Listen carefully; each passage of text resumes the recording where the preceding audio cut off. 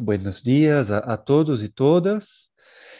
Em, soy Daniel Camparo, director del Centro de Investigación Clínica en Psicología de la Facultad de Psicología de la Universidad de la República en Uruguay.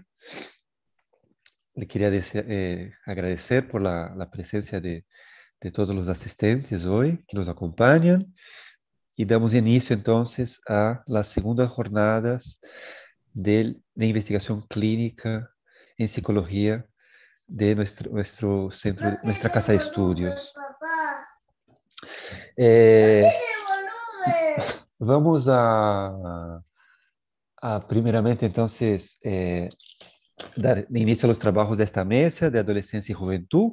Para eso entonces paso la palabra a las profesoras e investigadoras del SICP, Silvana Contino y Adriana Tortorella, y desde ya les deseo a todos una excelente mesa.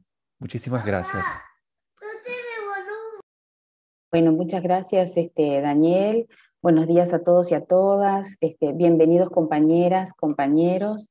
Este, bueno, eh, con Adriana, este, que aquí está presente, este, vamos a dar inicio a esta mesa que este, representa la, una de las líneas de investigación del SICP, que es adolescencia y juventud. Esta línea, de alguna forma, fue conformada este, durante la gestión de la dirección, eh, de la comisión directiva este, anterior, este, y de la cual Adriana y yo también formamos parte en aquel momento, 2015. Tuvo su desarrollo, este, nosotros fuimos una de las primeras investigadoras que dieron, dimos lugar a esta línea. Y bueno, hoy estamos acá como representantes de la misma y tenemos el gusto en realidad a este, darle lugar a dos presentaciones que a diferencia de las otras mesas nos vamos a tomar un poquitito de más tiempo porque son este, dos presentaciones que, que, bueno, que lo, que lo ameritan. Este, una tiene que ver con la consulta psicológica como instrumento de exploración en salud mental en el control de salud anual del adolescente, identificando aspectos de bienestar y conductas de riesgo, y la otra es transformaciones psicosociales que se, eh, que se producen en los jóvenes a partir de su proceso migratorio para estudiar en la, ULED, en la UDELAR. Este, bueno, eh, eh, no sé, Adriana, si querés que ya comencemos un poquito con, con este, la, damos lugar a la primera este, presentación. Sí, sí, sí. Bueno, a ver, este, vamos a, a ver si yo puedo en este momento compartir y contarles un poquito el contexto, en realidad, de esta primera exposición. Esta primera exposición, este, bueno, está conformada por un equipo de trabajo, este, eh, es un equipo de trabajo que está orientado básicamente a eh, el estudio de la consulta psicológica como instrumento de exploración en salud mental en el control de salud anual este, adolescente, identificando aspectos de bienestar y conductas de riesgo. Este, acá tenemos a todas las compañeras, porque bueno, somos todas mujeres por el momento, este, representantes de distintas instituciones. Esta es una propuesta, es un plan de trabajo que se está desarrollando desde abril del año 2020 y está conformado por distintas instituciones que tienen representación del Ministerio de Salud, que tienen representación de la UDELAR, de la Universidad Católica del Uruguay, de la Coordinadora de Psicólogos, de la Sociedad Uruguaya de Pediatría, y cada una de nosotros este, cumplimos este, un lugar allí. En, ese, en, el año abril del 20 hasta el momento estamos trabajando arduamente en poder darle un espacio a la consulta psicológica como instrumento de exploración en salud mental en el control adolescente. ¿Sí? Este, mm, me parece que tal vez, Adriana, podríamos presentar mínimamente a cada una de las Bien. integrantes. Sí, con mucho gusto. Bueno, como tú este, bien decías, entonces, en primer lugar, por el programa de Adolescencia y Juventud, eh, la doctora Lorena Quintana, que es directora del área programática de Adolescencia y Juventud, y de la Dirección General de Salud del Ministerio de Salud Pública. Este, Lorena Quintana es coordinadora del programa Familias Fuertes de Uruguay, especialista en medicina familiar y comunitaria, diplomada en género y políticas públicas, así como también en políticas de drogas, regulación y control, y maestranda también en eh, ciencia política. Eh, la psicóloga Valeria Balaza, magíster, es asesora del área programática Adolescencia y Juventud, de la Dirección General de Salud, también del Ministerio de Salud Pública, y es psicóloga, ¿verdad?, en clínica individual y grupal. También fue este, docente de la Facultad de Psicología, tuvimos el gusto también de, de tenerla como compañera docente hace muchos años. Este, bueno, también eh, como referentes de la Facultad de Psicología estamos, este, eh, bueno, como se presentó Silvana Contino, que es profesora agregada de la Facultad de Psicología e integra el Instituto de Psicología Clínica. Y bueno, quien les habla también como referente de la Facultad de Psicología, soy profesora adjunta del Instituto de Psicología Clínica y también magíster en, en, Psicología Clínica y tanto Silvana como yo como hicimos este, ¿verdad? los posgrados y los estudios y especializaciones en la línea de adolescencia y juventud. Bien, eh, también este, nos acompaña eh, Ana Monza, que es licenciada en Psicología por la Universidad de la República, es magíster en Psicología y Educación por la Facultad de Psicología de la UDELAR y, y participa del espacio como integrante de la Comisión de Salud Mental de la Coordinadora de Psicólogos.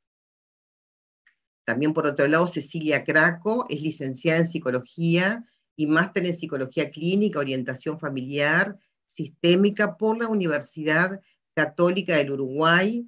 Tiene una especialización en docencia universitaria por la Universidad Católica y es doctora también por la Universidad del Salvador. Actualmente es profesora asociada con dedicación total en el Departamento de Psicología de la Universidad Católica. También eh, nos acompaña, les voy nombrando también las diferentes este, integrantes de instituciones, como dijimos, eh, la profesora también Denis Dogmanas, que es profesora eh, también por el Ministerio de Salud Pública, es profesora adjunta del Instituto de Psicología Clínica de la Facultad de Psicología y además es doctora en Psicología Clínica de la Salud de la Universidad este, de Salamanca. Es asesora técnica del área programática de la atención en salud mental del Ministerio de Salud Pública. También nos acompaña eh, la licenciada en psicología Karina López eh, Vidal, que es especializada en el trabajo con trastornos de personalidad y psicosis en adolescentes y adultos, integra los equipos de salud mental de la Asociación de la Sociedad Médica Universitaria y Española y es psicoterapeuta además eh, e integra el Comité de Adolescencia de la Sociedad Uruguaya de Pediatría. También nos acompaña Karina Becabach, que es también licenciada en psicología, especialista en psicotraumatología, terapeuta en MDR y también, eh, bueno, terapeuta cognitivo-conductual y también integra la mesa ejecutiva de la Coordinadora de Psicólogos del Uruguay, también este, eh, eh, bien, en la coordinadora, ¿verdad? Y eh, Fanny Alzugaray, que es operadora terapéutica en adicciones e integra el Comité de Adolescencia de la Sociedad Uruguaya de Pediatría. Bueno, creo que hice el recorrido de todas las integrantes y que representan a las instituciones. Creo que hicimos todo el recorrido, no faltó ninguna compañera. Adelante. Este, entonces ya hicimos las presentaciones y bueno, ya daríamos entonces, este, eh, Silvana, eh, ya pasamos entonces a identificar brevemente entonces este, la situación de, lo que va a ser la temática de la, de la exposición.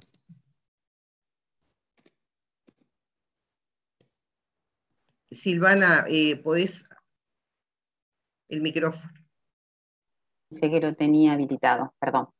Este, en realidad este, este equipo empieza a conformarse como una, vez, una mesa de discusión este, integrada por, eh, por, estas varias eh, este, instituciones representadas por cada una de las compañeras, a partir de la identificación de un, de un problema que era la detección de las cifras preocupantes de intentos de autoeliminación y depresión en adolescentes, que fueron incrementando hasta, este, hasta el 2020, inclusive este año también, este, y se generó eh, la necesaria detección temprana de, las conductas este, de riesgo en los las adolescentes dentro de nuestro país, a partir, pensábamos, de la, la necesaria inclusión de instrumentos que pudieran de alguna forma este, lograr en el contacto con el control de salud anual que tienen los adolescentes eh, la temprana detección eh, de situaciones de alarma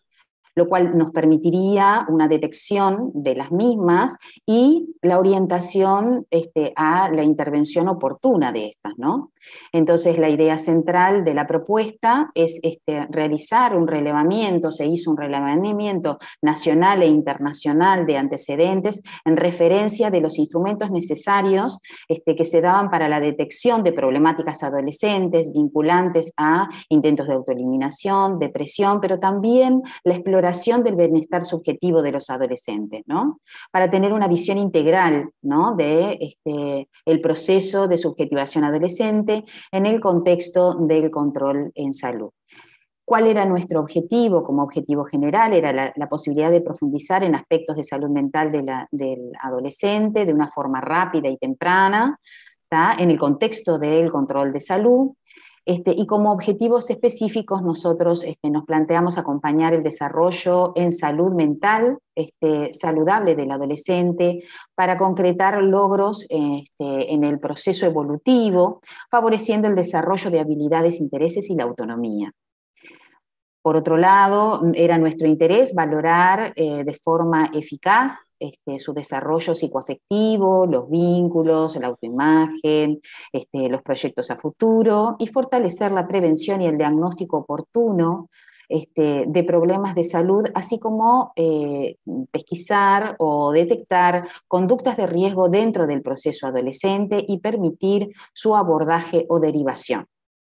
Para ello, bueno, este, las compañeras daremos lugar este, a cada una de ellas este, para mostrar el recorrido que estuvimos haciendo en función a eh, poder em, ubicar a la consulta psicológica como un instrumento de exploración en salud mental, en el control de salud anual adolescente si damos lugar a las compañeras para que, para que, bueno, para que pongan un poco en contexto este, la propuesta.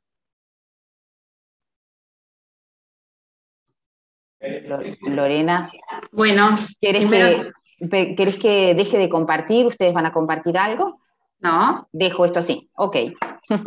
Eh, primero que nada, muchas gracias. La verdad que es un placer para nosotros poder comentarles contarles todo lo que se ha trabajado este equipo y en lo que creemos es sumamente necesario para el país. Este, nosotros estamos encargadas con, con, Vale de las políticas de salud de adolescentes en, Uruguay, entonces para nosotros esto es algo que es necesario y por eso estamos haciendo la fuerza para que, para que podamos avanzar. Y, para poder contarles un poco, me, me pregunto tres cómo. ¿Cómo surgió? ¿Cómo surgió esta idea? Cómo avanzamos, cómo hicimos hasta ahora y cómo, la, más difícil de los cómo, cómo pensamos seguir. El, cómo surgió, ahora con Valeria conversábamos de mañana, porque es verdad que las cifras de las muertes, las causas de muerte de nuestros adolescentes tienen que ver con conductas de riesgo. El 80%, si miramos a esta edad de 15 a 19, tiene que ver con conductas de riesgo. Es verdad que las cifras, en especial la encuesta mundial de salud estudiantil, nos muestra que uno de cada cinco de nuestros adolescentes ha pensado seriamente en quitarse la vida. Temas de salud mental este, son los problemas de salud que tienen nuestros adolescentes. Sabemos que hay otros países donde el control en salud en realidad no lo hacen los médicos, los hacen los psicólogos y las parteras, salud sexual, salud mental, dos de los grandes temas que creo que casi el 99% del control de un adolescente es esto. Entonces, el, El cómo surge realmente surge a través de un paciente, de un problema de salud que, fue público, no lo voy a, traer ahora, pero fue público, un, adolescente que con situaciones de vida muy difíciles, maltrato, violencia, abuso, abuso sexual, y que había pasado por un control en salud este, hacía muy poquito tiempo. eso realmente nunca lo compartimos, ni siquiera con compañeras de, cómo fue que surgió, por qué lo pensamos, hablábamos hoy de mañana con Valeria, y, fue a través de este paciente, dijimos, ¿por qué no? Es verdad que tenemos el control en salud adolescente que para nosotros es, es una herramienta maravillosa. Antes el adolescente solo venía al servicio de salud a, a, la emergencia porque le dolía la garganta o en un accidente de tránsito o en una pelea un fin de semana en un baile y, y terminaba en emergencia pero no teníamos ese acercamiento con el adolescente que es el control en salud. Sabemos que es una herramienta que ha cambiado la relación entre el adolescente y el sistema de salud, pero entendemos que tenemos que ir a más.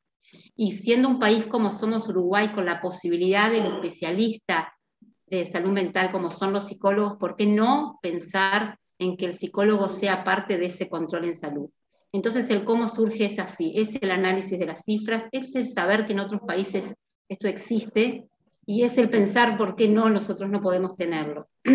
Entendemos que nuestros adolescentes lo necesitan, sabemos que es un cambio cultural, lo, lo, tenemos presente, y sabemos que sobre todo es un cambio cultural en los adultos, porque los adolescentes en realidad ya vienen con este cambio cultural.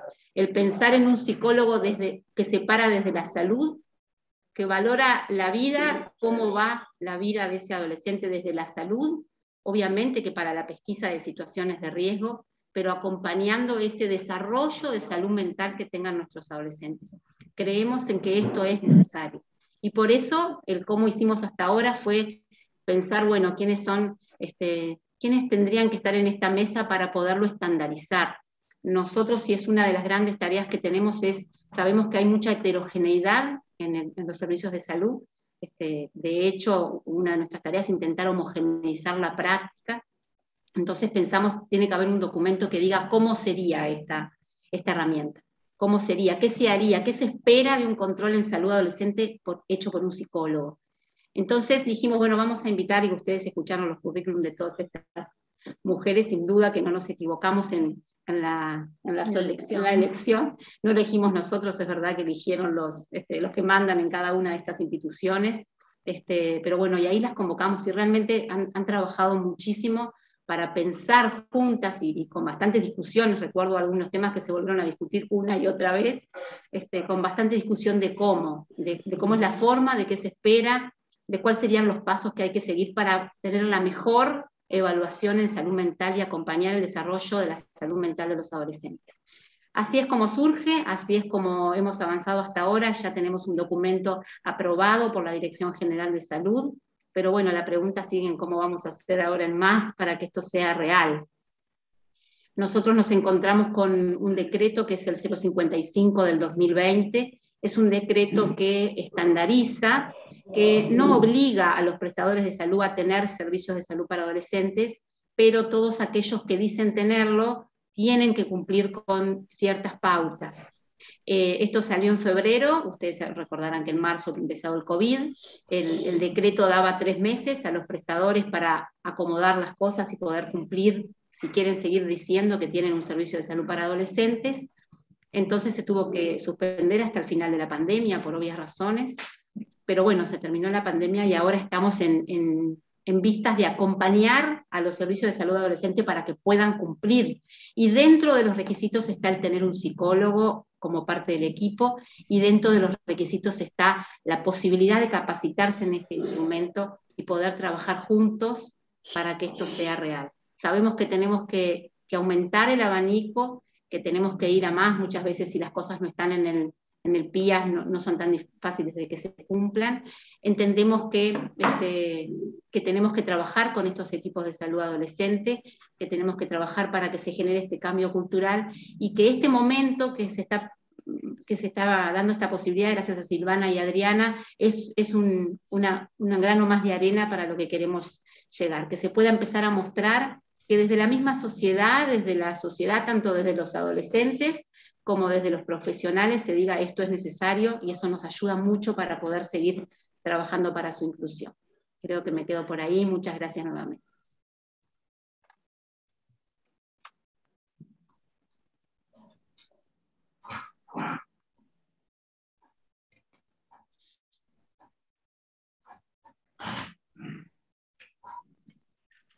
Eh, Silvana, Adriana, ¿continúo yo? Sí, como tú quieras. Ahora sí dejo de compartir, ¿verdad? Sí, sí. bueno, muchas gracias, muy buenos días. como compartieron un poco las, compañeras, nosotros hicimos en, este año un recorrido eh, buscando los mejores antecedentes de la inclusión de la consulta psicológica en el nivel de atención primario en salud. Y eso nos llevó a recorrer experiencias de diversos países, también buscar las experiencias que hay a nivel nacional en este, en este sentido, y empezamos a pensar y a diseñar un dispositivo, o esto de la consulta adolescente, lo pensamos como con dos momentos. Un primer momento que sería un momento de screening, un momento que incluye instrumentos de evaluación, eh, instrumentos de evaluación que ahora les vamos a contar qué características tienen y cómo es que los elegimos, y un segundo momento que es de la entrevista propiamente dicha con el psicólogo. La idea es que eh, este primer momento sea un primer momento relativamente breve, sabemos que no podemos pedirle al, adolescente que conteste durante un rato muy extenso, porque se va a aburrir, porque no lo va a querer hacer y demás, que sea algo ágil, relativamente sencillo. Acá este, tenemos que seguir trabajando también en pensar qué tan posible es para todos y todas las adolescentes contestar a estas preguntas. También pensábamos que esto se hiciera antes en la sala de espera y en un formato digital, de manera que eh, brindando conexión y brindando datos, sabemos que los adolescentes casi en su mayoría, todos, o en su totalidad, todos cuentan con alguna clase de dispositivo, y si no ese dispositivo, una tablet o lo que fuera, se le tendría que poder brindar al adolescente, de manera que mientras que está en la sala de espera, completara estas estos instrumentos que ahora les vamos a presentar, y eso pudiera llegar procesado, digamos, como en tiempo real al psicólogo para que el psicólogo tenga disponible esa información al momento de recibir al adolescente. En una entrevista que, este, que no, no es de alguna manera solo hablar, porque para nada está pensado como solo hablar de los resultados, del, pero que sí lo toma como un insumo que puede llegar a ser importante. Entonces, este, un poco eh, en esto de, cómo, de cómo pensamos en la etapa de, screening, había que elegir áreas de evaluación. Y ahí a nosotros nos pareció muy importante incluir cuestiones que hacen a la sintomatología. Recién Lorena comentaba, y creo que todos nosotros, todas nosotras sabemos este, y conocemos con altísima preocupación las cifras en salud mental adolescente. Entonces hay una cuestión que hace a la sintomatología, al riesgo, pero también queríamos rescatar en esta evaluación eh, las fortalezas y aspectos que hacen al bienestar psicológico, porque esa es una mirada un poco más completa, esa es una mirada que también va a permitir eventualmente en el largo plazo ir potenciando acciones alineadas a la promoción de salud mental y no solo a atender tempranamente, que ojalá esto lo permita, aquellas situaciones que pueden ser de riesgo. Queríamos además tener información sistematizada que habilitara la mejor toma de decisiones y que sirva como línea de base para evaluar el impacto de las intervenciones que ya se están llevando adelante y otras que se puedan diseñar. Nos falta, creo que es un debe que tenemos en, el mundo de la psicología clínica, en particular en nuestro país, información, contar con información sistematizada.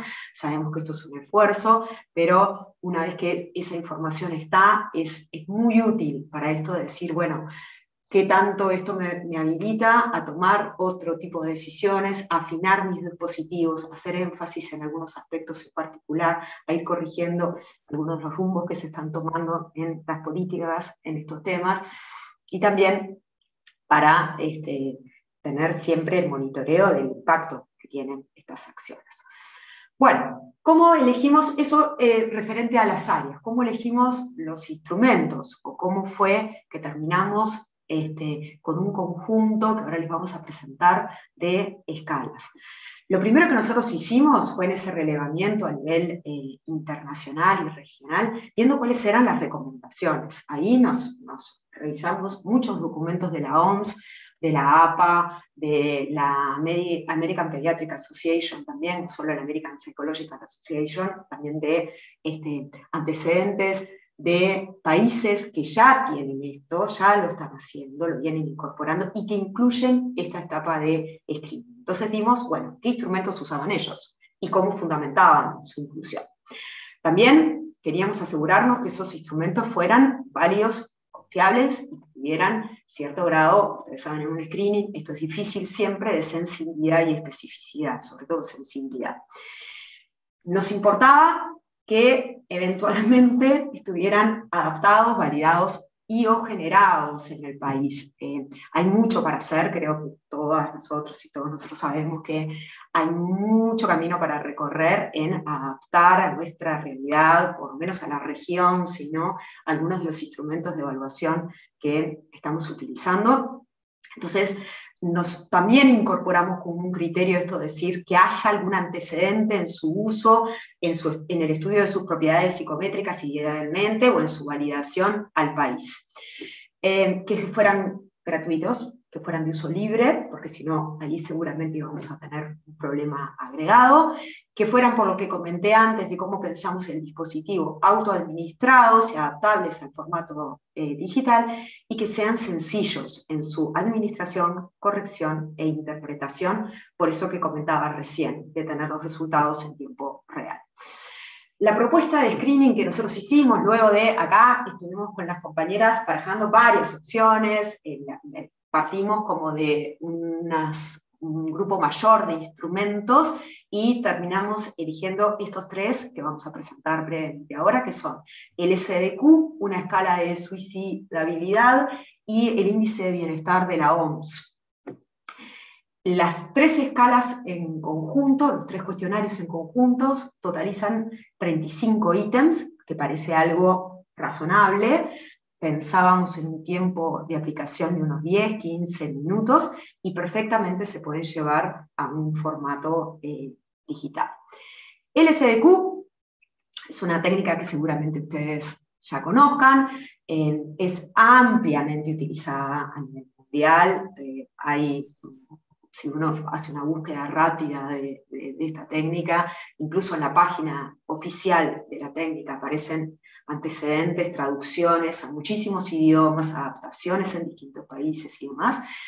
Existe y está disponible una versión eh, al español para el Río de la Plata, que hicieron colegas de la Universidad Católica y de la UDELAR hace ya unos cuantos años, y hay antecedentes de su utilización y del estudio de su utilización, incluso en estudios a nivel nacional, ¿eh? o sea, esto realmente ya se ha usado en poblaciones grandes en el país, y el estudio de sus propiedades psicométricas, la UDELAR tiene, si no se agregó nada desde el momento que revisamos los antecedentes, tiene un trabajo publicado con niños en edades preescolar, eh, con algunos colegas de la Universidad Católica estamos por publicar un trabajo de propiedades psicométricas en edad escolar, con una muestra de unos 600, 700 escolares, o sea, y va a haber, nos falta ver con la población adolescente, pero se puede generar ahí cuestiones que hagan a el estudio de las propiedades psicométricas y la eventual validación para Uruguay.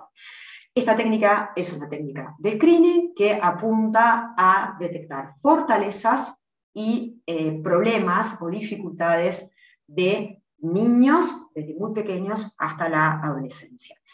Eh, hay tres formas de contestar esto, lo puede contestar en el caso de los adolescentes, se puede contestar, lo puede contestar directamente el adolescente, también lo podrían contestar sus padres y recoger la visión que tienen sus padres de esto, y eventualmente los docentes. Acá se está planteando solo la versión autoadministrada, que tiene 25 ítems que recogen información sobre cinco factores. Los problemas de tipo emocional, problemas de vínculos con pares, problemas de conducta, hiperactividad y el factor que vendría a ser la parte de fortalezas es la prosocialidad. La técnica está diseñada de una manera tal que los dos primeros factores, problemas emocionales y problemas de vínculos con pares, de alguna manera dan cuenta de sintomatología de tipo internalizante y los factores 3 y 4 de sintomatología externalizante. Ahí hay, en esto de, la revisión de antecedentes, en, cuanto a, la estructura interna de la técnica, en muchos países se confirmó la estructura de cinco factores, en otros países solo la de tres, y entonces la recomendación fue evalúen el global de sintomatología internalizante, externalizante y prosocialidad. Veremos cómo es que esto es la recomendación, digamos, cuando se hagan los estudios de adaptación en nuestro país. La, pregunta que se le hace es, se le pregunta eh, situándose en los últimos seis meses, cómo ha sido cada uno de los ítems en una escala de respuesta que es 0, 1 y 2, y va de no es cierto o es totalmente cierto. Tiene ahí una cuestión, pero que se resuelve sencillamente, de inversión de algunos ítems para su corrección, y a nivel internacional, todavía no los tenemos a nivel nacional, hay baremos que permiten identificar situaciones de normales, así están descritas en, la página oficial, normales, límites o de riesgo. Esta es una técnica que nosotros creemos que cubre de alguna manera tanto fortalezas como eh, algunos de los síntomas importantes y es sencilla y nos pareció una muy buena opción. También, y lamentablemente en la realidad nacional esto era absolutamente necesario incluir, eh, agregamos una escala que detecta riesgo suicida en adolescentes. Este, esta es una escala eh, que puede ser utilizada por profesionales de la salud, eh, agentes comunitarios. Son cuatro ítems nada más que cubren aspectos de ideación y de intento de suicidio. Esta escala fue, ah, hay algunas adaptaciones realizadas en Colombia, en Chile, hay antecedentes en la región de su uso y de, las, ventajas que ofrece.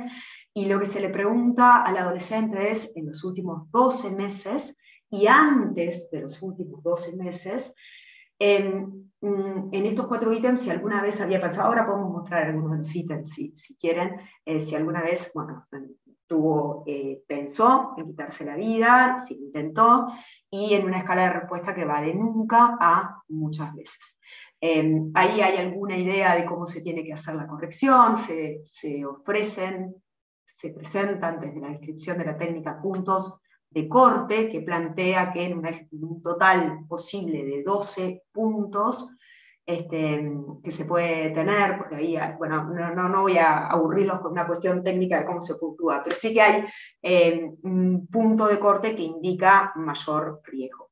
Nosotros a esta escala, que la escala es de cuatro ítems, no más, le agregamos un ítem que sacamos de otra escala que refiere a las autolesiones. Entonces agregamos un ítem que pregunta todas aquellas situaciones en las que el adolescente se haya hecho daño sin intencionalidad de quitarse la vida, sin la intención de quitarse la vida, porque sabemos que eso también es una situación grave y frecuente que eh, aparece en la clínica adolescente.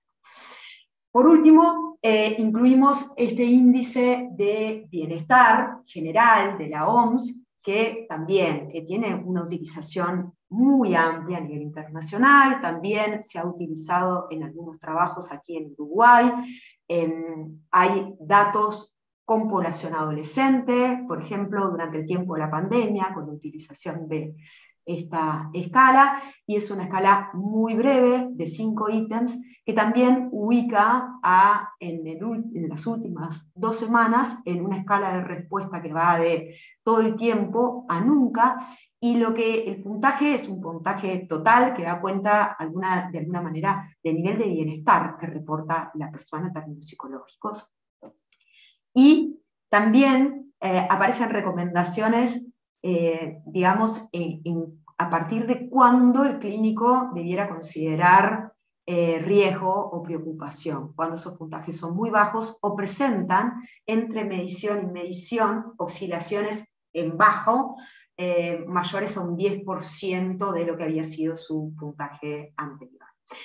Esto de alguna manera complementa los tres, instrumentos estos, constituyen lo que sería la etapa, la etapa de screening, que esperamos que pueda ser retomada de alguna manera o profundizada, si es que el psicólogo lo considera necesario, en la siguiente etapa, que sería la de la entrevista. Yo dejo por acá, cualquier cosa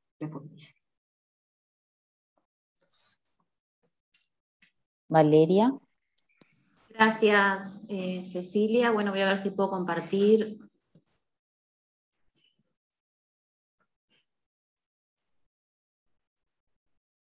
Me avisan si, si se ve.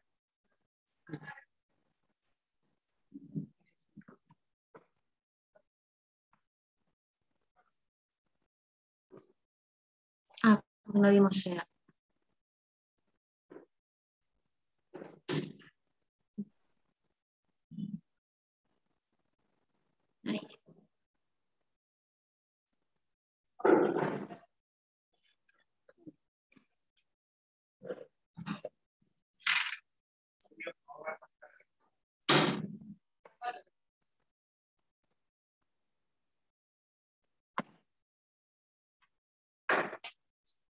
Bueno, ¿se, está viendo bien la presentación?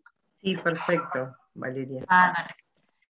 Bueno, después este, de este momento del screening, ¿no? Donde, bueno, se hizo este relevamiento ágil de, los factores adaptativos y de riesgo del adolescente, y en este segundo momento, que es la entrevista, que nosotros la consideramos como un instrumento privilegiado de cualquier modalidad de intervención psicológica.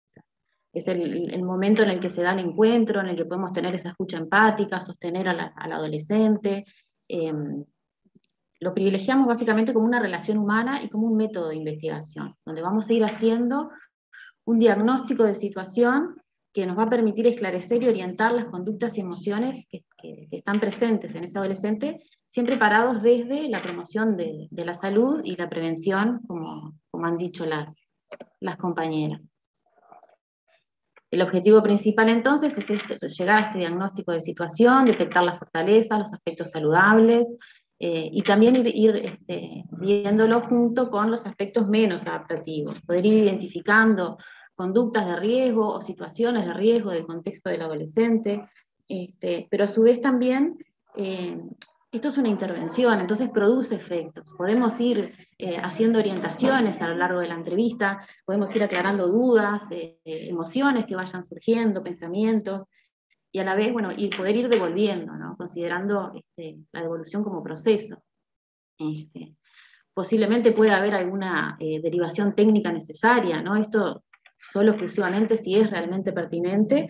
Bueno, vamos a, ver cuáles son los mecanismos institucionales, cuáles son las prestaciones existentes, y bueno, eh, iremos desarrollando también que, es un debe, cuáles son cuál es el mapa de ruta ¿no? de, las, de las posibilidades que tenemos de, de derivación siempre, bueno, en el caso de ser necesario. El screening, bueno, ha hecho este relevamiento ágil y ¿cómo, ¿cómo, lo vamos a integrar a la entrevista? Es principalmente un orientador de las áreas que vamos a ir eh, integrando este, y de acuerdo, bueno, aquellos también factores de, de riesgo que hayan aparecido como, como más elevados. Acá va a jugar, obviamente, la, habilidad y la escucha del clínico para ver en, qué oportunidad va introduciendo elementos y profundizando en, esos este, eh, factores que se vieron en, el screening. Esto va a tener que ir respetando un, timing de la entrevista, contemplando la situación eh, vital de, ese adolescente y cómo, cómo va configurándose su contexto. Este, por lo tanto, vamos a ir introduciendo elementos y esto hace que la, técnica de la entrevista sea semi-dirigida. Pero vamos a, intentar que, bueno, que vaya siendo este, lo más amena posible. Este, nos parecía importante también hablar un poco sobre la, consigna de la entrevista, porque bueno, es una instancia nueva, eh, bueno, el psicólogo va a tener bueno, que, presentarse, este, nosotros más o menos fuimos estableciendo eh, qué, cosas podía ir diciendo al principio, bueno, decirle que, es una oportunidad en la que van a tener un encuentro para conversar sobre algunos aspectos generales de su vida, cómo se está sintiendo, cuáles son sus intereses y sus inquietudes, ¿no? Estar, parados este, también siempre desde la salud. Y es importante contextualizar eh, este encuentro porque, bueno, no hay, no hay una demanda explícita ¿no? del, hacia el profesional.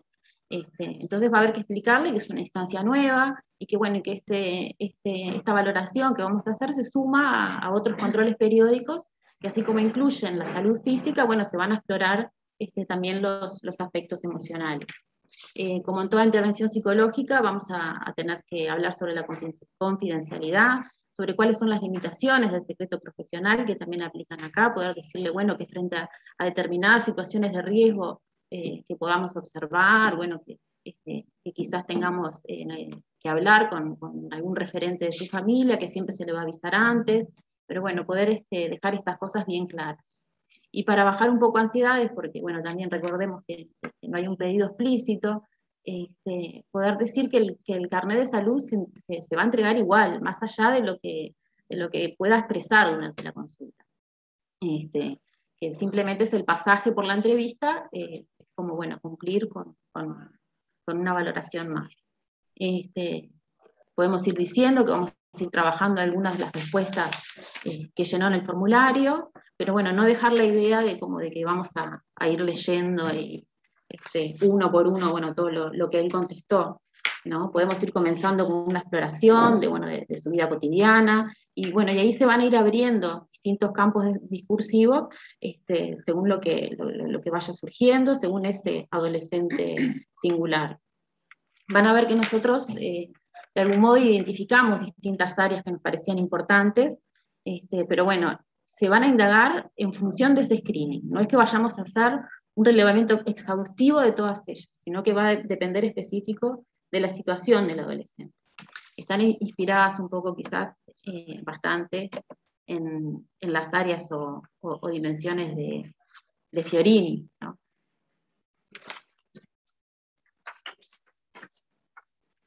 En el que, bueno, eh, si queremos saber cuál es eh, la situación del adolescente, como que tenemos que ir viendo cómo se van configurando esos distintos órdenes de la realidad, cómo se van articulando para poder pensar este, esa situación.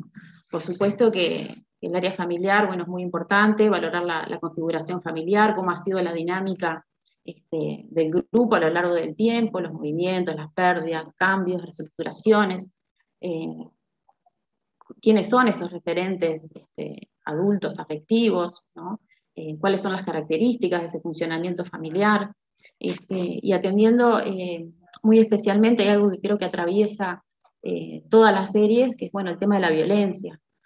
Hace, hace poco eh, el CIPIA bueno, presentó el informe este, sobre las denuncias de violencia, bueno, que han, crecido, han sido en el 2020 7.035 denuncias sobre situaciones de violencia en, en niños y adolescentes, este, y en adolescentes están los porcentajes mayores, entre 13 y 17 años, por ejemplo, es el 35%. Este, y muchas veces eh, estas situaciones no son reconocidas eh, por el adolescente.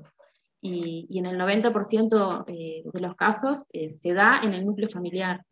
Este, entonces, bueno, es una, excelente oportunidad para, ir valorando esto. bueno, el área educacional, ver cómo es el rendimiento académico, eh, si hay este, dificultades del aprendizaje, si hay algún diagnóstico este, referido a esto, la atención, la concentración. otra serie que, es importante, por supuesto, todo lo que tiene que ver eh, con lo corporal en el sentido de, cuáles son las vicisitudes del cuerpo biológico y el impacto que tienen en, el adolescente, ¿no? cómo se percibe, cómo valora su, imagen corporal, eh, la autoimagen. esto nos parece una serie en la que hay que hacer hincapié. Eh, estamos haciendo el relevamiento de las historias clínicas de los adolescentes que se suicidaron en el 2020 y 2021, y es algo que, bueno, que aparece, esto de que, bueno, no me gusta, me miro en el espejo, eh, no me gusta mi cuerpo, entonces, bueno, nos pareció una serie también eh, que queríamos hacer hincapié. En cuanto al área evolutiva, acá lo que se va a indagar, bueno, va a ser también diferente en cada adolescente, ¿no? Capaz que hacemos eh, más hincapié en su desarrollo afectivo sexual o en la construcción de su identidad, duelos, toma de decisiones, proceso de autonomía. Vamos a focalizar en lo que sea pertinente para la situación singular de ese adolescente. Y bueno, y vamos a ir retomando eh, los aspectos clínicos eh, significativos del screening y, bueno, si, si hay bueno, internaciones o tratamientos previos, bueno, también poder eh, consignar esto, ir valorando eh, también otras conductas relacionadas a la alimentación, al sueño, si surgen elementos de ansiedad o depresivos. Otra área muy importante es el tema de los consumos, ¿no? Si, hay inicio de consumo, uso y abuso de sustancias, eh, y, y, bueno, todo lo que tiene que ver con el control de la impulsividad, si, si, existen conductas eh, transgresoras o algunas incluso que puedan configurarse como infraccionarias. Este, bueno, dentro del área vincular, eh, esto también obviamente es muy importante, vamos a ir viendo eh, cuáles son sus grupos de, pertenencia, de referencia, si, tiene amigos, si, si, los ha podido mantener a lo largo del tiempo o si este, se encuentra aislado. Este, acá es, muy importante bueno, estar atentos a todo lo que puede tener que ver con acoso escolar este, o incluso en redes. Y acá, bueno, vuelve otra vez como a atravesar eh, el tema de la violencia. Este, tenemos que indagar la, la violencia afectivo-sexual en, en, la pareja, bueno, en la pareja y, y o, en, vínculos casuales.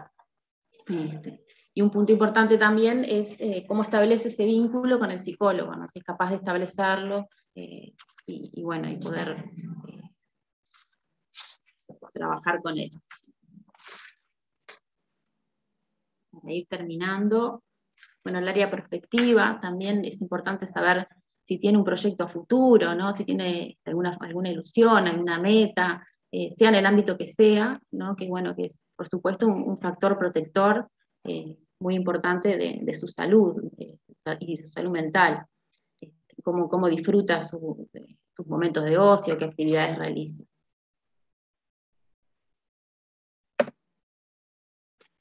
Bueno, como, y para cerrar, bueno, destacar esto, ¿no? que, que tomamos en cuenta esta intervención este, bueno, del screening, bueno, integrado a la entrevista como una, una herramienta eh, tangible de, de, promoción y prevención en salud mental, ¿no? donde este, se puede hacer este, este relevamiento eh, ágil de, de, los distintos factores adaptativos y de riesgo, eh, y, y, se puede tener también un momento de una escucha clínica psicológica, ¿no? poder abrir un poco la cancha para que este adolescente pueda eh, expresar lo que siente. Este, siempre parados desde, desde, la salud, ¿no? tratando de no, no patologizar el momento evolutivo. Este, no sé por qué puse esa palabra tan complicada ahí, de esa estigmatización de la salud mental.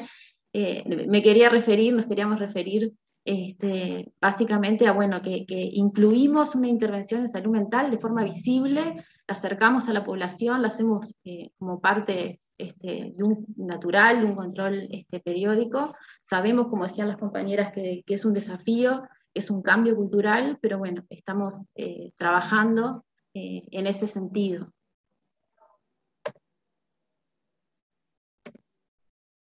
Bueno, muchas gracias. Ahí les, este, les pusimos eh, los mails de todas las compañeras, eh, por si bueno, alguien quiere hacer también alguna consulta. Y bueno, estaríamos cerrando por acá. Muchas gracias.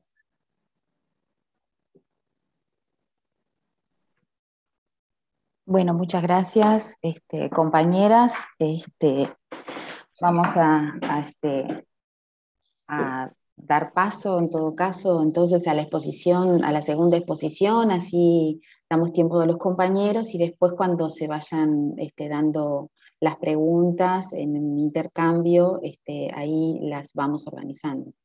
¿Les parece? Este, bueno, eh, tenemos este, nuestra segunda exposición que forma parte de esta línea, que acá tenemos a los compañeros Jorge Maceiras y Luis este, Pereira, que son los responsables del proyecto de investigación, transformaciones psicosociales que se producen en los jóvenes a partir de su proceso migratorio para estudiar en la UDELAR. Es un proyecto que fue financiado por el bienio eh, 2017-2019 dentro de las postulaciones a proyectos CECI y. trata las problemáticas que afrontan los jóvenes del interior al iniciar su proceso migratorio para, llegar, para llevar adelante sus estudios en la UDELAR. No solo se trata de la permanencia en los diferentes servicios de la UDELAR, sino que permite también eh, analizar la instalación ¿no? en la capital del país. Este, los responsables de, de, este proyecto los tenemos acá, a Jorge Maceiras, profesor adjunto del Instituto de Psicología de la Salud de la Facultad de Psicología de la UDELAR, es el coordinador del programa Agenciamiento de la Clínica y la Grupalidad del Instituto de Psicología Social, tiene una maestría en Sociología, estrategias de los estudiantes del interior para este, instalarse en Montevideo y en la Universidad de la República, con múltiples publicaciones en referencias a proyectos de extensión y de investigación. Tenemos a Luis, que es licenciado en Psicología de la Universidad de la República, magíster en Psicodiagnóstico y Evaluación Psicológica de la Facultad de Psicología de la Universidad de Buenos Aires, la UBA, profesor ayudante del Instituto de Psicología, Educación y Desarrollo Humano de la Facultad de Psicología, es profesor asistente del programa de respaldo al aprendizaje de la Comisión Sectorial de Enseñanza de la UDELAR y tiene experiencia en el área de la producción de las migraciones este, internas, mm, internas estudiantiles, actuando principalmente en los temas este, que tienen que ver con los jóvenes que migran a estudiar a la UDELAR, este, eh, el programa en la tutoría de este, eh, trabajo entre pares para estudiantes migrantes este, de la educación superior y es coautor este, de múltiples artículos que tienen que ver con las migraciones internas de los estudiantes del interior a este, la, la capital de nuestro país. Así que damos espacio a los compañeros, bienvenidos y compartan pantalla cuando quieran.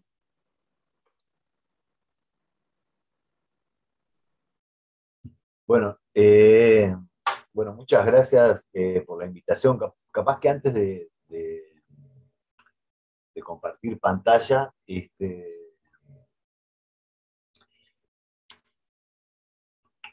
un, comentario de, que, tiene que ver con la relación de, cercanía o de continuidad con, con lo presentado anteriormente. Este,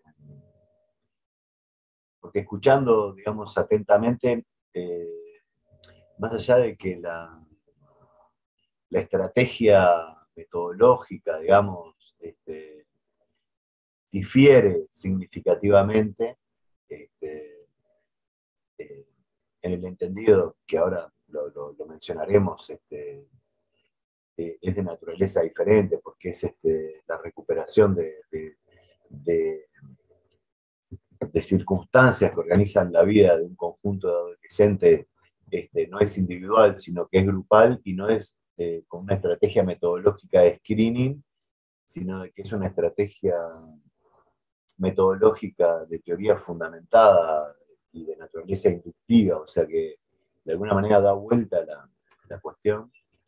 Hay muchos puntos que, que se tocan, que dialogan y que me parece interesante, digamos, porque va a permitir eh, dialogar las presentaciones que, nos convocan hoy acá. otra cuestión que, también de repente me interesaba señalar antes es que eh, el foco de los adolescentes este, con los que trabajamos, esa adolescencia tardía juventud, digamos, este, o esa adolescencia demorada juventud, esos bordes difíciles de precisar, este, y, que inclusive se corresponden, digamos, como a tradiciones disciplinarias. Parece que el campo de la sociología se, inclina más por, por, juventudes y el campo de, la psicología por adolescencia, pero bueno. Tiene, es, es, una población que está recortada a priori porque son universitarios. Entonces, eh, ahí ya, digamos, como que hay un, un recorte de la población objetivo que no se puede pasar por alto, no se puede soslayar de que este, son adolescentes o jóvenes que, eh, eh, mal o bien, eh, pudieron recorrer, digamos, la educación primaria, la educación secundaria y este, han accedido a la Universidad de la República. Y encima sobre eso hay otro reporte que son jóvenes del interior que este, vinieron a radicarse a la capital para estudiar.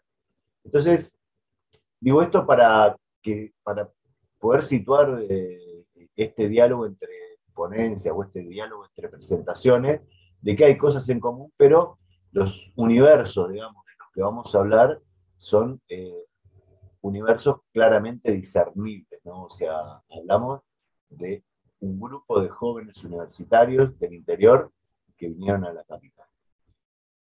Dicho esto, eh, eh,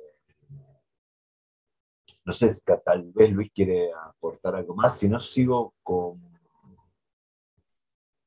Sí. Bien, capaz que podemos compartir este, la, presentación. Antes de pasar a eso, eh, en principio agradecer este, la, invitación y celebrar este, este, segundo encuentro, que un poco al inicio lo comentaban ahí Adriana y Silvana en esto de eh, la primera jornada que se dio, eh, creo que fue en el 2015, 2016, en donde ellas se integraban la comisión directiva junto con Rosa como, directora, este, nada, me, me, llevó a, esos años en donde, bueno, compartí con ellas este, mucho trabajo en, este, en la comisión directiva y, bueno, este, quería como mencionar eso. Eh, eh, y decir que, bueno, que, bueno y que, lindo este, verlas acá en este espacio en una, en una segunda jornada. Eh, bueno, ahora sí, comparto la, la pantalla y le voy a dar a la opción presentación. Y bueno, aquí un poco como lo, lo presentó Silvana, eh, el, titular, y un poco también para contextualizar este, algo que también este, comentó Silvana, que este fue un proyecto eh, que fue presentado en la convocatoria 2016 este, en la Comisión Sectorial de Investigación Científica, a, llamados a I+D, Innovación y Desarrollo, eh, que se aprobó, se financió y fue adscrito al, al Centro de Investigación Clínica en Psicología. Este fue un proyecto en donde el responsable fue Jorge Maceiras, eh, yo participé como corresponsable y después estuvieron los eh, colegas eh, Maya Subillaga y Alejandro Echegoyen participando durante todo el proceso de investigación. ahí traemos un poco algo que tiene que ver con la fundamentación de esta problemática, en donde ahí un poco lo decía Jorge, ¿no? trabajamos con un grupo de estudiantes que, son del interior y que se radicaron en Montevideo para estudiar en la UDELAR, pero está bueno como mencionar eh, el aspecto cuantitativo, digamos, de, Jorge decía recién, es un grupo, pero que si lo llevamos a números, digamos, es un grupo muy importante, ¿no? Y, hay un ejemplo que siempre usa Jorge, que está bueno, en un país eh, futbolero como este, este, decir que, bueno, la cantidad de jóvenes del interior que, por ejemplo, se radican en Montevideo para estudiar en la UDELAR, podrían de alguna manera llenar un estadio centenario, en cuanto a, la cantidad que son. Eso, por un lado, como le, da como la fundamentación cuantitativa a, este problema, pero también hay un montón de, un acumulado de variables este, que son más del orden cualitativo, que se vienen trabajando, que, están acumuladas en, por ejemplo, trabajos previos este, de tesis de maestrías y trabajos finales de grado, este, que ha tutoriado, por ejemplo, Jorge. Eh, y después también tenemos, eh, en cuanto a fundamentación de esta problemática, un, acumulado también de políticas públicas que giran en torno a esta población y que tratan de, paliar determinadas situaciones que se, que se, ponen en juego en estos estudiantes a la hora de radicarse en Montevideo, ¿no? que son políticas públicas justamente con énfasis en estudiantes del interior, como el Fondo de Solidaridad, el Servicio Central de Bienestar e Inclusión Universitario, y el programa de respaldo al aprendizaje. Eh, bueno, ahora pasando un poco al, objetivo general de, este proyecto, ¿cuál fue? Eh, bueno, tuvo que ver con producir conocimientos en relación a las múltiples formaciones existenciales que construyen los jóvenes del interior que emigran para radicarse en Montevideo con la finalidad de dar trámites, a, sus estudios en la UDELAR. Ese fue el foco, este, el objetivo general. Y dentro de los objetivos específicos, eh, bueno, se buscó eh, explorar qué lugar ocupa eh, la beca del Fondo de Solidaridad en el proceso de erradicación e inclusión en, lo del AR. dentro de todo el, acumulado de estudiantes que se radican en Montevideo para estudiar en la UDELAR, nosotros hicimos el foco en aquellos estudiantes que se radican, pero que además son eh, becarios del sistema de becas del Fondo de Solidaridad. Luego, eh, como segundo objetivo específico, bueno, eh, nos planteamos analizar la vinculación del fenómeno migratorio con la consecuente radicación en Montevideo y con los procesos de generación de autonomía, que tiene que ver un poco con lo, esto que planteaba Jorge, ¿no? son jóvenes, muchos son adolescentes, jóvenes, adultos, están como en esa interfase permanente en esto de el desprendimiento de su lugar de origen, de su núcleo familiar, eh, toman distancia de, ese núcleo eh, de un momento para otro y ahí uno podría pensar que eh, se precipita lo que es el inicio de la, juventud o la, vida adulta en, en, muchos casos, porque bueno, pasan de eh, estar en un lugar familiar en donde este, todo eh, eh, funciona de una manera y luego se radican en Montevideo y tienen que empezar a gestionar por sí solos un montón de, cuestiones en donde, bueno, ellos tienen que hacer cargo de eso que están gestionando, Y por último, nos planteamos analizar las estrategias de sostén que constituyen, este, a modo de facilitar la estadía en Montevideo y la permanencia en el DOLAR. ¿no? nos planteamos cómo analizar justamente el acumulado de estrategias que estos jóvenes despliegan eh, a modo de facilitar dos dimensiones, ¿no? Por un lado, la estadía en Montevideo y por otro lado, la, estadía, ¿no? el proceso de afiliación a, la Universidad de la República. Acá te doy la, palabra, Jorge. Claro, un poco lo que comentaba al comienzo, este, eh, en, tanto la estrategia metodológica este, es de naturaleza inductiva este, y, basados en la teoría fundamentada, no, no, no fuimos, digamos, este, con eh, un conjunto de, hipótesis este, que, se construían eh, a punto de partida de eh, suponer qué es lo que le pasaba, sino que le, suponer qué es lo que le pasaba a estos muchachos para después este, corroborarlo, digamos, con, la empiria, digamos, o con lo que ellos puedan decir, sino que el movimiento fue al revés, fue generar este, un un espacio en, este, en este proyecto de investigación. Fue el grupo de discusión, un dispositivo coordinado con, una doble coordinación, en donde este, se, empezaba, digamos, como a sostener eh, una palabra no dirigida, digamos, tal vez sería medio audaz este, ir por la, idea de asociación libre, pero e, era, eh, ¿qué les pasa a ustedes este, con este movimiento que están haciendo? ¿O qué les pasa a ustedes con este, este estar en Montevideo? Y eh, fueron saliendo líneas, trajimos algunas, digamos, del trabajo de investigación, digamos, como para eh, ejemplificar eh, cómo hay una vida de una cantidad de muchachos o bueno, adolescentes que este, se sitúa, digamos, este, en, esa tensión entre, entre, entre el miedo y, este, y el deseo, digamos.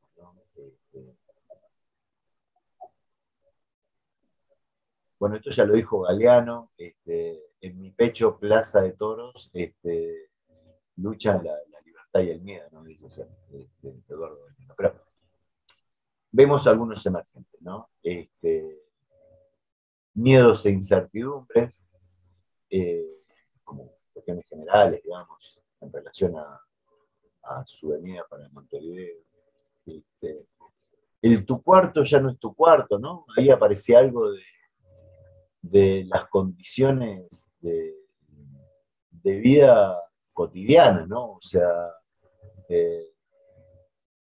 muchos jóvenes que, digamos, este, desarrollaron sus primeros 18 años de vida en, un escenario este, familiar, este, sea monoparental o con, con la familia, digamos, nuclear clásica, bueno, de pronto que, tenían en su casa, digamos, un cuarto compartido con un hermano o un cuarto para ellos, se encontraban eh, en una residencia o en un hogar estudiantil este, donde la falta de privacidad, la falta de, manejo de ese espacio físico era manifiesta. Este, la referencia a en el hogar es como estar en el interior, más adelante lo, vamos a ver, pero aparece una cuestión que al mismo tiempo que juega a favor, que es este, casi como que la residencia o el hogar estudiantil que tiene relación de correspondencia con el departamento del cual son oriundos, opera casi como con una lógica de la embajada, digamos, o sea, vengo al hogar estudiantil de Durazno y es casi como que ahí adentro siento que estoy en Durazno, por poner un ejemplo, este,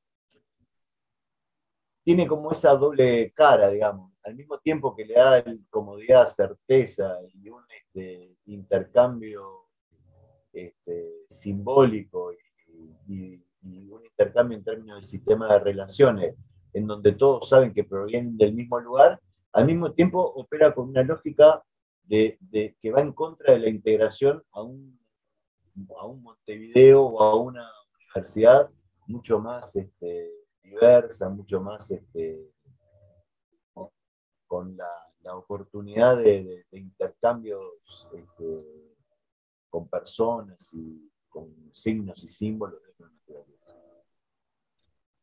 Bueno, el convivir con no saber quién es el otro, de alguna manera también refiere a los hogares estudiantiles y ese desconocimiento del movimiento de salida de lo endogámico a lo exogámico. ¿no? Me toca salir de la familia, pero ¿quién es el otro que está al lado mío con el que comparto mi cuarto? Esta expresión también, esto, este entrecomillado son expresiones de ellos, por eso le pusimos en argento. Eh, si las becas fueran más, que una, más, más una solución que un apoyo, porque claro, de alguna manera aquellos que de repente acceden al sistema de, becas del Fondo de Solidaridad o del Servicio Central este, de, la universidad, eh, eh, a veces se quedan cortos con, con esa oferta, sea en, alimentación, en ticket de transporte, o sea, este, económica, como es la del Fondo de Solidaridad, porque a decir verdad no, no, soluciona este, un movimiento migratorio, sí son un apoyo. Después aparece la familia, digamos, como un soporte este, que en el mejor de los casos, y en general bastante, eh, frecuentemente apoyan ese movimiento. A ver, porque pasaba Luis, porque creo que... Sí, ahí, nada, Jorge, capaz que... Ah, dale, dale, dale. Antes de continuar, también mencionar que eh, en el análisis de estos emergentes también eh, es importante como destacar que, muchos tuvieron como su contracara, ¿no? Eh, estamos hablando de un proceso migratorio, ¿no? de, distanciamiento con el núcleo familiar de parte de los estudiantes, un inicio a la, a la vida universitaria, a la educación superior, una nueva etapa, digamos, que para muchos de estos jóvenes, como me animaría a decir para, para todos, es un proceso de transformación que, como todo proceso de transformación, no siempre tiene por qué ser 100% eh, feliz, ¿no? va a tener como sus grises, este, justamente en relación a las cosas que tienen que transitar y vivir. Y por ejemplo, yendo a alguna de, estas categorías, a modo de ejemplo, en, en la primera, ¿no? miedos e incertidumbres, eh, de repente mencionar que eh, estamos hablando de un proceso que muchos jóvenes y, las familias lo ven como con alegría en esto de este, hasta como yendo a la, frase de Florencio Sánchez, ¿no? mi hijo el, doctor, este, un proceso de, en donde, bueno, mi hijo va a arrancar la universidad, se va a ir a Montevideo, eh, es una decisión que toma el estudiante en conjunto con su núcleo familiar, es algo a celebrar, pero que al mismo tiempo le imprime al estudiante una, una presión, ¿no? En esto de, no me puedo equivocar, o sea, elegí una carrera y espero que me guste, porque si no me gusta y vuelo, es un fracaso. Entonces, muchos de estos estudiantes transitan con esa tensión. Lo mismo con la, con la beca, con el sistema de becas. Es algo a celebrar el hecho de, bueno, obtuve la beca, me la dieron, gracias a, esa cuestión puedo sostenerme en Montevideo y, e iniciar mis estudios. Pero si la pierdo, eh, visibilizo de que me, no me está yendo bien en la universidad, ¿no? Como vuelvo y le digo esto a, mi familia, por ejemplo, ¿no? Este, entonces, en estos procesos, en este proceso de investigación que se constituyó, como decía Jorge, en un grupo de discusión, que esa era la intención, ¿no? Como para levantar este, emergentes, eh, y generar categorías, eh, por muchos momentos siempre se, podría plantear de que se decantaba en, un espacio muchas veces de grupo terapéutico, entonces oscilaba, digamos, de esa manera, por todas estas eh, manifestaciones que traían los estudiantes en este espacio. Después, por ejemplo, yendo a otro ejemplo, tu cuarto ya no es tu cuarto, ¿no? Como lo decía Jorge, en esto de, bueno, los jóvenes que se, instalan en un lugar estudiantil, dejan su cuarto para, un, para, estar en una habitación que es compartida, entonces, bueno, su cuarto ya no es su cuarto, pero eh, eh, eh, este emergente también tiene una doble lectura en, aquellas situaciones en donde el joven que se va de su lugar de origen hacia Montevideo empieza a ir cada vez menos a su lugar de origen, y muchos planteaban de que se encontraban con que su cuarto ya, nada, estaba siendo ocupado por, por otro integrante de la familia o por eh, otras, este, otras actividades que tenía la familia. Eh, entonces, nada, empezaba a vivir eso, el desprendimiento de su, lugar de origen, su cuarto, ¿no? allá en, Minas, ¿no? ya no era su cuarto. Después esto que, bueno, que mencionaba Jorge, en el hogar es como estar en el interior, eh, también tiene como esa doble lectura de que el hogar muchas veces eh, se, constituía como eh, un lugar de referencia en esto de, bueno, todos son del interior, en un lugar compartido, pero en muchos casos también era como una limitante en esto de desplegar las redes, ¿no? conocer otras, otros estudiantes de otros lugares o conocer incluso la propia ciudad. Montevideo, eh, porque bueno, muchos tenían como el hábito de ir del hogar hacia la facultad y viceversa, ¿no? Entonces eh, estaba como en juego eso también, el, soltarse en esto de empezar como a descubrir la, ciudad. Eh, y lo mismo en esto de convivir con no saber quién es el otro, ¿no? los estudiantes que pasan de, su núcleo familiar, de sus vínculos más próximos en, su lugar de origen, a este, bueno, estar en, un espacio compartido, en donde eso tiene su contracara, ¿no? Por un lado, este, eh, bueno, está esta cuestión de eh, que se precipitan rápidamente hacia el mundo juvenil o adulto, en algunos casos, este, empiezan a tender redes en ese lugar nuevo, pero también este, se traían o, se visualizaban muchas problemáticas en, en, esto de la convivencia con otros, ¿no? Eh, entonces, nada, quería como traer, traer esto que continúa, con, todos los emergentes vimos contracaras y quería como este, mencionar esto a modo de, ejemplo, eh, un poco retomando ahí lo que decía Jorge. Ahora sí paso a la siguiente diapo, Jorge. Eh, sí, pero de, alguna manera este, Sí, está bien, este, es interesante esto que plantea Luis, porque es una de las cuestiones que, vimos y que, no hay, digamos, una linealidad en que eh, todo, este, todo, está bien, digamos, por eso hice referencia, digamos, como ese conflicto entre este, lo ansiado, lo deseado y, este, y y la contracara, digamos, del esfuerzo que se requiere o, un sufrimiento psíquico, digamos, para sostener ese movimiento. Por ejemplo, cuando, cuando voy vengo, no extraño tanto, no sé qué haría viajando una vez por mes. Ahí aparecen este, expresiones que tienen que ver con, eh, con, una, división que, que, que, eh, vimos y que, yo trabajé específicamente en mi tesis de maestría, pero allá por el 2005, este, que tenía que ver como con la región norte y la región sur, digamos, como una, variable de corte, digamos, que yo utilicé fue, fueron kilómetros, 180 kilómetros. Este, hay una, hay para los jóvenes, digamos, llamémosle sureños, este, del sur, este, de 180 kilómetros y menos, este, hay una ida y vuelta al, lugar de origen que, de repente es más, más frecuente por cuestiones de tiempo y por cuestiones de dinero, ¿no? Este, y, sin embargo, para, llamémosle los norteños o los que están de, más, su lugar de origen es de más de 180 kilómetros, esas cuestiones se ven este, imposibilitadas. Y tanto una como la otra tienen sus pros y sus contras. Por ejemplo, este, los que viajan semanalmente o quincenalmente a su lugar de origen eh, no terminan de instalarse este, plenamente en la capital y, lo traían explícitamente, es un estar ni acá ni allá, una cosa así. Este, por otro lado, aquellos que de repente solo pueden viajar una vez por Artigas, Rivera, aquellos que solo pueden viajar una vez por mes, una vez cada dos meses inclusive,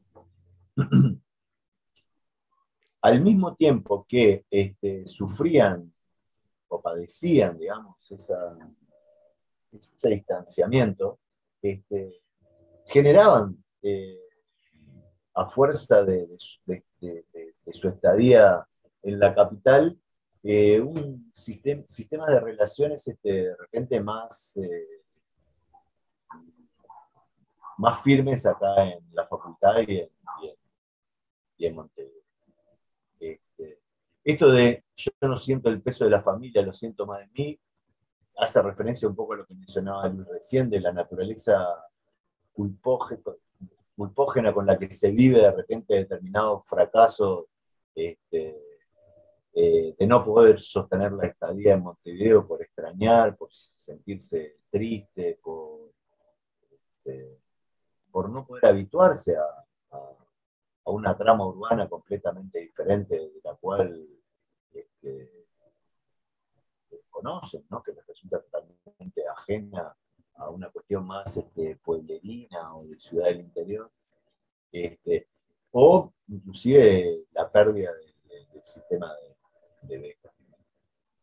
Este, tenés que desenvolverte por vos mismo, acá nadie va a estar atrás tuyo también.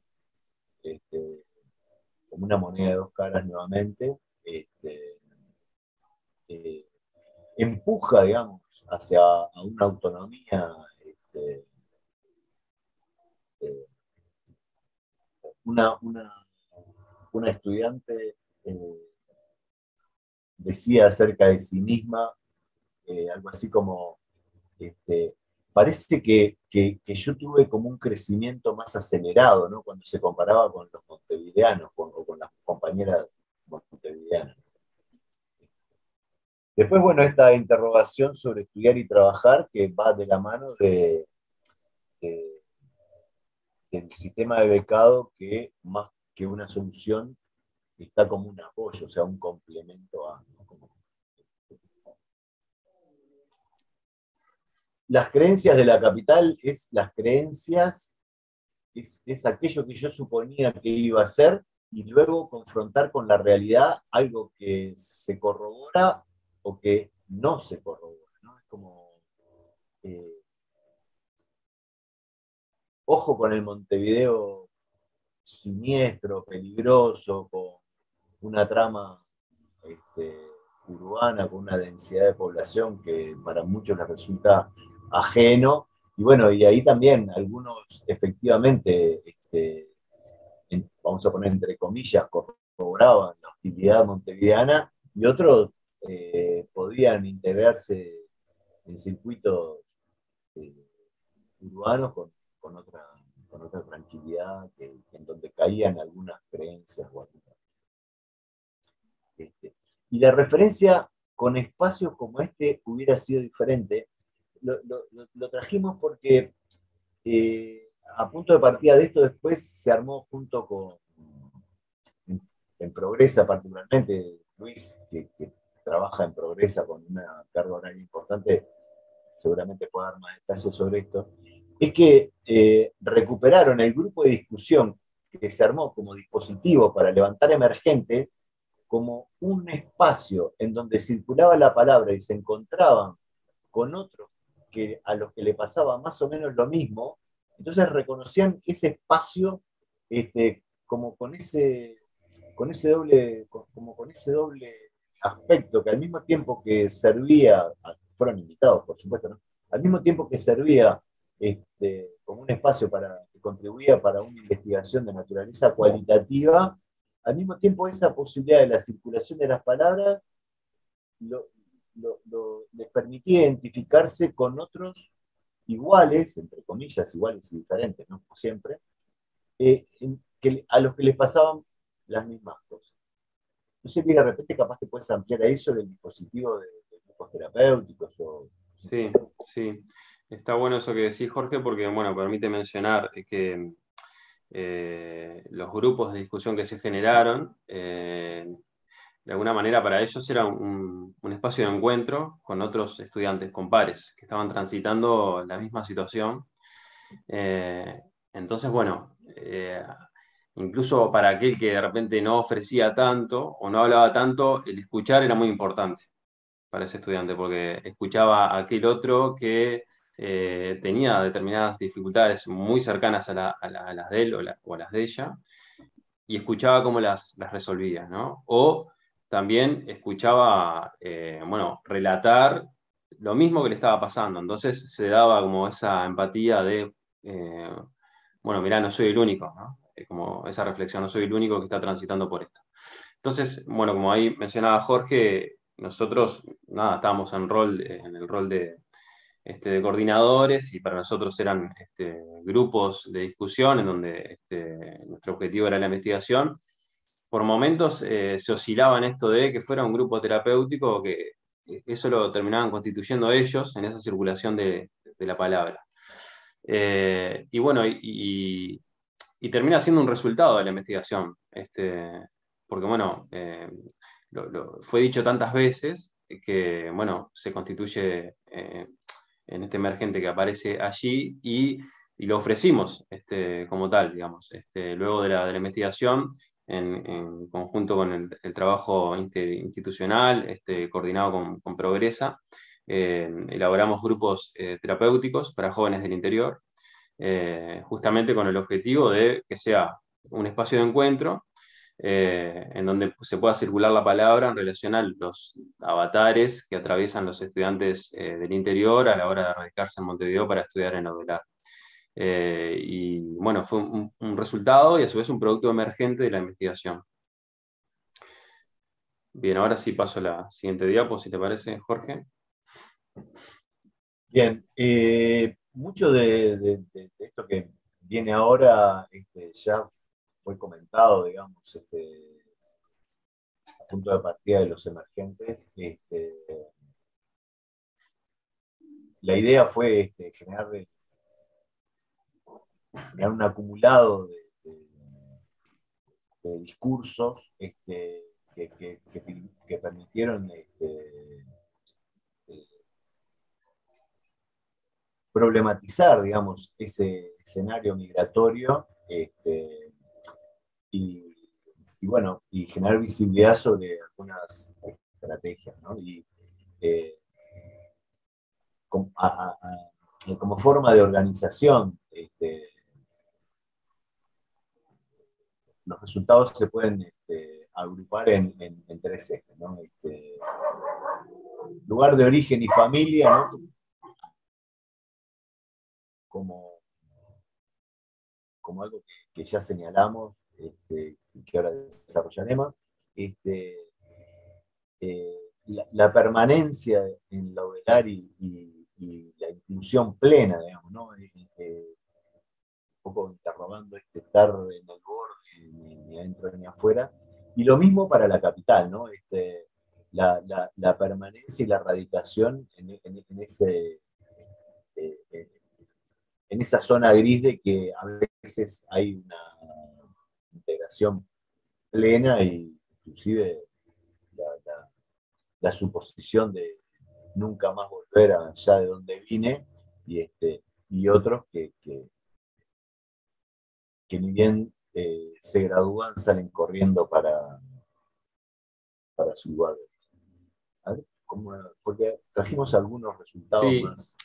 Eh, digo, a su vez también mencionar que los tres, estos tres ejes están sumamente conectados por el proceso de transformación, porque bueno, capaz que está bueno mencionar que algo bastante, que aparecía bastante en, estos grupos era esta cuestión de que tenía que ver con el proceso de inicio en la Universidad de la República, el distanciamiento del lugar de origen eh, y esa transformación, ¿no? De ese, ese adolescente o joven que se radicaba en Montevideo, empezaba a crecer, eh, empezaba a generar redes distintas, este, empezaba a, afiliarse a la universidad, eh, a, habitar la, institución Universidad de la República este, con sus lógicas este, Em, que van de, la mano con esto de qué, implica ser un estudiante, ¿no? en términos de que se puede constituir hasta en un oficio por todas las cosas que uno debe saber para permanecer en la institución y además el tiempo que debe invertir para estudiar. Y eso es algo que entraba en, mucha tensión con, el lugar de origen. Eh, por un lado, porque le planteaban al joven, eh, bueno, ya no venís tanto como antes, ¿no? El joven muchas veces, nada, tenía que estudiar muchísimo y, elegía quedarse en Montevideo porque la academia estaba en Montevideo, el concentrarse estaba en Montevideo y si se iba a su lugar de origen, cargaba con los libros pero no estudiaba. Eh, entonces eso hace o, hacía en estos casos que el, joven se perdiera eh, cumpleaños, eventos familiares por estar estudiando.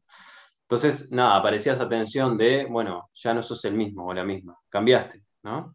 Eh, porque bueno, se daba como es, eh, esa, transformación en donde el joven se, empezaba a, desprender un poco más y ya nos, en muchos casos se veían ya montevideanos y no, tan, este, no tanto, este, no sé, rochenses, ¿no? por, dar un ejemplo. Entonces, bueno, e, e, esas situaciones, eh, que eran varias, bueno, aparecían y después, bueno, también están las otras, que, que tienen que ver con esto que decía Jorge, de el padecer eh, en Montevideo, eh, el sufrir estar lejos de la familia, el sufrir todo el proceso de formación de grado y estar eh, deseando la, llegada del egreso para volver este, corriendo inmediatamente, porque ya no, no, me gusta estar en Montevideo. bueno, entonces, nada, quería como traer esto para, para, seguir como mostrando estas contracaras del proceso.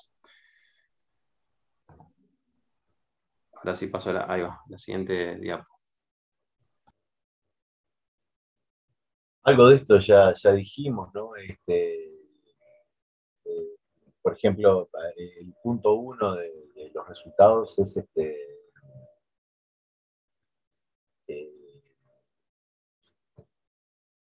o sea, la referencia, digamos, inmediata para poder este, entender esto es lo, que mencioné hace un rato sobre este, eh, los que viven, eh, los, que, los que son oriundos, digamos, de los departamentos más pegados a la capital y que tienen, digamos, este, durante su trayectoria académica, este, un ida y vuelta mucho más fluido con, la familia, este, semanal o quincenal, y, a, diferencia de los que de repente eh, solo pueden ir a ver a su familia una vez por mes, una vez cada dos meses, tiene, digamos, esta cuestión de que la cercanía familiar eh, opera como sostén, como soporte pero, pero al mismo tiempo va en contra de la generación de autonomía y por otro lado, de repente aquellos que, este, bueno, ven a la familia de manera más distanciada, este, al mismo tiempo que pagan un costo psíquico por eso, eh, tienen la capacidad de generar una autonomía mayor y despliegan la vida con otra consistencia que en la capital. Este,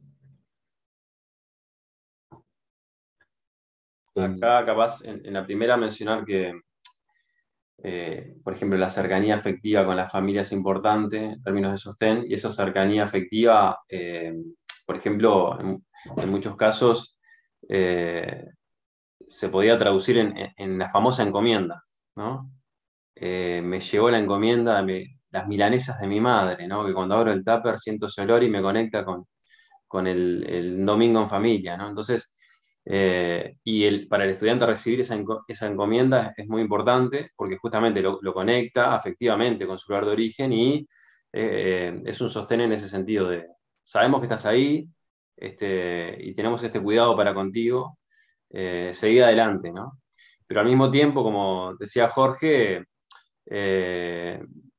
puede obturar parte del proceso de generación de autonomía, ¿no? Esto de, bueno, estoy siempre esperando la encomienda.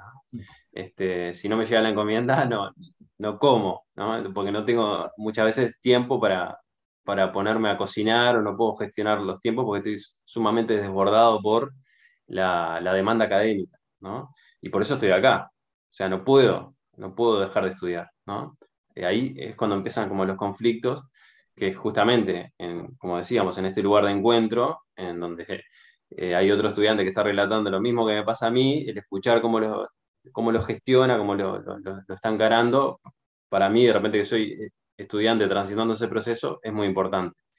¿no? Entonces, nada, quería como también acotar este, esa cuestión, que incluso capaz que muchos de los que están aquí en este espacio, ahora en esta sala o escuchando, si son del interior, se puedan como sentir seguramente muy identificados con esto que, estamos diciendo. Bien. Eh,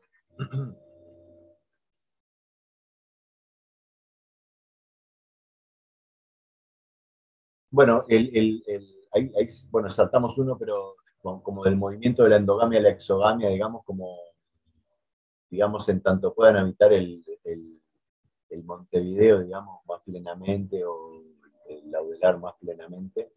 Este, e, este, este otro resultado que, refiere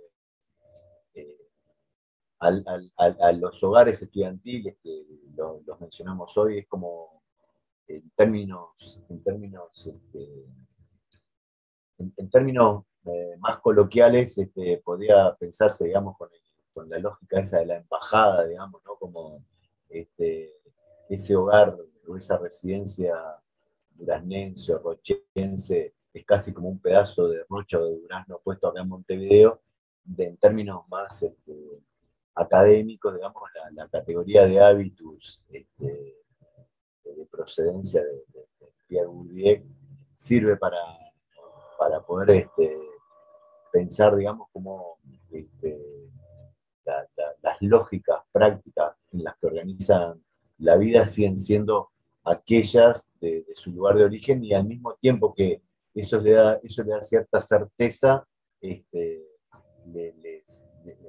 opera, digamos, como un obstáculo de integración a un escenario con otra trama urbana, con otros, universos de signos y símbolos, como es la Universidad de la República en la capital. Este, y esto hoy lo trajo Luis también, lo, reiteramos, la naturaleza culpógena este, con, lo que, con, con la que se vive determinado fracaso este, particularmente como en ese doble registro, este, en la pérdida del sistema de beca, porque automáticamente recae sobre la familia o sobre tener que salir a trabajar este, para poder mantenerse acá en la capital, y la, la, cuestión más dramática que de repente dialoga con algunos aspectos traídos por la presentación anterior sobre no, no, no, hemos traído, no, hemos visto no, llegamos, digamos, como a, no accedimos a intentos de autoeliminación, digamos, como producción discursiva, pero sí eh, la, referencia a la, tristeza profunda o de repente para no caer, digamos, como en una semiología, no, no, caer en la depresión profunda, pero sí hay algo de, la tristeza eh, o del no poder más y de y de salir corriendo a su lugar de origen, sí, eso fue, fue, fue discurso de, los muchachos.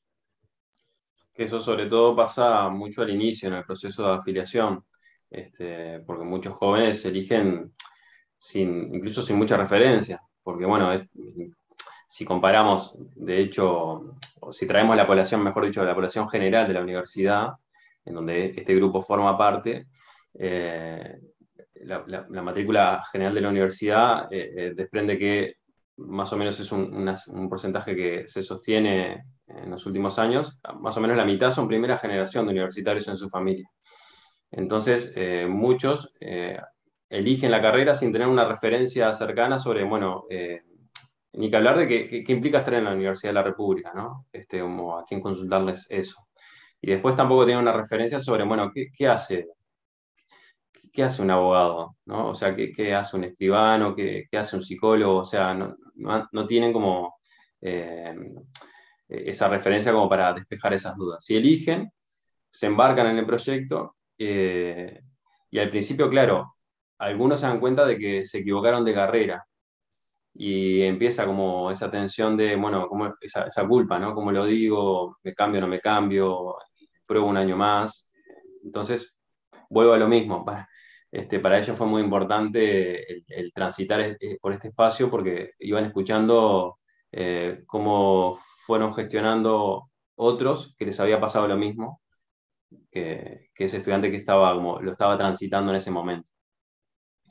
Eh, y que bueno, esto obviamente recae en, la gran culpa era en relación a, a trasladarlo a la familia, ¿no? en este proceso de, bueno, incluso visto como un proyecto familiar, cómo le digo a mi familia, cómo visibilizo que, que me equivoqué. Porque en esto también que, que hoy mencionaba Jorge, de adolescentes y, ¿no? y jóvenes, eh, estamos hablando de un proceso que, que, que, sí, para muchos es un proyecto familiar, pero que la decisión eh, la tomaron ellos y bueno, justamente eh, el hacerse responsables de esa decisión y luego ver que se equivocaron los, llenaba de mucha culpa. Bien, paso a la siguiente diapo. Sí.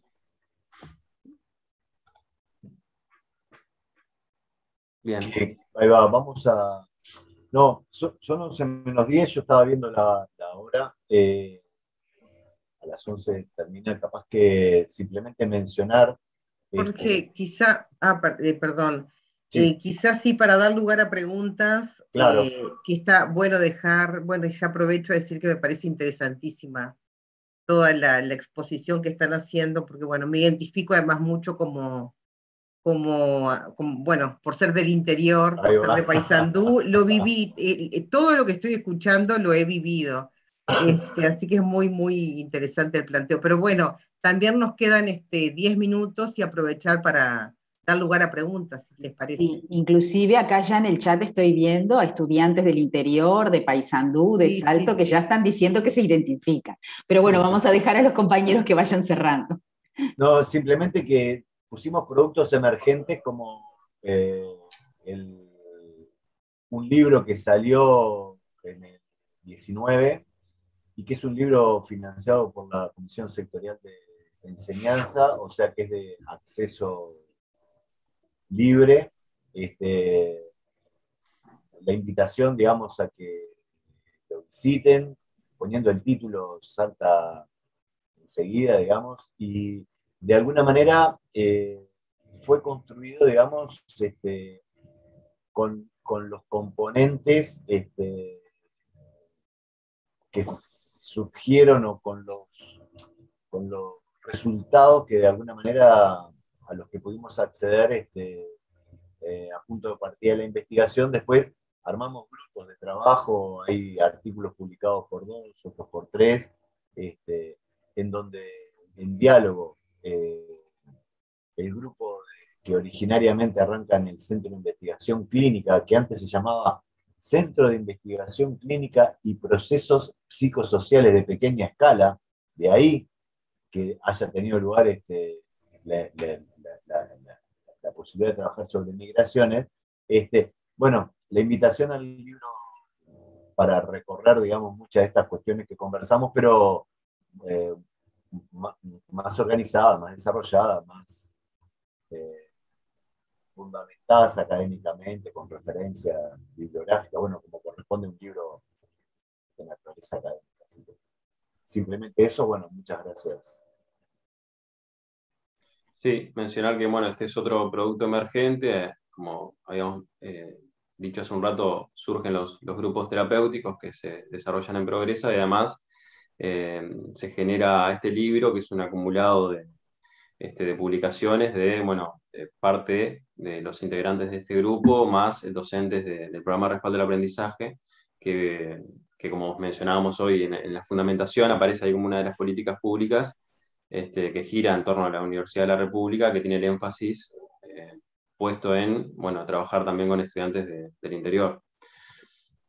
Así que nada, los, invitamos y las invitamos a que puedan este, eh, buscar el, libro y tiene artículos eh, para nosotros muy interesantes y, este, sobre la temática. Y muchas gracias. Bueno, muchísimas Dejo de compartir ahora si nos vemos todos. bueno, muchísimas gracias este, a las compañeras y los compañeros que formaron parte de esta mesa y bueno, sus excelentes este, exposiciones. Tal vez este, podemos dejar que tenemos cinco minutos, tal vez para algún comentario, o somos 17, 117 en sala, así que digo, podemos este, tal vez este, alguno que quiere escribir en chat o en preguntas y respuestas, este, porque el tiempo es tirano, pero bueno, tenemos cinco minutitos que lo podemos hacer rendir, este, así después damos parte a la segunda mesa que tiene que ver con consumo este, de sustancias. Cualquier cosa, Adriana, tú estás atenta al chat, ¿te parece? O... Sí, yo estoy, este, estoy mirando el chat y sí queda abierto a, a preguntas, como decías, o comentarios de cualquiera de las dos exposiciones, de todos los, bueno, temáticas por demás interesantes para poder intercambiar. Acá, por ejemplo, tenemos en, la parte de este, preguntas un comentario, felicitaciones por la investigación. Existe en UDELAR un registro en porcentaje aproximado de cuántos estudiantes del interior están matriculados actualmente en contraste con los estudiantes nacidos en Montevideo. Es una pregunta que hace Elena Silva. Eh, sí, em, bueno, el último censo estudiantil fue el 2012, pero luego año a año salen este, a partir de los FORMA, los formularios estadísticos este, anuales, y esa es una cifra que, está en los distintos informes y que más o menos, eh, por lo general, ronda entre el 34 y el 38%. Em, y si vemos la matrícula general, que por ejemplo al año pasado ya supera los 160.000 estudiantes activos.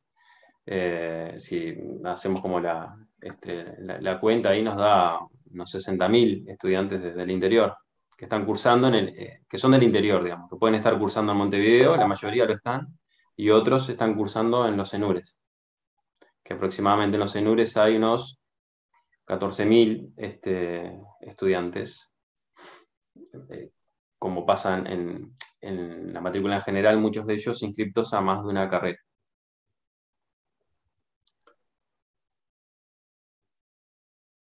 Bien, creo que en el chat del, de este, del Zoom hay una pregunta, hay un comentario, Adrián. Hay dos. sí, a ver. Eh, sí, me pareció excelente. Yo llegué a Montevideo a estudiar hace 34 años y soy de las que me quedé a vivir acá. Fueron tal cual mis sentiris, volví a esa época, qué interesante pensarlo desde la construcción de subjetividad y sobre todo a través del tiempo. Muchas gracias. Felicitaciones a los expositores por las presentaciones realizadas. Hay también otras felicitaciones para las exposiciones más arriba. Estuve mirando también. Sí, veamos a ver cuál también. Y también estoy actualmente moviendo, moviéndome para que se utilicen los CENURES, ejemplo el CURE, para que se tomen los parciales y exámenes presenciales sin tener que ir a Montevideo, ya que la virtualidad le dio la posibilidad a más estudiantes de retomar e ingresar a las universidades del interior, no solo jóvenes, también adultos. Bueno, esto es interesante, ¿no? Todo lo que, como también el contexto de pandemia no, no permitió otras, otras otras formas de, hacer docencia y de comunicarse también. Bien, comunicarse a distancia. Y después son todas felicitaciones, agradecimientos por las exposiciones. Sí, una, bien cortita que justo acá una, Esteban pregunta si, la población que, que, fue objeto de estudio en realidad, digamos, la, población que, conformó los grupos de discusión eran pura y exclusivamente de hogares estudiantiles. Eh, no, eh, si, bien este, por, la, por la capacidad de convocatoria, digamos, para gestionar la convocatoria, resultó mucho más accesible a través de, residencias, hogares estudiantiles, este, también se integró gente eh, a los de discusión que, que vivían en Montevideo de manera autónoma. Ejemplo, este, tres amigas que eh, estaban haciendo medicina y que venían, no recuerdo de dónde, y que se habían alquilado un apartamento en, Montevideo. No, no, no, no necesariamente eh, los emergentes fueron traídos de los grupos de discusión con gente que los conformaba pura y exclusivamente hogares había mayoritariamente de hogares o residencias, pero también gente que vivía por su cuenta. Gracias, Jorge. También hay otra pregunta respecto a la exposición anterior. Buenos días. respecto a la propuesta de consulta psicológica, ¿consideraron indagar respecto a conductas de riesgo de consumo de sustancias, específicamente en la primera parte?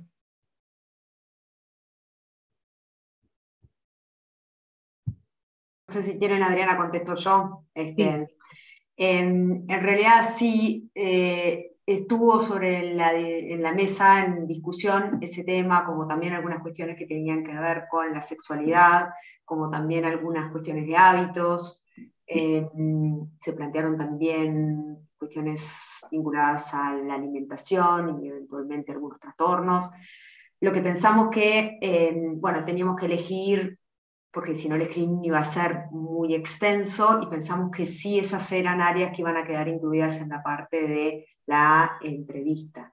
Y también porque consideramos que algunos de esos aspectos también son explorados a veces en otros, en otros ámbitos y por otros profesionales. Entonces, un poco eso, este, por eso se tomó la decisión de en el screening no hacer preguntas específicas al respecto.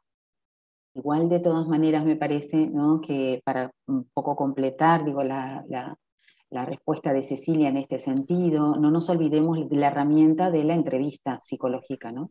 como herramienta en sí. De alguna manera, nosotros sabemos que los puntos que el screening este, investiga siempre son vinculantes a otros aspectos. Por lo tanto, está en el juicio clínico y la escucha clínica el poder explorar justamente el valor del screening por el screening mismo no es, no es este, eh, generalizante, sino lo que nosotros tenemos que ver es en la particularidad y lo singular que tiene que ver en esa entrevista y el screening es un orientador para la exploración de otros aspectos y otras áreas. Y entre ellas podría estar, ¿no? Este, si bien no está medido en el screening, sí está en la exploración dentro de la entrevista un aspecto y un comentario nomás, y después este, leo algunas otras este, em, eh, comentarios que también hay. eh, lo vinculante que de alguna manera tiene que ver la, investigación presentada por Luis y, este, y Jorge, este, que ellos también hacen, digo, ¿no? Todo lo que tiene que ver, sí, de la migración, pero hace aspectos a la salud mental, digo, ¿no? De lo que hace a los jóvenes del interior, ¿verdad? Porque tiene que ver justamente con esto, ¿no? Con el movimiento y los procesos, esto que decía este, Jorge, ¿no? Psicosociales que hacen a la conformación de la subjetividad. Y si hacen a la conformación de la subjetividad, toca a la salud en general, como concepto integral, ¿no?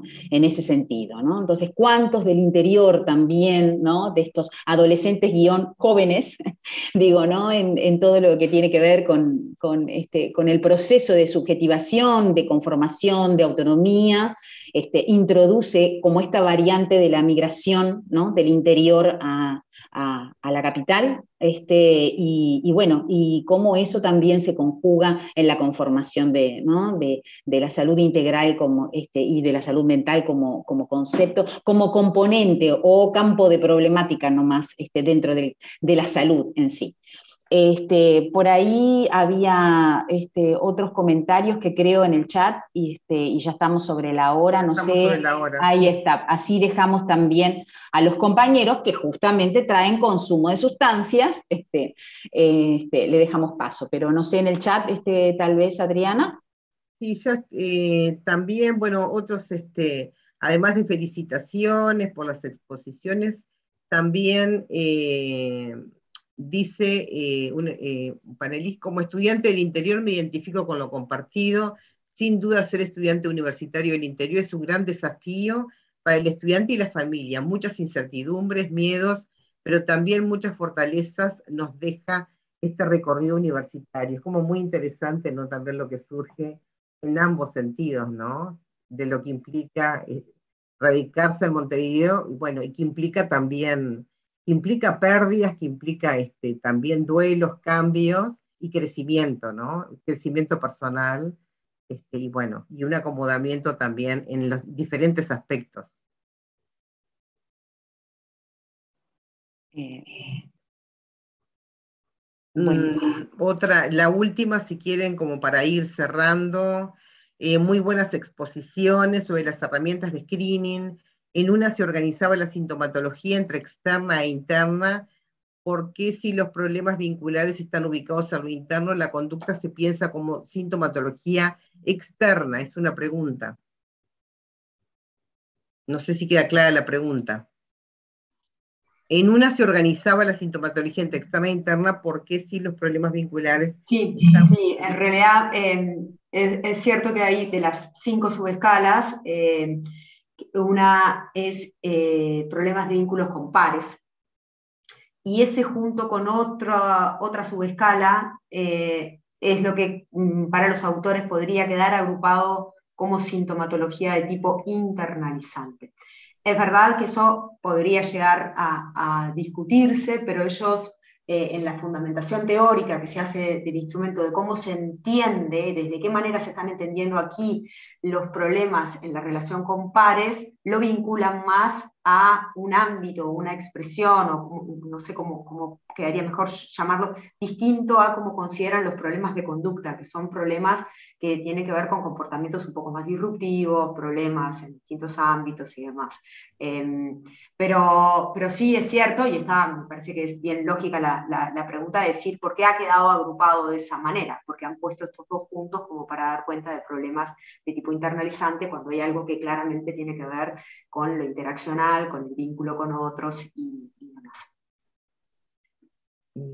Bueno, bueno, Adriana, daríamos, este, daríamos gracias a todos y a todas, este, a todos los miembros este, de las distintas exposiciones, a las compañeras y a los compañeros, este, y bueno, vamos finalizando y a todos los que nos estuvieron viendo y que estuvieron participando activamente a través del chat o de las preguntas y respuestas que, este, en, el Zoom.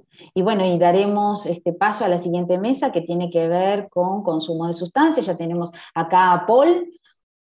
Buenos días, Paul. Buenos días, ¿cómo están? Así que toda tuya. Hola, buen día. Buenos días a todos. ¿Cómo estás? Bien, ustedes. Bien. Me alegro.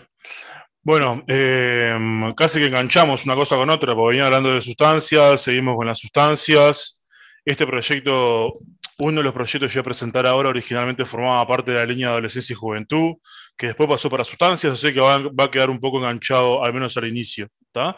Bueno, la mesa de sustancias tenemos tiempo de, de 11 a 13, a diferencia de la mesa anterior tenemos este, varias exposiciones, con lo cual nos va a quedar un cronómetro en la mano, donde vamos a tener 20 minutos para cada uno. Este, yo voy a ser el, verdugo que va a llevar el cronómetro y les voy a avisar a cada uno el tiempo que les queda para, terminar, incluyéndome. Y bueno, las presentaciones que vamos a tener, voy a empezar yo, ahora van a ver de qué vamos a hablar, después va a venir este, Aldo Tomasini, después Carlos Lisvich, Gabriel Castro, Leticia Esquinas y para terminar Juan Fernández, Evangelina Curvelo y Carolina Geneiro. Em, voy a empezar yo y después cada vez que le, toca a cada expositor, yo le voy a presentar y voy a comentar un poco este, sus, proyectos de que van. Yo estoy tomando la palabra en este momento como este, a esta altura ex coordinador de la línea de sustancias. El actual coordinador es el compañero este, Magíster Aldo Tomasini, que ahí se acaba de prender la cámara. Este, recientemente acabamos de hacer un, pasaje de, responsabilidades, dado que a mí me va a tocar afrontar otras cosas, el coordinador va a ser Aldo, pero cuando organizamos todo esto era yo coordinador, así que por eso yo tomé la palabra. Voy a compartir mi pantalla y vamos a empezar, y me voy a poner el cronómetro, porque esto va a ser complejo. Bueno, compartir pantalla.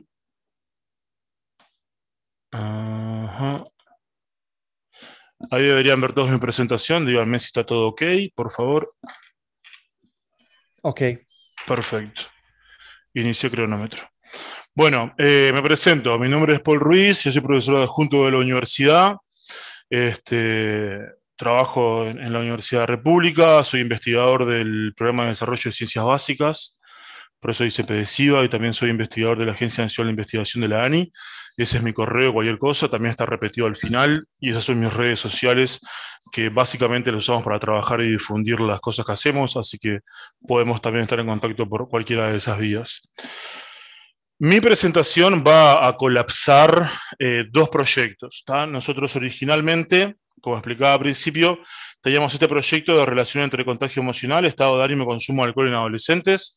Es un proyecto que formaba parte de mi tesis de doctorado, estamos hablando del 2016-2017, y posteriormente cuando se creó la línea de sustancias, pasamos ese proyecto para sustancias, y además creamos este, otro proyecto, que es un proyecto que apunta a la prevención, que se llama Laboratorio de Boliche, cuáles son los factores que estimulan el consumo de alcohol y sus consecuencias en la juventud y cómo prevenir daños asociados.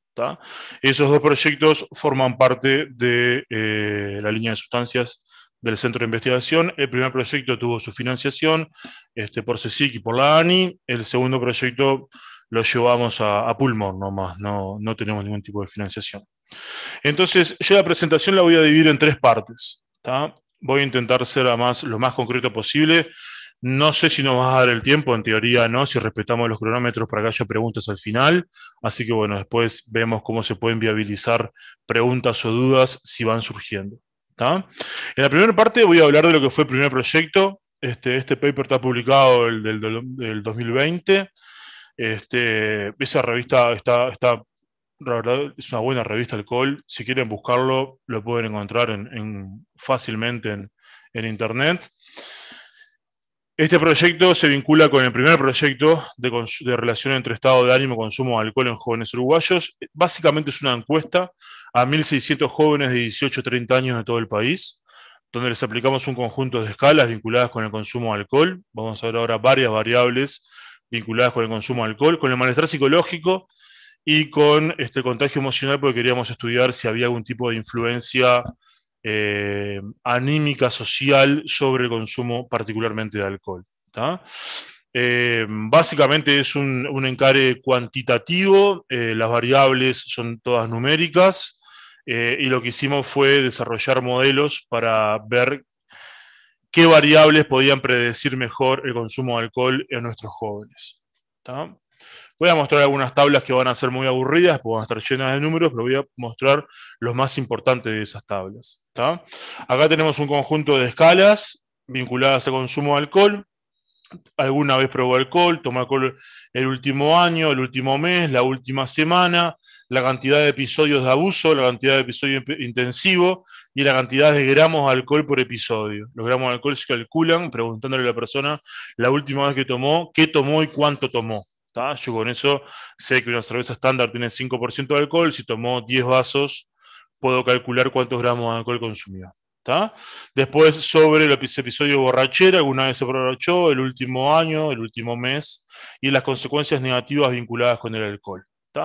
Aplicamos Audit, que es una escala básicamente que se utiliza recomendada por la OMS y acá también en Uruguay la utiliza de rutina la Junta Nacional de Drogas en, las encuestas diferentes que hace para poder tener este, algo de respaldo ya este, estandarizado acá en Uruguay. Básicamente las variables que vemos acá es sexo biológico, esta variable que es la más interesante, que es las personas que empezaron a consumir antes de los 15 años y después de los 15 años, early drinkers y, bebedores tardíos, y el nivel educativo. College, no college, son las personas que van a la universidad, las personas que no van a la universidad de esas 1.600 personas.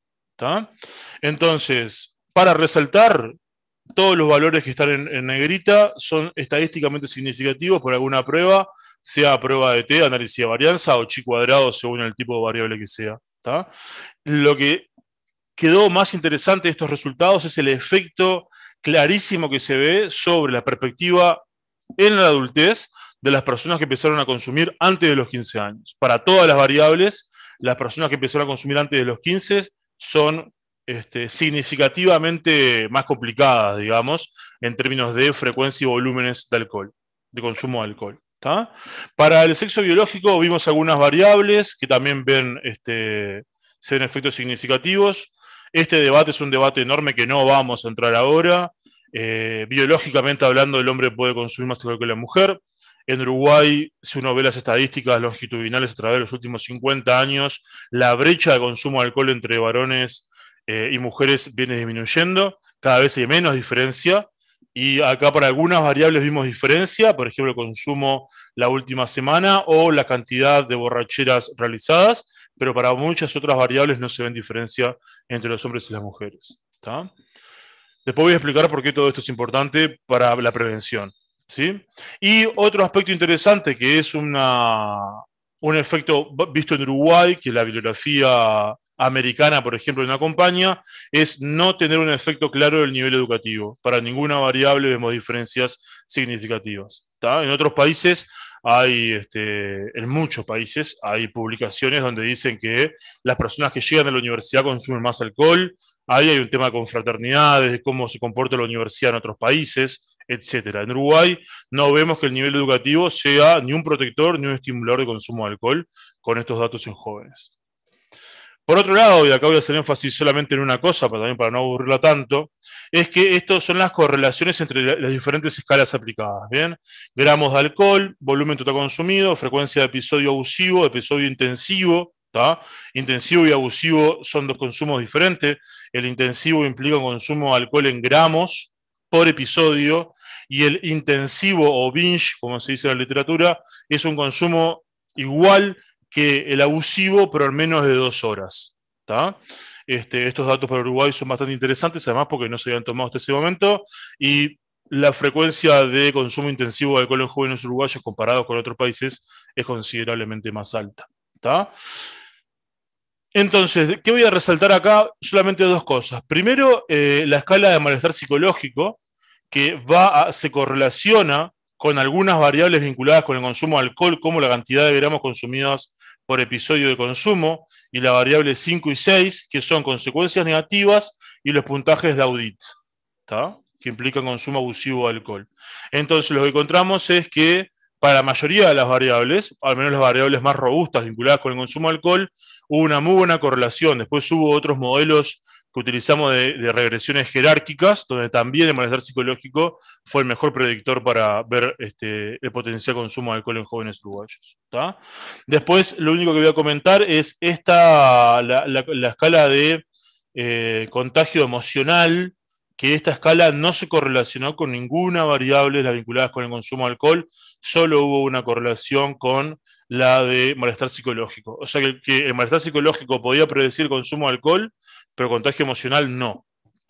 Pero a su vez, las personas con mayores puntajes de, vulnerabilidad emocional a nivel social experimentaban mayores niveles de malestar psicológico. Para algunas cosas sirve, para otras cosas no sirve. En el caso del alcohol, no sirve. Entonces, todo ese este, eh, enrollo grande de cosas, que si ven el paper está mucho más lleno de información, yo lo uso para solamente mostrar todo lo que viene después y hay dos artículos más que están en revisión, uno que muestra la epidemiología del malestar psicológico en jóvenes uruguayos. En estos 1.600 jóvenes uruguayos nos encontramos con que las personas que manifestaban mayores niveles de malestar son las mujeres y los menores, este, los más cercanos a los 18 años.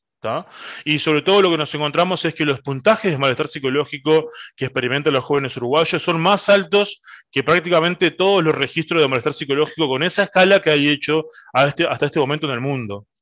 Estamos hablando de veintipico de puntos de promedio, cuando por ejemplo en Australia tienen una costumbre muy buena que en Uruguay en algún momento lo tenemos que, empezar a hacer, que es tener un, observatorio de salud mental, donde cada X periodo de tiempo se aplica en un conjunto, un conjunto de escalas. En Australia de rutina se aplica la escala de malestar psicológico que aplicamos nosotros, y si vos comparás los puntajes de malestar del 2011 en adelante, todos los puntajes de Uruguay son más altos que para Australia, Bangladesh, Pakistán eh, y otros registros hechos en Uruguay también.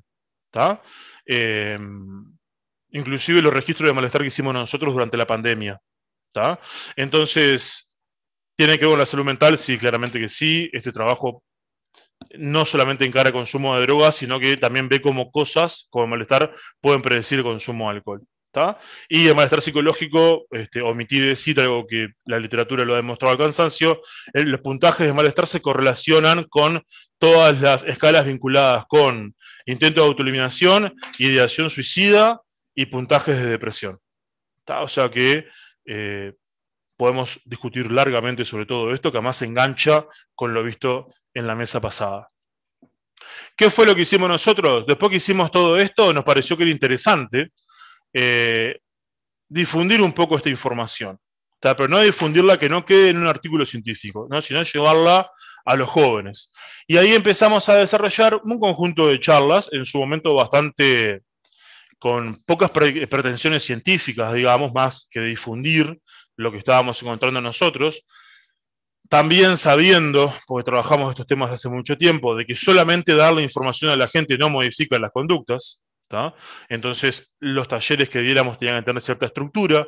Fuimos tomando todos estos datos de las encuestas, fuimos aplicando algunos talleres en diferentes lugares y además construimos una especie como de cuestionario donde les preguntábamos algunas creencias sobre consumo de alcohol a los jóvenes.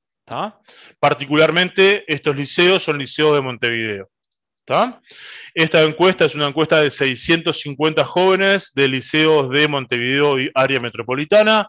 No voy a entrar mucho en detalle, también el trabajo está publicado. Lo que, nos pasó es que cuando empezamos a aplicar estas este, preguntas, empezamos a ver que realmente las creencias vinculadas con el consumo de alcohol estaban bastante erradas en términos científicos. Por ejemplo, muy pocos, una proporción importante de jóvenes, 23%, considera que el alcohol no genera adicción. Hay todo un, un desarrollo respecto de la influenciabilidad social, porcentajes importantes creen que ni las familias ni los amigos influencian en el consumo, también sobre este, quién puede tomar más alcohol, si un adulto o un adolescente, la mayoría de los adolescentes creen que son los adultos cuando es al revés, y después cuando les preguntábamos cuánto alcohol tomaban, nos empezamos a encontrar con ese tipo de, relaciones matemáticas, donde las personas que respondían, por ejemplo, que tomar alcohol una vez a la semana no dañaba la salud, como una creencia errónea en este caso, significativamente tomaban más volumen de alcohol que los que pensaban correctamente en términos científicos. Esto nos pareció que era súper relevante para justamente mejorar los talleres que estábamos este, desarrollando sobre eh, consumo de alcohol. Entonces, tomamos la primera investigación sobre cuánto alcohol consumían los, alcohol, los, adolescentes, cómo ese, ese consumo está influenciado anímica y socialmente, junto con todas estas variables vistas en los resultados de estas este, pruebas, y generamos una, este, un protocolo específico donde queríamos evaluar, este, ahí sí, técnica y científicamente, en la estructura de algunos talleres para trabajar sobre la prevención de consumo. Esto lo vamos a pasar por alto porque llevan 13 minutos. Y ahí empieza la tercera parte, donde tomamos la primera investigación, la segunda sobre las creencias vinculadas con el consumo de alcohol en jóvenes del área metropolitana y diseñamos un, este, un ciclo de talleres con toda esa información que creíamos importante abordar. Este liceo es el Liceo 63 de Montevideo, fue nuestro liceo piloto, este es el profesor eh, Gastón Braco, que fue eh, quien trabajó con nosotros y nos permitió trabajar o articular con la institución. Entonces acá pensamos dispositivos en tres talleres. Un taller primero donde trabajábamos el alcohol como droga y el consumo en la adolescencia como periodo crítico. Como charlábamos antes, casi el 70% cree que en realidad un adulto puede tomar más que un adolescente cuando es al revés y acá les aplicábamos un conjunto de preguntas abiertas, que trabajamos en talleres en su se juntaban en máximo cinco estudiantes y discutían estas preguntas y las respondían. Y nosotros nos quedábamos con algunos registros, como por ejemplo esto, lo que pensaban los adolescentes este, respecto de las preguntas que nosotros les hacíamos. Eh, el alcohol como droga, el efecto de la presión social, buscar la aceptación, el efecto del estado del ánimo, ¿sí? por qué los adultos pueden tomar más alcohol o son influencias sobre el alcohol. Con este tipo de producciones tenemos este, varias para poder analizar. En este caso traigo una como muestra, pero sinceramente lo que nos, pasó es que generamos mucho material y en este momento tenemos un estudiante de maestría que está trabajando con estas cosas para poder avanzar en el procesamiento. Yo traje una como muestra. Después, un segundo taller donde trabajamos sobre las consecuencias, hacíamos estas preguntas, ¿qué consecuencias conoce? ¿A qué edad se, debería empezar a tomar alcohol? Eh, ¿Cómo se sabe que alguien es un alcohólico? ¿Y cuánto alcohol se puede tomar sin dañar la salud? También nos llevamos un conjunto de respuestas donde vamos sistematizando algunas de estas respuestas este, en términos de grupo y también nos empezamos a encontrar con varias este, respuestas llamativas, ¿no? justamente que van de la mano de lo que veíamos en, el cuestionario de la, enorme proporción de adolescentes que tienen creencias erróneas sobre consumo de alcohol y cómo esas creencias se asocian con un mayor consumo de alcohol. Entonces, eh, podemos tomar muchas de, estas preguntas y pensarlas eternamente, sobre todo a mí siempre lo que, me queda cuando trabajo con estos temas y, con estas poblaciones es cómo el alcohol es la droga más consumida en Uruguay y cómo es una de las drogas que menos conocemos. Porque muchas de estas preguntas también las hemos hecho en talleres para padres y los adultos tampoco conocen muy bien las respuestas. Entonces, si quiero trabajar en prevención, no puedo, o por lo menos no debería pasar que haya tanto desconocimiento sobre la droga que más se consume. Si quiero trabajar en prevención, tiene que haber más información y también tiene que haber una clara apuesta al trabajo sobre estas normas cognitivas y normas sociales que van acompañadas con un mayor consumo de alcohol. Después me quedó el tercer taller, que el tercer taller trabajamos sobre prevención y primeros auxilios. También esto es este, bastante interesante ver cómo la mayoría de los jóvenes, inclusive los adultos, no saben cómo este, maniobrar este, con una persona intoxicada por haber consumido mucho alcohol. Entonces aquí hacemos un repaso de esto, de todas las ideas básicamente falsas, lo que se escucha muchas veces en muchos lugares, ¿no? Esto que está acá. A los, hombres se le coloca hielo en los genitales, a las mujeres se le pone el hielo en los pechos, porque ayuda a regular la temperatura, hay que provocarles el vómito y darle mucha agua. Todo esto que está acá es la crónica de lo que no hay que hacer. Sin embargo, estas respuestas son de las más repetidas. Y están vinculadas directamente con la prevención y poder manejar una situación de este, intoxicación aguda por consumo de alcohol. Junto con todas esas este, preguntas a esta población de 63 aplicamos un par de escalas para ver con qué se asociaba el consumo de alcohol. Lo que le puedo decir es que de lo que yo hemos analizado en este momento, que son la mitad de las variables, este, no vimos que mayor consumo de alcohol está asociado con un peor rendimiento académico en ninguna de las disciplinas. Tampoco vimos que un mayor consumo de alcohol está asociado con mayor cantidad de faltas en el liceo. Y respecto a la salud mental, les aplicamos una, escala que se llama Symptom Assessment, que es este, una escala que abarca varias áreas del eje 1, y lo que nos encontramos respecto a todas estas áreas es que las mayores correlaciones vinculadas con las consecuencias negativas por consumo de alcohol se dan con la ansiedad y con la ideación paranoide. Que esto claramente hay que sumarlo con los resultados anteriores del malestar psicológico y que tiene todo un sentido además este, clínico respecto al efecto que tiene el alcohol a nivel ansiolítico en el sistema nervioso y todas estas cuestiones que podemos también retomar en otro momento. También lo que hicimos para evaluar un poco los talleres y ver este, qué impacto tenían era eh, aplicar em, una escala que, mide específicamente las expectativas sobre consumo de alcohol. Y las expectativas se dividen, sobre cualquier droga, se dividen en dos, en positivas y en negativas. Todo lo lindo o lo positivo yo creo que voy a vivir, por ejemplo, me voy a divertir con mis amigos, me voy a reír mucho, etcétera, y todo lo negativo que tiene que ver con que voy a tener resaca el otro día, me voy a sentir mal, etcétera. En la evaluación que tenemos hecha de esta escala, lo que vimos es que no hubo un cambio respecto a, las, a las eh, expectativas positivas, o sea, no, nadie, o por lo menos este, no eh, significativamente se vio que aumentara la idea de que iban a pasarla bien por el consumo. En cambio, sí vimos un claro efecto sobre las expectativas negativas, un aumento en las expectativas negativas.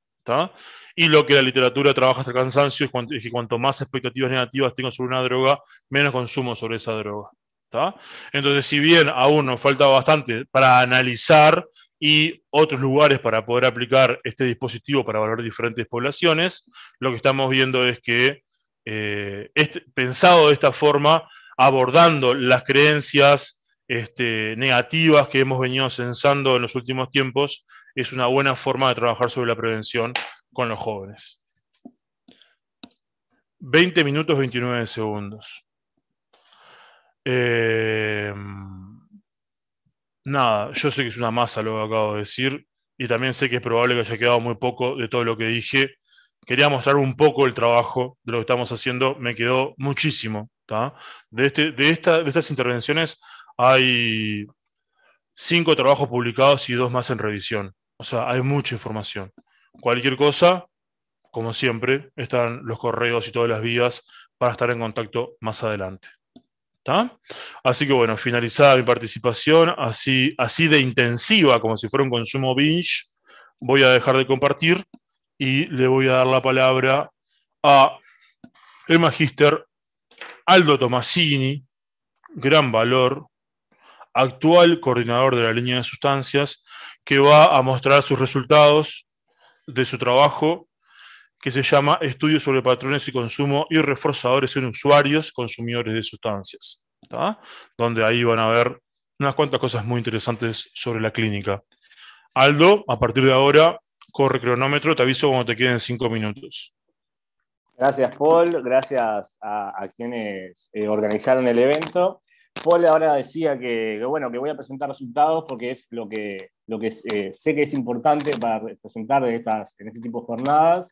Seguramente, Paul, no voy a llegar con el tiempo que quisiera llegar a los resultados, o sea que me va a pasar algo similar. Vos sos un relojito, así que ta, yo lo voy a ir y vamos a ir viendo en esto. Eh, eso como lo primero. Lo segundo, decir que gracias por el pasaje de posta, Paul. Intentaremos seguir eh, de la mejor manera que se pueda. Paul me presentaba recién. Lo otro decirles es, les pido disculpas porque estoy bastante engripado. Creo que no es COVID, pero nada, eh, capaz que ven alterada ahí un poco mi voz. Para empezar con la, con la presentación de, de, la investigación en sí, lo primero que vamos a hacer es ver algunos temas para nivelar, porque entiendo que eh, hay, hay estudiantes también, hay distintas personas para participar, que están participando con distintos niveles académicos.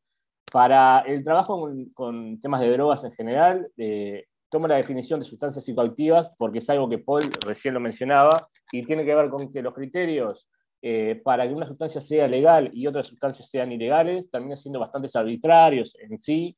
Entonces, claro, si hay sustancias que son ilegales y terminarían como perjudicando mucho más, ¿por qué los usos problemáticos de alcohol, que se sabe que es una de las sustancias que mayoritariamente causan daños en general, son menos estudiados como la investigación de, recién Paul lo mencionaba? O sea que eh, en esto a mí me hace sentir mucho más cómodo trabajar con el término sustancia psicoactiva que refiere a cualquier tipo de sustancia que, bueno, introducida en un organismo provoca algún eh, desenlace eh, en él, alterándolo de alguna forma. En sí, es la investigación en general toma también estos ámbitos cuando se trabajan con múltiples sustancias, básicamente por eso, para intentar dejar de lado toda esa historia que hay en términos de drogas eh, y todo ese relacionamiento que se hace a, temas relacionados a la prohibición que, son bastante difíciles de tratar. Lo segundo es que, bueno, hay un determinado consenso sobre el origen multifacético, multicausal de todo tipo de drogas en general, pero eh, eso quiere decir básicamente que no se puede hablar de única, una, única forma de entender los usos problemáticos de sustancias en general, sino que hay como múltiples miradas eh, en el tema para entender los usos problemáticos y los usos no problemáticos también de sustancias, y ahí se analizan las horas, ahí se analiza básicamente los placeres y riesgos de implicaciones de su uso. En esta investigación intento analizar un poco desde, desde esos dos enfoques. Dicho esto, bueno, el uso de sustancias psicoactivas es uno de los mayores factores de riesgo de morbilidad a nivel mundial, eh, no solamente por las posibles causas de enfermedades agudas que pueden llegar a, hacer, no solamente por los tipos eh, nuevos de sustancias psicoactivas que están generando gran debate a nivel mundial, sino también por los daños que en un consumo prolongado pueden llevar a, causar ese tipo de uso. Y cuando se sabe sí que los usos de sustancias en general eh, pueden causar, causar daño, se habla mucho de intervenir en dispositivos como la prevención, perdón, como políticas preventivas y, tratamientos como ejes centrales a, nivel internacional, que lo menciona Copolado, la ONU, y a nivel nacional también se pueden analizar eh, diferentes estrategias de Secretaría Nacional de Droga que hacen foco en la necesidad de eh, implementar servicios de prevención y de tratamiento. O sea que en eso hay un cierto consenso. Sobre la necesidad y la demanda de empezar a intervenir en la prevención y tratamiento. Lo que no existe consenso en la comunidad científica es la mejor forma de intervenir eh, en las formas de prevención y de uso problemático de sustancias en general de una manera asistencial. Esto básicamente refiere a que la multiplicidad de eh, posibilidades eh, asistenciales en tratamiento y la multimetodología empleada en distintos ámbitos internacionales hacen difícil pensar o establecer que, cuál es el mejor dispositivo asistencial. Dicho eso, yo, eh, una cosa no quiere decir eh, que no se sepa sí o que no se pueda decir cuál es el mejor modelo de atención, no significa que hayan prácticas que tengan mayor evidencia y prácticas que tengan menor evidencia. Un poco ahora vamos a hablar de eso. Pero lo cierto es que si existieran cuatro personas distintas que tienen eh, situaciones similares en sí, cualquiera de estas personas podría desarrollar un uso problemático de sustancias, cual sea de ellas, y salir de los usos problemáticos de sustancias como si fuera un laberinto, pasando por distintos eh, servicios asistenciales. No es necesario que todas las personas pasen por el mismo servicio asistencial, no está la posibilidad de que decir que es necesario sí o sí que cualquier persona pase por un proceso de desintoxicación, para decirles algo, y después haga determinado tipo de tratamiento, o que tampoco puede decirse que un tratamiento ambulatorio va a ser efectivo en el 100% de las personas, porque hacen la singularidad de los casos. Y las personas, obviamente, eh, todos podemos desarrollar un uso problemático de sustancias, después no tenerlo y volverlo a tener según las circunstancias en general de la vida. Entonces, vamos a empezar a hablar y a mencionar qué, qué podría llegar a ser eh, denominado un tratamiento en términos de usos problemáticos de sustancias. Y hay una definición que a mí me gusta mucho y tiene que ver como el proceso cuando una persona con un uso problemático de sustancias acude a algún lugar para que a través de determinado tipo de intervención, ahora si quieren podemos ir viendo cuáles de ellas, logra que el usuario, que la persona con un uso problemático de sustancias que ya en sí está pudiendo solicitar el servicio, alcance el mayor nivel de bienestar y salud posible.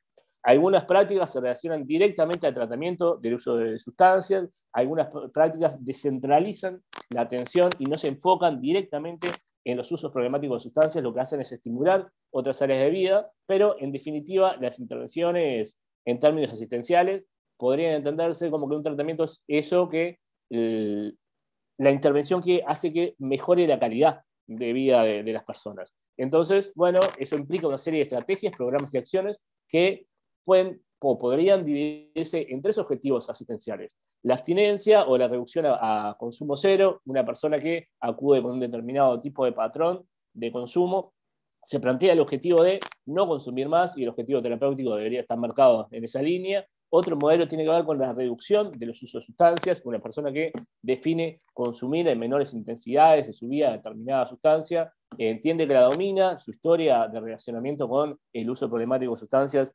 refiere a la reducción en determinados momentos, pasando de un uso problemático a un uso recreativo, y la persona entiende y manifiesta explícitamente que puede eh, dominarlo. Y, el otro modelo de objetivos asistenciales se refiere a la gestión de riesgos que tiene que ver con brindar determinadas eh, garantías que la persona entiende que su uso de sustancias no representaría un gran riesgo eh, para su vida en general. Dentro de los modelos asistenciales, yo me enfoco en una práctica que se llama tratamiento eh, ambulatorio de intervenciones breves, que se refieren a prácticas psicológicas focalizadas. Siempre son de corta duración, se dice que son de alta efectividad porque apuntan directamente a trabajar sobre los usos problemáticos de sustancia. Ahora vamos a ver de qué forma y, lo que hacen es protocolizar un tipo de intervención para trabajar sobre los usos problemáticos de sustancias, descentralizando, ahora vamos a ver de qué forma, pero eh, es de corta duración porque está protocolizado la forma de abordaje y los modelos de abordaje. Se basan en un tipo de evidencia que eh, lo que hacen es que cada vez que una persona debe tomar una decisión, en general, la, la decisión del técnico en sí debe estar eh, acordada obviamente con el usuario, pero además debe tener un criterio técnico de poder realizar ese tipo de, intervención. Esto me lo voy a saltear, porque si no ahí ya me voy. Bien, y entonces, la práctica de usos protocolizados en los tratamientos asistenciales en Uruguay es bastante debatida, es una práctica que no se emplea por lo general en los servicios asistenciales. Eh, esto lo, estudié también para mi tesis de maestría. Y, y, lo que se refiere mucho es a un desconocimiento asociado a qué es un protocolo en sí.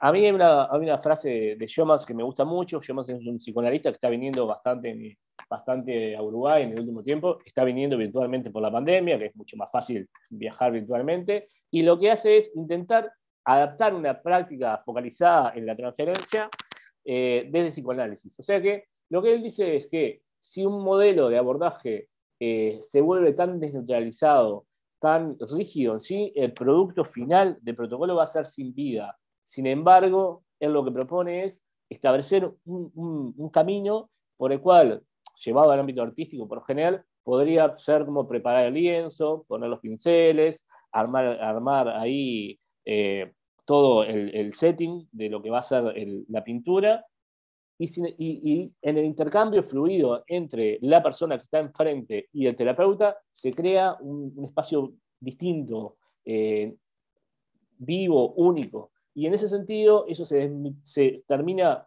tirando la teoría que los protocolos en sí no deberían eh, aplicarse rígidamente eh, y desnaturalizadamente.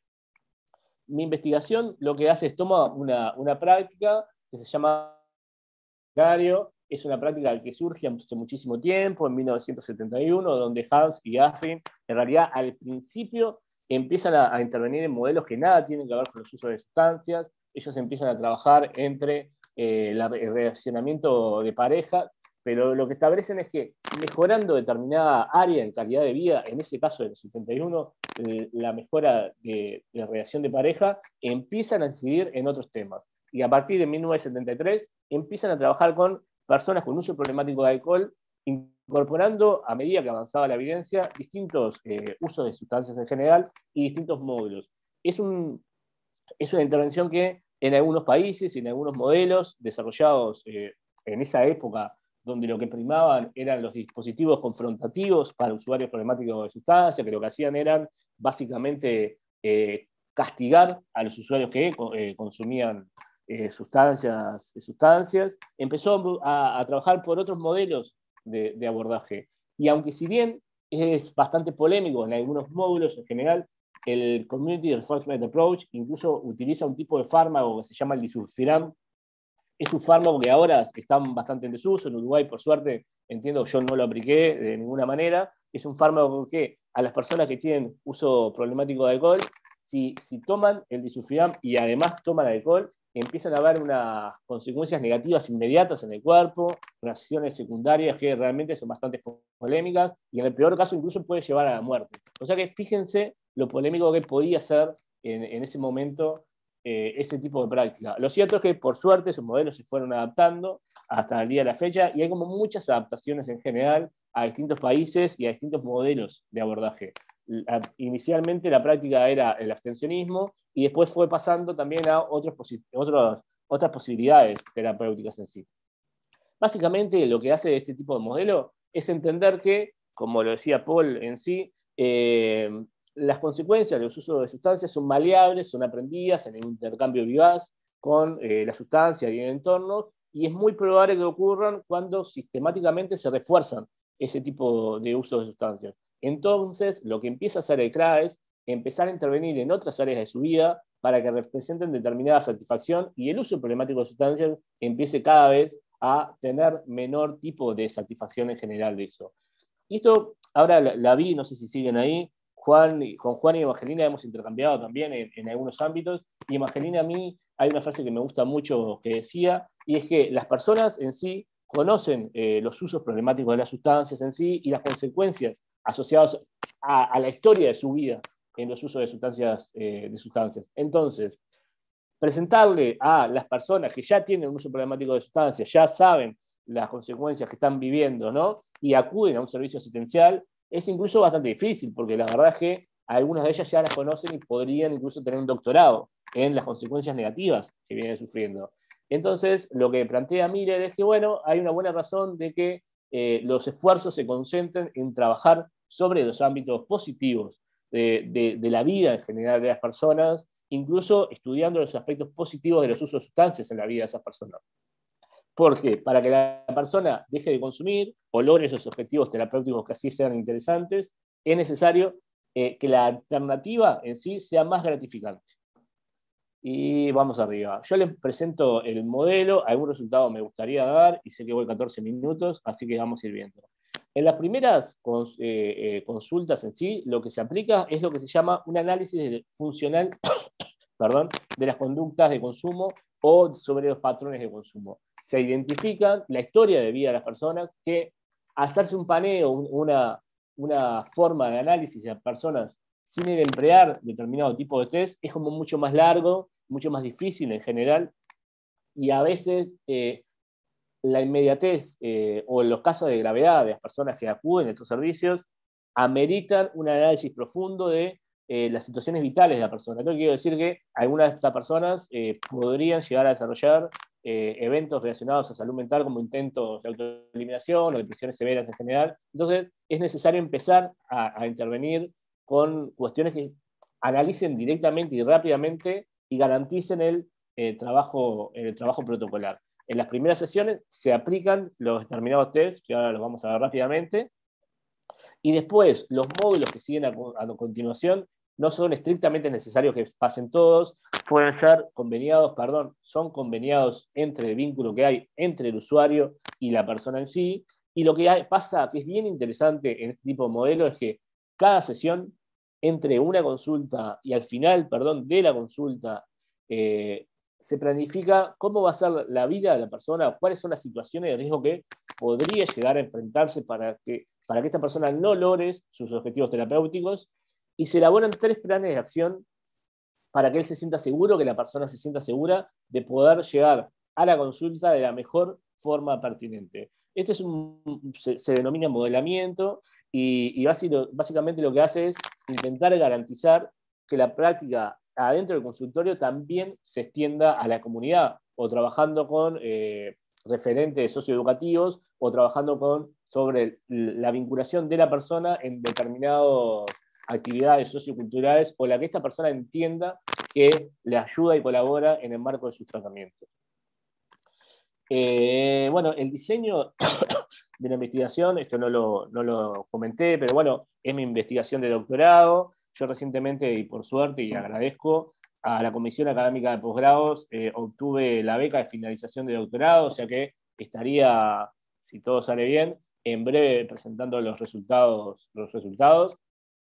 Y se desarrolló un modelo de investigación mixtos de, forma secuencial explicativo, con un análisis cuantitativo inicialmente y eh, triangulando con datos cualitativos. Eh, y ahora vamos a ver cuáles fueron los instrumentos, pero la modalidad de cualitativa tuvo que ver con la modalidad de caso único con análisis réplica. Los instrumentos cuantitativos tuvieron que ver, eh, bueno, con instrumentos que permitieran conocer los patrones y la historia de consumo de cada una de esas personas. Paul ahora mencionaba lo que es una medida estándar. La medida estándar eh, es, es, bien clara en usos de alcohol, está protocolizada en sí. Cuando ya nos empezamos a pasar en otras sustancias, el, el concepto de medida estándar es muchísimo más complejo porque hay algunos tipos de sustancias que son ilegales y no se puede denominar, o sea, no se puede saber eh, los ingredientes, digamos, o los compuestos que tienen cada tipo de sustancia, o sea, lo que haría quizás un desfasaje entre las cantidades de un tipo de sustancia y la misma sustancia que es consumida eh, al, mes siguiente, y además, en todas las sustancias es bastante difícil, eh, por las formas de acceso en las bocas, establecer. Hay, yo sé que ahora hay un ámbito académico, creo que es de OMS, que quiere empezar a eh, establecer medidas estándar en los otros tipos de sustancias, pero es algo como bien difícil anotar y trabajar en otro tipo de sustancias que no sean tan claras como el alcohol. Otra de, los test que apliqué, el ASIS. El ASIS es como la versión alternativa al audit que recién mencionaba Paul, y trabaja con distintos tipos de sustancias, no se concentra solamente en el alcohol, sino que eh, también es avalada por el OMS, la OMS, pero trabaja con otras sustancias. Después, básicamente lo que hago es trabajar eh, sobre distintos inventarios, depresión, ansiedad y escala de satisfacción general. Para los métodos cualitativos, hago un análisis de entrevistas iniciales, eh, un análisis de lo que son las situaciones de riesgo y los planes de acción, que en todas las consultas se hacen y se analizan o sea que ahí hay un registro, hay, hay bastantes datos de cada una de, las personas que participó de, esto y se realizan entrevistas de seguimiento en formato semi-estructurado al mes, a los tres meses y al año para hacer un análisis longitudinal de esto. El trabajo de campo fue hecho en un lugar que es divino, realmente agradezco muchísimo a la vida que me haya permitido estar ahí, que se llama el Complejo Sacude, ese complejo ubicado en Casaballe, un ámbito de participación y de gestión entre vecinos eh, la Intendencia de Montevideo, eh, y bueno, es auto, autogestionado eh, por esto. Tiene la facilidad que dentro del, del SACUD en sí está, hay una policlínica de primer nivel de atención salud y que además hacen actividades deportivas y recreativas. Estoy ahí, Paul, ¿no? Sí, dos minutos, Altito. Bueno, te voy a tirar esta que esta te va a gustar para vos. Me imagino que, te va a gustar para vos. recién lo decía que los análisis de los patrones de consumo, las medidas estándar son bastante complejos. Lo que se hace también, que no lo mencioné, pero al inicio de cada una de estas consultas se hace un modelo de autorregistro y se anotan todas las cantidades de consumo que la persona, o sea, hace un análisis de lo que pasó entre consulta y consulta. En sí, lo, que terminó arrojando estos datos son que hay una, bajada sustancial del uso de sustancias eh, desde que empieza el tratamiento. Acá hay cuatro mediciones antes del inicio del tratamiento. Eh, estadísticamente eh, arroja patrones que hacen pensar a todas las sustancias como significativas, a la cocaína como significativas, pero la pasta base no ingresaría dentro de esa, de esa estadística. O sea que ahí pueden haber pasado varias, varias cosas, pero se trabajó con 22 personas, y bueno, consumidores de pasta base había muchos, algunos abandonaron, eh, y bueno, nada, esas varianzas están ahí a la vuelta. Seguramente le pide una mano a Paul ahí para, para trabajarlas después. Y nada, yo lo que me voy a remitir es que en cada sesión, recuerden, se hace el tratamiento de, eh, o sea, se hace la intervención de cuáles podrían ser las situaciones de riesgo eh, que la persona podría no llegar a lograr sus, objetivos, se analizan, se trabajan y la persona en sí, mediante eso que decíamos en modelamiento, también eh, establece planes de acción pertinentes. Eh, tengo hay muchas cosas para intercambiar, pero el tiempo es tirano y bueno, básicamente eso, agradezco. Muchas gracias, Paul. Maldito. Una, una genialidad, como siempre, pero lo interesante de estas cosas, no sé si es lo interesante, pero una cosa interesante es que eh, en esta línea hay, proyectos que dan para pila de cosas y el tuyo daría como para una clase y estar un rato largo hablando. Así que nada, este es el tiempo que tenemos. Más adelante, más adelante retomaremos cosas estas en clases y eso. Así que bueno, Aldorio, gracias por estar. Te ves re lindo en YouTube. Te estaba viendo en YouTube recién, te ves re bien. Bueno, muchas gracias. Ahora vamos a pasar al compañero Carlos Olivich. Deja de compartir, porfa, el dito, así entra Carlos. Carlos Livich va a presentar este, resultados de su proyecto que se llama Adaptación de Protocolo Mantente Real para Prevención de Consumo de Drogas en Uruguay. Este, este proyecto lo conozco bastante bien. Así que, Carlos, este, nada, eh, todo tuyo, compartir pantalla y el micrófono. Yo te llevo el tiempo. Vos sos otro que le gusta mucho hablar Así, cuando te quede un par de minutos te voy a avisar. Ah, un segundo, voy a decir. Sí, y aparte no. La presentación es una mezcla de presentaciones. Este, Danger. Eh, bueno, yo ingresé a, esta línea hace un tiempo, este, tampoco lo conozco hace muchísimo tiempo, y, y bueno, arranqué con este proyecto estando fuera de la línea y ahora lo, hemos incorporado, que se llama Proyecto Mantente Real, que es un, es un programa en prevención de consumo de droga. Voy a retomar bastante de lo que dijo, de lo que dijo Paul, en, algún sentido. Acá pongo siempre esta foto porque este, Flavio Marsiglia es el principal investigador de, de, este, proyecto que pertenece al Global Center for Applied Research, es un centro de investigación de, la Universidad de Arizona de Estados Unidos y lo que tiene, siempre lo pongo porque es uruguayo. Y dije realmente un centro de investigación muy, muy interesante, muy importante en salud este, en, Estados Unidos y, y con él venimos eh, hemos venido trabajando. Bueno, mantente real. El real es un, es un acrónimo de rechaza, explica, aléjate y levántate, este, que son estrategias o habilidades para enfrentar la presión de pares, que es un poco lo que trata de este, trabajar y enseñar este, este programa. Mantente real, eh, me una cosa, em, es un programa de prevención universal del consumo de alcohol, tabaco y drogas en preadolescentes y adolescentes, em, elaborado por, por, la Universidad de Arizona, Estados Unidos, y, y ha tenido diferentes adaptaciones a, a, otros países. Es un programa, un programa modelo, porque bueno, ha tenido efectos positivos en sus estudios de eficacia, especialmente en Arizona. Este, y, y, fue seleccionado como producto modelo por, por the National Register of Evidence Basel Program y el gobierno americano. Este, y bueno, también ha sido financiado por National Institute of Drug Abuse el NIH, y el NIH. Bueno, nosotros estamos trabajando con este programa hace tiempo. Lo importante de estas cuestiones que planteo acá en sí es porque, bueno, el programa tiene, ha tenido como rigurosidad en, los estudios de, impacto, que también cuestionables y, cómo, cómo, se, cómo se estudia. Pero voy a tomar este primer punto. Primero que trata, nada, tratamos de prevenir. Y como decía Paul en su trabajo, eh, la prevención lo que trata no es el no consumo, lo que trata es retrasar el inicio del consumo de drogas en adolescentes por eh, el riesgo de los patrones de abuso de alcohol y otras drogas se elevan a medida si el inicio tiene lugar en etapas tempranas del desarrollo. O sea, cuanto más temprano se arranca a consumir, más, eh, más, posibilidades hay que pueda tener un, consumo problemático o establecimientos de patrones de consumo más, más complejos.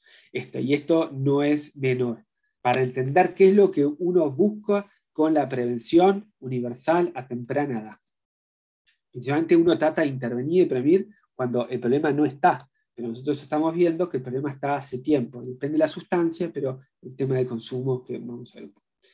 Eh, es un programa que se enfoca en habilidades eh, personales, sociales, este, para ser aplicado al inicio de adolescencia y en, generalmente en contextos educativos. Bueno, el proyecto se ha trabajado en Estados Unidos, Kenia, Sudáfrica, Uruguay, México, Guatemala, España y tiene una versión en China. Todos esos han llevado a ser procesos de, y algunos están todavía, principalmente creo que donde han trabajado muy, muy bien es en México, con procesos de adaptación cultural, este, que lleva, bueno, todo lo que, todo lo que involucra cuando uno trae proyectos, programas, o cuando uno trae, por ejemplo, un cuestionario, tiene que, no solo adaptación lingüística, sino un montón de aspectos que tiene que trabajar.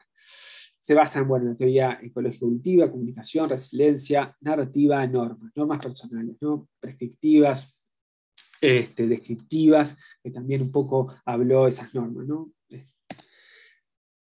Entra entre los que llamaríamos programas interactivos, que son, bueno, Tobler es unas personas que son estudios viejos, pero es de las que han hecho más metaanálisis sobre los programas de prevención y descubrió muchas cosas, cuáles son los que más tienen efecto. Y bueno, son los programas interactivos que trabajan la influencia ciudad y de vías y son como multicomponentes. Los programas que solo se basan en información, educación efectiva, solamente tienen menos efectos. Bueno, acá es una descripción de ese tipo de programas, no nos da el tiempo, esto tampoco. Eh, es un programa manualizado porque tiene materiales para, para el para el docente, etc. Tiene unos videos que, que, se proporcionan para algunas, para algunas este, sesiones de trabajo, son 10 sesiones y se hacen 10 semanas, que nunca terminan siendo 10 semanas, terminan siendo más y es un tema que hay que trabajar porque la idea es una cosa que hemos visto es la necesidad que sea más corto.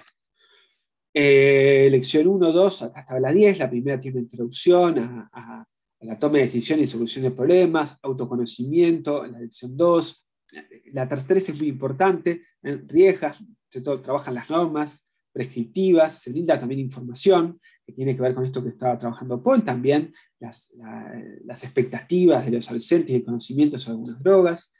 Eh, también se trabaja esto de las normas y valores, este, habilidades de comunicación, gestión de conflictos, y después se trabaja cada una de estas este, habilidades. Rechaza, explica, parte y levanta. Habilidades de comunicación, no manejo asertivo, y después hay un repaso final. Eh, acá hay algunas evidencias de, de mantente real, investigaciones de, impacto del, proyecto.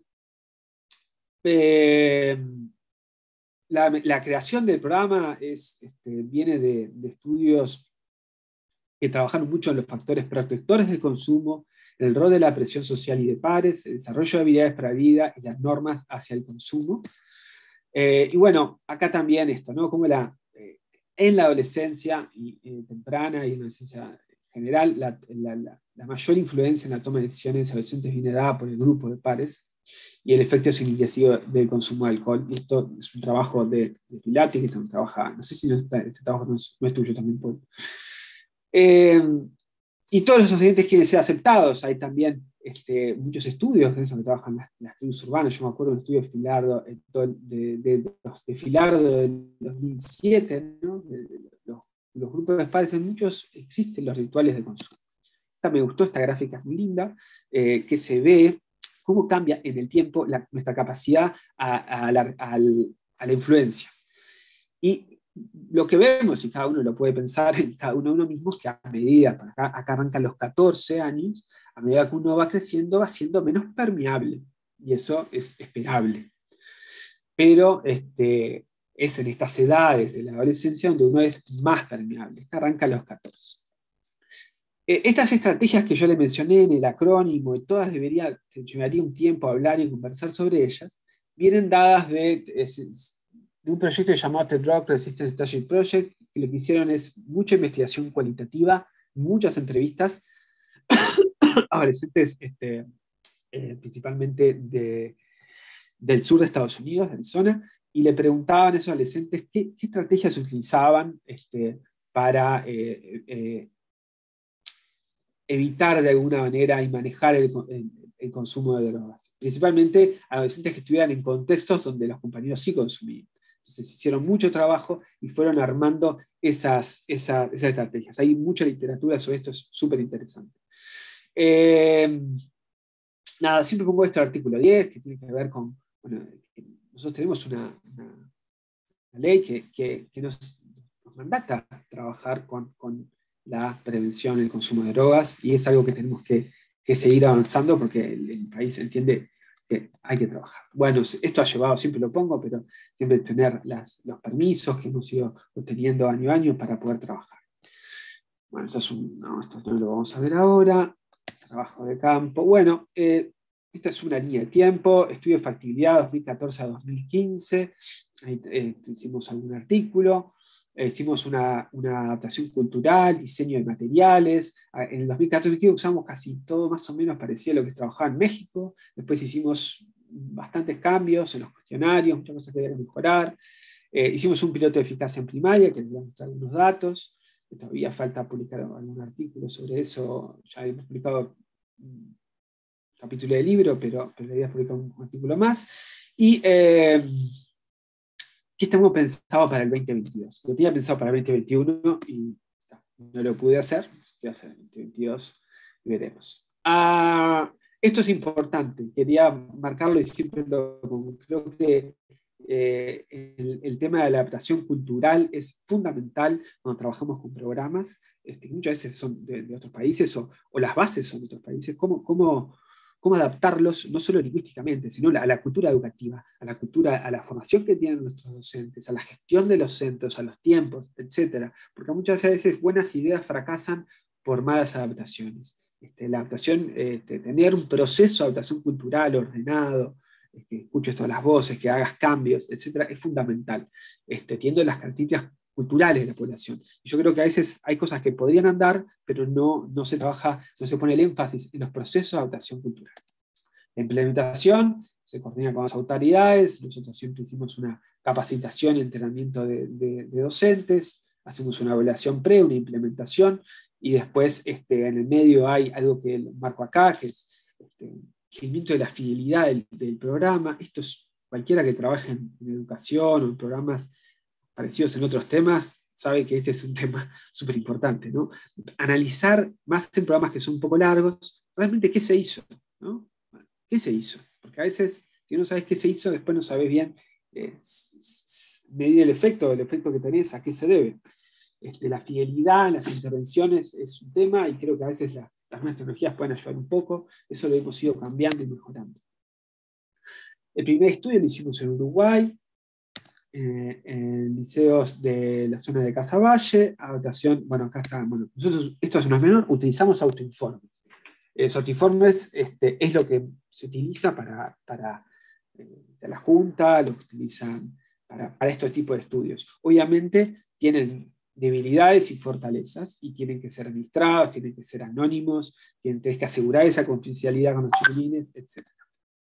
Lo que encontramos en ese primer estudio había sido un efecto en la frecuencia de consumo de gata y la cantidad de consumo de marihuana, un efecto significativo y en alcohol. Principalmente esos fueron los resultados que habíamos obtenido de la intervención, cuando comparamos el grupo control con el grupo experimental. Acá lo vemos, aunque el tamaño del efecto era bastante chico, pero esperable para este, este, para este tipo de, de.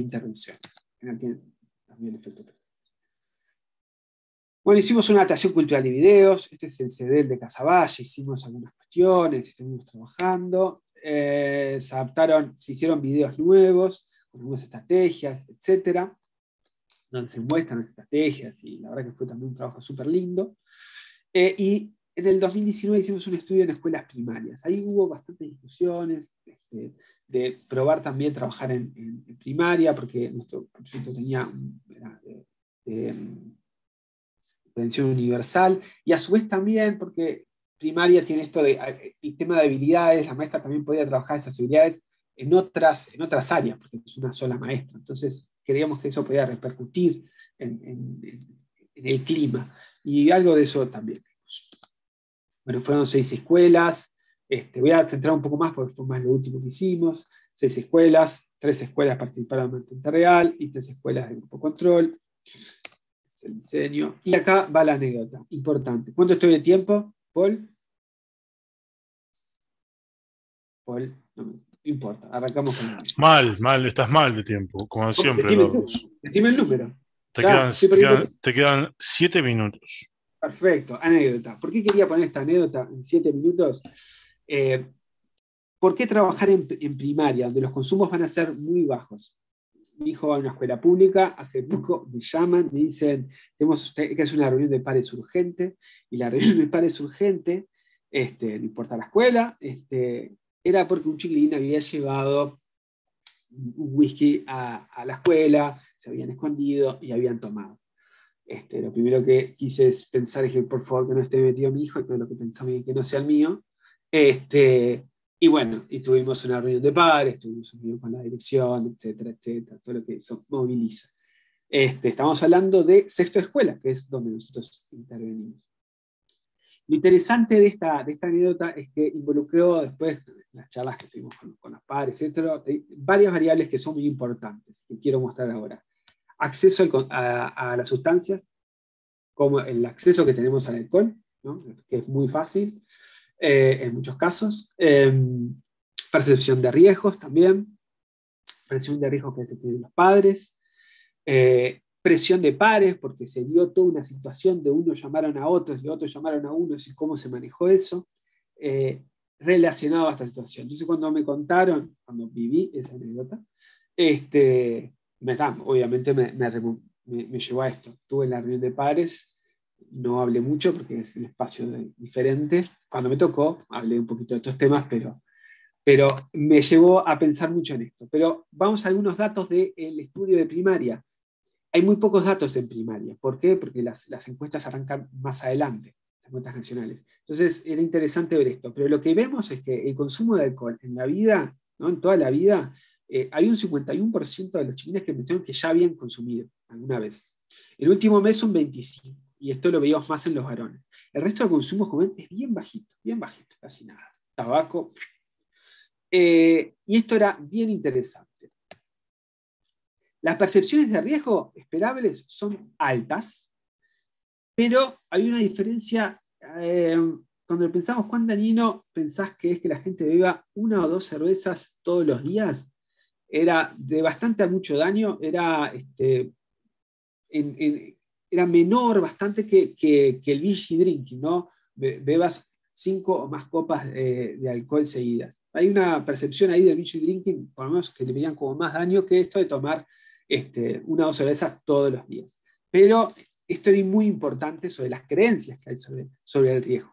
En chiquilines que en general, claramente las primeras sustancias están hablando de riesgo que no conocen, de las otras tienen un poco más idea, por obviamente. Acceso. Esto es interesante. Hoy era muy esperable. Eh, me acuerdo que en uno de los audios la mamá decía que tenía como un barcito en la casa. Entonces, ¿quién no ha tenido? Me acuerdo, en mi casa tengo con un especie de barcito. Y claramente el alcohol es algo con más fácil acceso. Este, y después, bueno, después venían los cigarrillos. Pero y esto que me pareció interesante. Después lo que hice fue agarrar a los chiquilines que me dijeron que habían consumido en los últimos 30 días, que eran este, este grupito chiquito, eh, de toda la muestra, 300 y pico, este, agarré a, esos chiquilines y eh, le pregunté quién les había, quién les había ofertado. Eh, teníamos una, una, escala de oferta de droga este, muchas escalas tenemos, y lo que vemos es que claramente la oferta en las chiquilines que habían consumido principalmente viene de la familia, hermanos, primos, amigos, adultos y otros jóvenes. Cuando mire este, los que no, también habían mencionado que habían tenido ofertas, pero era sensiblemente bajo, en vez de 27 era 9, 8, 8, 8, creo que después 1 y 1.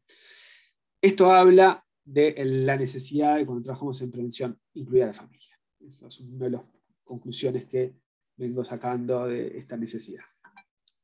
Eh, después agarré a ese mismo grupo, este, tenemos una escala que tiene que ver eh, con si, eh, si te ofrecieran alcohol, dirías que no si un miembro de la familia te ofreciera alcohol. ¿no? Les preguntamos eso. Dentro de una escala de confianza rechazar el consumo. Y lo que vimos es que él Obviamente, en, los, total de estudiantes, este, seguramente diría que no, 87, y los estudiantes que habían consumido en los últimos 30 días tenían menos, menos confianza. A su vez demostraban esto que estamos diciendo, que tenían menos capacidad de decirle que no. Pero claro, yo también trabajaba mucho con la presión de pares, y acá, esto no lo vamos a ver, pero acá estamos hablando de la presión de la familia y ese rol, y ahí me quedé craneando cómo agregar eso. Eh, tipos de variables que tenemos que pensar cuando pensamos en intervenciones en primaria. ¿Vamos a ir a las variables dependientes de consumo? No, porque hay muy poco consumo, entonces lo que te da es como raro de verlo. Hay que ir a las variables mediadoras de consumo. Esas son las variables que nos interesan en programas de intervención en primaria o con chiquití ¿Qué son estas variables? Son variables que se relacionan con normas, selectivas, expectativas y habilidades que se han vinculado con el consumo eh, de drogas en la lectura internacional. Los estudios también acá, pero hay, hay mucha cantidad de estudios, y bueno, estas variables cuando están presentes se relacionan. Y ahí tenemos, bueno, normas injuntivas o prescriptivas, este, normas personales, normas descriptivas, este, percepción de consumo amigo, de pares, intención de consumo, expectativas, presión de riesgo, confianza rechazada, subjetividad, influencia negativa. Algunas también las mencionó Paul, acá hay un, conjunto de las que nosotros estuvimos explorando, y también las variables dependientes mediadoras, como la que estaba íntimamente relacionada a las habilidades. ¿Qué encontramos nosotros? Todas las variables que, valoramos cuando medimos el grupo control y el grupo tratamiento, haciendo un análisis de medidas repetidas donde tomamos pre, donde el variable eh, intrasujeto es pre-post y intersujeto es este, grupo control, un grupo experimental, que es la forma un poco más rigurosa de, hacer ese análisis, vimos que todas van en el sentido de lo que queremos. Las medias van, logramos que las medias en el grupo de tratamiento sean mejores que las medias en el grupo control. Pero que esos resultados sean estadísticamente significativos, se dio en normas eh, prescriptivas de amigos, o sea, eh, la percepción de que los amigos consumen es menor en el grupo, en el grupo este, tratamiento, en normas personales en relación al consumo. Está bien que alguien de mi edad consuma, eso también se, logró cambiar, y las normas descriptivas eh, eh, sobre percepción de consumo de pares. Bueno, perdón, las injuntivas de amigos es qué, tan, qué tanto se enojaría un amigo si se enterara de que consumiera. Esto también lo lográs porque estás trabajando con un grupo, un grupo que se conoce, que está establecido. Entonces, eso te permite este, un montón de cosas. ¿Qué queremos hacer? Eh, una, lo, agregué, acá porque a mí me parece muy importante. Yo cada vez veo más, y, en la clínica que trabajo, el tema de la presión online, cómo las normas este, juegan ahí un, papel enorme y cómo no podemos entender la, presión online que tienen los chiquines, que es diferente a lo que es en, presencial, cómo, cómo le influyen las conductas, en este caso en el consumo de drogas. Carlos, pasaron 20 minutos, ¿eh? Pasaron los 20 minutos. Y esa es una de las cosas que queremos hacer. Y esto, oh, oh, oh, y en realidad las conclusiones, trabajar con los padres, claramente es un tema, cómo pensar esa relación. Eh, quiero hacer una sesión de trabajo para presión online como para evaluarla. Una cosa es usar los datos eh, para personalizar las intervenciones para grupos. Creo que algo que no hemos hecho es tomar los datos y trabajarlo, y tener los datos previos antes de intervenir para poder customizar más la intervención y continuar un poco en el proceso de adaptación cultural. Terminé. No fue tan malo. ¿eh? No, al final no, porque te apuramos al final, Carlitos, si no. Bueno, Carlos, este, muchas gracias. Otro tema que da, para hacer un cursito interesante porque es súper extenso de cómo se piensa y sobre todo cómo se aplica todo esto. Vamos a darle paso al compañero Gabriel Castro, que ya está acá presente con su micrófono abierto. Gabriel, si vas a presentar, eh, es todo tuyo el espacio, si es una presentación o algo. Sobre el tema del título no lo voy a leer porque a esta altura ya no sé qué título es, así que Gabriel nos va a decir qué título tiene su presentación. Gabriel, te llevo el tiempo, cuando estemos cerca de terminar te aviso. ¿Está? Bien, perfecto. Vamos arriba. Dame un segundo que estoy tratando de compartir.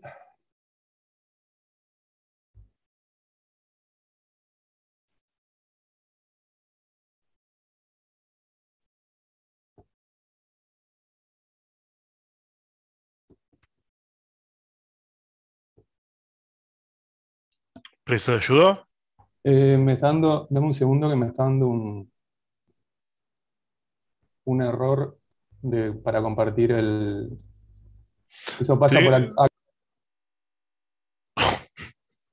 Y eso pasa porque... Y se fue. Bueno, si les parece, entonces lo que hacemos es, este, seguimos y corremos para el final la presentación de, de Gabriel, porque no sabemos cuánto va a tardar en reponer su conexión. ¿Sí? Así que bueno, ahora vamos a ir con Leticia Esquinas. La compañera Leticia Esquinas nos va a hablar sobre un estudio exploratorio de vivencias y sentidos atribuidos a las experiencias de consumo de éxtasis. Todo tuyo, Leticia. Este, fíjate si vos sí podés compartir pantalla. Perfecto, sí, voy a poder. Bien, te aviso cuando queden un par de minutos. Dale, dale, buenazo. Bien. Bueno, vamos arrancando. Un gusto compartir este espacio de intercambio con ustedes. Bueno, este estudio de vivencias y sentidos de las experiencias de consumo de éxtasis fue realizado en el año 2019.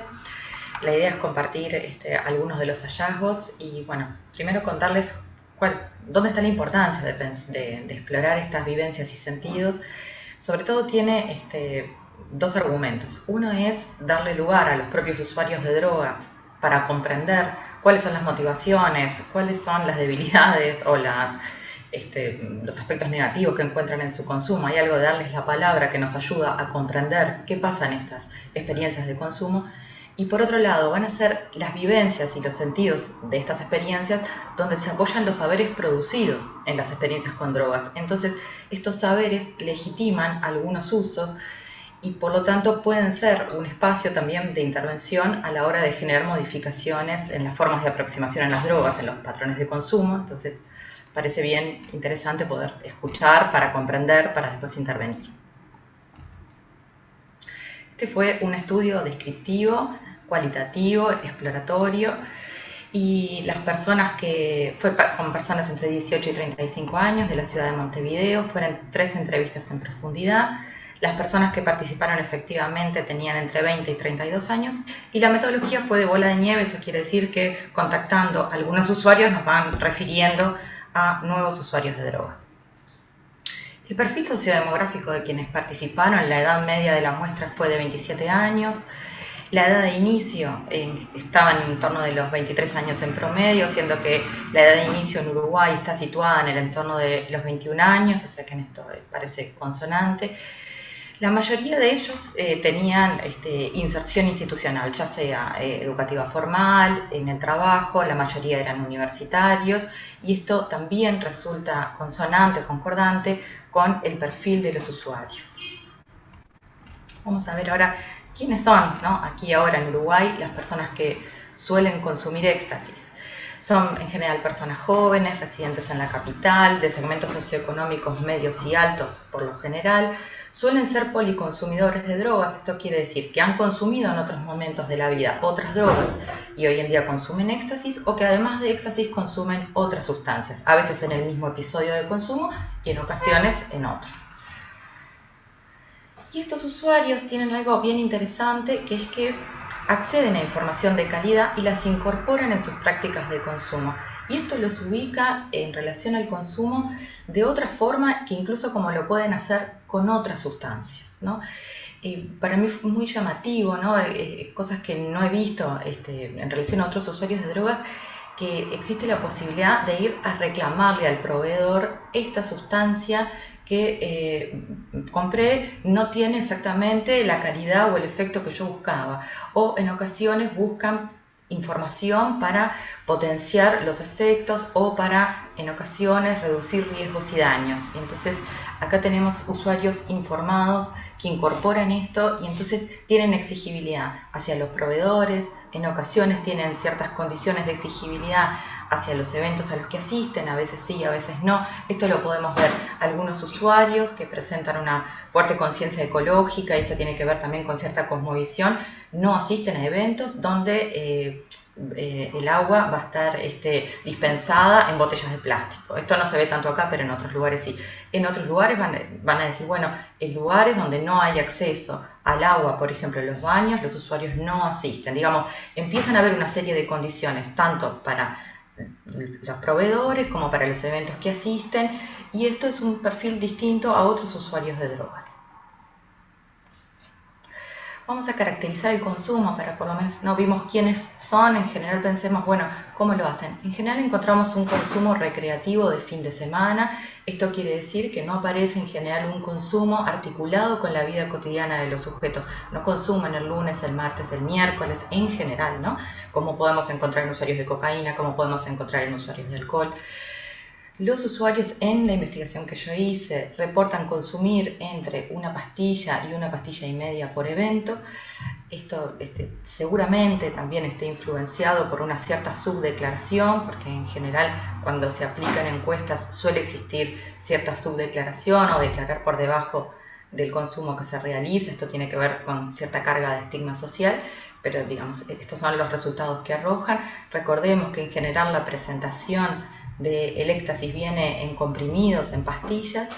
Y si hay algo bien interesante de esta presentación, porque podría consumirse en pastillas o eh, en, polvo llamado cristales, en un polvillo granulado, cuando el formato de presentaciones en pastilla sucede algo bien interesante que las pastillas tienen eh, un logo impreso que permite diferenciarlas, ¿no? Algunas pueden tener la cara de Bart Simpson, otras pueden tener un cuadrado, otros pueden tener un color pero esto supone la posibilidad de lo que Camarotti, que es una investigadora argentina, llamaba la innovación mercantil del éxtasis.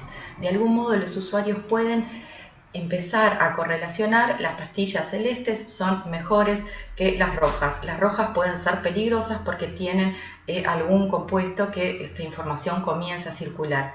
Esta información puede circular en sitios especializados, por ejemplo, hay eh, una página sobre todo española, Energy Control, que tiene muy buenas referencias, pero puede ser Argenpils, pensando este, en algún momento Imaginario 9 tuvo este, un rol de esta índole, que era un espacio para informar a los usuarios, sobre todo analizando que contenían algunos comprimidos y a partir de allí poder tomar algunas definiciones.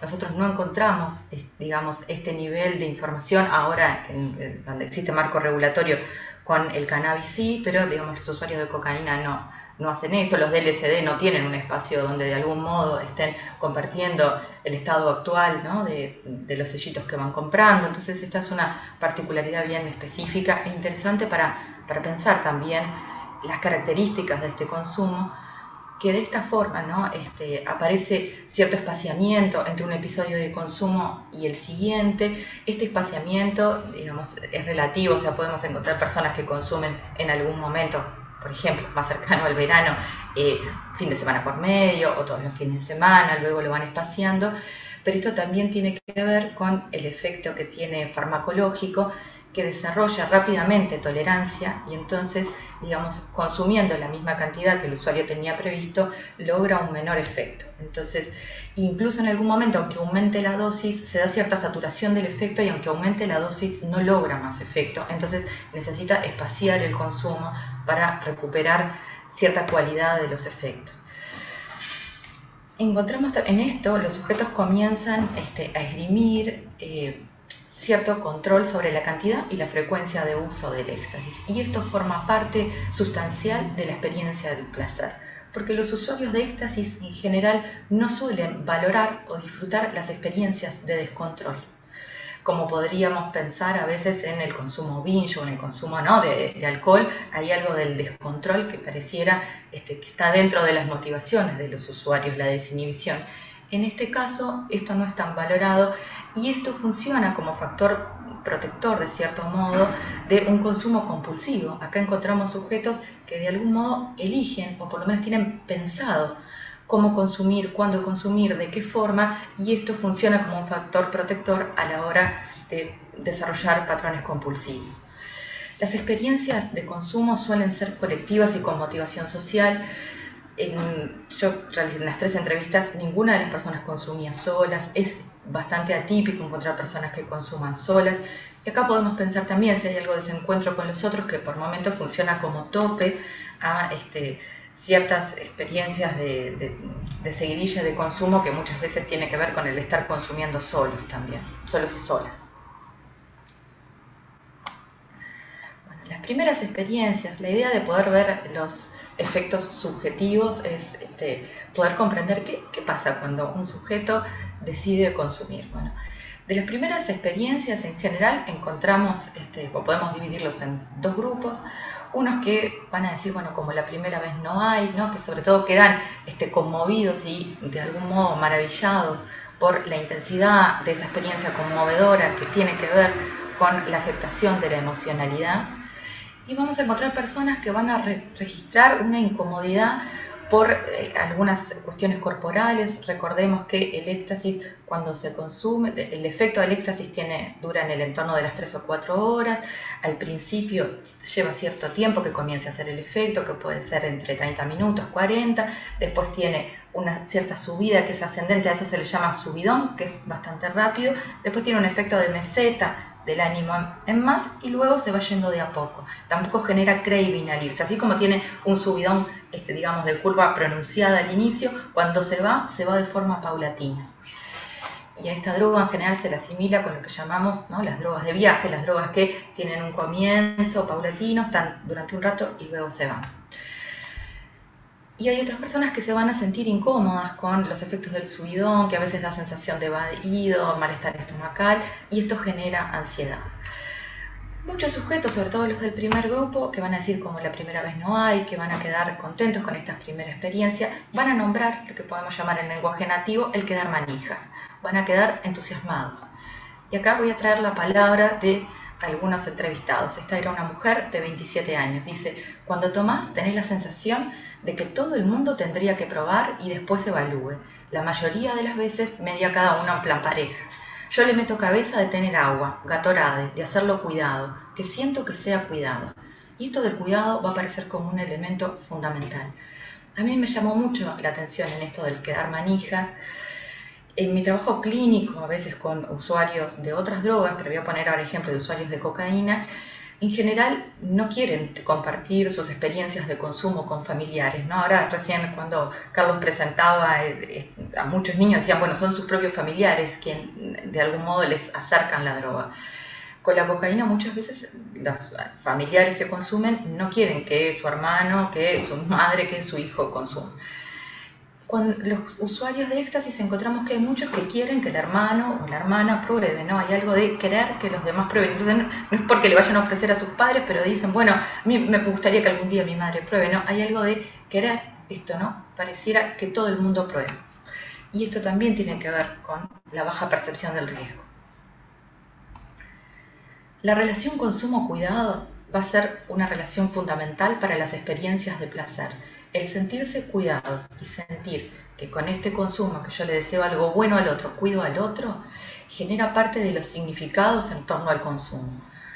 Por lo tanto, esto refuerza la vivencia de que están consumiendo una droga segura, porque la pueden controlar, porque las vivencias son de amabilidad, el trato que circula en los eventos de consumo, que en general son algunas personas consumen en eventos de fin de semana, festivos, ¿no?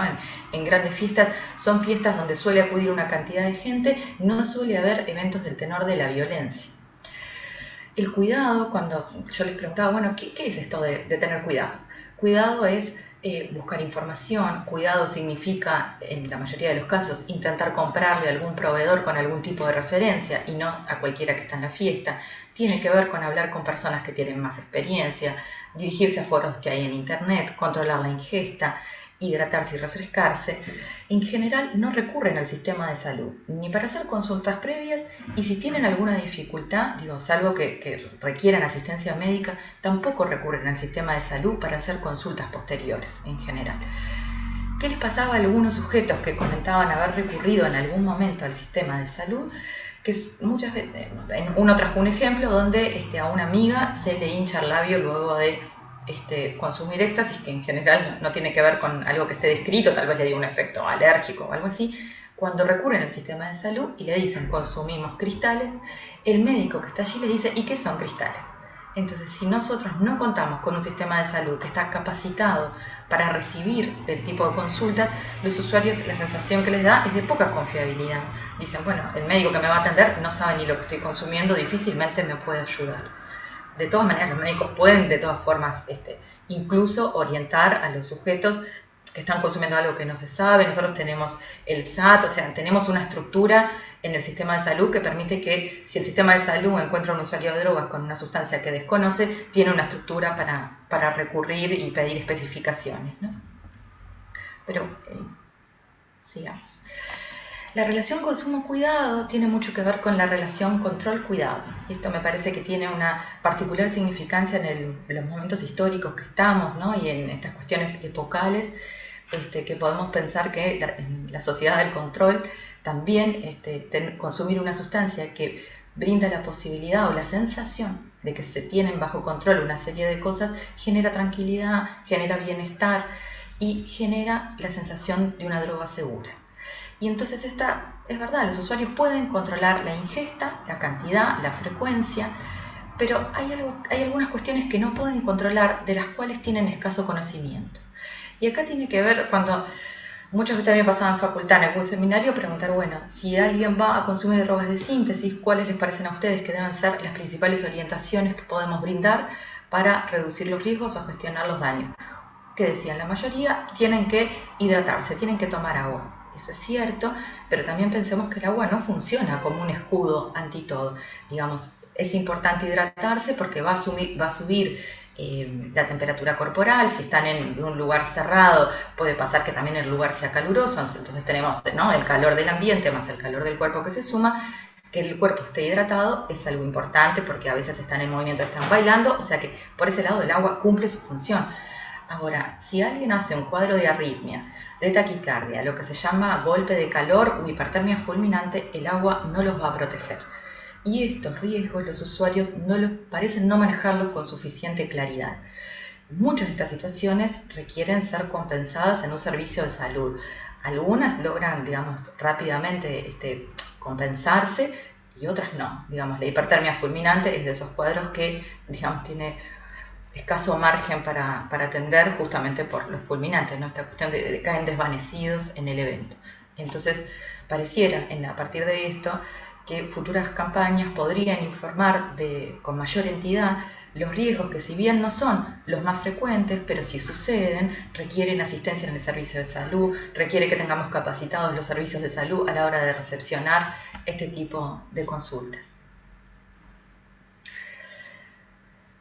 Esta es la droga de algún modo cuando hablamos este, por, por cómo funciona en, términos bioquímicos que podemos llamar de efecto decreciente. Esto quiere decir a mayor frecuencia de uso, menor es el efecto. ¿Por qué? Porque desarrolla rápidamente tolerancia farmacológica. Y esto genera un patrón de uso que llamamos no adictógeno. En general, los sujetos no son adictos al éxtasis. Si usan en reiteradas ocasiones el éxtasis, seguramente suceda que a los 20 días la sustancia ya no tenga efecto para esta persona, aunque aumente la dosis. Entonces acá vamos a encontrar patrones no adictógenos, pero esto quiere decir que no los protege de todos los riesgos posibles. Yo puedo no ser adicta, pero consumir un comprimido y tener eh, un golpe de calor o puedo tener una experiencia de arritmia. ¿no?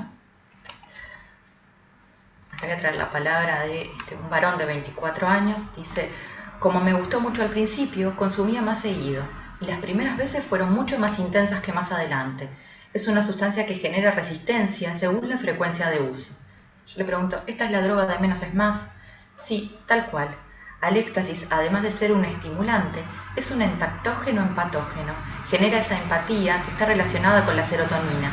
Hace que tus neuronas liberen más y lleva tiempo que el cuerpo vuelva a generarlo. Entonces, si tomas seguido, por, por más que aumentes la dosis, no vas a sentir lo mismo de vuelta. Y esto fue bien interesante, ¿no? Este, entactógeno tiene que ver con entrar en, en, contacto consigo misma y empatógeno tiene que ver con entrar en contacto con los demás. Esta es una droga que los usuarios relatan que les permite entrar en contacto consigo, con sus emociones, sentir cierta alegría por ese encuentro consigo mismo y alegría y predisposición al encuentro con los otros. Pero miren qué interesante lo que decía este varón de 24 años tiene un discurso, lo que podríamos llamar discurso, experto, ¿no? Va a estar hablando de serotonina, ¿no? De empatógeno, utiliza de algún modo, ¿no? Eh, un lenguaje experto o científico. Y esto es algo que no aparece solo en este muchacho, sino en varias de las personas entrevistadas y particularmente Sustas, que es un otro investigador argentino en el 2018, este, traía esto mismo, ¿no? Del discurso experto para narrar las experiencias de consumo. Por más incluso nivel intelectual que tengan en ocasiones los consumidores de cocaína, los consumidores de LSD, los consumidores de ketamina, no traen un discurso, digamos, con este nivel de especificidad sobre sus prácticas. Y acá en esto de las prácticas discursivas parece interesante porque nos puede acercar a algo este, que también van a traer otros autores, que las experiencias de uso de éxtasis son experiencias analíticas, son, y esto nuevamente los aleja de experiencias compulsivas, son experiencias de algún modo decididas. Leti, estamos en los 20 minutos, aquí redondeando. Perfecto, voy redondeando por acá. Este, Leiros va a hablar este, de un fenómeno que se llama la quimicalización de la felicidad. ¿no? Hay algo de las vivencias que tienen los usuarios que tienen que ver con la felicidad, la plenitud, ¿no? lo que podemos llamar estas experiencias de amor, que aparece esta ilusión del amor en comprimidos. Y entonces los sujetos, ya no estamos pensando en un sujeto que pueda ser pensado como un criminal que está transgrediendo la ley, sino que el sujeto eh, en, esto, ¿no? que el sujeto es un criminal, sino que el sujeto acá está más bien incómodo, angustiado, quiere mejorar su performance o desempeño en algunos eventos, entonces pareciera ser un sujeto que más bien quiere compensar insatisfacciones personales, ¿no? O, bueno, este, adentrarse en, cierto, profundizar algunas experiencias subjetivas y ahí tenemos este, algunas de las motivaciones para el consumo la idea, esto, como los demás compañeros, era compartir algunos de los hallazgos o algunas cuestiones para pensar en conjunto. Seguramente en algún otro espacio podemos retomar con más tiempo y profundidad. Perfecto, Leticia. Muchísimas gracias por la exposición. Como bien decís, todas estas instancias que estamos compartiendo en tiempo súper comprimido van a dar van a estar en otros espacios donde haya más tiempo, vamos a hacer más cosas seguramente, cursos, etc. Así que muchas gracias. Le vamos a dar el espacio a Juan Fernández, Evangelina Curvelo y Carolina Geneiro eh, con la presentación titulada Sistematización del proceso de intervención desarrollada por el programa Aleros en tres zonas, Centro, Cerro y Oeste, Montevideo 2021. Así que bueno, muchachos, este, ya tienen para compartir la pantalla si van a compartir algo. Mi función va a ser avisarle cuando estemos cerca de los 20 minutos. Todo suyo.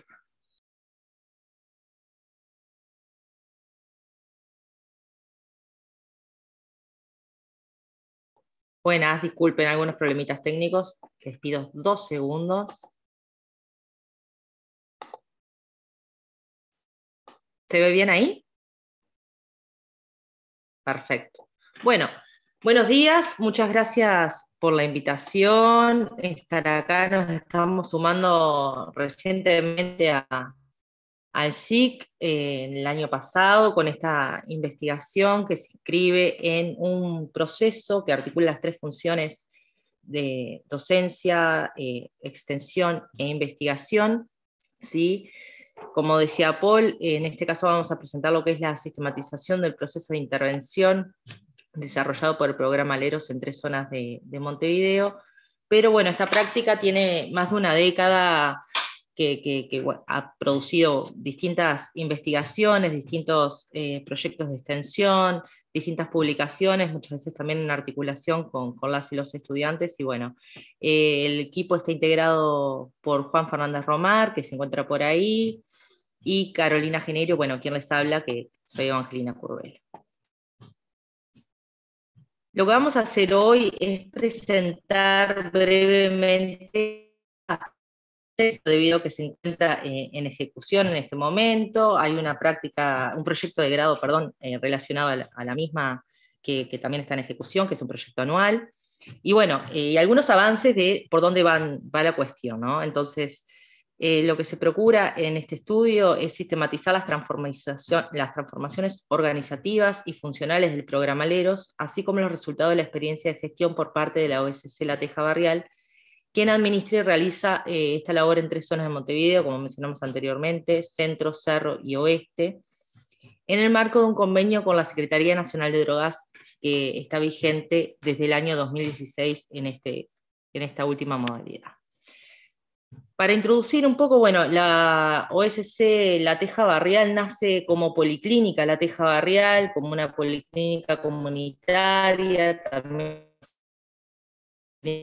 los verdes, y fue fundada en 1984 atendiendo a las necesidades y a las demandas sanitarias eh, que había en el territorio, ¿no? Frente a algunas ausencias, se generó una policlínica de cogestión por los vecinos de la zona, de hecho el nombre completo de la organización La Teja Barrial es Asociación de Vecinos por el Desarrollo de la Teja.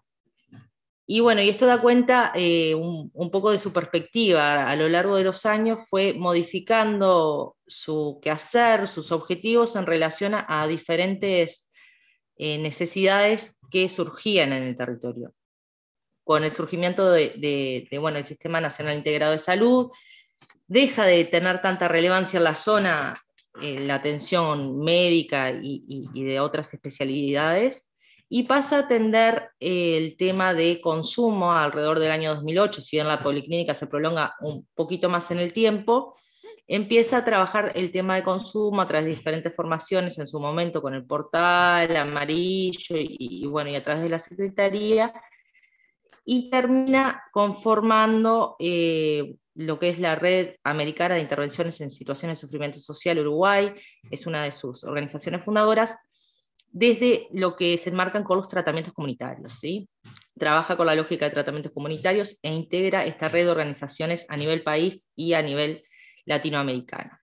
Esto es importante porque los tratamientos comunitarios son los que le van a eh, brindar determinada identidad al programa Leros que tiene dos versiones, una inicial, que es en el marco de, un convenio entre la Intendencia de Montevideo y la Junta Nacional de Drogas, y luego posteriormente en el año 2016 pasa a la órbita de RENADR. Bueno, ¿qué es el programa LEROS? Es un programa que trabaja con personas que han desarrollado un uso problemático de sustancias psicoactivas, un uso problemático de drogas y se encuentran en situación de vulnerabilidad social. Tiene una fuerte lógica territorial y comunitaria, es decir, lo que busca es fortalecer las redes subjetivas comunitarias, articular con las redes institucionales, pero siempre desde la lógica de lo, local, ¿no? buscando que mm, las acciones sean clave en el territorio donde se producen los fenómenos, es decir, trabajar en el lugar donde se vive la persona, donde su cotidianidad se despliega.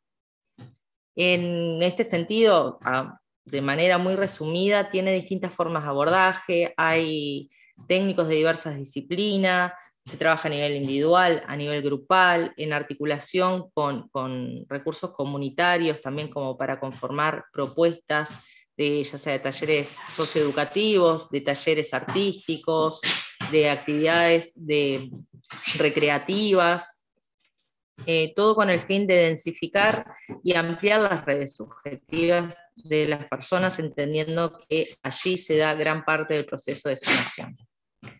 El objetivo general de esta sistematización tiene que ver con generar evidencia científica sobre los abordajes territoriales, de proximidad para los usos problemáticos de drogas que encuentran inspiración en los tratamientos comunitarios de situaciones de sufrimiento social. Este aspecto nos resulta clave, dado que muchas veces hay una gran dificultad para poder sistematizar este tipo de abordajes.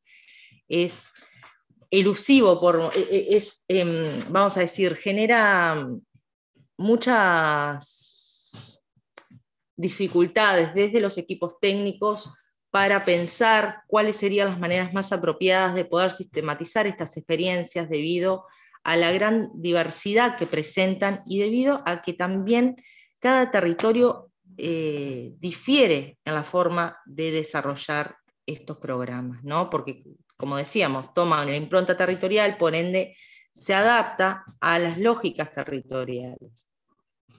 Entonces, bueno, desde ahí nos parecía muy importante poder generar una evidencia, poder generar procesos que permitan eh, visibilizar qué es lo que sucede, entonces sistematizar el proceso de intervención desarrollado por el programa sería como eh, una primera línea para esto.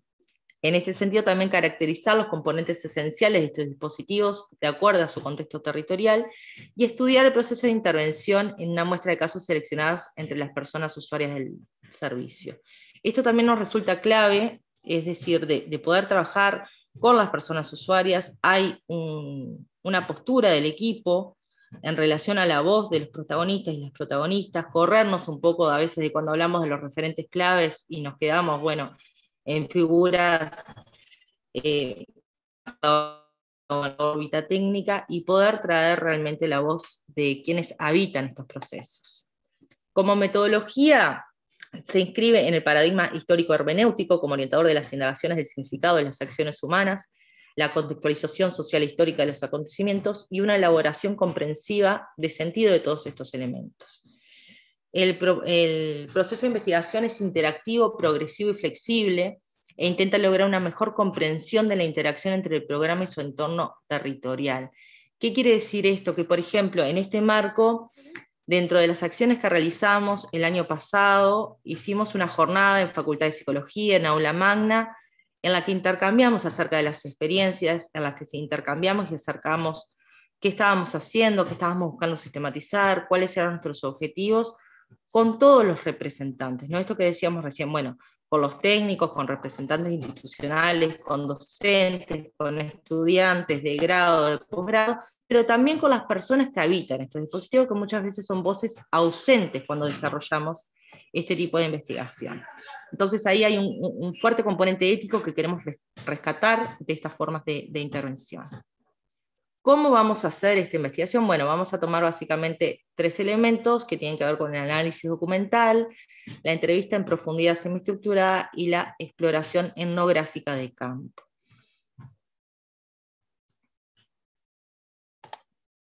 Los resultados esperados eh, en relación a esta investigación tienen que ver con contribuir al desarrollo de la psicología social universitaria y a las diversas perspectivas teóricas y metodológicas del trabajo de base comunitaria en situaciones de sufrimiento social.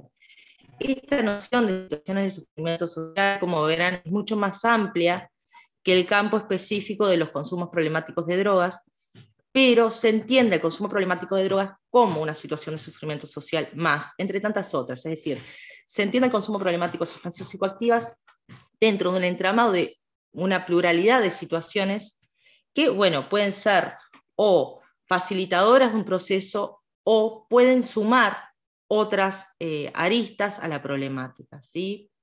Entonces, la idea es con esto poder contribuir al diseño de políticas públicas uruguayas en materia de reducción de riesgos y daños y alcanzar una caracterización global de estos dispositivos de base comunitarias, tratando de generar estos elementos en común. Bueno, ¿cuáles serían las nociones de base, cuáles serían sus fundamentos, qué, hay en común entre la gran diversidad de propuestas que presentan estos dispositivos.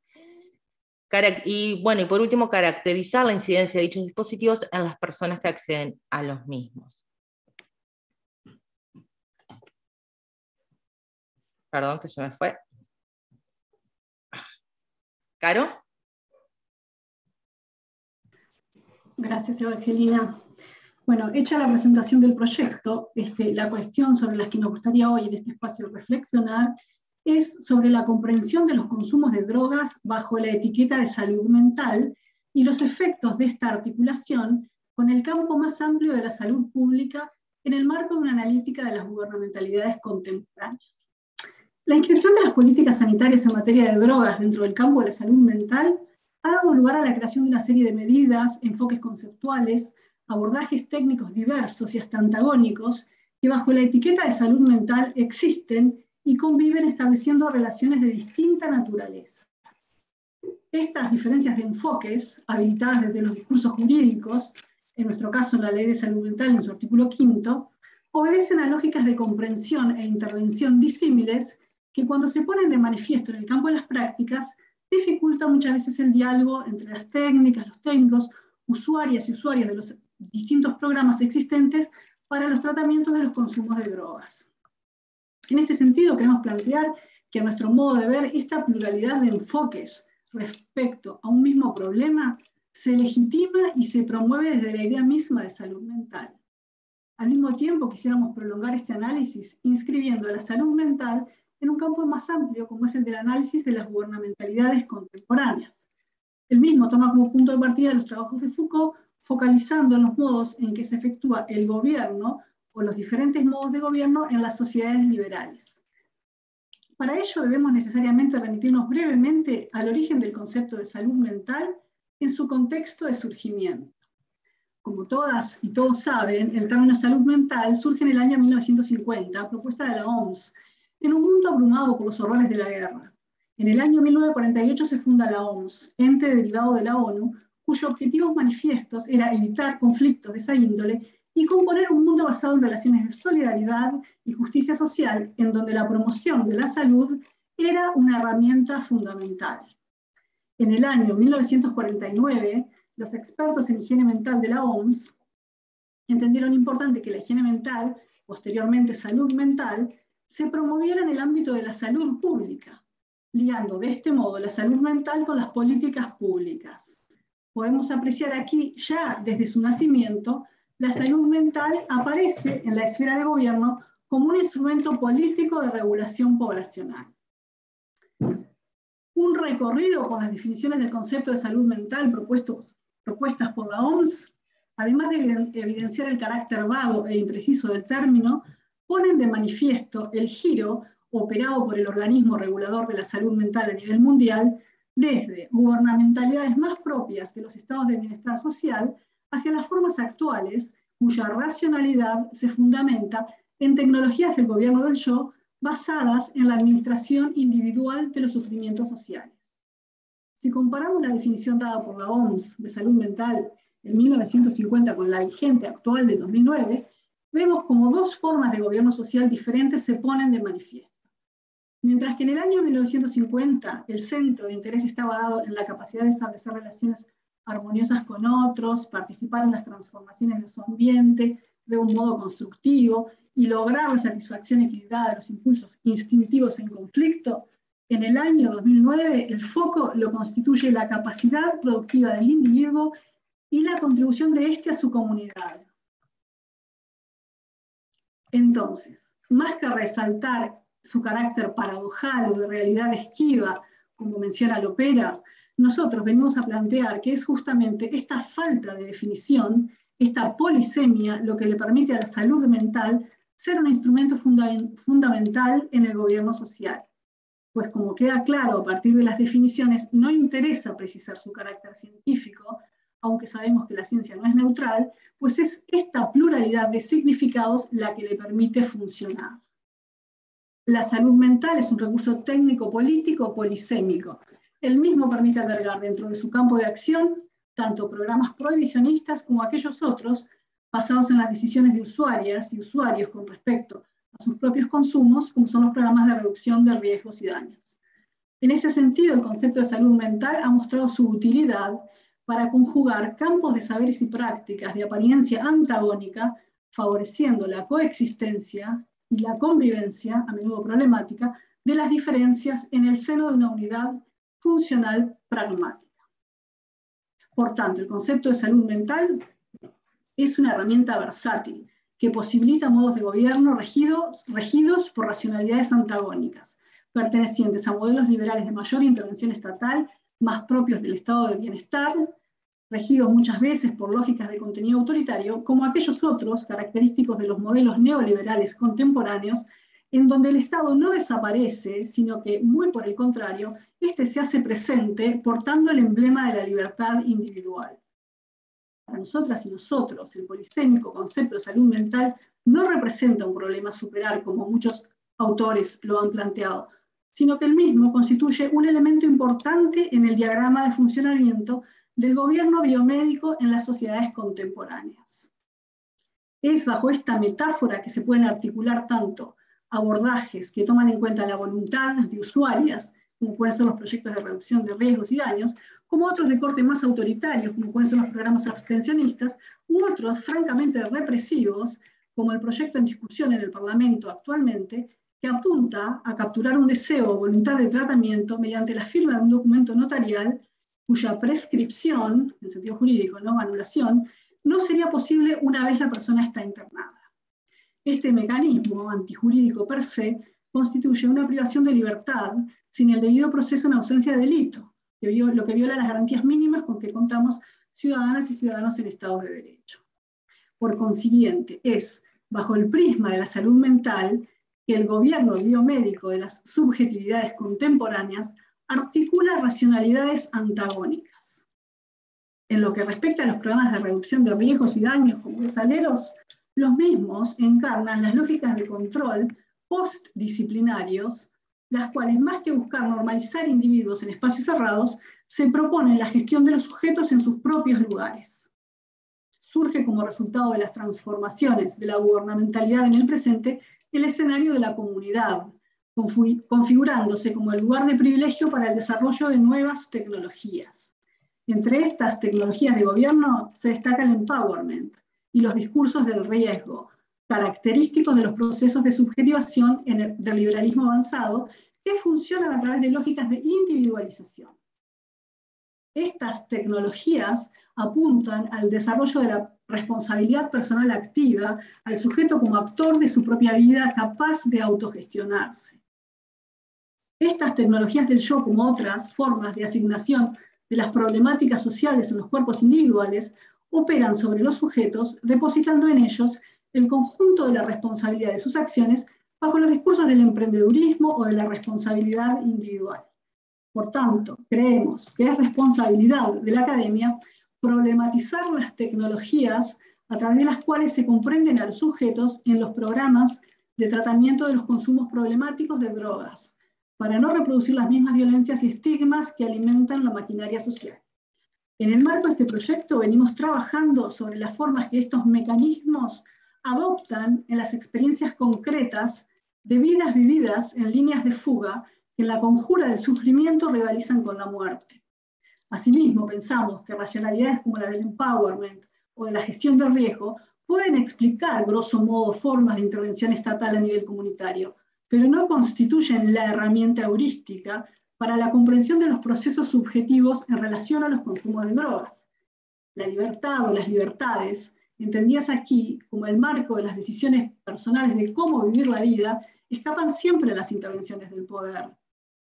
En este sentido, si el empowerment territorializa una forma de intervención y comprensión de los sujetos, las decisiones de usuarios y usuarios en cuanto a cómo y cuándo, por ejemplo, consumir o acercarnos al proyecto, ponen de manifiesto el juego permanente del poder y de la libertad, la vida y la forma de cómo debe ser una vida vivida encuentran en la ética el dominio para gerenciarse los propios acontecimientos. Hacer de la vida propia, de la vida misma, su propio telos, en el sentido que planteaba Foucault, implica la aceptación mínima, de, la aceptación de una normatividad mínima que permita hacer de la propia vida su objeto de gobierno. Perdón la interrupción, pero ya pasaron 20 minutos. Hay que ir redondeando y nos queda todavía una persona. Ya está. Estoy. 20 minutos. Bien, estamos por ahí. Muchísimas gracias eh, y dejamos por acá. Ahí tienen nuestros contactos por cualquier duda o aclaración que consideren pertinente. Bien, muchas gracias. Pensé que iba a seguir Juan. Por eso también pensaba que iban a estar un rato más. Bien, muchas gracias por la exposición. Eh, es una pena que no haya un espacio de debate y de preguntas al final, porque sería muy interesante contraponer muchas de estas cosas con las cosas que estuvimos presentando también antes, ¿no? Hay como mucho para, para pensar ahí. Entonces, Muchas gracias, voy a reiniciar el cronómetro y como expliqué hoy al principio, Gabriel cambió el título de la presentación, así que yo no voy a decir lo que tengo escrito, vamos a dejar el espacio para que Gabriel diga al final qué, título dejó. Está Gabriel, así que bueno, espero que no se te apague la computadora ahora y que puedas compartir la pantalla bien. Bien, esperemos que no, tener más problemas técnicos. Agradezco a Leticia que estuvo atenta para, para tomar la posta este, y, superar ese momento. Son Todo tuyo. Problemas que, técnicos que surgen. Eh, con respecto al nombre, bueno, el, digamos, me presento, digo, yo soy psicólogo, eh, maestrando en psicología clínica. Este, este trabajo que estoy presentando es, es un adelanto de mi proyecto de tesis. Eh, soy diplomado en género, y precisamente lo que, lo que generó el cambio en el título y en el enfoque del, proyecto es esta dimensión, esta dimensión que yo estoy incorporando, que es la dimensión de, género. ¿no? En la construcción del, campo de problemas, que originalmente eh, versaba sobre el consumo problemático de sustancias eh, en personas mayores, incorporó la dimensión de género. ¿sí? Entonces, digamos, el campo de problemas sobre el que versa mi tesis se constituye de esta manera. Consumo de sustancias psicoactivas, personas mayores y roles de género. ¿sí? Ese es un poco el detalle del, del cambio. Como decía, eh, esta presentación refleja un poco, eh, refleja parte de mi trabajo en curso, de tesis, es un trabajo en curso, eso me interesa resaltar, entonces eh, voy a hacer un poco más de énfasis en los aspectos metodológicos y de la construcción del problema, voy a incorporar al final algunos este, emergentes, digamos, del trabajo de campo. parte de la elaboración de, digo, a nivel teórico, quedó plasmado en un artículo este, que, que fue publicado, en realidad está en prensa, por, debería haber estado publicado el año pasado, es, que forma parte de un libro este, publicado por el CIEN, el Centro Interdisciplinario de Envejecimiento, eh, que trata precisamente mi artículo sobre esta, sobre esta temática como, como, como parte de la elaboración teórica. ¿sí?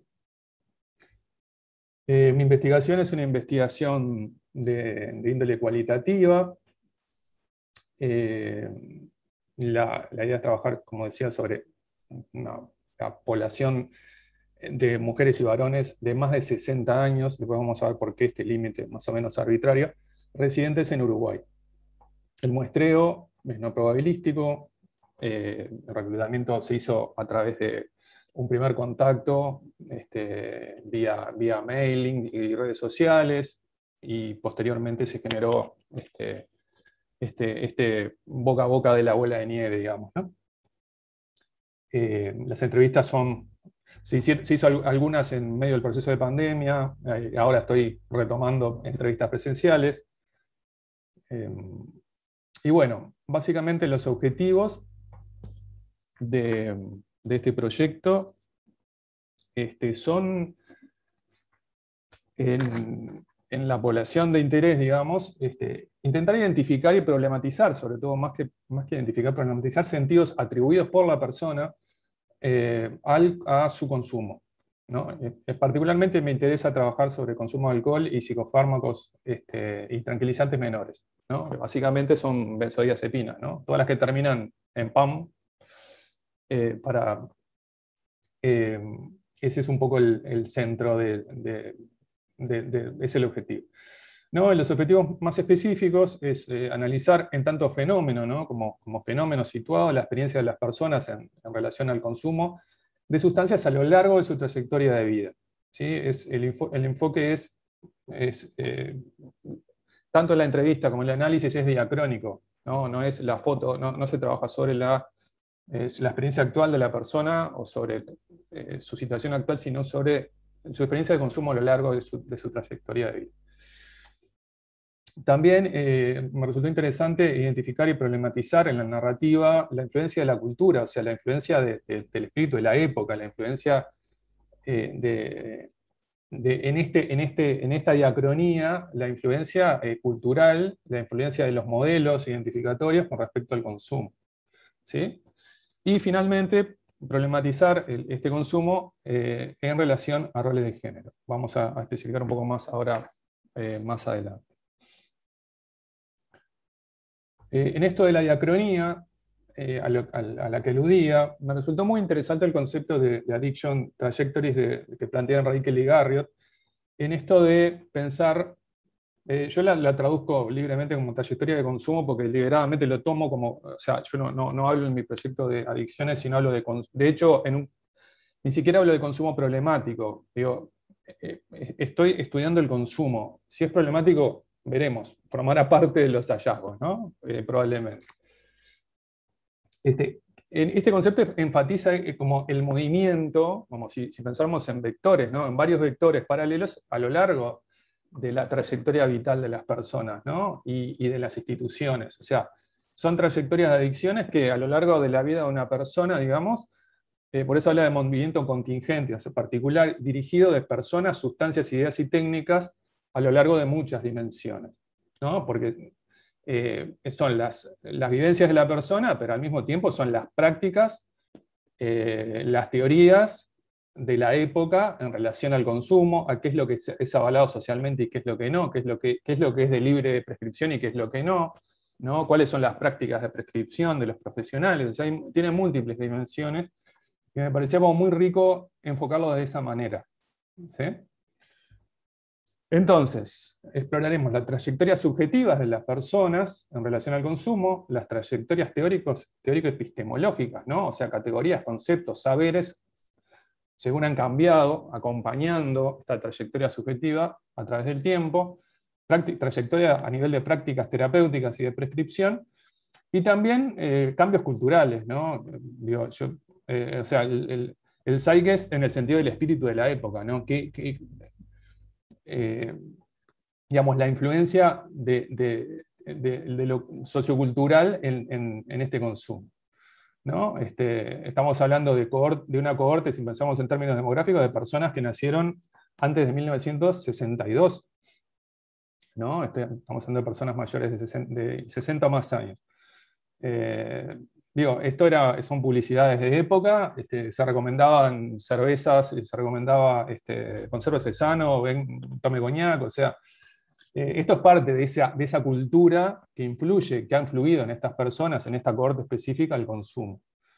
¿no? Em, a esto un poco me refiero con la influencia de, de, lo cultural, entre otras cosas. ¿no? Estas son otros, eh, otras publicidades, ¿no? niños consumiendo cerveza, hasta la quina San Clemente era un vino quinado, un vino como fortificado que se recomendaba para los niños. Tenía, este, tiene, era un vino que tiene la graduación que tiene cualquier vino este, de, 15 grados.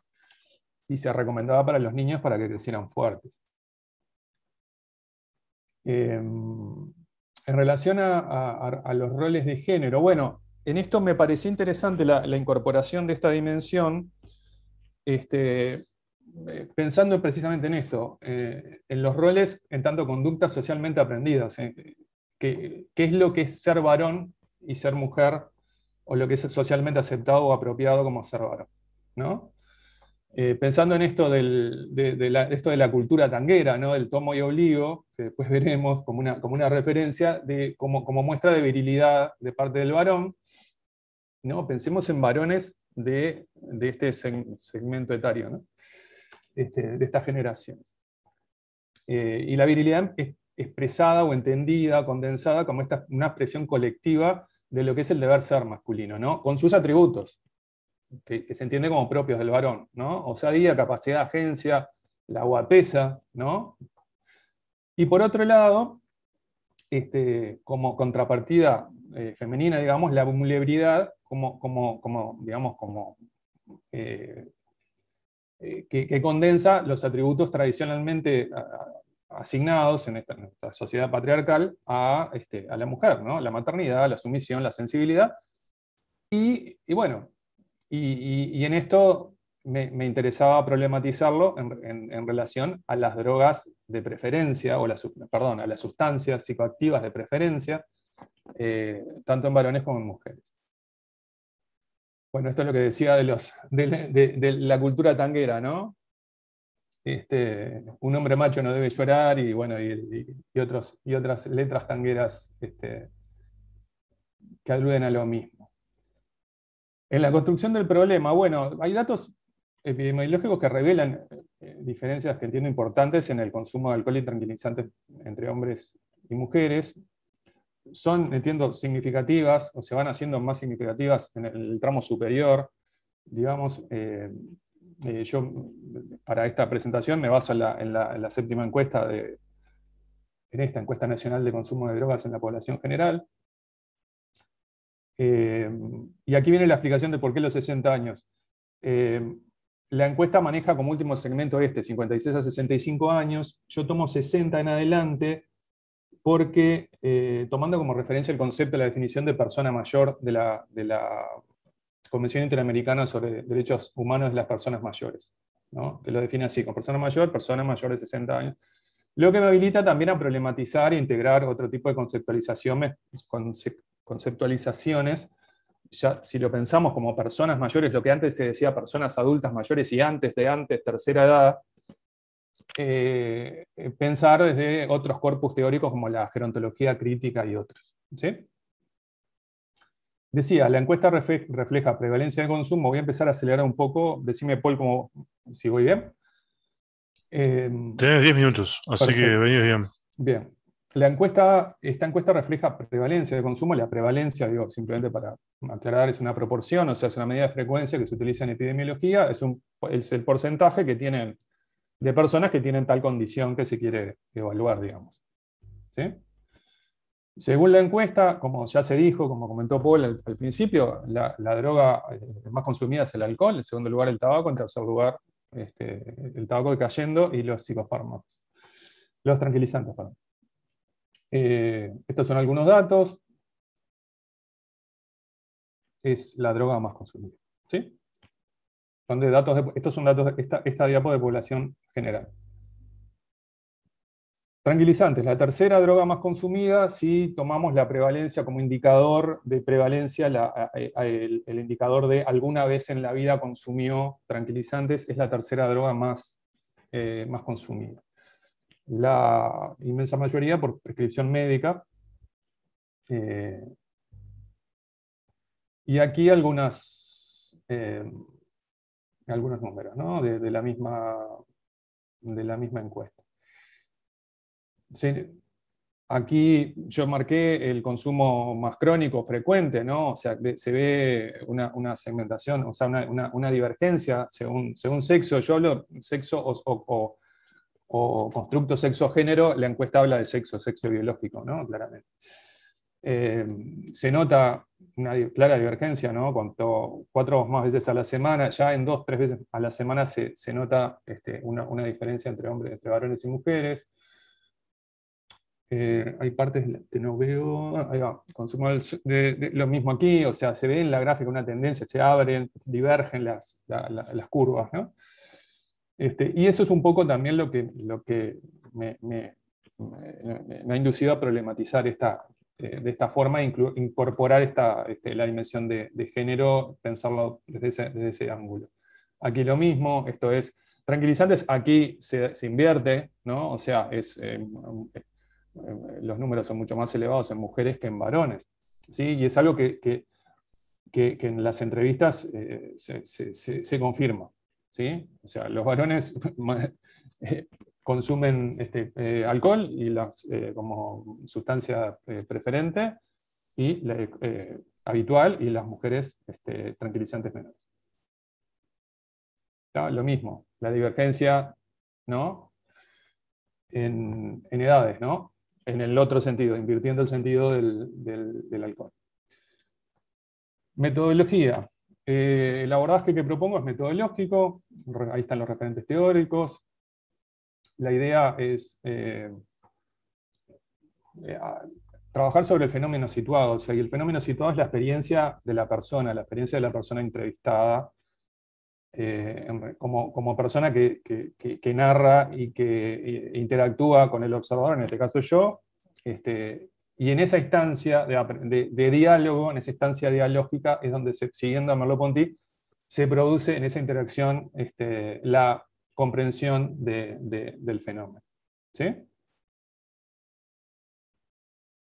La entrevista fenomenológica eh, parte de unas muy pocas, es muy poco directiva, eh, parte de unas poquitas preguntas norteadoras, parte de una pregunta principal y después se va es, es, una entrevista muy dialogada, muy, este, muy poco dirigida.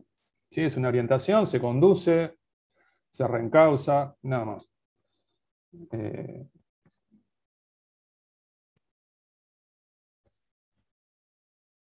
y eh, el, análisis también eh, lo estoy abordando desde esa perspectiva, desde, desde un abordaje fenomenológico con tres momentos o tres tiempos, digamos, analíticos. Una primera lectura este, recursiva sobre la narración y sobre mis notas y las notas de campo. Eh, la reducción que implica este concepto de la época de Husserl, ¿no? esto de la suspensión del juicio, ¿no? esto como abstraerse ¿no? y tratar de, en ese, en ese, eh, en ese proceso, e, manteniendo esa suspensión, identificar unidades de, significado que eventualmente puedan configurar categorías analíticas. ¿no? Y después son la etapa final de, comprensión o de síntesis de, esas unidades de significado relevadas. ¿Sí? Pregunta norte ahora, que básicamente que, este, que utilicé en las entrevistas es esta.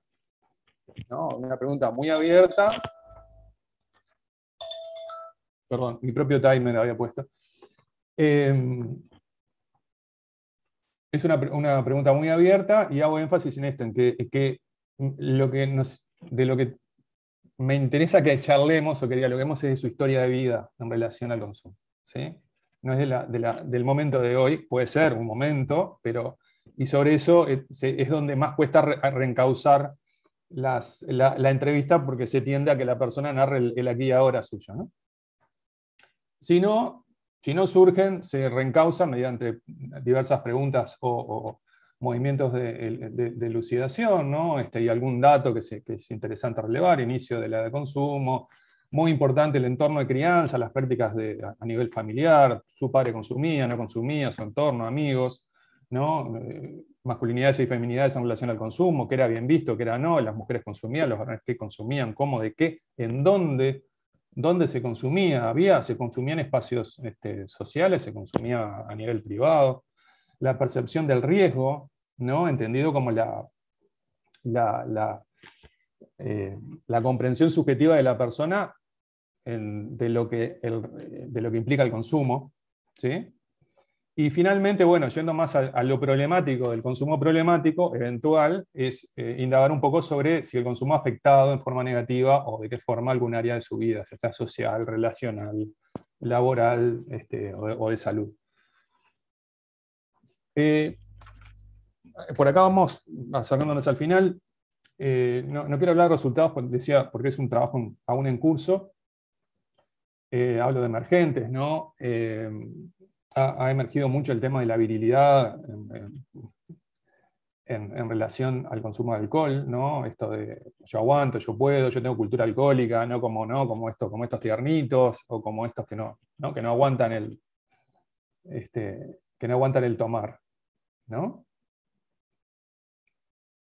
En relación a, los tranquilizantes, eh, una coincidencia casi perfecta con un título, ahí, pongo la referencia, de un, texto, de un, paper este, que dice, es el alivio de, echarle agua al fuego, no pensar y dormir. Y eso surge mucho. No quiero pensar, quiero poder dormir, porque tengo que funcionar o tengo que hacerme cargo de la... Eh, y no quiero pensar. O sea, la, pastilla como un, como decía, este, este como se, eh, un, un quitapenas, ¿no? Eh, la muleta química que me permite funcionar. En eso, pero en esto surge reiteradas veces esto de no quiero pensar, o sea, me, me angustia, no quiero pensar. Eh, también en el momento del reclutamiento este, surgió este, eh, como la aclaración, ¿no? La aclaración, mirá que yo no soy alcohólica. Mirá que yo, pero cuando te cuenta lo que consume y cómo, ahí surge este, cierta, eh, surge otra, otras realidades. Este, ya el hecho de acercarse, digamos, cuando se, plantea el proyecto ya es un, también es un insumo significativo. ¿no? El querer participar cuando se describe la población a la que, a la que se está apuntando también es significativo. Y bueno, y un poco por último esto, ¿no? surge la nostalgia del espacio de socialización masculino. Eh, eh, el bar que ya no existe, ¿no? Este, el, boliche, como lugar del, varón, donde se va a tomar, se iba a socializar. Eh, era un espacio intergeneracional, ¿no? o sea, eran los veteranos que sabían todo, que sabían de la vida, iban los botijas a aprender, a mirar, a hacerse, ¿no? a hacerse hombres.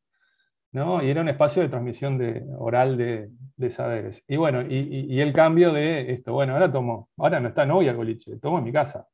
¿no? Tomo de noche, me relaja, este, que esto es muy, es, interesante,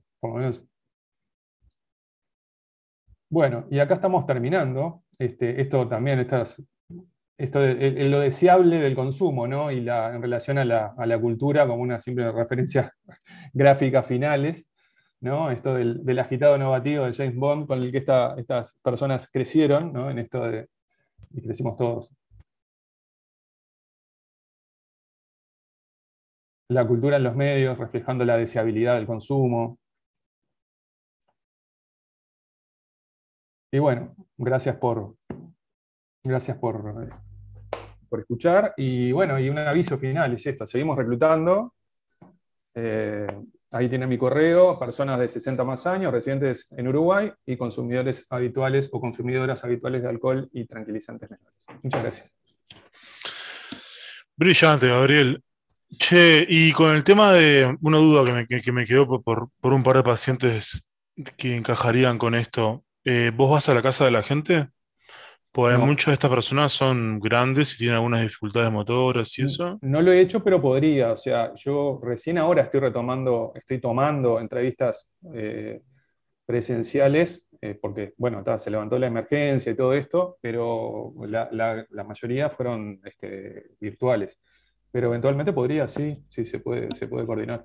Bien, me encantó, me, gustó pila. Eh, en Uruguay hay, hay, poco además de todo esto y creo que está genial encararlo y hay, pila para, para, hacer. Y las propagandas de, cuando los niños consumían antes, también es, una joyita de si quiere que su hijo crezca fuerte, dele esta cerveza. Eso es muy bueno y durante mucho tiempo se repitió sistemáticamente el tema de que la cebada tenía propiedades para el crecimiento de diferentes partes del cuerpo, los huesos, los músculos. Y las madres lactantes, las madres mm. lactantes tomen cerveza que sale más leche y todo eso. Sí, sí. Tal cual. se sigue repitiendo mucho con el tema del alcohol y los famosos taninos y todo esto, ¿no? que eso es otra gran mentira de que para, que la cantidad de tanino que tiene de alcohol te haga bien a tu sistema cardiovascular, tendrías que tomar no sé cuántos litros de alcohol. Entonces, esto, es las propiedades antirreductoras, anti, sí, antioxidantes del vino mm. tinto y todo eso. La industria. hace de las suyas. Sí, hace de las suyas. Creo que Juan iba a decir algo que abrió el micrófono. Lo hice inconscientemente. Es que esta discusión yo sé que te encanta, Juan. Dale, agrega algo y cerramos. Este, no, simplemente de que siempre que llegamos a este punto, eh, me siento como, como este, me sobreviene la pregunta, digamos, histórica acerca de si las posturas, digamos, abstencionistas radicales ¿qué efectos tienen sociopolíticos y, este, en, la, en el orbe, en todo el mundo? Porque pregunta casi ingenua. Yo estaba pensando, si suprimís la plataforma temática, experiencial y ética del alcohol y las drogas, ¿qué queda del blues, del jazz, del soul, del rock and roll, del reggae, del ska, del hip hop, de la electrónica, de la salsa, del pop, del funk, del tango, del folclore y el vino, del flamenco, por, decir solo algunos que me vienen a, la cabeza. ¿Qué queda de todo eso? ¿Qué queda de la plástica si, si suprimimos, le suprimimos al el alcohol que consumió Caravaggio o Miguel Ángel o el opio a Baudelaire, o este, los hongos Artaud, o, este, y podemos seguir agregando, Hemingway, Dickens, Poe, eh, Horacio Quiroga. Juana, este, Juana, la morfina de Juan Ibarburú. Eh, Juan Ibarburú, Julio Herrera y Reisig. Entonces, vos entras a sumar y, te queda, te queda un, este, un elenco tan menguado de astemios, en el rock los contamos, eh, o sea, este, ideólogos o defensores de, Ian Anderson de Jetro Tal, que eh, astemio confeso y militante, quedan poquitísimos ejemplos. Eh, digo, el carácter, hay dos cosas que han perturbado la historia de la humanidad el sexo y las drogas, y que han obligado a las redefiniciones periódicas de políticas de Estado, de geopolíticas, de eh, eso que introducía Carolina, que es la, eh, bueno, estrategias de gubernamentalidad, eh, formas de disciplinamiento colectivo. Entonces, a mí me parece que en cualquiera de los dos campos, cuando establecemos ideales normativos generales y los tratamos de imponer a través de eh, algún tipo de práctica eh, disciplinante de los colectivos, estamos cercenando la propia dialéctica que nos humaniza, dialéctica en el sentido de la dinámica que nos humaniza, porque nuestra vida es como decir aquel ideal este, eh, cristiano disciplinante de eliminemos el pecado del mundo. ¿Es eso posible? A mi juicio, nos deshumaniza. O sea, la posibilidad del el exceso, la posibilidad de la transgresión, la posibilidad de caminar por los bordes, la posibilidad de equivocarse, de tropezar, de experimentar, de adentrarse en lo desconocido que te posibilitan, digamos, las distintas variedades de, de, la embriaguez o de la ebriedad y que te, eh, también te, es propiciado por el universo de los excesos. Sin excesos no existiría el mundo, no existirían descubridores, eh, no existirían este, inventores, no existirían artistas, no existirían filósofos. O sea, el riesgo, el riesgo eh, forma parte de la condición humana lo dice alguien, porque esto se resulta paradojal, resulta paradojal, porque a mí históricamente eh, se me asocia con alguien, no sé, digo, encomiástico de, de, los excesos. Todo lo contrario, lo dice alguien que siempre ha caminado principalmente por, por un camino de, bastante este, de, bastante autocontrol, no me, no me gusta ese, tanto ese universo de excesos, pero lo respeto y lo valoro. Lo respeto y lo valoro me parece que, forma, eh, que es algo consustancial de la existencia humana. Y suerte que existe, aunque eh, debamos responsablemente también dar elementos de juicio desde la ciencia o desde nuestro lugar como psicólogos. Lo dejo planteado como, como interrogante. Me encantaron, me, encantó el entusiasmo de todas las presentaciones. Me encantó mucho esto de, Gabriel, de, lo último, me parece una investigación muy interesante. Nada más. Muchas gracias, Juan. Les contamos a las personas que estén escuchando de esto, de que organizamos un curso de evaluación permanente con la línea de sustancias, que la mayoría de las personas que presentaron van a participar y que muchos de estos temas, inclusive todo lo que propuso Juan recién, va a estar arriba de la mesa y ahí vamos a tener mucho más tiempo. No va a haber un reloj seguramente corriéndonos para poder pensar y discutir muchas de estas cosas. Así que muchas gracias a todos por haber estado. Camparo, yo no sé si estás acá en la vuelta para hacerte el, este, el pasaje de, de la dirección de los próximos espacios. Vamos a cerrar ahora y volvemos a las 3. Bien, entonces, muchas gracias a todos por haber participado y estamos en contacto. Que anden muy bien. Bueno, buenas tardes a todos. Estamos en eh, la mesa de las investigaciones de la línea de intervenciones clínicas. Eh, es un placer para mí estar acá como coordinadora de la línea y este, de esta mesa. Eh, esta línea tiene trayectoria dentro del SICP, fue una de las tres que se creó y este, mm, eh, fue de alguna manera fundamentada en la consideración que en nuestro país se han incorporado eh, los servicios de salud, de acuerdo con el Plan Nacional de Prestaciones en Salud Mental en el Sistema Nacional de Salud, las intervenciones clínicas, en especial la psicoterapia.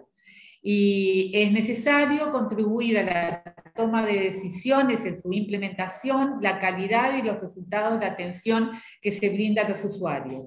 Asimismo, en una línea en que ya existían investigadores en, en el CICPE y en la facultad, que abordan esta línea de investigación, lo que constituye una fortaleza para el centro.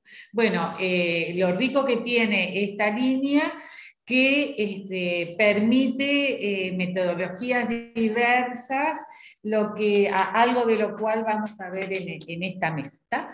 Entonces, yo este, termino aquí y bueno, le estaría dando la palabra a Alejandra y a, y a Humanas, pero no sé si ya están.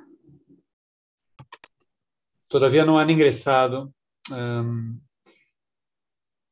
Diría de pasar para Gonzalo, si les parece. Bueno, cómo no. Entonces pasamos, hacemos un, pequeño... A, ver, de Denise nos dio lugar... Bueno, dice que no pueden entrar. No estamos como panelistas.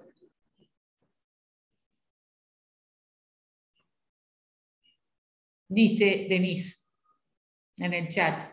Este, ¿Le doy lugar a, Gonzalo o la seguimos esperando? No puede entrar las estoy subiendo, las, estoy subiendo el panel. ¿Cómo? Las estoy subiendo como panelistas. Ah, entonces, Gonzalo, disculpa las idas y venidas. Ahí va.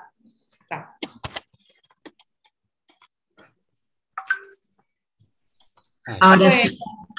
Bienvenida, Alejandra. Hice la introducción a la, línea, este, no podían estar entrando, pero este, estamos como muy ajustados con el tiempo y les pido en lo posible que reduzcan a 15 minutos sus presentaciones porque si no, no llegamos y tenemos hora de finalización.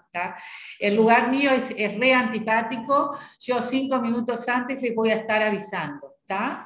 Este, disculpen. Hola Denise, bienvenidas.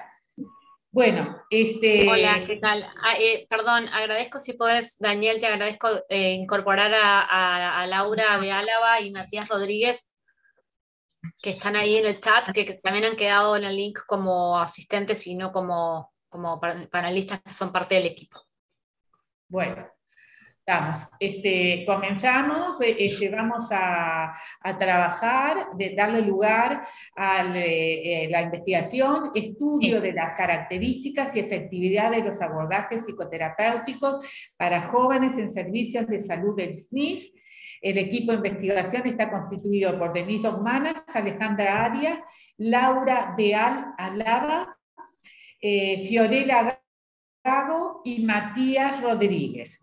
Eh, exponen Denise y Alejandra. Bueno, todo ese, empecemos y traten de, llegar a 15 minutos, por favor. Ya sé que hubo problemas técnicos.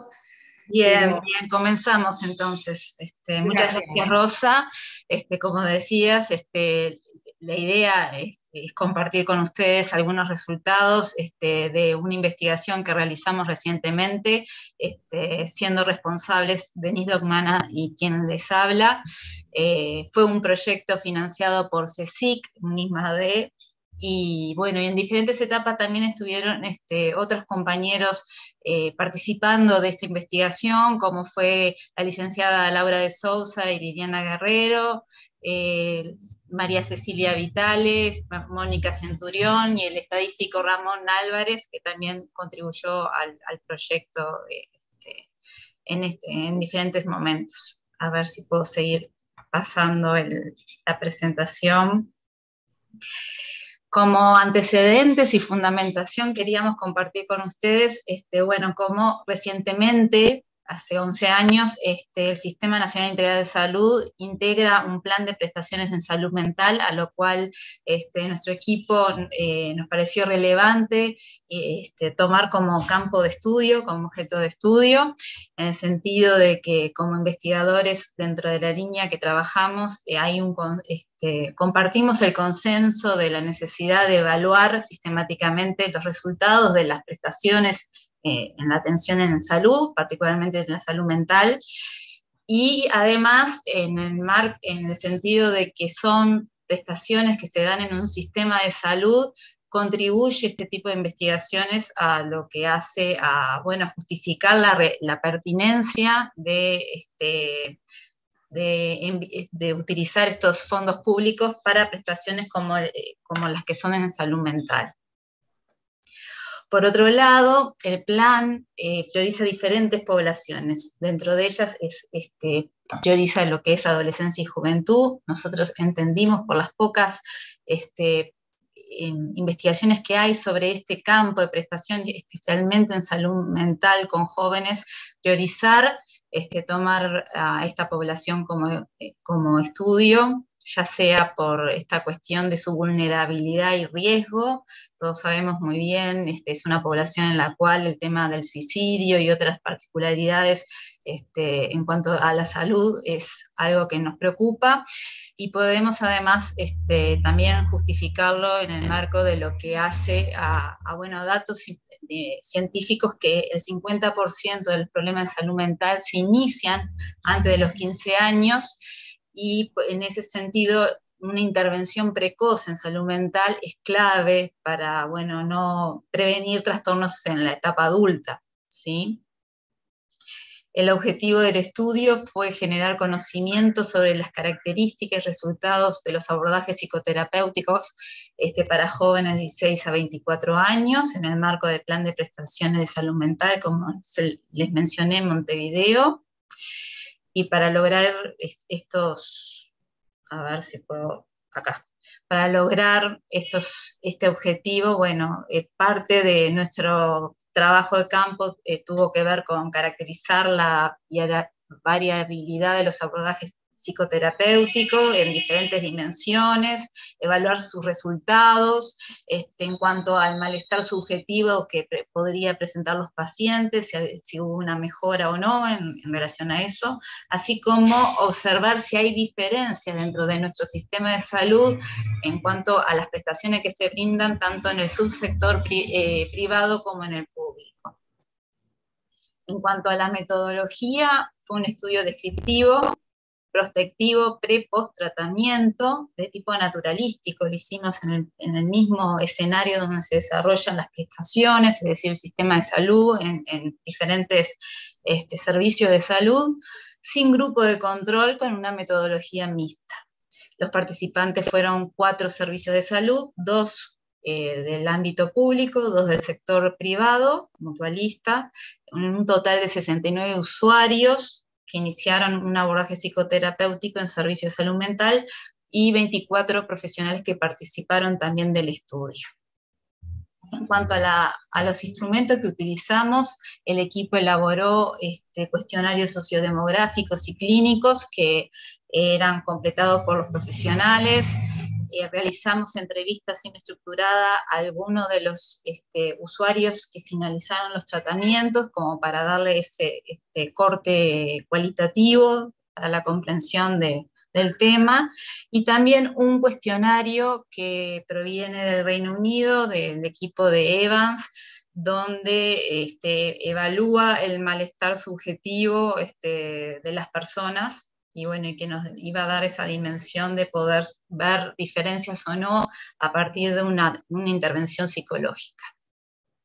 Este instrumento, que tiene 34 ítems en total, este, tiene, aborda cuatro dimensiones que queríamos compartir con ustedes. Este, una que tiene que ver con el bienestar subjetivo de la persona, eh, hay 12 ítems que abordan lo que hace a los problemas y síntomas de, las personas, como podrían ser ansiedad, depresión, traumas, síntomas físicos, el funcionamiento general de la persona, vinculado a las relaciones íntimas y sociales, como también aspectos del funcionamiento cotidiano del sujeto, así como también una dimensión vinculada al riesgo, ya sea este, indicadores clínicos que nos pueda dar elementos sobre intentos de autoeliminación, autolesiones o actos de agresión a terceros, ¿no? Bien, ¿está Laura? Para estoy, acá. Laurita. Buenas tardes. Bueno, iba a compartir algunos resultados del estudio, comenzando por las características de los usuarios. En realidad en esta tabla podemos ver em, que hubo un total de 69 usuarios participantes, de los cuales 21 fueron del subsector público y 48 fueron del subsector privado del SNIS. El promedio de edad fue de 19,2, em, con no mucha diferencia entre el sector público y el privado, y esto es una característica que vimos en general, no vimos muchas diferencias en la caracterización. La mayoría fueron mujeres, con un 71%, y la mayoría, el 84%, reportaron que su departamento de origen es Montevideo. A su vez, la mayoría también eh, reportó tener antecedentes de atención psicológica previa al tratamiento.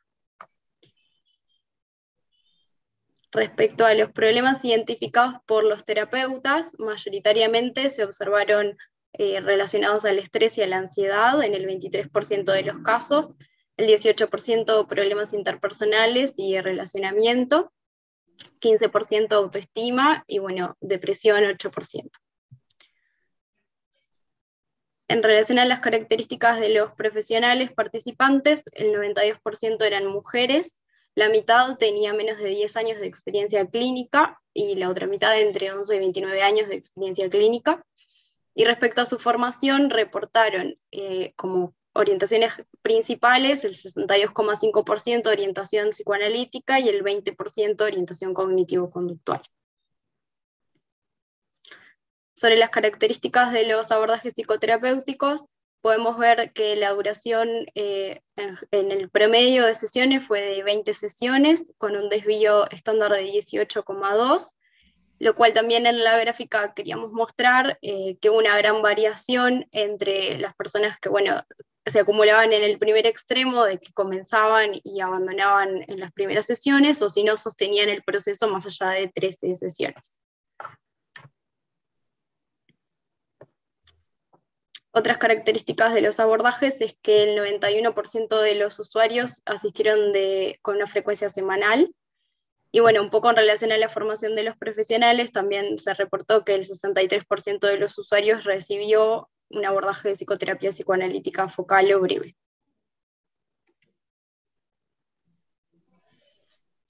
Bueno, un dato interesante que vimos, que en este caso fue reportado también por los terapeutas, es que el 50,8% de los usuarios abandonó el tratamiento, eh, seguido por un 15% que finalizó eh, por alta o acuerdo y el 12,7% que finalizó cuando finalizó su cobertura de sesiones.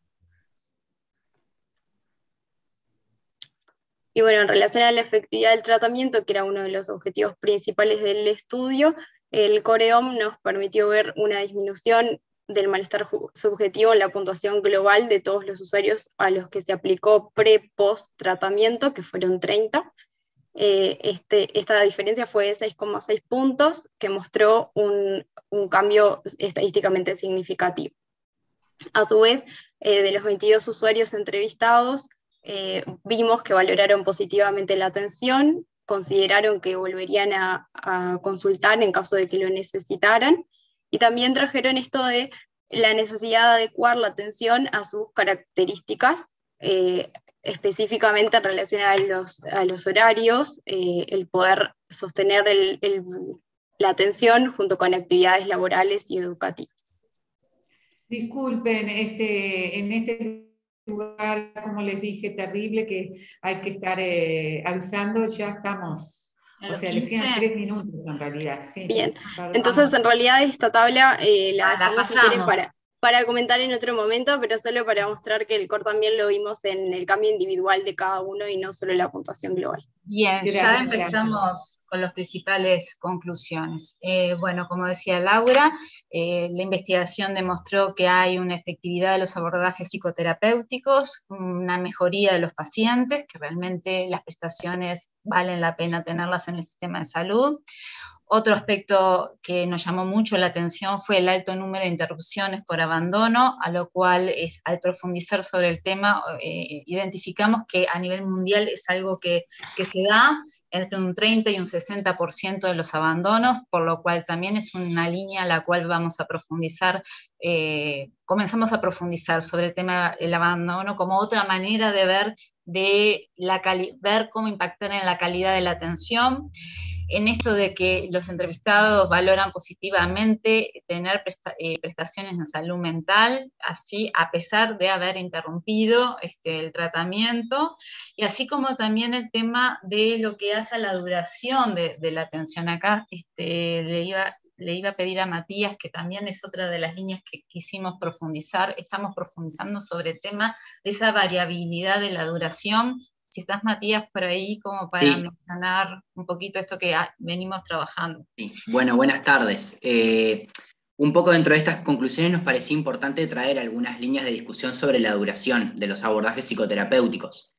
En primer lugar, nos parece importante resaltar de que como prestación enmarcada en el plan, eh, saber cuánto duran o deberían durar las terapias se relaciona con una decisión clínica y económica.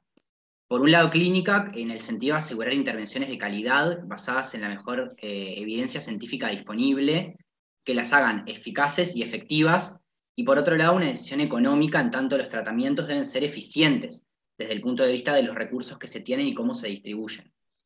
Si bien en las últimas décadas se ha visto un avance en la literatura respecto a este campo para justificar un número efectivo y eficiente de sesiones, Degres sostiene que no se arrojan certezas a nivel regional y mundial sobre cuál es la duración óptima y necesaria para que un tratamiento psicoterapéutico sea efectivo.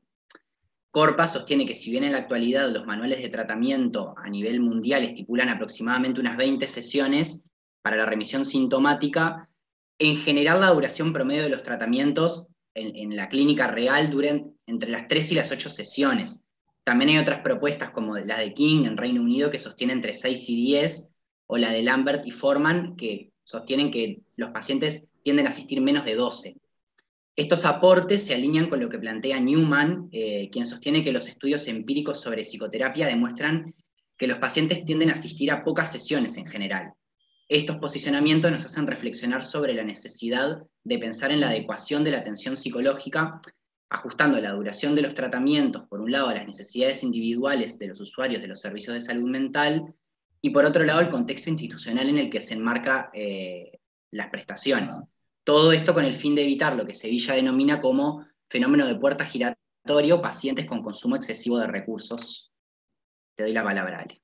Bien, bueno, para finalizar, entendemos que es un gran desafío a nivel de política pública este, la salud mental, ¿no? Como política pública, es necesario, sobre todo por los problemas de salud mental que tiene nuestra población joven en nuestro país, poner la salud mental en, el centro de las políticas públicas, ubicar eh, también a los adolescentes y jóvenes en, e, en, las mismas, en el diseño de estas políticas eh, apuntar hacia, hacia una atención más de desarrollo integral como sujeto de derechos y además que la salud mental eh, se, se, pueda visualizar en acciones este, en los propios espacios donde habitan los jóvenes, es decir, en lo que hace al sistema educativo como en otros espacios donde desarrollan su vida cotidiana.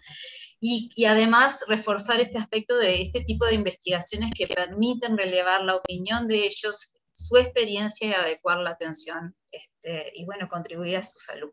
Para terminar, y bueno, muchas gracias. Acá compartir un poco la biografía y bueno, y cómo nosotros este, nos denominamos como grupo psicoinvestiga que nos pueden ubicar de esta manera también. Gracias. Bueno, muchas gracias a todo el grupo. Laura, discúlpame que no, no te presenté como expositora y a Matías tampoco porque no sabía que, iban a estar. Pero sorpresas. Muchas gracias a, todos, Denis también, a todos. Y bueno, pasamos a la próxima investigación. No por eh, la organización de las jornadas, no se van a hacer preguntas, no, no, privilegiaron las exposiciones, pero sí se va a abrir una, una, página web que nos lo van a enviar el CICP a la brevedad, donde se pueden hacer preguntas y está la posibilidad de responderlas. ¿Está? Bueno, ese es el, funcionamiento. Bueno, seguimos entonces eh, con el título es Las experiencias de atención psicológica de las personas LGBTIQ en, más en Montevideo. Y el equipo está constituido por Gonzalo Gelpi, Natalia Silveira, Silveira, perdón, Fabiana Sachet, Eduardo Silva, Gabriela, Gabriela Guillén, Juliano Pauli, Noelia Melo, Diego Montes de Oca y Lucas Caraballo. Eh, eh, eh, ¿vas, a poner a alguien más que Gonzalo? Gonzalo, ¿no me escuchás? en representación del equipo, o sea que aquí en el sincrónico estaría solo yo en este momento. Perfecto, entonces presenta a Gonzalo Gel, porque también pidieron que se nombre a los expositores. Bueno, todo tuyo, 20 minutos a lo sumo, por favor. Bien, muchas gracias por la invitación. Buenas tardes a todos y a todas, a todos. Eh, básicamente los objetivos de la presentación son los siguientes. Por un lado, presentar los resultados de este proyecto que acaba de comentar Rosa, también poder analizar el tipo de abordaje, la calidad de atención en salud mental que se brinda a la comunidad LGBT+, tanto en el subsector público, privado, como en el ámbito particular.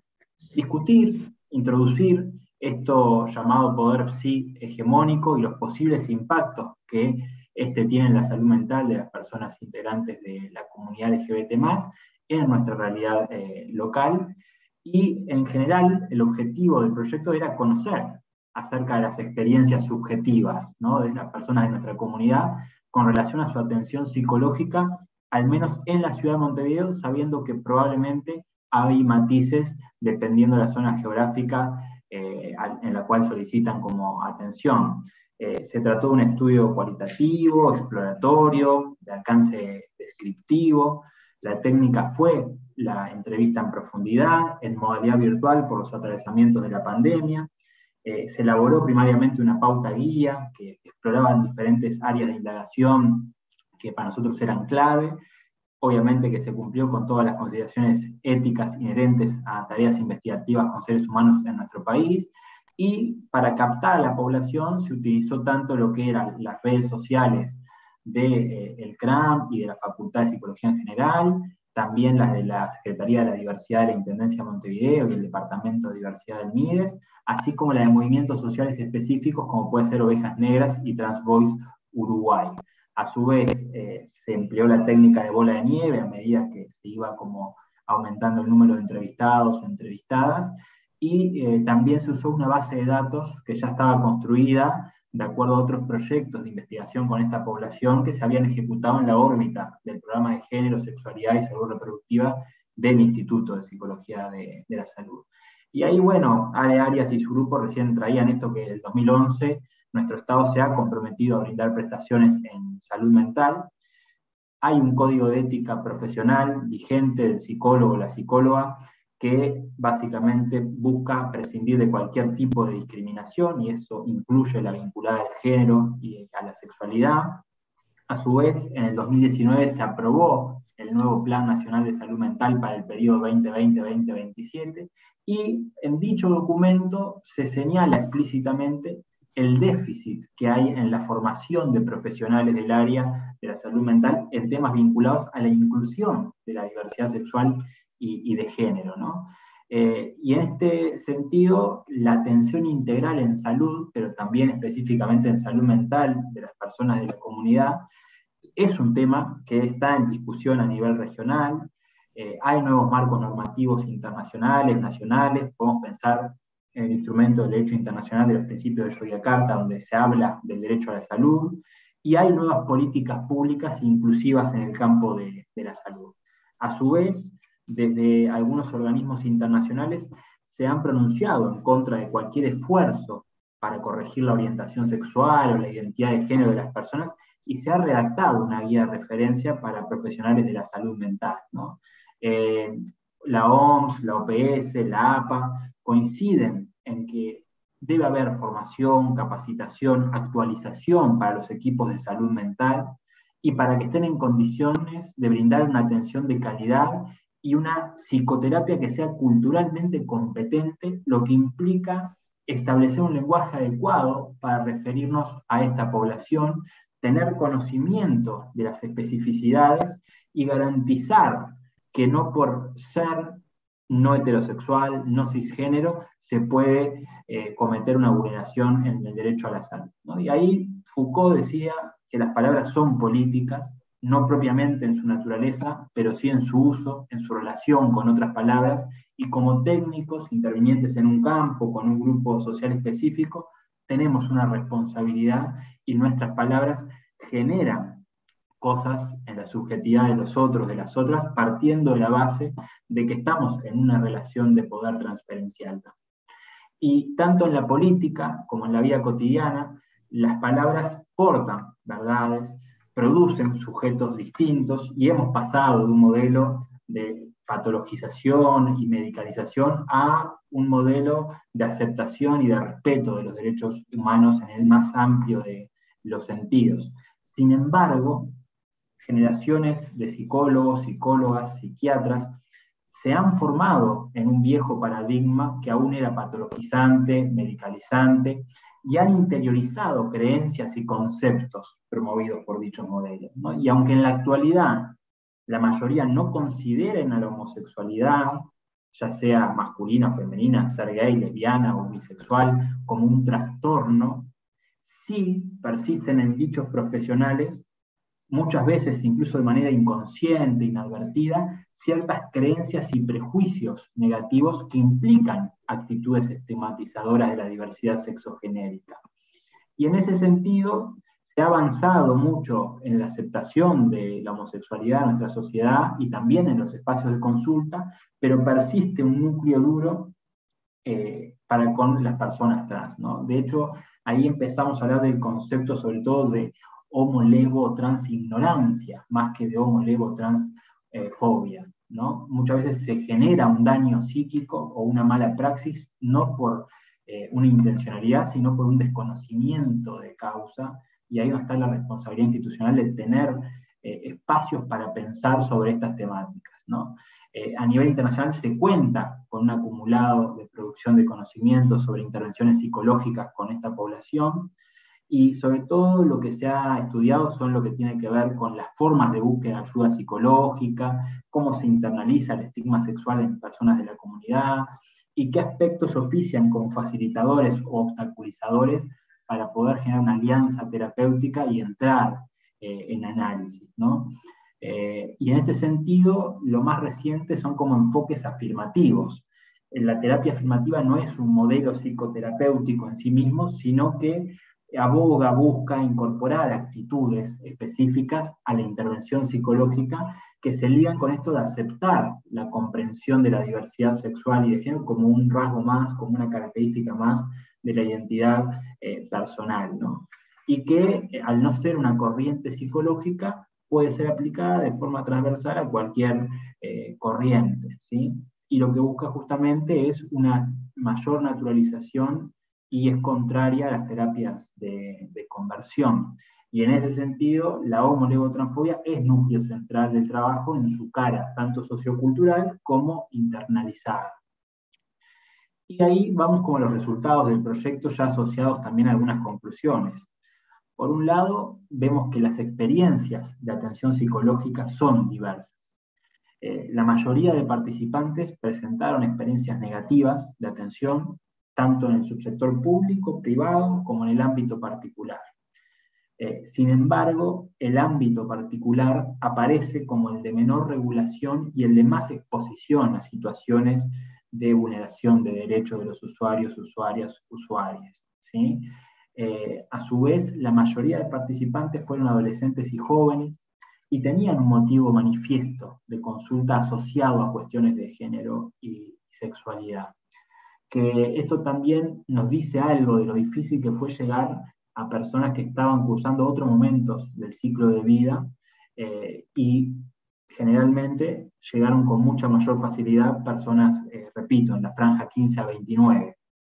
A su vez, pudimos concluir que las mayores vulneraciones las sufren habitualmente las personas trans y eh, también aparece el tema de la accesibilidad a las prestaciones, sobre todo en lo que es el subsector público y privado, en el mutualismo, y las comodidades, ¿no? según el subsector, donde hay una valoración más positiva, pese a que hay más situaciones de vulneración de lo que es el ámbito particular, por sobre el subsector público-privado donde se dice, bueno, no logro diferenciar en esto que es un escritorio la diferencia entre una consulta médica y una consulta psicológica. ¿no?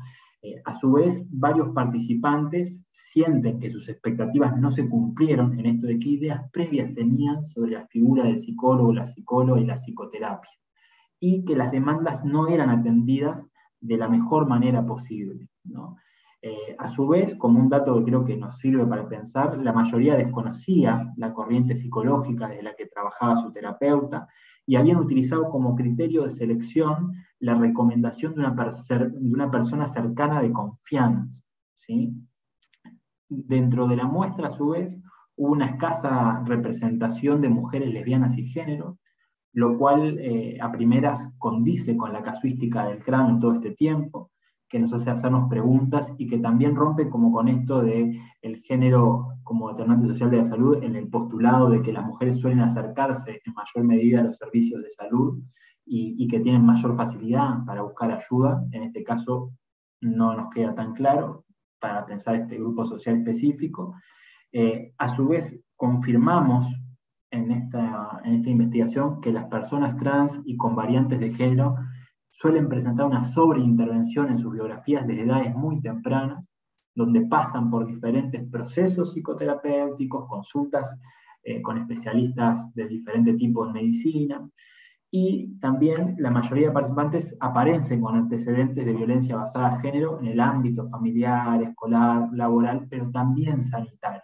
Y no siempre es el técnico o la técnica, sino que a veces también es el personal administrativo que ha fomentado, sobre todo en su sector público y privado, prácticas y discursos eh, discriminadores, excluyentes. Entonces, ya acercándome a la conclusión, la mayoría de participantes sufrió microagresiones en los espacios de consulta, eh, sobre todo han percibido falta de formación específica en la temática, esto del usuario, la usuaria teniendo que explicar al profesional algunas cuestiones, ¿no? y también esto de la reproducción de la heterosis normatividad en el espacio de consulta. Sin embargo, afortunadamente, pareciera que en Montevideo lo que son llamadas terapias de conversión son prácticas aisladas, poco frecuentes, es decir, que los profesionales, las profesionales suelen intervenir desde la evidencia y no de sus creencias eh, personales o, religiosas. Eh, la mayoría de estas malas praxis que fueron informadas parecían estar sustentadas en, en lo que es homo, lesbo, transignorancia, como había mencionado, y eh, a su vez las infancias y adolescencias disidentes están más expuestas eh, a, determinadas fallas éticas, como por ejemplo el uso de la información que se vuelca en consulta y la convocatoria a padres, madres, para informar justamente una orientación sexual no heteroconforme o una identidad no cis. Eh, Gonzalo, mis disculpas, pero estamos, vas a tener que ir cerrando. Bien, Cierro entonces con estas últimas dos. Eh, en primer caso, como para que también podamos hablar de lo positivo, en los casos donde se informó que la atención había sido positiva en todos estos sectores, se destacaba la postura empática del profesional, poder sentir la confianza de no ocultar información sensible, preguntar por pareja sin asignar una orientación sexual de forma previa, consultar por el uso del nombre social y del pronombre, abordar con naturalidad estos asuntos entre otros puntos. Y eh, entonces, para finalizar, como un avance, a partir de este trabajo y del convenio entre la facultad y el MIDES, en el 2022 se ha decidido, en acuerdo con ACE, capacitar a 120 psicólogos y psicólogas de todo el país que se desempeñan en distintos servicios y espacios del subsector público en atención amigable a personas de la comunidad y claramente se espera que esta iniciativa coopere a mejorar la accesibilidad pero también la calidad de atención brindada en este subsector. Así que muchas gracias por la atención y pueden seguir a CRAM también en las redes sociales como CRAM.u. Gracias, eh, gente. Muchas gracias, Gonzalo. Disculpa la, premura. Este, vamos a seguir. Lo que no veo, eh, de acuerdo al orden del programa, porque estas dos tuvimos que modificar por, por cuestiones laborales, eh, seguiría eh, la investigación de personalidad y patología de Hugo Selma, Susana Martínez, Mario Luzardo María Benedetti, pero no los veo. No sé si será eh, que pasará lo mismo que lo que pasó con, con Alejandra Arias y, y Denise Dogmanas y los demás compañeros que, quedaron, que no quedaron en el espacio de presentación. Si no es así, seguiríamos con la de Gabriela Echeverry, pero no sé. Rosa, eh, están, por favor, Rosa, acaba de escribir Hugo que están, pero están en la parte como de observadores apenas. Bueno, lo mismo que con eh, Denise y Alex. Ahí, ahí, subía a Hugo a, los panelistas. Y faltaría, no sé si eh, expone Hugo solo porque no me avisaron. Hola. Hola Hugo. Hola, ¿cómo andan? Estaba ahí, este, no me veían, pero... No, este, Hugo, ¿vas a ser tú solo el expositor? Sí, sí, sí, seré solo yo. Ya dije el título de tu trabajo, así que cuando quieras podés comenzar. Bien, puedo compartir pantalla, me imagino. Eh, a, ver, por favor, de técnica. Sí, ahí está, ¿no? Ahí se ve. Sí, perfecto. Bueno, está. Voy a tratar de ir este, bien con el tiempo, que veo que los, compañeros han cumplido. Entre aquí estamos perfectos, o sea que entre bueno, perfecto. bueno, lo este, sumo nomás. Perfecto. Bueno, muchas gracias antes que nada a todos por, la invitación y bueno, por la, por la atención. Este, voy a tratar de ser lo más eh, conciso posible. En este caso vamos a exponer algunos de los resultados de un proyecto de investigación que ya cerró hace algunos años. Estamos ahora en etapa de publicación de resultados. El trabajo de campo ya se cerró hace al menos cuatro o cinco años. Este, el equipo está integrado bueno, por Hugo Selva, quien les habla, y también bueno, Mario Luzardo y Susana Martínez de la Facultad de Psicología también, de la DOLAR. Y bueno, básicamente vamos a hacer un repaso de los, algunos aspectos centrales del proyecto, viendo una introducción, los objetivos del proyecto, cuál fue la metodología que se usó, y los, eh, algunos de los resultados y conclusiones a los que se puede llegar. Este, primero vamos a hacer la introducción, obviamente, hablando de, dos de los temas que este, pretende abordar este, este, proyecto. Uno es el estudio de la personalidad. Eh, es una rama dentro de la psicología bastante amplia, con un desarrollo que inició prácticamente con el mismo inicio de la psicología como una disciplina científica con eh, multitud de teorías, y bueno, este, Alpor, un autor adelantado a su tiempo, lo definía ya en los años 30 como una organización dinámica dentro del individuo de sistemas psicofísicos que determinan una adaptación específica al entorno a través de un comportamiento y pensamiento característicos. Básicamente se habla de una forma de actuar o de reaccionar o de interactuar con el ambiente que tiende a ser estable y se hace una diferencia con otros constructos, por ejemplo, con eh, lo que tiene que ver con eh, trastornos mentales o psicopatología, que son formas de actuar, de sentir y de pensar que tienden a ser más inestables en el tiempo, por ejemplo, la depresión, que suele tener un curso más bien inestable. Cuando hablamos de personalidad, hablamos de características estables, por ejemplo, ser extrovertido, introvertido, entre otras. ¿ah? Por otra parte, tenemos la psicopatología, que se la define, según algunos autores, como el conjunto de manifestaciones psíquicas alteradas, con todo lo amplio que puede ser eso. ¿ah? Este, obviamente es un constructo que está en estrecha relación con el concepto de trastorno mental, ¿ah? donde vemos allí la definición de la APA, y habla de un síndrome caracterizado por una alteración significativa del estado cognitivo, de la regulación emocional o del comportamiento del individuo que refleja una disfunción en procesos psicológicos, biológicos o del desarrollo en relación a su función mental. O sea que hablamos de alteraciones a tres niveles. A nivel de, de cognición, es decir, de cómo la persona piensa, a nivel de cómo la persona se siente y a nivel de cómo la persona actúa o se comporta. ¿ah? Bajo esa definición, obviamente, hay este, montones de categorías diagnósticas. En el DCM, por ejemplo, hay más de 200, este, en las cuales la persona puede este, o no encajar. ¿ah?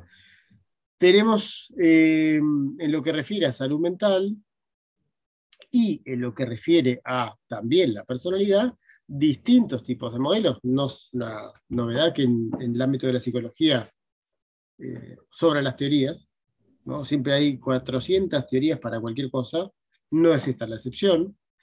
Y algunas de estas teorías se pueden agrupar según algunas características en dos grandes grupos, que son las teorías de tipo categorial y las teorías de tipo dimensional.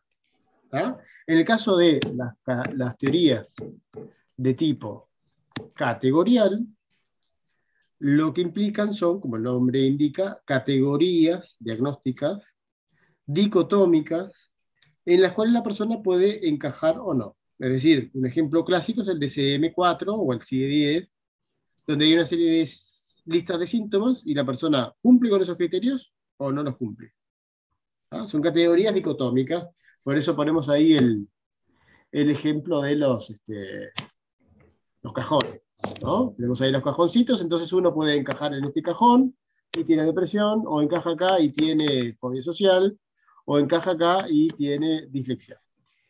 ¿Ah? O sea, las categorías diagnósticas son cada una diferente de la otra y son dicotómicas todas ellas. ¿Sí o no la tenés? ¿Ah?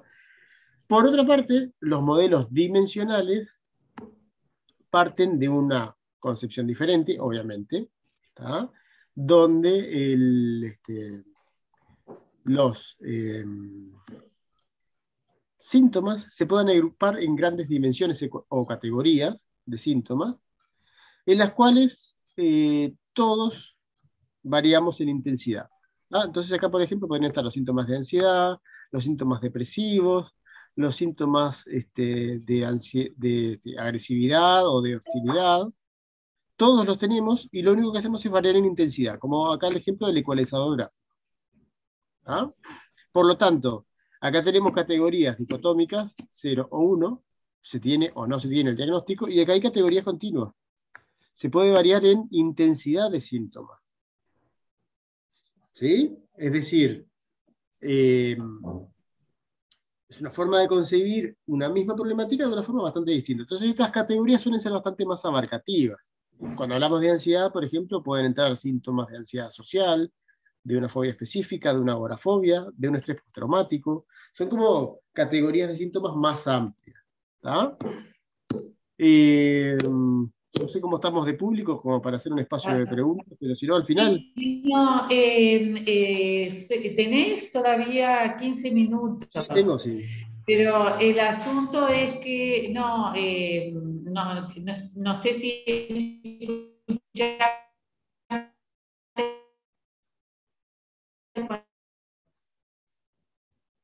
cuando yo empecé, de acuerdo a la organización de esta y tener la posibilidad de una respuesta este, por escrito. Así que lo del intercambio, este, en principio no estaría. Ah, bueno, eh, yo no te escuché nada porque se cortó, pero llegué a la parte que no hay intercambio, así que bueno, que me, cualquier cosa pregunta por el chat, si no. Bueno, se quedó congelada Rosa, así que este, sigo de largo entonces. Entonces estábamos con, como decíamos, los modelos categoriales o dimensionales que tienen que ver con un, porqué, ¿no? Es decir, todo tiene un porqué, obviamente. Y en este caso el porqué tiene que ver con ciertas limitaciones o carencias que tienen los modelos categoriales. Los modelos categoriales, por otra parte, son los predominantes en salud mental. El ejemplo del DCM es uno, pero tenemos el CIE-10, el manual de Henry Gay, por ejemplo, para los que estudiaron el numerar. Eh, la mayoría de modelos, incluso psicodinámicos, implican categorías, estructura neurótica, estructura border, estructura perversa o este, eh, psicótica, eh, eh, y uno no tiene un poquito de una y un poquito de otra, sino que en general son también este, categorías dicotómicas, o se tiene una o se tiene la otra. ¿ah? Entonces, en este caso, estos modelos categoriales tienen varias dificultades. Una es que los perfiles de los trastornos son muy diferentes entre sí. Es decir, cuando tenés un listado de síntomas, por ejemplo, 10, de los cuales la persona tiene que tener al menos seis, eso te da un montón de combinaciones diferentes de síntomas. Y eso quiere decir que tenés un montón de personas que según vos tienen lo mismo y en realidad les pasan cosas muy diferentes. lo cual hace que, por ejemplo, puedan no responder al mismo tratamiento, que puedan no tener las mismas, este, eh, los mismos factores de riesgo, los mismos marcadores genéticos asociados o los mismos indicadores psicosociales, etc. Otro problema es el de la alta comorbilidad. Es decir, la mayoría de personas no tienen un solo trastorno, sino que suelen tener varios. O sea que hay una alta comorbilidad. ¿ah?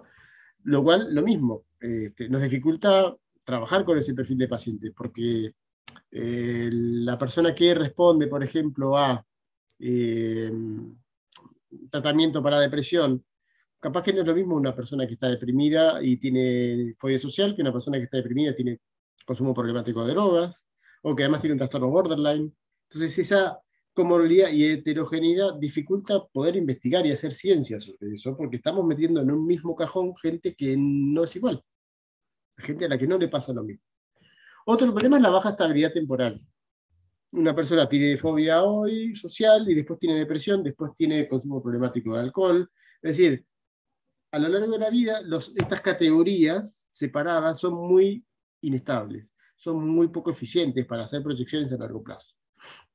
Y eso genera también esto que decíamos, ¿no? una gran heterogeneidad de etiologías, de perfiles, de evolución, etc. Este, y por otro lado hay, bueno, esto, la arbitrariedad de los puntos de corte. Es decir, muchas veces tenemos síntomas, por ejemplo en depresión, ¿no? Tenemos intensidad de síntomas de 0 a 100, sin algo, y nadie tiene cero. Todos tenemos, yo qué sé, a veces estamos un poco tristes, o un poco, pocas ganas de ir a trabajar, o nos duele un poco la cabeza, eh, y hay un punto de corte, un punto a partir del cual decimos, está, pero esto es depresión, y esto de acá abajo no es depresión. Bueno, ese punto de corte es en parte arbitrario, y es algo que, por ejemplo, estuvo discutiéndose mucho con el DSM-5, que se decía que bajó los puntos de corte de muchos trastornos y por lo tanto ahora todos íbamos a necesitar medicación psiquiátrica. Al menos es lo que me acuerdo que se decía en medios este, al principio. ¿ah? Entonces, para todo eso y este, mucho más, los modelos dimensionales son mucho más eficientes y no tienen estos problemas. ¿ah? Para los demás, Mastercard. Pero como decíamos, de los modelos dimensionales también tienen sus problemas. Y uno de ellos es que no hay un acuerdo de cuáles son los, eh, estos dominios, estas dimensiones. Entonces hay varios tipos de modelos. este, estos son algunos de los modelos más conocidos. Este propone cinco dimensiones, este cinco, este tres. Hay otro, que, el que usamos en nuestro estudio, que propone nueve tipos de síntomas.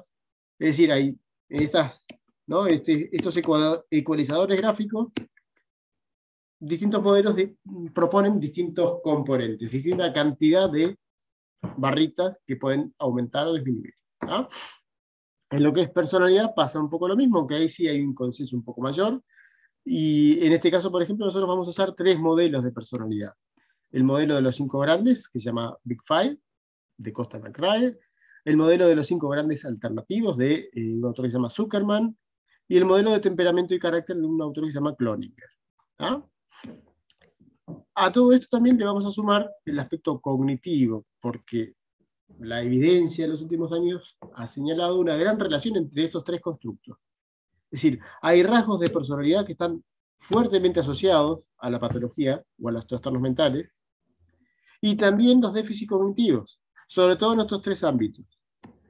Atención, memoria y funciones ejecutivas. Los que se dediquen a la clínica se habrán dado cuenta que en general este, muchos pacientes les pasa que son, les cuesta organizarse, tienen problemas de autorregulación y de autocontrol, este, tienen problemas en organizar su día a día, cómo ir a estudiar, cómo trabajar, tienen problemas para concentrarse. Es decir, que eh, eso es algo que también se ve en la clínica. ¿no? Los, los déficits cognitivos están esto amplísimamente demostrados y documentados en, en lo que es este, infinidad de trastornos mentales, desde depresión hasta esquizofrenia.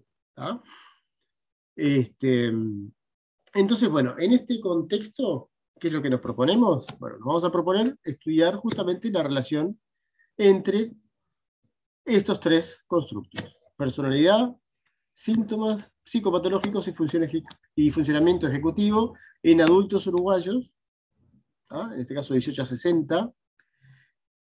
Y los objetivos específicos, estudiar esa relación, como decíamos, entre los tres constructos y a su vez ver si forman grupos. Esto del análisis factorial es algo que quizás la mayoría no, no conozca, pero bueno, es un procedimiento metodológico matemático que básicamente lo que busca es patrones, ¿no? Este, variables que se mueven juntas, que se suelen asociar, que cuando se presenta una se presenta la otra. Por ejemplo, la personalidad ansiosa, ¿no? Hay un perfil de personalidad que tiende a ser más ansioso. Bueno, eso se asocia frecuentemente con mayor presencia de síntomas de depresión, de ansiedad, con una menor este, sociabilidad y con otras características. Entonces, vamos a ver si detrás de todas estas variables que vamos a estudiar hay algún patrón que emerja de menos dimensiones, que puedan explicar toda esa diversidad. Entonces, seguimos para adelante. Ahí tenemos una breve descripción de la muestra que tenía tres grupos. Esto es un poco entreverado, pero quizás trataré de simplificarlo. Hay una muestra grande, representativa nacional. Acá tienen en estos este, redondelitos eh, la cantidad de personas que salieron sorteadas para cada localidad. En verde están las zonas rurales y en amarillo las zonas este, urbanas. Este, por ejemplo, en Salto fueron 48 personas y en este, Paysandú 80 y así sucesivamente. Esto obviamente fue por sorteo. Obtuvimos una muestra de 1961 personas en todo el país. Este, ahí está la representación de hombres-mujeres. Y luego sobre esa muestra total, a dos muestras más pequeñas, además le aplicamos otros instrumentos. Es decir, a todos estos les, aplicamos las escalas de personalidad y de psicopatología. Eh, perdón, perdón, ¿me escuchás? Este, sí. perdón, no, no sé qué pasó, pero se, estoy en sala de decanato, la salita, Sí, vi que te, y, no sé, me quedé como sin, sin conexión. Eh, no, quería decir que ahora sí, eh, te agradezco que vayas terminando. Dale, perfecto. Sí, voy controlando, que me quedan cinco minutos, por eso estoy acelerando. No es que esté pasado de cafeína, es que estoy tratando de llegar. Entonces decíamos, de esa muestra total, a 180, además le aplicamos un cuestionario de funciones ejecutivas, que se llama DEX, y de esos 180, a 80 le aplicamos además otro de función ejecutiva que se llama FAB. O sea que de la misma muestra, a algunos grupos también le aplicamos otros instrumentos. Instrumentos en este caso de funciones ejecutivas. Dentro de esa muestra también representativa nacional. Estos son los, los test que aplicamos. Como verán, son para cada dominio varios instrumentos y a su vez en este, cada uno de estos instrumentos se evalúa varias este, variables. Estos son todos los constructos o las dimensiones de personalidad que se evalúan, por ejemplo, a través de los tres eh, instrumentos. Hay algunos puntos en común, por ejemplo, todos tienen algún, este, alguna variable que se llama este, neuroticismo, en este caso se llama habitación del daño, pero es básicamente lo mismo. Es decir, hay algunas coincidencias y luego tienen rasgos diferentes. Estas son las variables de psicopatología y evaluamos estos dos de función este, ejecutiva. Y bueno, vamos a los resultados porque si no, ahí sí que no llegamos. Muy, muy rápido. Entonces, en este caso, lo que primero que analizamos son las relaciones, las correlaciones entre las variables. Acá tenemos arriba todos los grupos de síntomas, depresión, hostilidad, sensibilidad interpersonal, síntomas somáticos de ansiedad, psicóticos, obsesivos, fóbicos, paranoides y el total de síntomas. Y acá tenemos los dos que evalúan funciones ejecutivas y todo el resto son dimensiones de personalidad. Entonces, en negrita están marcados todas aquellas que tienen correlaciones significativas, y como ven son la mayoría. No obstante, surgen algunos patrones, y yo subrayé en rojo aquellas que tienen eh, correlaciones particularmente altas, mayores al 0,5, donde tenemos, por ejemplo, el cuestionario de ese ejecutivo, que correlaciona muy fuertemente con la mayoría de síntomas, lo cual es un indicador importante. ¿no? En este caso es un test que evalúa funciones ejecutivas, pero de una forma mucho más ecológica. Es decir, no con pruebas estandarizadas, sino que, por ejemplo, le pregunta a la persona si tiene problemas para concentrarse, si le cuesta seguir las conversaciones a veces en, su vida cotidiana, si es desorganizado, etc. Y luego tenemos algunos eh, rasgos de personalidad que también destacan por su relación con los síntomas, como es neuroticismo, y cómo es la autodirección, que tiene que ver con la capacidad de autocontrol, la autorregulación, y, este, y es un este, constructo que está ampliamente documentado su relación con, las, con la salud mental. Eh, tenemos también, a ver, me quedan creo que dos minutos. Exactamente, por favor. Tenemos acá además eh, la correlación de los, eh, las variables de personalidad que están aquí con los dos, de nuevo, las dos variables este, de funciones ejecutivas. Y surge lo mismo, es decir, la misma constructos que se relacionaban con los síntomas también se relacionan con la función ejecutiva entre sí. Neuroticismo, acá evaluado por dos test distintos, Neuroticismo ansiedad es el constructo, o sea que tiene mucho que ver la personalidad este, neurótica o ansiosa. Y luego la autodirección. O sea que hay un patrón donde el disfuncionamiento ejecutivo se muestra consistentemente relacionado con una mayor ansiedad, una mayor inestabilidad emocional y a su vez menores estrategias de autorregulación. Ah, hasta acá, nada nuevo, por supuesto, pero bueno, respaldado en datos. Y luego lo último, y ahí sí llego, me queda un minuto para explicar esto, así que ¿Cómo hago? No, elegí, elegí nada más, elegí el, el, análisis factorial. El análisis factorial en este caso lo que se hace es, como les decía, con todas las variables que tenemos acá, ¿no? Están agrupadas por eh, tipo de constructo, síntomas, función ejecutiva y todos estos de cada uno de un test de personalidad. Se ve cuáles se correlacionan y entonces se formaron seis grandes grupos, que esto me parece que es lo interesante, ¿no? Hablamos hoy de que no hay consenso de cuántas son las dimensiones psicopatológicas, ni cuántas son las de personalidad, y bueno, en este caso tuvimos seis dimensiones. Una, que nosotros le pusimos un nombre de forma artística, porque en realidad el programa lo que te da son números, dimensión 1, 2, 3 y 4, que le llamamos factor P, que agrupa casi todos los síntomas psicopatológicos con neuroticismo y autodirección de nuevo. Un segundo que agrupa la mayor parte de variables de ansiedad, en negrita puse las, este, correlaciones más altas. O sea que hay que fijarse acá cuáles están en negrita. Acá hay varios síntomas, depresión, ansiedad, fobia, etc. Síntomas obsesivos, de nuevo, con ansiedad, con dificultades en la autorregulación y con neuroticismo. Y luego otras variables que no están tan correlacionadas con los síntomas, como son el nivel de actividad, la sociabilidad, la agresividad, la impulsividad y la autotranscendencia, que tiene que ver con la dimensión espiritual. Y si me dejas un minuto más. Lo que, en las conclusiones. Lo que pasa, yo te dejo, pero es, este como después se va trazando, además se le quita espacio al, al, que viene, ese es el problema, nada Bueno, está. Entonces, conclusiones, 10 segundos. encontramos correlaciones entre los síntomas, cosas que era esperable, ¿no? Entre los síntomas entre sí, con eh, los rasgos de personalidad y las funciones ejecutivas, encontramos un factor P, es decir, los síntomas psicopatológicos se agrupan todos juntos, esto es general. Este, la gente que está deprimida en general consume más drogas y en general también tiene más síntomas este, psicóticos, etc. Encontramos correlaciones que, eran raras o que no están los antecedentes, como la autotrascendencia, es decir, la espiritualidad o religiosidad con mayor presencia de síntomas. Y luego, bueno, básicamente todas las dimensiones correlacionan entre sí, y sobre todo las funciones ejecutivas con algunos rasgos de personalidad específicos y los síntomas. ¿ah? Este, que me parece que es un poco la conclusión de esta relación, como decíamos, de los tres constructos, eh, las disfunciones ejecutivas, los rasgos de personalidad, algunos, y los síntomas que confluyen entre sí. Eso es todo, eh, disculpas por, por la demora, y bueno, ahí la bibliografía, por si la quieren este, ver, y bueno, espero después las consultas que haya por, por el chat. Muchas gracias. Bueno, muchas gracias, Hugo. Este, antes de continuar con eh, Gabriela Echeverri, eh, les eh, aviso que se compartió por, desde el CICP, compartieron por el chat un link con un formulario para, para todos ustedes para que puedan hacer preguntas y luego se van a publicar las respuestas en la página del CICP. Además, se, lo, se va a enviar el link también por mail junto con los certificados. Bueno, eh, a continuación tenemos a este, Gabriela Echeverri, como dije, eh, con el título de, la investigación El problema de la producción de lo común en la grupalidad.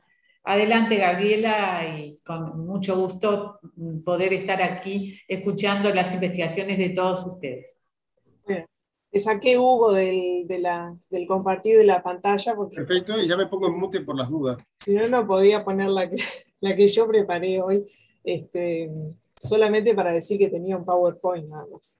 Este, bueno, eh, la verdad que estoy encantada de estar acá. Este, gracias a, todos quienes están ahí en la escucha de, esta, presentación. Este, esta, esta, presentación, digamos, tiene como marco un trabajo de investigación que realicé este, en mi tránsito por el doctorado en la Facultad de Psicología, este, que estuvo en realidad alimentado por algunas preguntas que yo me he hecho en mi lugar docente de la facultad, en especial en el campo de la psicología social, este, y también como psicóloga, que, he trabajado también durante todo el ejercicio profesional, digamos, como psicóloga en el campo de la clínica y en la intervención grupal institucional. Este, esta investigación este, se, engendró un poco a partir de mi, de mi, preocupación por el problema de lo común, o más bien por lo común como problema, este, que entiendo que es un problema que atañe a la actualidad y que trama y compone este, instituciones, grupos, personas. Este, a partir de esta preocupación, este, yo me hice algunas preguntas, este, por ejemplo, eh, cómo se produce lo común eh, en las grupalidades, cuáles son las dimensiones que componen lo común y cuáles son las vinculaciones entre la producción de lo común y la producción de subjetividad actual. La idea primaria fue la de sostener una, una investigación, digamos, un modo de pensar problemático, por ahí viene a cuento lo del título, este, el, título, como ven, es el problema de la producción de lo común en la grupalidad. Acá este, lo problemático no, no, refiere a lo conflictivo, sino refiere a un modo que tiene que ver con este, que el encuentro entre quien piensa y lo pensado produce este, los problemas, produce las preguntas, este, y las respuestas no agotan las preguntas ni agotan la problematización, al contrario, este, permiten la producción de nuevas preguntas para poder seguir pensando. Entonces este proyecto este, proponía abordar una problematización de lo común, este, observando grupos terapéuticos para poder percibir que de esas grupalidades estaban en consonancia con, esta producción de lo común. Este interés consideraba una paradoja fundamental que es la de vivir en un mundo cuyas formaciones subjetivas, digamos, dominantes o, o hegemónicas animan la construcción de individuos y de masas, mientras que, por ejemplo, en el Sistema Nacional Integrado de Salud, y en especial en los abordajes este, destinados a la atención de la salud mental, eh, había proliferación de propuestas eh, terapéuticas grupales. A mí aparte me interesaba mucho el territorio de la salud pública porque me parecía que tenía bastante relación con mi, pertinencia, mi pertenencia, la lo de la pertinencia es un lapsus, pero vale, este, con mi mi pertenencia a la UDELAR en el sentido del compromiso, que para mí significa este, el estudio de los problemas que, tienen que ver con las poblaciones menos favorecidas, socialmente desfavorecidas. Este, por eso ahí lo de la salud pública. Y luego se me presenta naturalmente, y esto va entrecomillado, este, la posibilidad de introducirme en el método cartográfico para, como posición para la investigación. Este naturalmente tiene, eh, las comillas de naturalmente, digamos, tienen que ver con una convicción que yo tengo de que no se trata de algo natural en realidad, sino que es producto de acontecimientos, de historias, de derivas, de posiciones éticas, políticas, etcétera, etcétera. Entonces, en realidad no hay nada natural en la elección de la cartografía, sino que este, para mí tuvo que ver sobre todo con generar eh, las condiciones para instalar un modo de trabajar en, lo que denomina un plano de inmanencia, es decir, que es un trabajo que eh, se produce y mientras se produce, produce.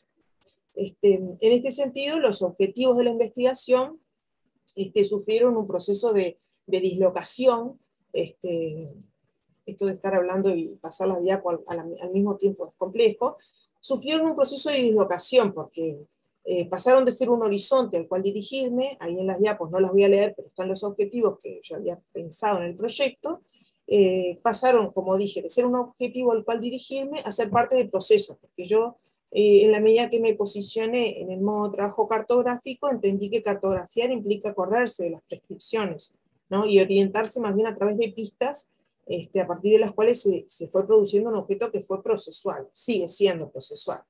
Entonces la pregunta este, que, que, empezó a hacer ruido fue, bueno, transitar lo común, descubrir lo común, producir lo común mientras se transita.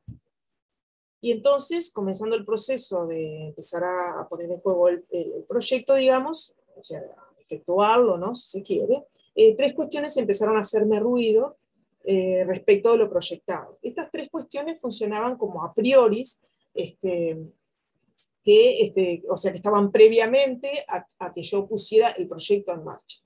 ¿Cuáles eran estas tres cuestiones? Bueno, por un lado, la sustracción de la idea de multiplicidad de los objetivos de la investigación. Cuando yo estudié este, teóricamente las cuestiones sobre lo común, como para empaparme un poco de la noción y ver de qué venía, este, me encontré con que siempre lo común hacía referencia a lo heterogéneo y por lo tanto a la multiplicidad. Sin embargo, en los objetivos yo no pude poner eso. Eh, la otra cuestión que me siguió haciendo ruido este, fue el a priori de que la observación este, eh, era sobre los grupos. Y es curioso porque yo misma he estado afiliada a la idea que proponen algunos autores este, que, son críticos con respecto a la idea del grupo empírico, ¿no? Eh, por ejemplo, Juan Carlos de Brasi, por ejemplo, Silvia Castro, por ejemplo, Ana María Fernández, este, ellos dicen el grupo no existe, ¿no? En realidad no existe el grupo, no existe el individuo, no existe la sociedad, sino que son nociones producidas por procesos históricos y sociales, y estrictamente no refieren a ninguna esencia o ninguna realidad particular. Este a priori ficcionaba grupalidades, el a priori que yo tenía ficcionaba grupalidades, pero no consideraba el hecho de que per se los conjuntos restringidos de personas no necesariamente crean grupalidades. Entonces había una trampa ahí que yo misma había producido cuando hice el proyecto. ¿no? Esa, esa trampa es la que plantea que hay grupalidades, que existen grupalidades en grupos preformados. Y por último, el tercer ruido fue eh, el ruido que yo entiendo que es como una encerrona, ¿no? Este, la idea de lo terapéutico, que yo la planteé sin rodeos, como si fuera algo a lo que acceder sin problematización, no estaba interrogada esa idea y también partía de una naturalización de la noción. Cuestión que, bueno, yo estoy haciendo este relato de esta manera porque eh, como este eh, esta investigación, eh, yo puedo, digamos, decir que todavía está en curso, porque yo me encuentro en este momento escribiendo mi tesis, estoy en el final de la escritura de mi tesis, ya estoy terminando, digamos, pero este, hasta que no ponga el punto final y no la entregue, no puedo decir esta investigación está terminada. Por lo tanto, hay muchas provisoriedades dentro de lo que este, voy, a, voy a relatar ahora. Eh, uno de los primeros movimientos fue este, ir, hacia un portero, es decir, una posición que me permita el acceso a lo que yo entendía que iba a ser el campo. Recuerden, el campo en principio era observar grupos terapéuticos. Ahí se me concedió el permiso para investigar eh, en el territorio de la salud pública, pero este, diagramó también el, el, inicio del proceso porque me situó en un campo mucho más restringido del que yo pensaba. Yo recibí ahí la propuesta de realizar el trabajo en la órbita exclusivamente del portal amarillo, con el argumento de que no se conocían o no estaban tan relevadas las experiencias de grupos terapéuticos de ACE, cosa que para mí era un poco paradojal porque yo sí sabía de la existencia de grupos terapéuticos en ACE. Pero bueno, como yo recibí ese permiso, me fui para ahí y empecé a trabajar con eh, otros porteros que me habilitaron eh, entradas, me facilitaron este, acceso a algunos lugares y además me permitieron otras líneas de trabajo este, que a su vez me obligaron a revisar de manera imperiosa mi implicación, ¿no? es decir, los efectos de mis pertenencias ideológicas, libidinales, institucionales, sobre todo para que no se produjeran anestesias o invisibilización. ¿no?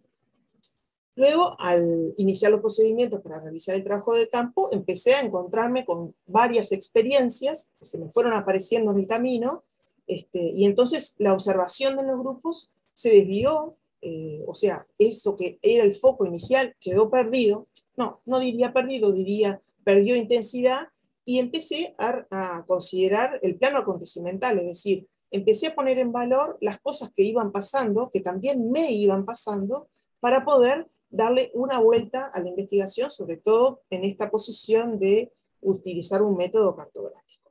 ¿no? Ahí este, quería hacer una pequeña apreciación de lo que dicen Castro y Pasos, que son dos autoras que trabajan este, bastante este método. Ellas dicen, eh, generar condiciones de posibilidad para ver lo común implica al mismo tiempo la producción de un mundo común, que es a la vez, y yo diría siempre, heterogéneo. Lo común se capta, pero a través de los ojos de quien lo hace. Eso me pareció muy importante como para poder, digamos, tener como este, esta posición lo más claramente establecida. Entonces, finalmente, puse en valor todas las experiencias, las esperadas y las inesperadas, y esas experiencias se constituyeron en las coordenadas por donde se desplazó la investigación y así se fue configurando el mapa de la producción de lo común. Este mapa de la producción de lo común este, lo estoy realizando a través de eh, el uso de registros eh, y de esos registros emergentes. Estos registros eh, han estado este, escritos en lo que se llama el diario de investigación, y a su vez tengo registros auditivos, es decir, grabaciones, eh, que han producido este, un modo conjuntivo de operar em, eh, y aparte este, generan esto de que las experiencias eh, no tienen más valor unas que las otras, ¿no? sino que han funcionado, digamos, sin jerarquías y sin disyunciones. ¿no? no es el trabajo en los grupos o las entrevistas a los coordinadores o las reuniones de las que participé, sino me gustaría usar la U, la, I, digamos, para este, ni la O ni la U, sino la I como para dar cuenta de estas experiencias.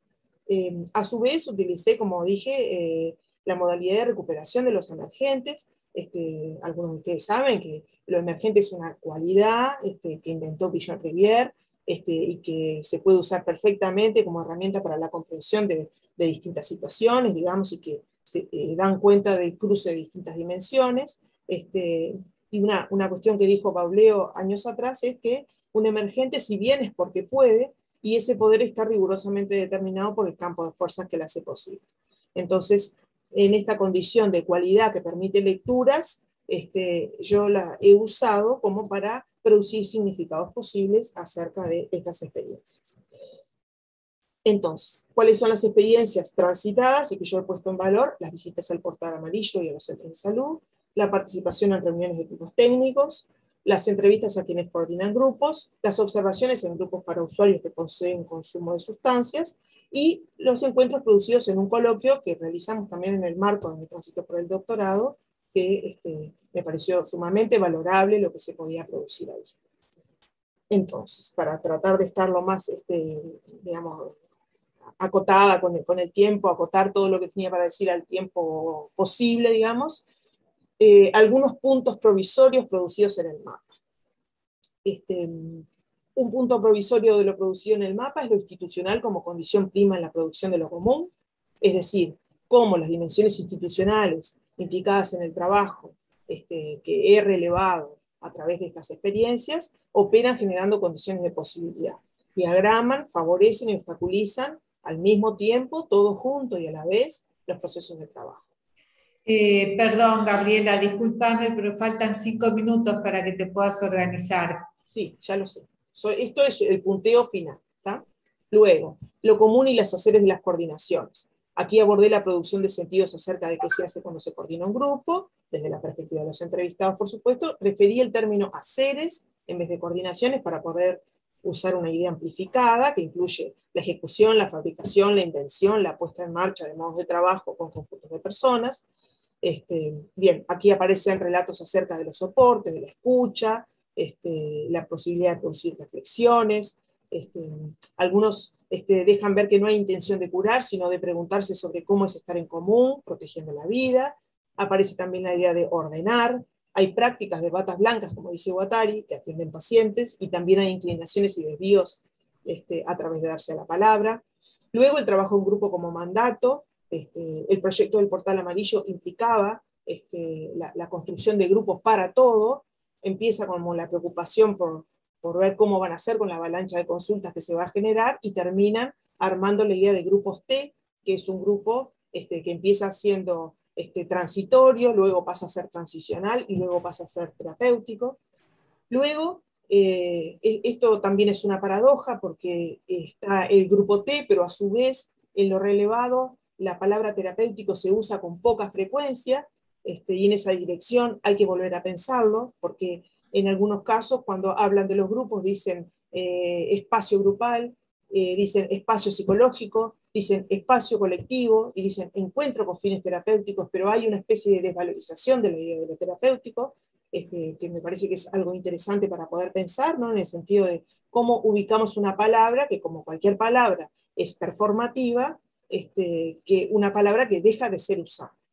Luego, este, también trabajé, estoy trabajando sobre la cuestión de las tonalidades afectivas, eh, que aparece bastante en relación con los, despliegues, de lo común en los grupos, es decir, qué proveen los grupos como forma de atención para estas vidas, este, y aparecen algunos diálogos interesantes entre el decir y el escuchar, palabras que operan recepción dialógica y hospitalidad, otras que no parecen hacer cuerpo con nadie, este, y entonces también me aparece la pregunta de cuál es el lugar para las divergencias, para las heterogeneidades. Se escucha mucho la idea de un grupo con cierta pretensión de uniformidad.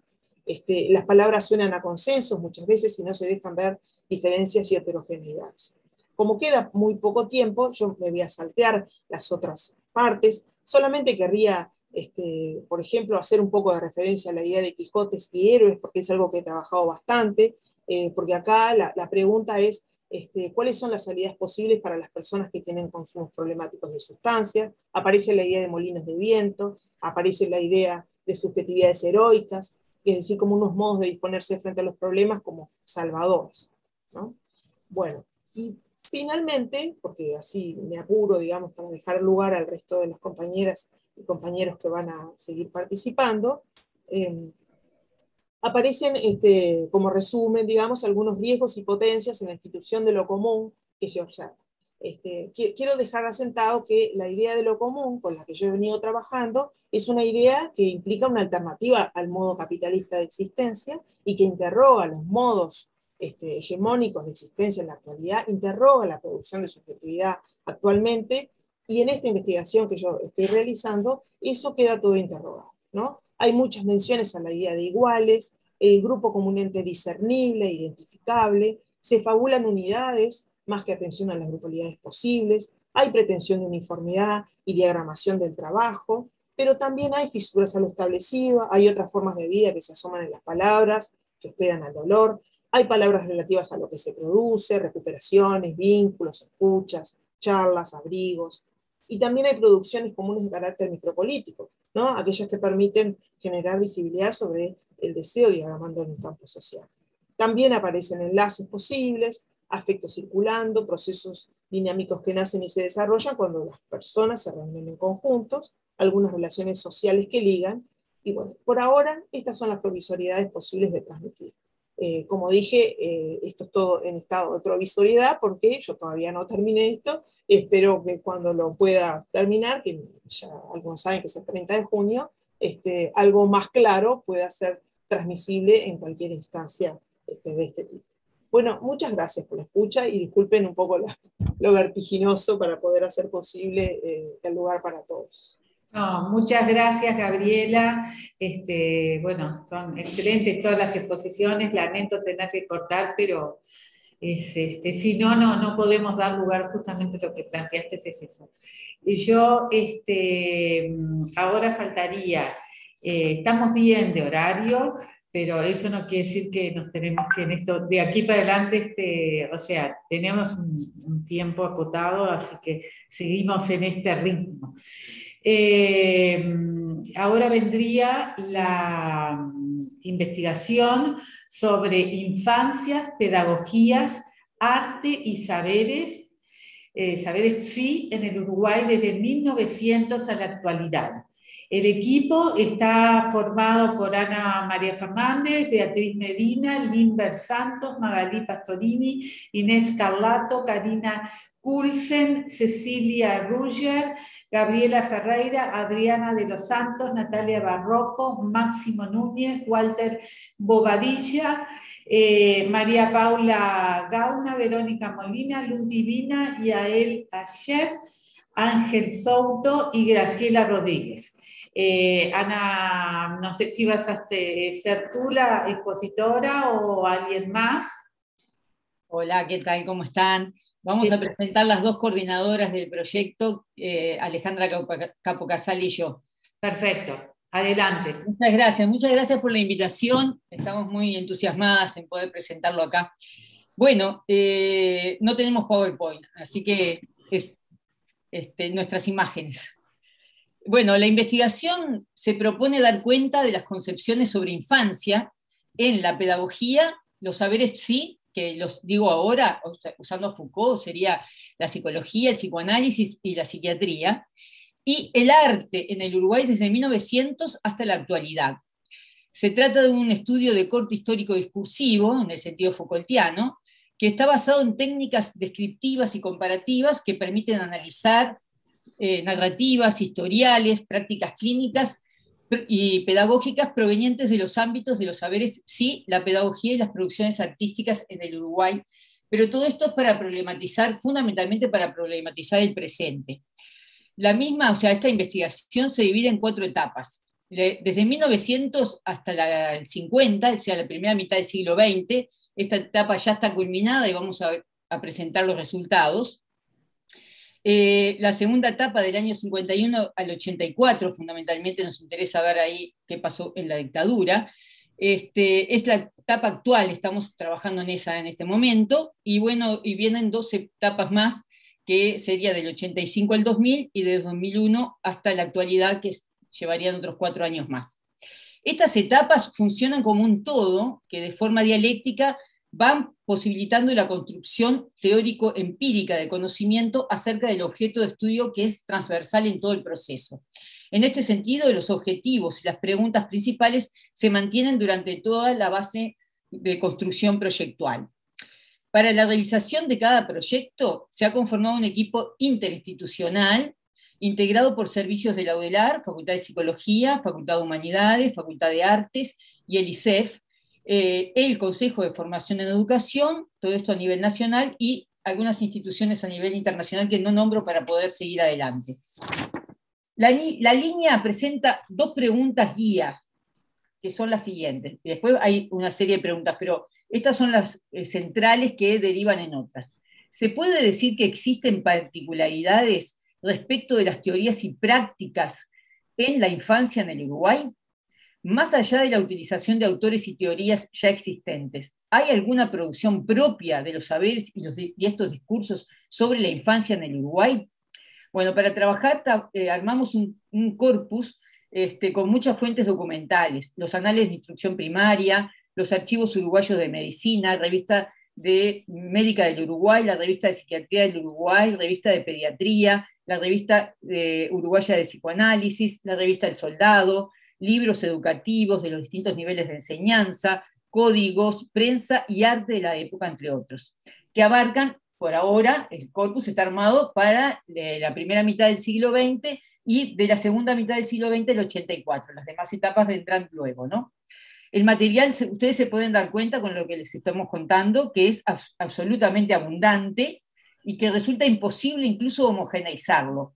Pero de hecho ese no ha sido el propósito, ya que más bien se trata de mostrar, de señalar rasgos en el sentido que plantea el historiador Ginsburg, eh, para dar cuenta de las singularidades uruguayas sobre la infancia, sus teorizaciones y las prácticas subyacentes. Entonces, fundamentalmente se trata del hallazgo de documentos que no han sido antes analizados. No nos interesa repetir lo que ya eh, grandes historiadores uruguayos han trabajado, sino trabajar esta particularidad de eh, dar cuenta de los discursos y las singularidades. El fin principal consiste entonces en desentrañar los diferentes discursos que instalaron ideas sobre infancias en el Uruguay. Vuelvo a insistir que todo esto es para problematizar el presente. En este sentido, era necesario partir de los inicios, realizando un rastreo que permitiera una posición crítica respecto de ciertos enunciados proveniente de los discursos médicos, psicológicos y pedagógicos con los que nuestra cultura construyó sus ideas sobre las infancias. Bueno, esto es un marco muy general. Tenemos los resultados del primer periodo, este, que ha tenido un, abordaje eh, múltiple. Eh, por ejemplo, podríamos haber eh, armado esto para hoy, pero como fue todo muy rápido, no tuvimos tiempo, que es haber pasado los dibujos que, que diseñó una artista plástica uruguaya, Magalí Pastorino, especialmente a partir de lo que se produjo de la investigación. Esto es muy interesante. Este, eh, a partir del análisis de los documentos es posible visualizar que la primera mitad del siglo XX fue un tiempo muy prolífero en la producción de trabajo sobre infancia, la adolescencia y la minoridad. Las ideas sobre infancia son diversas y no responden necesariamente a la entidad niña, o a un momento de vida, comprenden más bien la minoridad. En este primer mitad del siglo XX, eh, hay, la minoridad podría ir hasta los 25 años, les aclaro por las dudas, que no pensemos que es lo mismo que hoy. En la mayoría de los autores se encuentra un montaje o entramado de discursos provenientes de los campos médicos, psicológicos, psicoanalítico, pedagógico y jurídico. Los discursos fundamentales que se encuentran en este periodo son el higienismo, la eugenesia y el desarrollismo, que aplicados a través de la educación las disciplinas sí y el ámbito jurídico se constituyeron en los discursos predominantes para diseñar intervenciones y tratamientos profilácticos en la infancia. Se desprenden diversos rasgos que dan cuenta de diferentes maneras de conceptualizarla. Estos rasgos se podrían agrupar entre lo angelical y lo puro, lo salvaje y lo diabólico, el lugar futuro o lugar de la promesa. Voy a decir pinceladas ingenuidad, vulnerabilidad, idealidad, creatividad, fragilidad, pureza, sensibilidad, emotividad, libertad, salvajismo, capricho, violencia y racionalidad, entre otros. Como ya han señalado estudiosos sobre la infancia en Latinoamérica, la complejidad que implica abordar los discursos sobre las infancias requiere integrar investigaciones del campo social y humanístico. Es más, como dice Sapiola, el desarrollo del campo de la historia de la infancia se produjo en gran medida como resultado de diálogos concertados con la sociología, la antropología, la psicología, el derecho, los estudios culturales, las ciencias de la educación y la historia de la educación. Sintéticamente, los resultados obtenidos los hemos dividido en tres dimensiones. Las dimensiones del arte, las dimensiones pedagógicas y las dimensiones de la infancia y saberes sí. Voy a hacer hincapié fundamentalmente, porque estamos acá en Facultad de Psicología, en las infancias y saberes sí, pero nombro eh, algún detalle de los otros dos dimensiones porque están entrelazadas. No es que nosotros dividimos estas dimensiones, pero no están separadas, están, los discursos se entremezclan.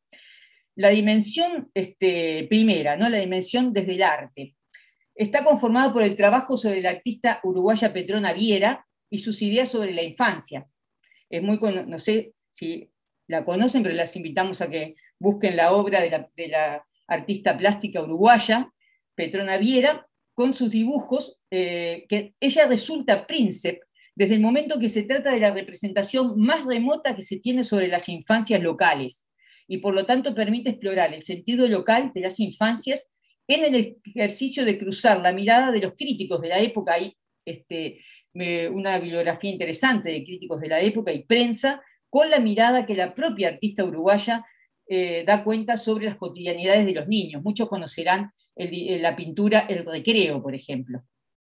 Bueno, las dimensiones infancias y pedagogías hacen hincapié en las particularidades de las propuestas de pedagogos y pedagogas uruguayas y de la escuela uruguaya en esta primera mitad del siglo XX se despliegan ideas sobre infancias que están plasmadas en varios de los documentos que se ponen en juego en el primer jardín de América Latina, se crea en el Uruguay el primer jardín de América Latina, donde se aplica el modelo de la escuela, la escuela nueva, el modelo escuela nueva, a la realidad uruguaya, con Enriqueta Conte Enrique, que ustedes seguramente este, conocen, donde se funda también el primer laboratorio de psicopedagogía de la región.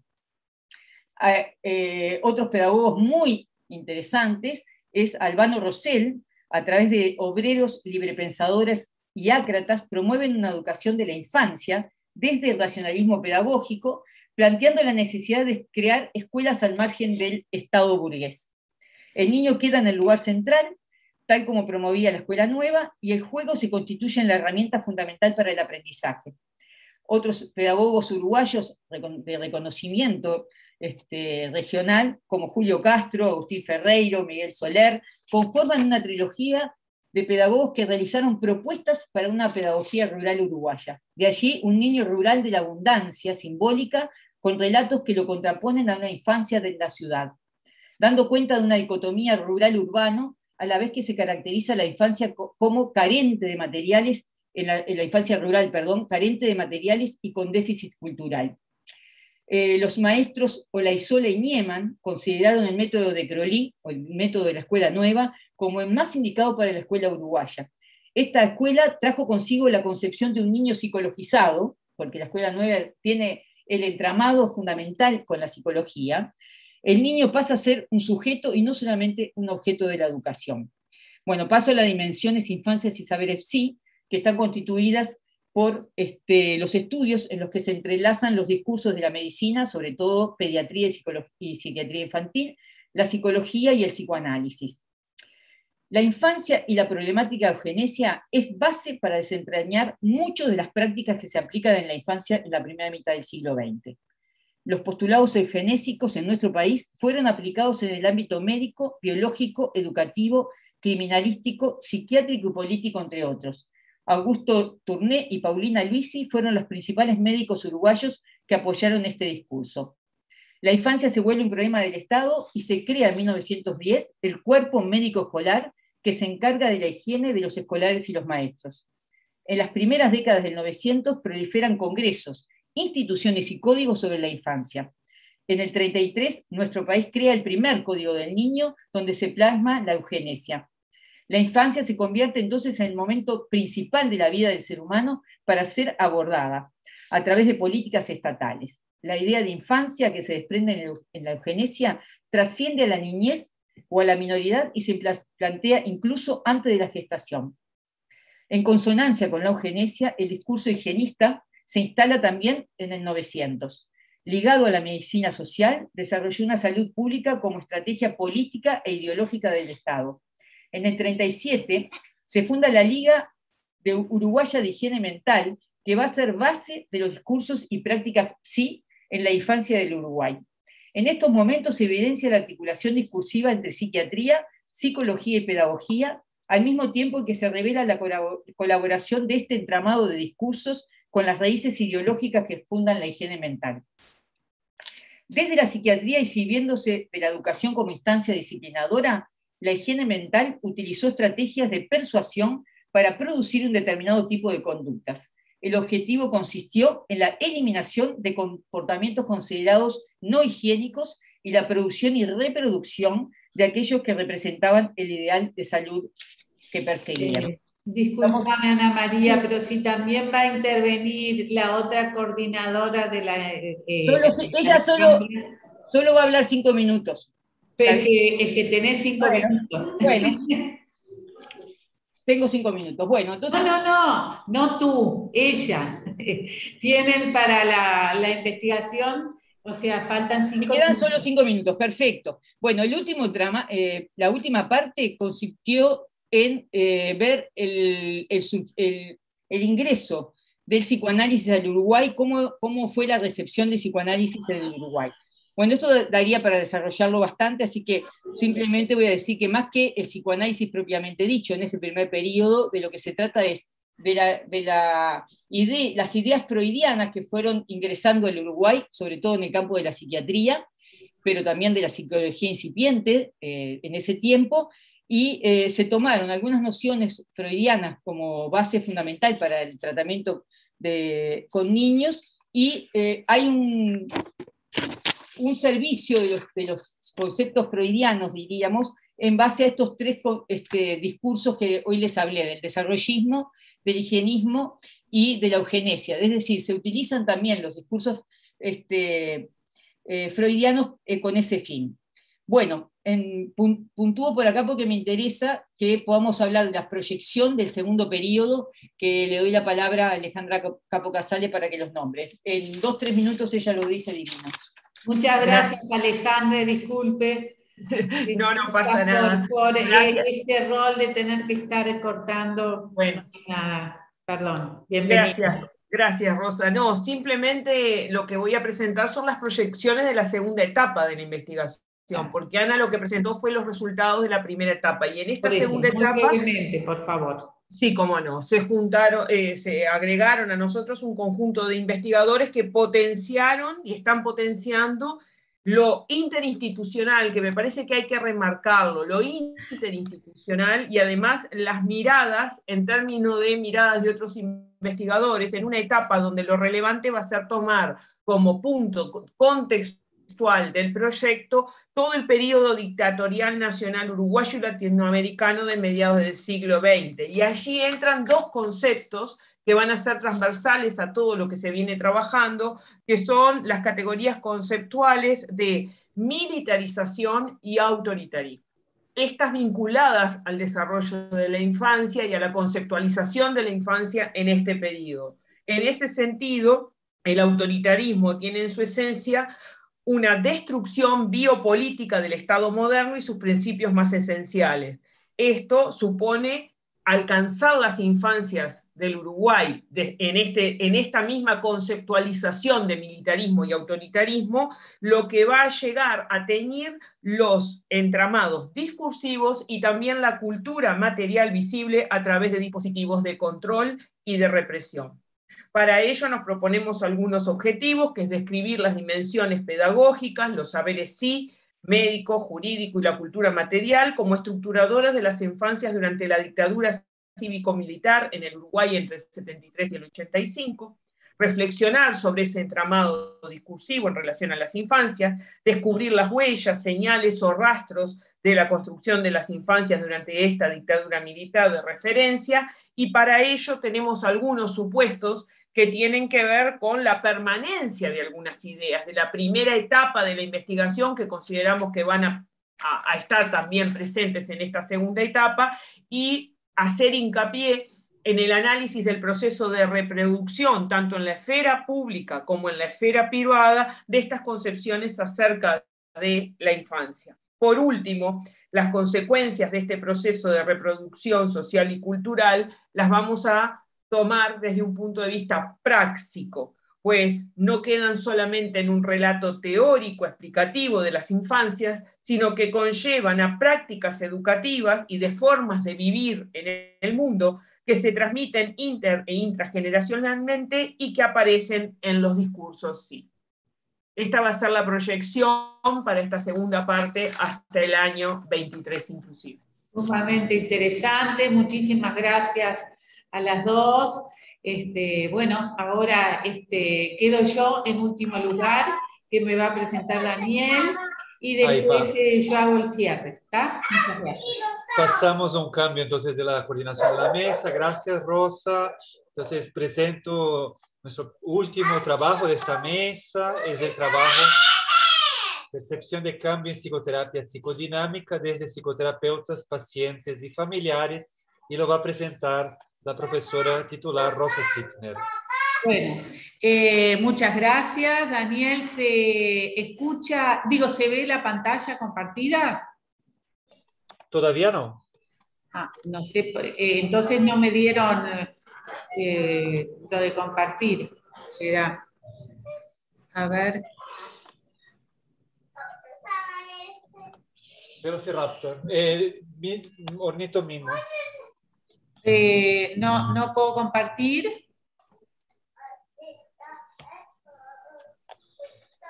No sé qué pasa, pero la tengo acá. Me, dieron la posibilidad de compartir. Está abierto para compartir, Rosa, sí. Entonces, no sé qué pasa. Mira, eh, no lo pueden hacer ustedes de allá, ¿no? Soy yo la que tengo que compartir. Espera. A ver.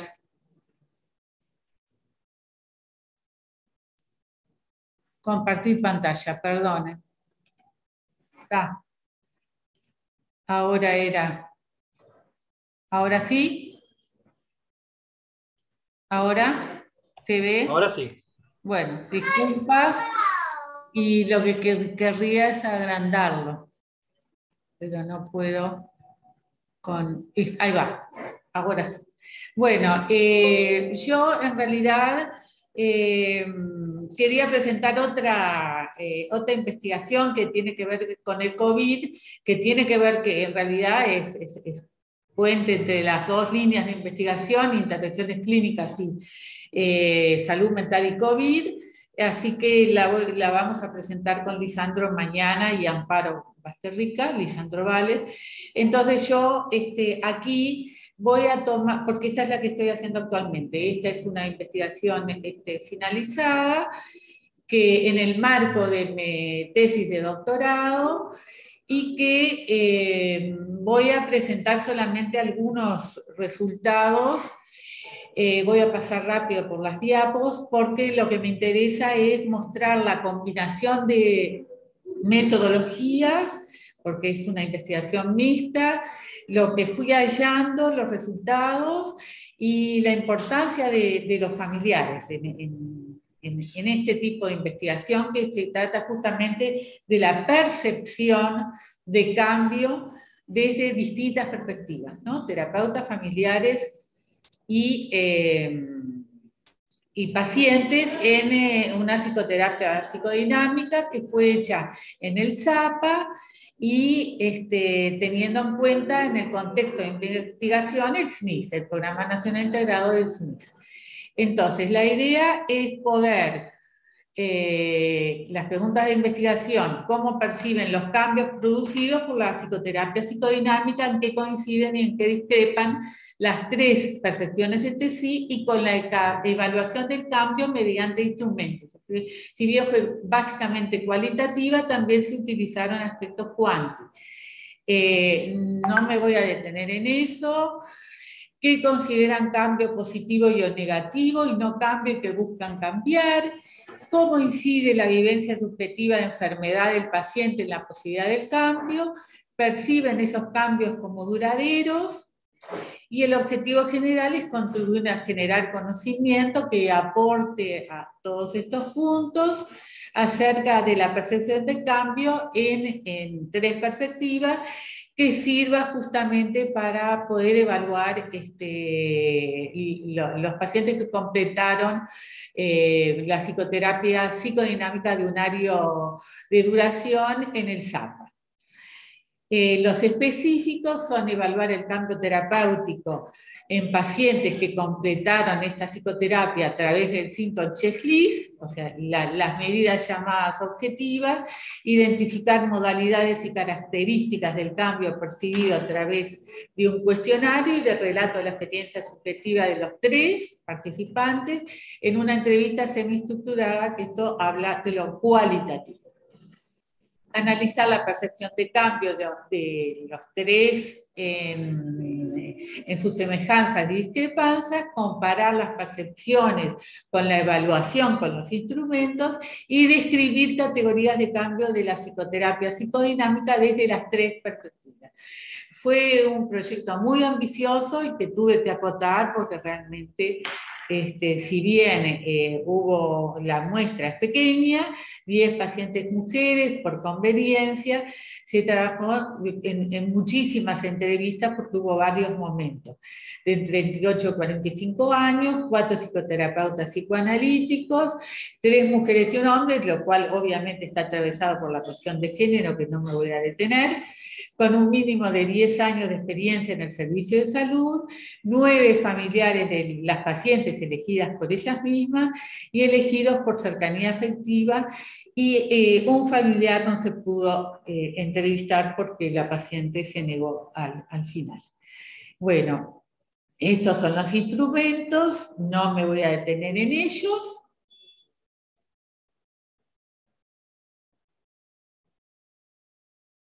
Bueno, eh, comparamos entre los cuatro y bueno, y entre los instrumentos y también con las entrevistas, ¿no? Entonces, permanentemente hubo una cuestión cuantiquali, pero eh, en el entendido que también los instrumentos eh, objetivos, llamados objetivos, son vistos, también desde la subjetividad del investigador, cosa que es una premisa este, que, tenemos en cuenta y que seguimos a, Kahneman, eh, Kahneman este, el premio Nobel de psicólogo y estadístico y economista, que planteó en realidad que todo está, eh, que encontramos sesgos en todas las, las observaciones e instrumentos. Bueno, entonces, en la percepción de cambios globales, estamos con los resultados, hubo una coincidencia general, todos positivos. Pero si fuimos a eh, la percepción de, cambio en los aspectos elegidos y en, una fineza en, cada uno, porque todos contestaron que sí, eh, ya encontramos una coincidencia parcial. Este, por lo cual es diferente en cada participante la concepción de cambio y la percepción. El paciente y el terapeuta varían significativamente, inclusive hay percepciones contradictorias en la capacidad inicial para crear y sostener relaciones interpersonales, la mitad de casos los pacientes valoran más alto que sus terapeutas, cosa que este, obvia, hubo, eh, aspectos que ratificaron investigaciones anteriores y otras no. Entonces, lo que importa es que las tres perspectivas evalúan los cambios desde lo sintomático, lo comportamental y los aspectos internos del paciente, que son distintas formas de conseguir el cambio. No entro para nada en toda la bibliografía que hay al respecto. Este, cuando hubo acuerdo entre los cuatro instrumentos, cada uno aportó información complementaria.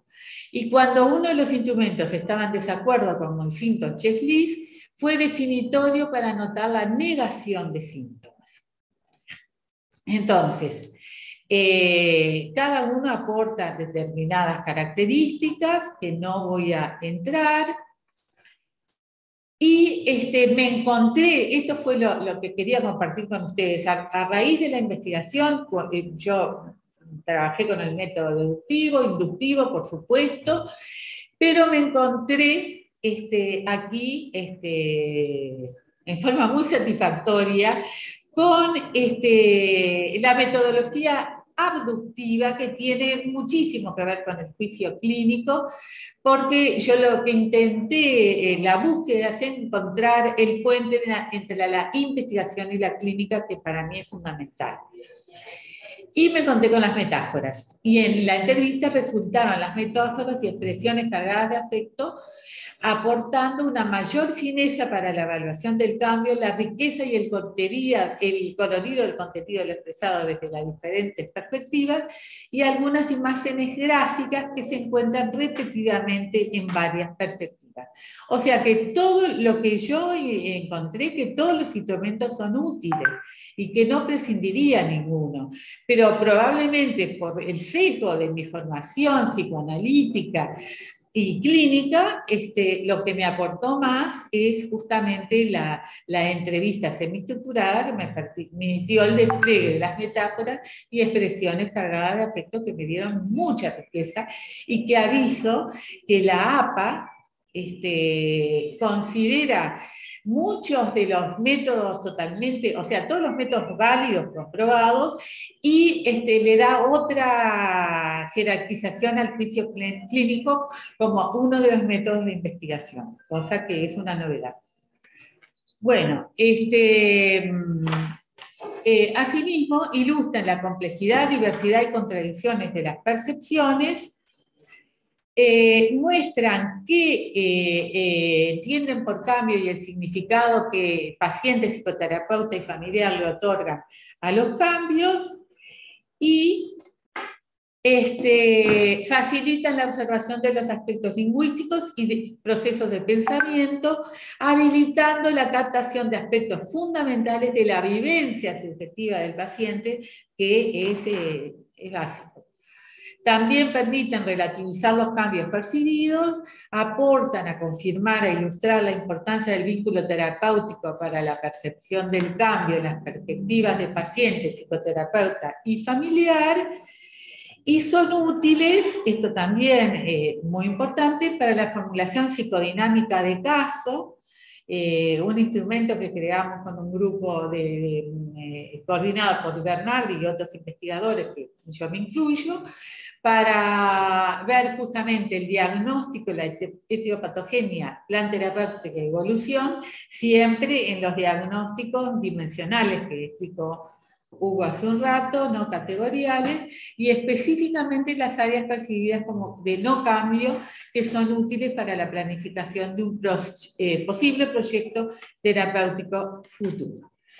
Entonces, la sistematización de categorías hallada por, la autora de esta investigación, Mohamed, es dentro del CEF y dentro de los otros, que es las categorías que se sigue habitualmente. Cambio en el self, cambio en el, en el, entusiasmo y disfruto en la vida, cambio en la confianza en sí mismo, cambio en la autoestima, cambio en la forma de percibir y conceptualizar el problema que lo llevó a consultar, cambio en el eh, padecimiento mental y en la relación con los otros, cambios vinculados con la interacción terapeuta, terapéutica, cambio en las relaciones interpersonales y cambio en la confianza en los demás.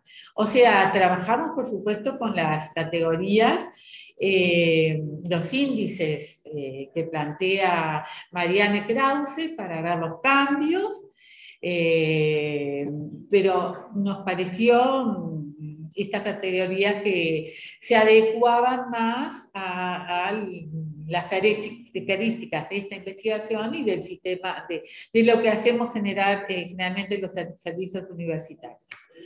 Bueno, los alcances, cuando ya vamos a la discusión y los alcances de la investigación, bueno, tiene que ver con la triangulación de instrumentos, que es riquísima, eh, la importancia de la percepción de cambio de los familiares, no solo de la, de la día de paciente y terapeuta, que es lo que más se, se investiga y que encontramos poquitísimas, digo, eh, investigaciones, más bien diría que, acá en nuestro medio ninguna, y en eh, otros medios internacionales muy pocas. O sea, esto consiste quizás, bueno, la, la, la novedad o la no me sale la palabra, este, bueno, lo, de, lo nuevo que tiene esta, los hallazgos de esta investigación, las metáforas y expresiones de carácter cargadas de afecto que no pensábamos encontrarnos y nos encontramos y, y fue riquísimo, o sea, sí las encontramos en nuestro trabajo clínico, pero en la investigación no pensábamos que podíamos trabajar con ellas uniendo en la, metodología abductiva y este, el juicio clínico. Y este nuevo sistema de categorías.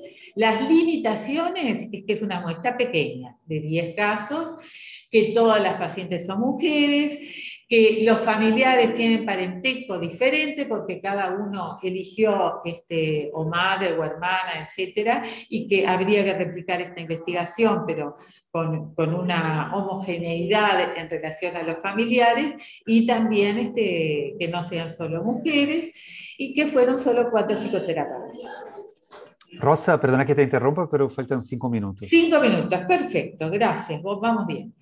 Eh, otras limitaciones, el momento de entrevistas y cuestionarios, que no fueron todos al mismo tiempo, el factor memoria, el contexto institucional, porque fueron eh, antes de comenzar el tratamiento, eh, al finalizar y seis meses después. Y obviamente que los terapeutas lo que se le podía preguntar, qué podían pensar de la fortaleza, pero no, no, no lo hicimos seis meses después porque además no, no tenían un contacto con los eh, terapeutas. También eh, que eh, la, mayoría de las pacientes, siete, tenían medicación psiquiátrica, por lo cual este, no se puede decir que los cambios se produjeron solamente por la psicoterapia psicodinámica. Bueno, las, uno de los resultados de esta investigación, la definición de las ocho nuevas categorías de cambio, que las ventajas son fundamentales para la evaluación del tratamiento, lo evalúa eficientemente, dirige la observación a las transformaciones decisivas para el aumento del bienestar del paciente, abarca las áreas fundamentales para clínicos e investigadores, para el puente, y el orden de categorías propuestas responde al orden de evolución de un paciente en psicoterapia es fácil de utilizar operativamente.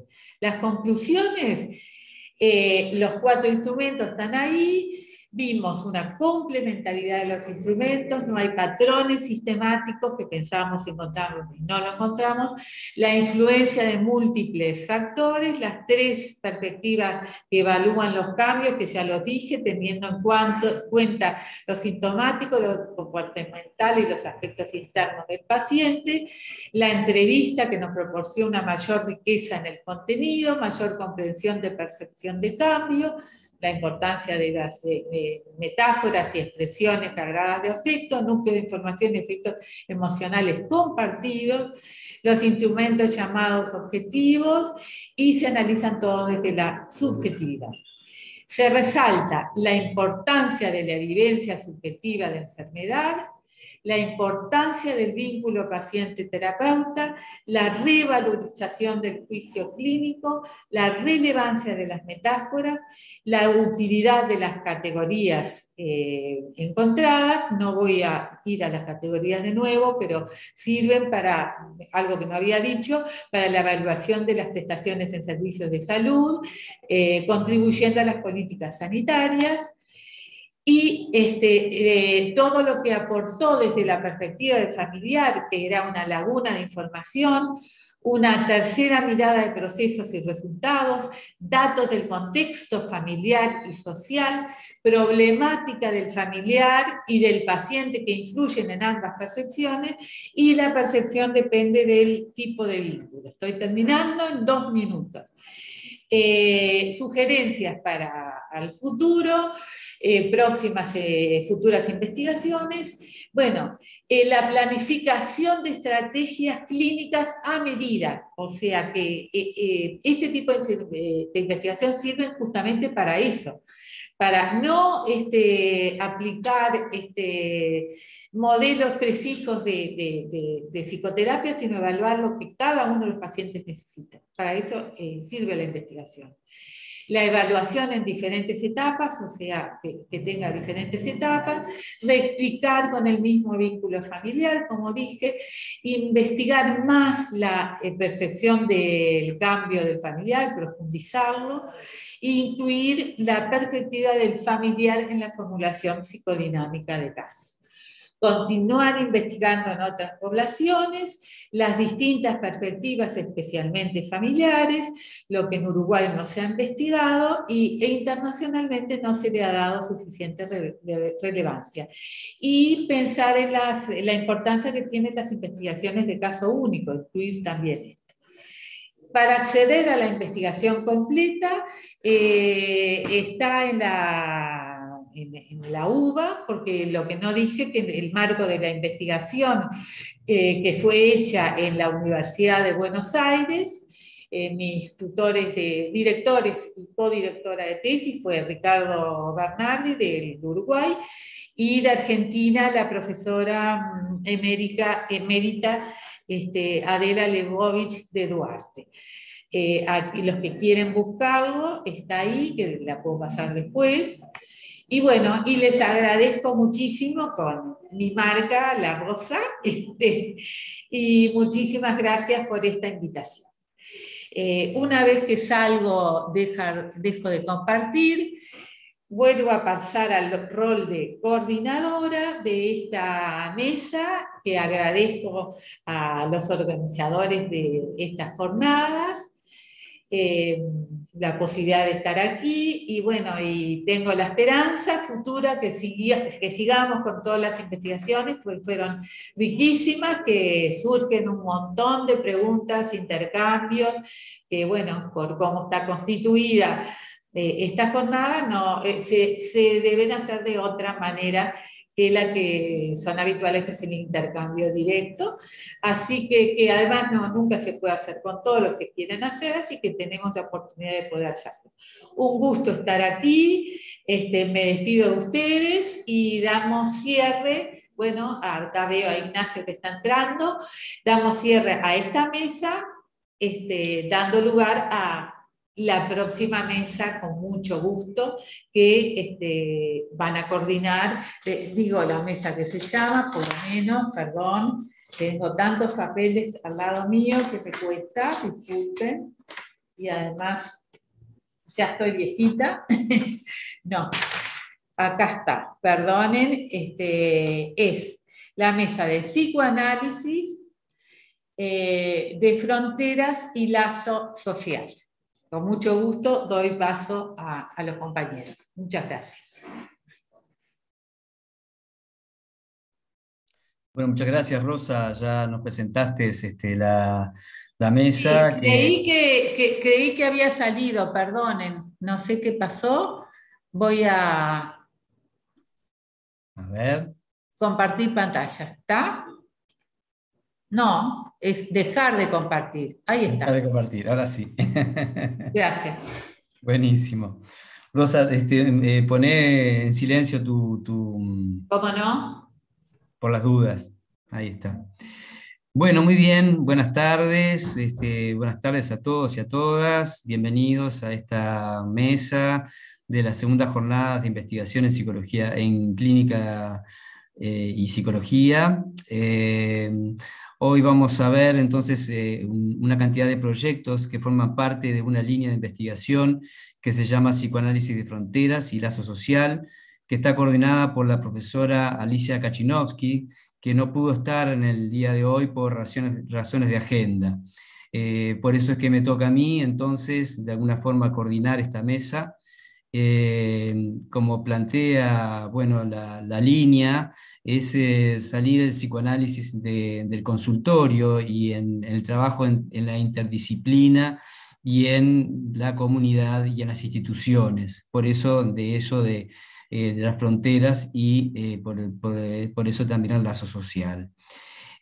Vamos a dar lugar entonces a, la primera presentación, que es de Ignacio Gerfaue, perdón, que se llama La construcción de identidad en inmigrantes rusos, ucranianos o uruguayos. Bueno, Ignacio, tenés 20 minutos, o 15, 15, porque son muchas muchos trabajos, yo a los cinco minutos te voy a avisar y bueno, comienza el, el, cronómetro. bueno, gracias por la presentación. Este, yo le cambié el título a esta presentación y le puse algo un poco más actual. Le puse Ucrania en Uruguay hoy sobre inmigrantes y viejas historias. Y es que justamente quiero hablar un poco de lo que está pasando hoy, ¿no? Y lo que, como decía por ahí algún autor que la historia no tiene tanto que ver con el pasado, sino verdaderamente con el presente. Nosotros trabajamos desde la mirada del psicoanálisis y en la vida en general con el concepto de resignificación, ¿no? Cuando algo eh, en contacto con una experiencia nueva del presente se puede dar nuevos sentidos. Y es que justamente este proyecto, este trabajo, se ha estado resignificando, ¿sí? Eh, dados los hechos presentes, y dado algunas otras cosas que vienen pasando en el mundo. Entonces, no quería dejar de aprovechar esta oportunidad para hablar un poquito de eso. Y justamente quiero hablarles hoy un poquito de cómo el odio, de cómo la violencia, de cómo estas grietas pueden llegar a borrar o pueden llegar a omitir pueblos, identidades, personas. Y no estoy precisamente hablando de la guerra de Ucrania, si bien tiene que ver esto. Estoy, pasando, estoy hablando de algo que pasó 70 o 80 años antes, o casualidad. Y bueno, antes de, comenzar y de servirme más de la narrativa que escribí, eh, quiero aclarar también que este, todos los nombres y las identidades de las personas que voy a nombrar han sido obviamente cambiados y previamente autorizados a poder este, ser usados en esta, en esta presentación. Entonces me voy a servir sencillamente de la narrativa para contarles un poquito brevemente mi proyecto, pero en formato de historia, ¿sí? que eso es un poco lo que yo he pretendido hacer con mi tesis. Dice así, es una tarde calurosa de verano. Una persona a la cual voy a llamar Dimitri corta un trozo de sandía y me ofrece para comer, me convida. De repente lo veo reírse. Entonces Dimitri rememora. Mi madre siempre se acordaba de que cuando vinimos de Europa, en uno de esos trayectos nos subimos a un tren. En el vagón que íbamos iba un señor con una sandía. Me habían sentado a mí al lado, que era del mismo tamaño que esa sandía. La memoria emotiva de este hombre se activa a partir de una escena cotidiana que a su vez la lleva marcada por dentro. ¿Qué le depararía este niño chiquitito como una sandía más adelante? Dice mientras yo le pregunto de dónde viene. Yo nací en Ucrania, bueno, yo nací más bien, para decirte bien, en la segunda, no, en la Primera Guerra Mundial, Ucrania queda bajo el dominio polaco. Y así es como nací en Polonia. Tengo el pasaporte polaco y todos mis papeles son polacos, pero en realidad soy descendiente de ucranianos. Mis padres eran rusos, pero después les pasó la Primera Guerra Mundial, el dominio polaco, y son polacos. Ellos vienen también con pasaporte polaco. Todo esto en una sola oración, ¿verdad? Para llegar a la casa de Dimitri, que el diminutivo es Mitka, es necesario salir de la ciudad. Este hombre decidió rehacer su vida después de emigrar al otro lado del planeta en el medio de un campo. Y es curiosa la elección del lugar donde elige vivir. Elige comprar una chacra en el campo pegado al campo del mismo vecino que tenía en la aldea donde, donde nació en Ucrania. Lo primero que me sorprende al llegar es que Dimitri tiene pintada una bandera de Ucrania sobre la pared de un tanque en la entrada de su casa. Quiero compartirles la imagen que también su familia muy generosamente me autorizó. Lo vemos aquí. Creo que se puede ver. ¿Me, Michelle, ¿me avisás?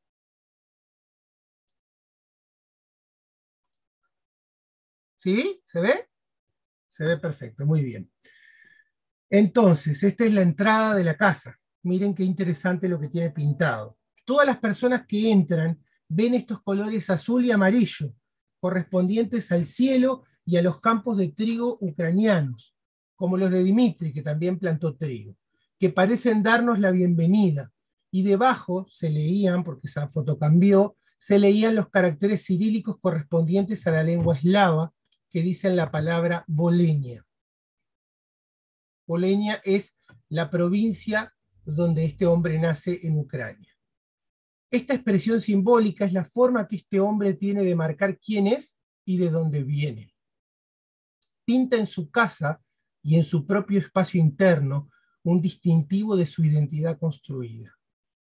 Este trabajo pretende escuchar historias como la de Dimitri y tratar de construir un sentido con sus voces. Es una forma de tejer trama histórica y cultural en una comunidad donde parece haber poca relación histórica con lo que ocurrió en estas tierras de origen, es decir, en esta zona, después de que estas familias se emigran. ¿Cómo es posible ser marcado tanto por el lugar donde venimos? cómo influyen nuestros vínculos, nuestra mirada, los valores que, vivimos. Hoy más que nunca vemos que la migración es una experiencia de dolor y de complejidad. No se trata solo de dejar tierras o lugares o posesiones, sino más bien parecería dejar algo de lo que uno fue o pudo haber sido en ese lugar. Las historias que yo escuché son bastante distintas y bastante particulares, pero comparten algo en común y es un lugar de origen, una misma lengua, un mismo lenguaje que se logra construir al encontrarse en Uruguay, una forma de identificarse entre sí, una vida común. La familia de Dimitri viene al otro lado del mundo a construir un futuro lleno de inseguridades y sin embargo no parecería sorprender a nadie del entorno de esta familia que termina viviendo pegado a las mismas personas, a la misma familia que tenían en esta aldea en el otro continente décadas atrás. ¿Qué papel entonces cumplen nuestros vecinos, aquellos semejantes dentro de nuestro psiquismo? ¿Cómo son estos vínculos de intimidad tan aparentemente necesarios para constituirnos y sentirnos reconocidos en lo que somos? La mirada de aquel otro que me valida, dotando de sentido quién soy. Somos a través de otros que por momentos nos validan y nos sostienen, y por otro momento también nos diferencian. Dice el cantante argentino Kevin Johansen en una canción que se llama Vecino, dice, vecino reflejo de un espejo distorsionado. El pasto siempre es más verde del otro lado. Yo soy aquel que no soy yo. Por un lado, parece ser necesario el reconocimiento que el otro me brinda, en tanto semejante, prójimo, cercano. Esto va cambiando y se transforma en una malla simbólica que comienza a dar sentido a parte de nuestra vida. En los inmigrantes que yo estudio construye narrativa, historia, trama común. Soy un inmigrante similar a otros inmigrantes, tengo valores comunes, tengo una lengua común, no soy uruguayo, no soy nativo, como tampoco lo son mis vecinos, que vinieron de la misma aldea que yo hace décadas atrás. Mirarnos todos los días, el saludarnos, reconocernos en esa sutil diferencia común, es algo que sostiene y que permite seguir construyendo una vida familiar y comunitaria. Encontrarme el domingo con otras familias, reconocerme la liturgia religiosa de un himno, de una canción, una canción que cantaba mi padre, una enseñanza religiosa sobre el trabajo, la resistencia o la memoria. Conocerme con otros y reconocerme en otros parece ser la principal característica de este grupo. Pero en estas historias también aparece la dimensión del conflicto. No todos los otros son vecinos, no todos los otros hablan como yo ni conciben los mismos valores, ¿Qué lugar cumplen entonces en el mundo interno estos inmigrantes? La forma en que se asimilan con cierta cautela también indica cierto temor a perder ese sí mismo que traen adentro de ellos. En contrapartida, el lugar en que son asignados estos inmigrantes también habla de los nativos, de los que los reciben. Aparecen muchos términos distintivos, entre ellos gringo, ruso, polaco, gringada, rusada, inmigrante, etc. Pero nunca aparece la palabra ucraniano. También cobrará vital importancia en este punto el tránsito en que los miembros de esta comunidad tienen en las diferentes instituciones, de las cuales en esta historia resaltan dos en particular que simplemente voy a nombrar, la escuela y la iglesia. ¿Por qué? La escuela es prácticamente el primer lugar en que los hijos de estas familias, nacidas en el campo, aprenden como lengua aprenden el español este, como primer contacto con la institución, ya que la lengua materna es una mezcla del ruso y el ucraniano, ¿verdad? Entonces es el primer encuentro con la sociedad uruguaya. En este primer acercamiento se juegan episodios que marcan a estos sujetos y a su memoria. El encuentro con la alteridad, la mirada de otros niños, la burla por el aspecto, por la forma de hablar, por el acento, son una moneda corriente en la memoria de estos sujetos.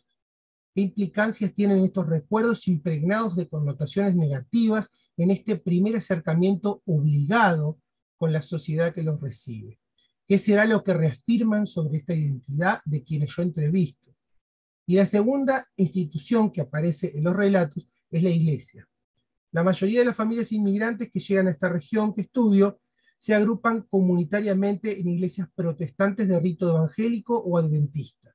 El lugar de la religión será justamente de reunir a través de los valores comunes. Primero se reúnen familias que van sumando gentes hasta que al final se construyen templos. Resulta interesante que las primeras reuniones religiosas serán exclusivamente en lo que ellos llaman idioma ruso. Posteriormente, con una traducción en simultáneo, hasta que finalmente el rito cambiará a servicios religiosos en el idioma español, así como crece la comunidad con miembros uruguayos y nativos. La iglesia será un lugar fundamental de intercambio, no solo religioso, sino también de tramitación de actividad y encuentro con el otro a través del vínculo comunitario en el que comparte un valor común. Ahora, volviendo un poco hacia el presente, yo justamente pensaba cómo vivimos en un presente eh, que es por momentos tan surrealista con este tema, donde el fantasma de la guerra vuelve a aparecer en los medios. ¿no? Nacho, quedan cinco minutos. Sí, ya estoy terminando. Este, la guerra vuelve entonces a aparecer como un, fantasma en Europa, lo vemos en los medios, lo vemos en las redes sociales. Eh, por mucho tiempo hacia atrás se firmaron tratados, convenciones, educamos, aparentemente aprendimos. Ayer escuchaba a alguien decir que parece que no hemos aprendido nada, porque esto vuelve a caer. En el presente nos volvemos a enterar que Ucrania hoy en día es hostigada, es invadida por el tirano ruso, impidiéndole tener autonomía política, económica, lingüística. En, Ucrania el 40% de los habitantes no sabe su lengua materna porque hablan el ruso. Esto es la consecuencia de lo que se llamó la rusificación. Algunos tratan de defender su origen, pero ya muchos no logran saber cuál es.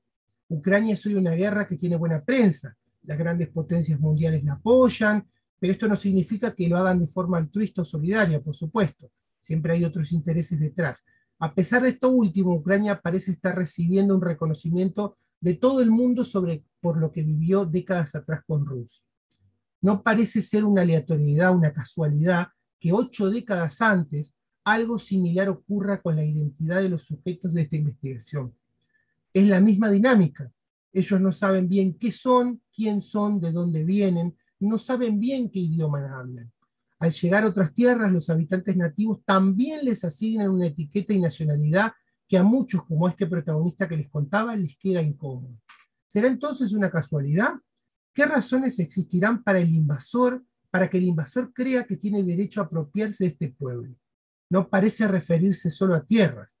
Aquí también aparece la compleja dimensión identitaria, el entretejido lingüístico, social, cultural y simbólico. Hoy en día se cuenta que cualquier ucraniano logra moverse en todo el país eh, con su idioma natal, el ucraniano o el ruso, ya que tiene dos lenguas natales, y en todo Rusia, porque domina también el ruso. Sin embargo, se dice que los nativos ucranianos entre ellos bromean cuando un ruso trata de venir a Ucrania, porque no maneja bien el idioma ucraniano.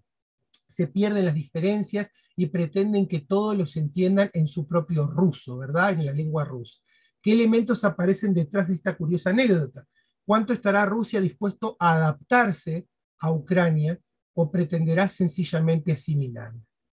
Dimitri necesita tatuar en su casa y en sí mismo lo que es y de dónde viene. Simultáneamente necesita mostrarme lo que no es, diferenciándose así de las etiquetas conquistadoras y homogeneizantes. Así muchos ucranianos hoy también necesitan gritarle al mundo lo que son y también lo que no son. La alteridad es fundamental a la hora de construir la identidad. Somos a partir de esa falta que nos ofrece, que nos ofrece el otro en los límites de nosotros mismos. Acerca un poco del resultado de este trabajo será siempre una mirada particular que no pretende dejar puertas cerradas o conclusiones totalizantes, pero sí es una forma de visualizar el complejo tejido identitario en el que estos sujetos fueron y son parte, mostrando que todas las identidades también son tejidas en trayectorias discordantes, donde el otro cumple un papel fundamental en que me reconoce y a la vez me diferencia.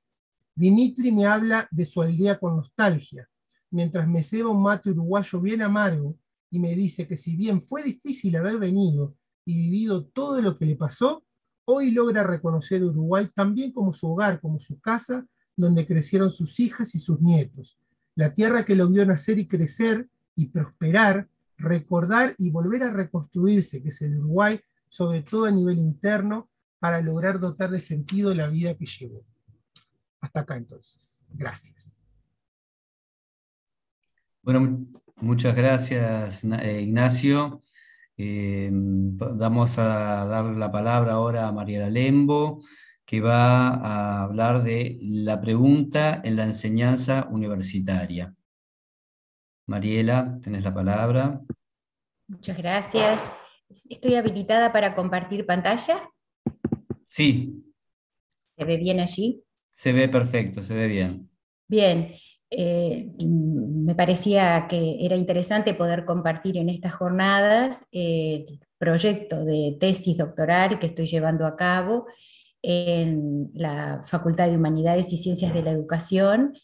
Eh, es eh, un trabajo que venimos realizando con el grupo que coordina la profesora Alicia Kachinowski y este, se hemos planteado como para, para poder este, pensar eh, elementos que tienen que ver con la enseñanza en la universidad, eh, tomar este tema de qué rol juega la pregunta dentro de la...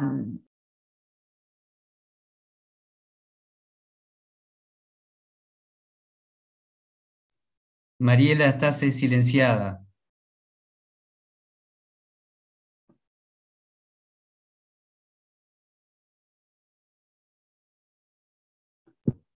Ahí, ahí Ahora sí, ahí se escucha. Fantástico. Entonces, la pregunta de la enseñanza surge por eh, la inquietud de estudiar cómo podría la formulación de interrogantes dar cuenta de esta cuestión especial que se produce en una clase eh, respecto a la relación con el saber que entablan las personas que en ella se, conjugan, que se constituyen, y allí tomamos como uno de los ejes los aportes de Beilerot, eh, pero no solo pensándola desde el punto de vista de la relación con el saber que entabla el docente, sino también la de los estudiantes universitarios que allí se dan este, cita. Y partimos de un supuesto de que esta relación con el saber del docente se coloca en juego prácticamente sin darse cuenta y se proyecta en este espacio didáctico y también que algunos de los estudiantes realizan algún tipo de interacción con esta, la temática que se aborda en ese, en ese momento especial. Entonces, lo que tenemos visto, lo que se nos ha planteado, es la indisolubilidad de las funciones universitarias, la investigación, la docencia, la extensión. Eh, se parte de la idea de que esta práctica investigativa es indispensable en la formación del docente universitario. Obviamente, la indagación nos ayuda a pensar, a comprender, a dudar. Hay una práctica de la reflexividad que de alguna manera se conjuga en este oficio del enseñar y que eh, tiene que ver con la práctica y la formación para la investigación. Y ahí es donde nos pareció interesante tomar el tema de la pregunta, porque precisamente la capacidad de preguntarse cosas y hacer hipótesis de trabajo de ellas este, está muy vinculada con esta eh, capacidad investigativa. Y nos preguntábamos, ¿qué incidencia puede llegar a tener que el docente sea un investigador en esta eh, función de enseñanza que desempeñamos a nivel universitario? Esto tiene un antecedente y el antecedente es la tesis de maestría que yo realicé también con la tutoría de la profesora Alicia Kachinowski, en la cual eh, trabajé con entrevistas a docentes que tenían un perfil investigativo eh, muy interesante, eh, que eran nivel 3 o nivel 2 de la ANI, que además eran doctores, que eran este grado, de grado 3 en adelante, grado 4 y grado 5, que pertenecían al área de las ciencias y al área de las ciencias sociales, que eran varones y mujeres, eh, y encontramos en, esas este, entrevistas, analizándolas, que había dos modelos de ejercer la función de enseñanza de acuerdo a la narrativa de los docentes. Uno era la docencia de información, una transmisión de enunciados, de conocimientos, que a veces les tocaba mm, este, llevar a cabo en temas que a lo mejor no eran los de la investigación que estaban realizando en ese momento. Pero también concebían una docencia en modo de investigación parecida a lo que había postulado Humboldt, este, y que en realidad estaba más vinculada con transmitir interrogantes, ¿no? algo donde la incertidumbre tiene un lugar y la idea estaba vinculada a propagar un saber que ellos consideran como efímero, que lo va creando, lo va este, procesando el investigador y también en algunos casos tenía que ver con las herramientas que necesitaban para perseguirlo pero no necesariamente para conseguirlo. Y nos pareció que estas, estos dos modos de concebir la docencia eh, de información y el modo de investigación iba a ser interesante profundizarlas como práctica de, enseñanza. Y nos planteábamos la pregunta, ¿no? Eh, cuando estamos haciendo docencia en modo de investigación, ¿cómo podemos hacer docencia a partir de un saber que es siempre provisorio eh, en, las aulas universitarias. ¿no?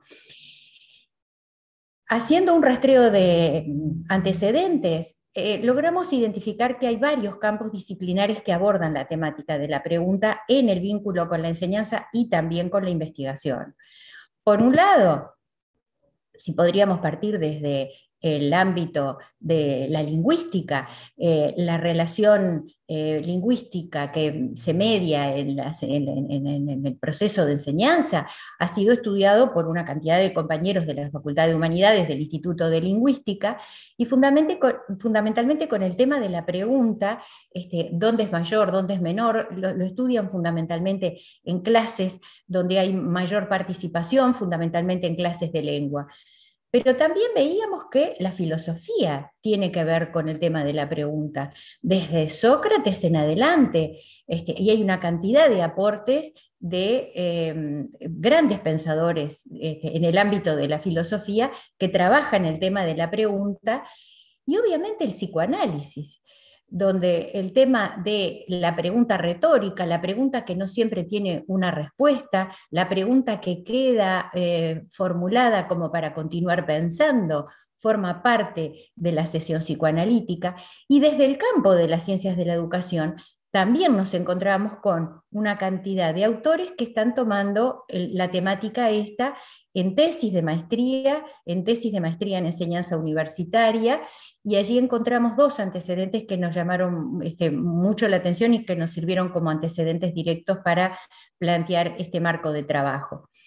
También se toma la pregunta en la metodología de la investigación y la, la pregunta vinculada a la investigación desde el punto de vista metodológico. ¿no?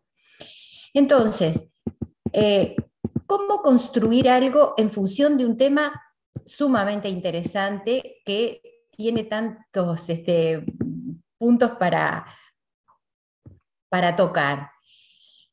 La primera pregunta, o lo que nos planteamos como objetivo general, fue explorar el lugar que ocupa la pregunta en la enseñanza universitaria, planteándonos qué lugar ocupa la pregunta, qué tipo de interrogantes circulan en las aulas universitarias, cuál es la frecuencia que se da en el devenir didáctico eh, respecto a este, las preguntas que se van eh, formulando, eh, cuándo son más comunes, si al comienzo de la interacción, en el medio, hacia el final, en qué tipo de cursos, este, en cursos de índole más este, teórica o teórico-práctica, eh, en, el inicio de la carrera o hacia el final egresando, bueno, nos parecía que era interesante de observar este tipo de cosas. ¿Qué se hace cuando aparece una pregunta en los ambos términos de la diada, decíamos, en el enseñante aprendiente o en el enseñante grupo? Si se responde como un ping-pong o se plantea y se socializa ese interrogante a la totalidad de los presentes. Y fundamentalmente, que es donde nosotros quisiéramos mirar o, centrar el, análisis, es cómo podría advertirse algún tipo de relación con el saber que se establece respecto a este sujeto que pregunta. Entonces, nos propusimos allí este, estos cuatro objetivos específicos derivados del objetivo eh, general y hay un cuadro que fue un gran regalo que, me hizo Alicia este, cuando yo supervisé con ella la tesis de maestría, en el cual logramos identificar eh, en estas entrevistas eh, la posición en la cual el docente universitario que tiene su perfil investigativo tiende a situarse. Eh, veíamos que eh, de alguna manera hay dos posiciones, la posición de saber o la posición de no saber. Alicia me mostraba la posición de no saber podría ser ocupada por el que piensa que el saber lo tiene el otro o que está en un lugar inaccesible, o encontrarse en la posición del aprendiz con esta ilusión y deseo de poder llegar a saber con curiosidad, con creatividad. Eh, la posición de saber, a su vez, podría estar vinculada a ocupar el lugar del saber del enseñante, de esa persona que detenta un supuesto saber, que quiere transmitir, pero que a veces alberga la incertidumbre, que no se apega a las certezas, y el saber del experto, ¿no? donde se exhibe un saber que es incuestionable, que es absoluto, este, o un exceso de saber donde la duda no es admitida. Y en la tesis de maestría lo que nosotros vimos es que las personas que yo entrevisté eh, generalmente eh, adoptaban por momentos una posición de aprendiz y por momento un, este, saber del enseñante, ¿no? que iban este, eh, eh, de alguna manera transitando entre estos dos lugares, ¿no? entre el no saber y este, la curiosidad que se les presenta eh, frente a una nueva temática, la curiosidad que también les despierta una pregunta planteada por un adulto, cómo piensan, cómo luego vuelven a elaborar la pregunta que alguien formuló, cómo la, la desestructuran en una cantidad de subtemas este, y cómo eso alimenta o muestra también esta este, posición específica que este docente que transita por ámbitos investigativos este, tiene respecto al saber y cómo lo contagia en los estudiantes, ¿no? en esto de generar cuestionamientos eh, sobre algo que se cree saber, pero que no necesariamente se posee. Es algo como que de alguna manera esquivo, que circula, este, que, de alguna manera no es una propiedad exclusiva de nadie, que se sienten parte de un proceso constructivo, ¿no? Eh, por supuesto que no encontramos, que me quedan... Este, entonces, eh, nos planteamos la delimitación de algunos formatos interrogativos en los que se pretendería focalizar la investigación dentro de todas las interacciones con la temática abordada. Los formatos interrogativos forman una parte, algunas otras partes no conforman, este, no, son formatos interrogativos, y eh, logramos advertir que hay preguntas que podrían ser pensadas como de información o preguntas retóricas o preguntas de verificación, que generalmente son formuladas por estudiantes, es lo que vamos viendo, está bien lo que yo pensé, este, em, dónde encuentro tal cuestión, otras que muchas veces son relacionales o inferenciales, que promueven la reflexión, eh, y nos parecía importante salirnos como de la clasificación en preguntas retóricas, preguntas didácticas, ¿no? Este, eh, el campo es mucho más este, abarcativo e interesante como para, para poder allí meter este, la, lupa para, para poder estudiarlo. Eh, con respecto a la metodología, y con esto voy eh, terminando, nos propusimos realizar un trabajo cualitativo, eh, interpretativo, de carácter exploratorio y descriptivo, donde vamos a realizar observaciones de clase, entrevistas a docentes y estudiantes, y por supuesto la discusión con otros investigadores de los avances que vamos teniendo en el, mm, en el trabajo de campo, eh, se supone que se asiste con un grabador este, para obtener la secuencia de la clase. Tomar nota a veces es un poco complejo, pero sí, además se toman notas en el transcurso de, la, clase. Eh, tratamos de plantear tres clases al inicio juntas, tres clases en el medio y tres clases hacia el final del curso. Y por supuesto, llevar un diario en el cual se pudieran anotar asociaciones, dudas, reflexiones en cuanto uno termina de hacer el trabajo de campo.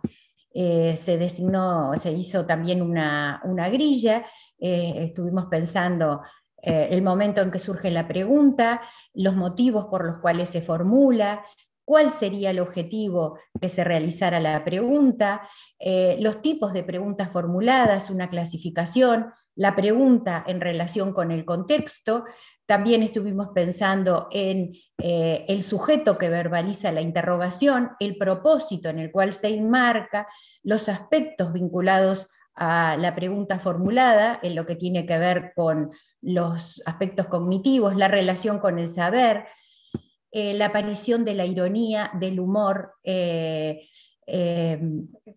a veces eh, durante la clase la aparición de la pregunta muestra precisamente este, un, afloje de, lo acartonado, ¿no? O, este, o, a lo mejor este, casi que como, como, un lapsus, casi que como este, eh, elementos que, que, podrían llegar a ser interesantes de pensar, la creatividad, los enigmas, la innovación, y las situaciones no esperadas. ¿no?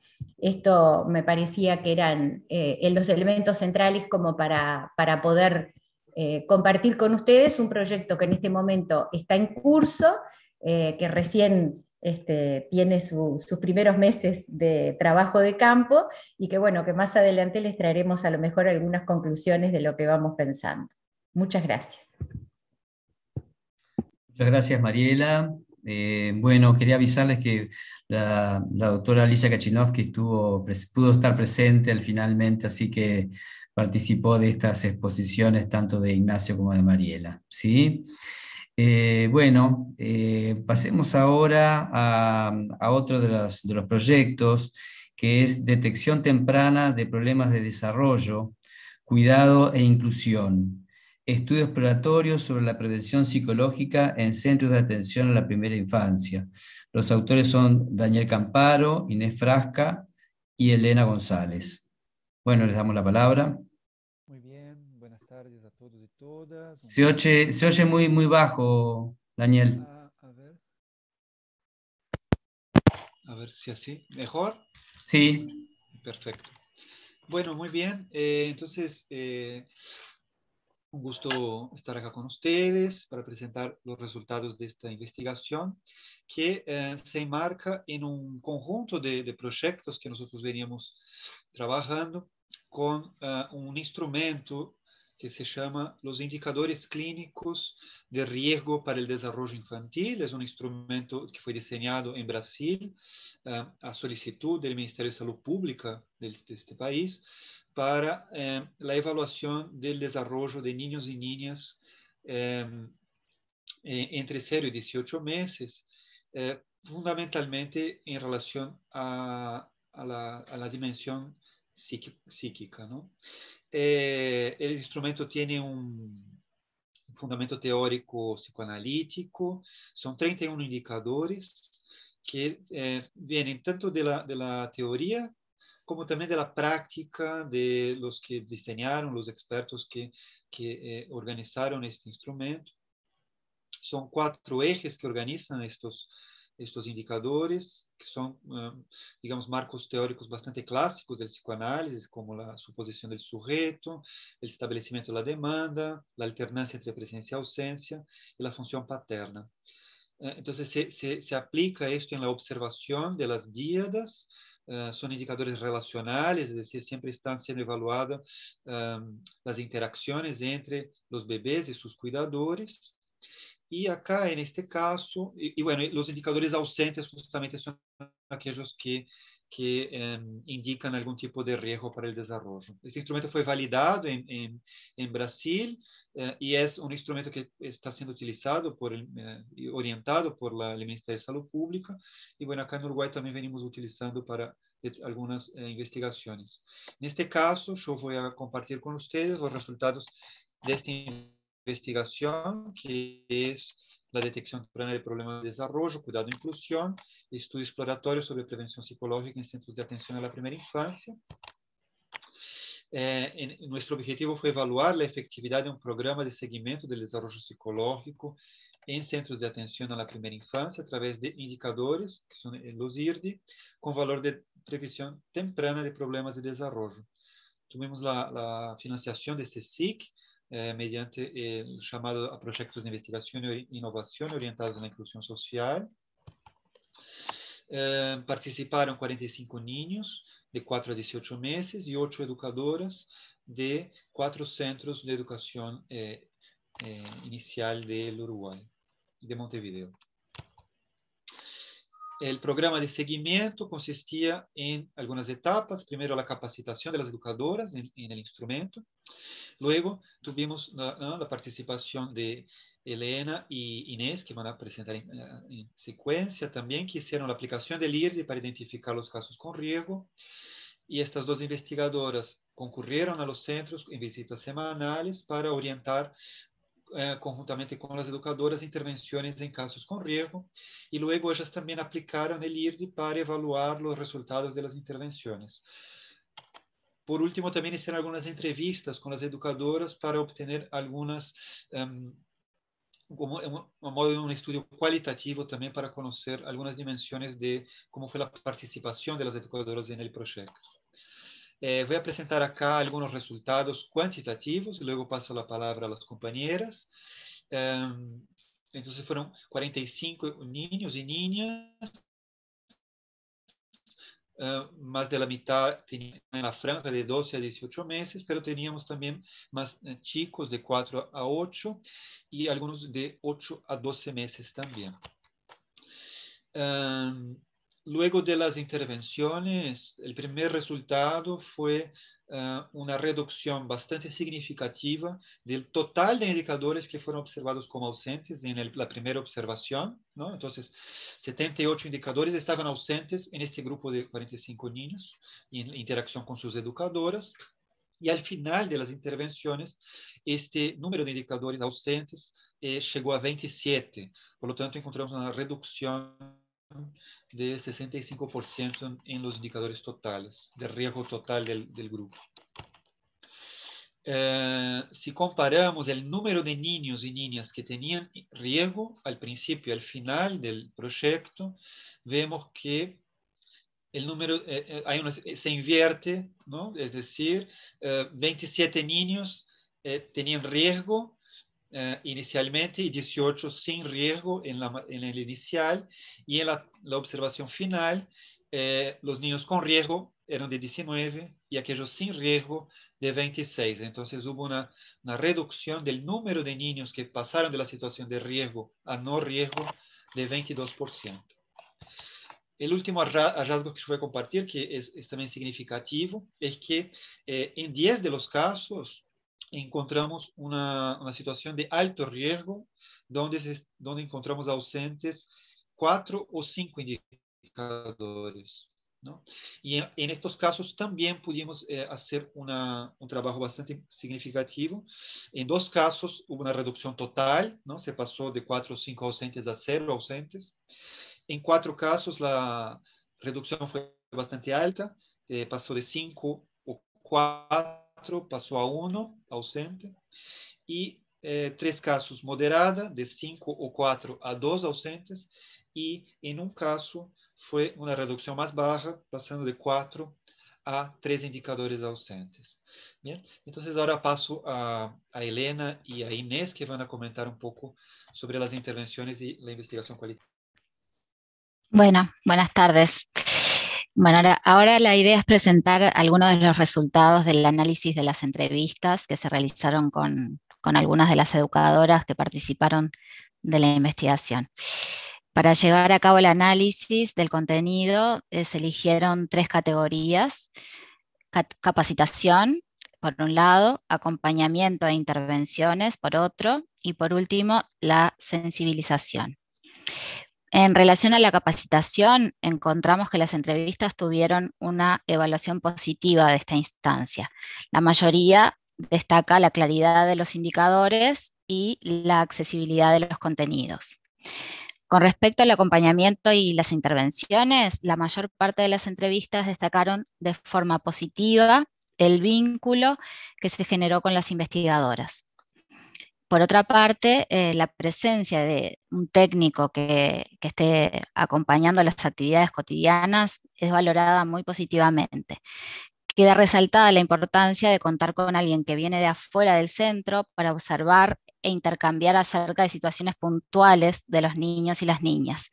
Este punto adquiere todavía mayor relevancia ya que si bien los centros cuentan con equipos técnicos, ellos no suelen estar tan presentes en la sala.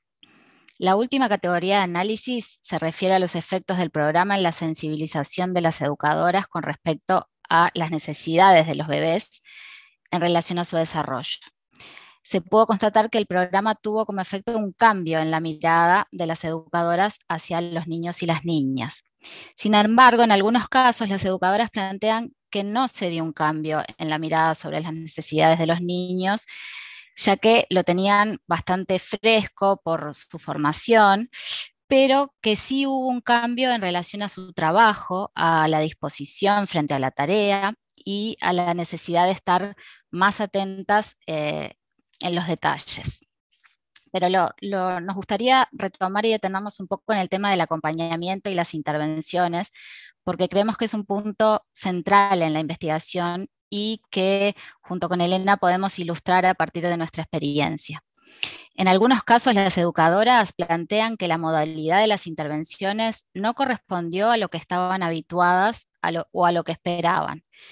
Una de ellas se imaginaba que iba a tener un rol más activo, brindando información sobre los niños y las niñas.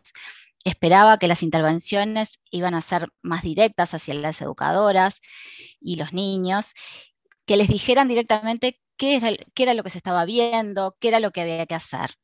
Otra entrevistada eh, sintió que la presencia del acompañante se había dado solamente desde un rol de observadora, sin haber hecho intervenciones directas esta actitud se contrasta con experiencias que tienen con estudiantes de psicomotricidad que también utilizan el centro como campo para su práctica preprofesional. Estas hacen una evaluación, después una devolución y sugerencias eh, en relación a cada niño. Sin embargo, lo curioso en esta, en, esta entrevista, que esta misma em, educadora fue capaz de recordar una situación donde la investigadora realizó una intervención mediante el juego con una pelota junto a un niño que presentaba riesgo de acuerdo a los indicadores. Ella dice, y me acuerdo el día de la pelotita, que vos hiciste como una intervención, y yo dije, ay, qué perdido lo tengo, porque en realidad él no demandaba. Él era un niño que al principio demandaba cuerpo, pero después, y cómo a veces uno no responde al niño que no demanda y que en realidad él lo precisaba muchísimo, porque él del grupo me parece que es el que más, más precisa que estemos ahí. En este sentido, ella pudo reconocer la importancia de intervenciones a través de una acción y no de palabras para poder repensar su tarea. Esta última fue una, intervención de las tantas que se dieron en esos meses, pero muestra claramente, a partir de las propias palabras de la educadora, el impacto que puede tener en el niño dentro del ámbito institucional, pero especialmente el impacto que tuvo en esta educadora que se quedó pensando en su propia práctica a raíz de esta situación. Destaca justamente que no se trata de una intervención pedagógica que pretende transmitir un saber o un deber ser, sino tratar de aprovechar aquellas situaciones que puedan generar un cambio de mirada en los que están desempeñando esa tarea, en los cuidadores, que son los que están en, en la cotidiana. Bueno, y ahora le doy la palabra a Elena. Bueno, buenas tardes. Eh, bueno, mi idea es poder compartir con ustedes algunos fragmentos también de, este, de observaciones y de las distintas intervenciones que se fueron haciendo y bueno, y algún breve comentario. Eh, la primera observación es, em, voy a, focalizarme más que nada en una educadora y en una, niña de 17 meses, a la que voy a llamar Maite. Em, bueno, y, la primera observación tuvo que ver cómo, eh, cómo la, educadora fue transmitiéndome eh, su preocupación frente a un accidente doméstico en donde la niña había salido este, bastante lastimada, eh, y cómo ella fue relatándome em, eh, su queja ¿no? en relación a, los padres de, esta niña. A su vez también compartió conmigo los distintos pasos que desde lo institucional se fueron realizando. Eh, ya en ese momento a mí me impactó mucho esta situación de esta queja hacia los padres, pero a su vez también actitudes muy poco responsivas que este, se, fueron observando en la interacción entre ella y la niña. Eh, en ese momento eh, directamente le señalo ¿no? que fue una situación difícil para la niña, pero también una situación muy difícil para ella. de alguna manera, la reflexión fue que, bueno, como que mm, eh, la habilito también a ella, eh, a, sus experiencias ¿no? y a sus emociones. Em, eh, mientras que la educadora a su vez fue relatando esta, esta situación, ¿no?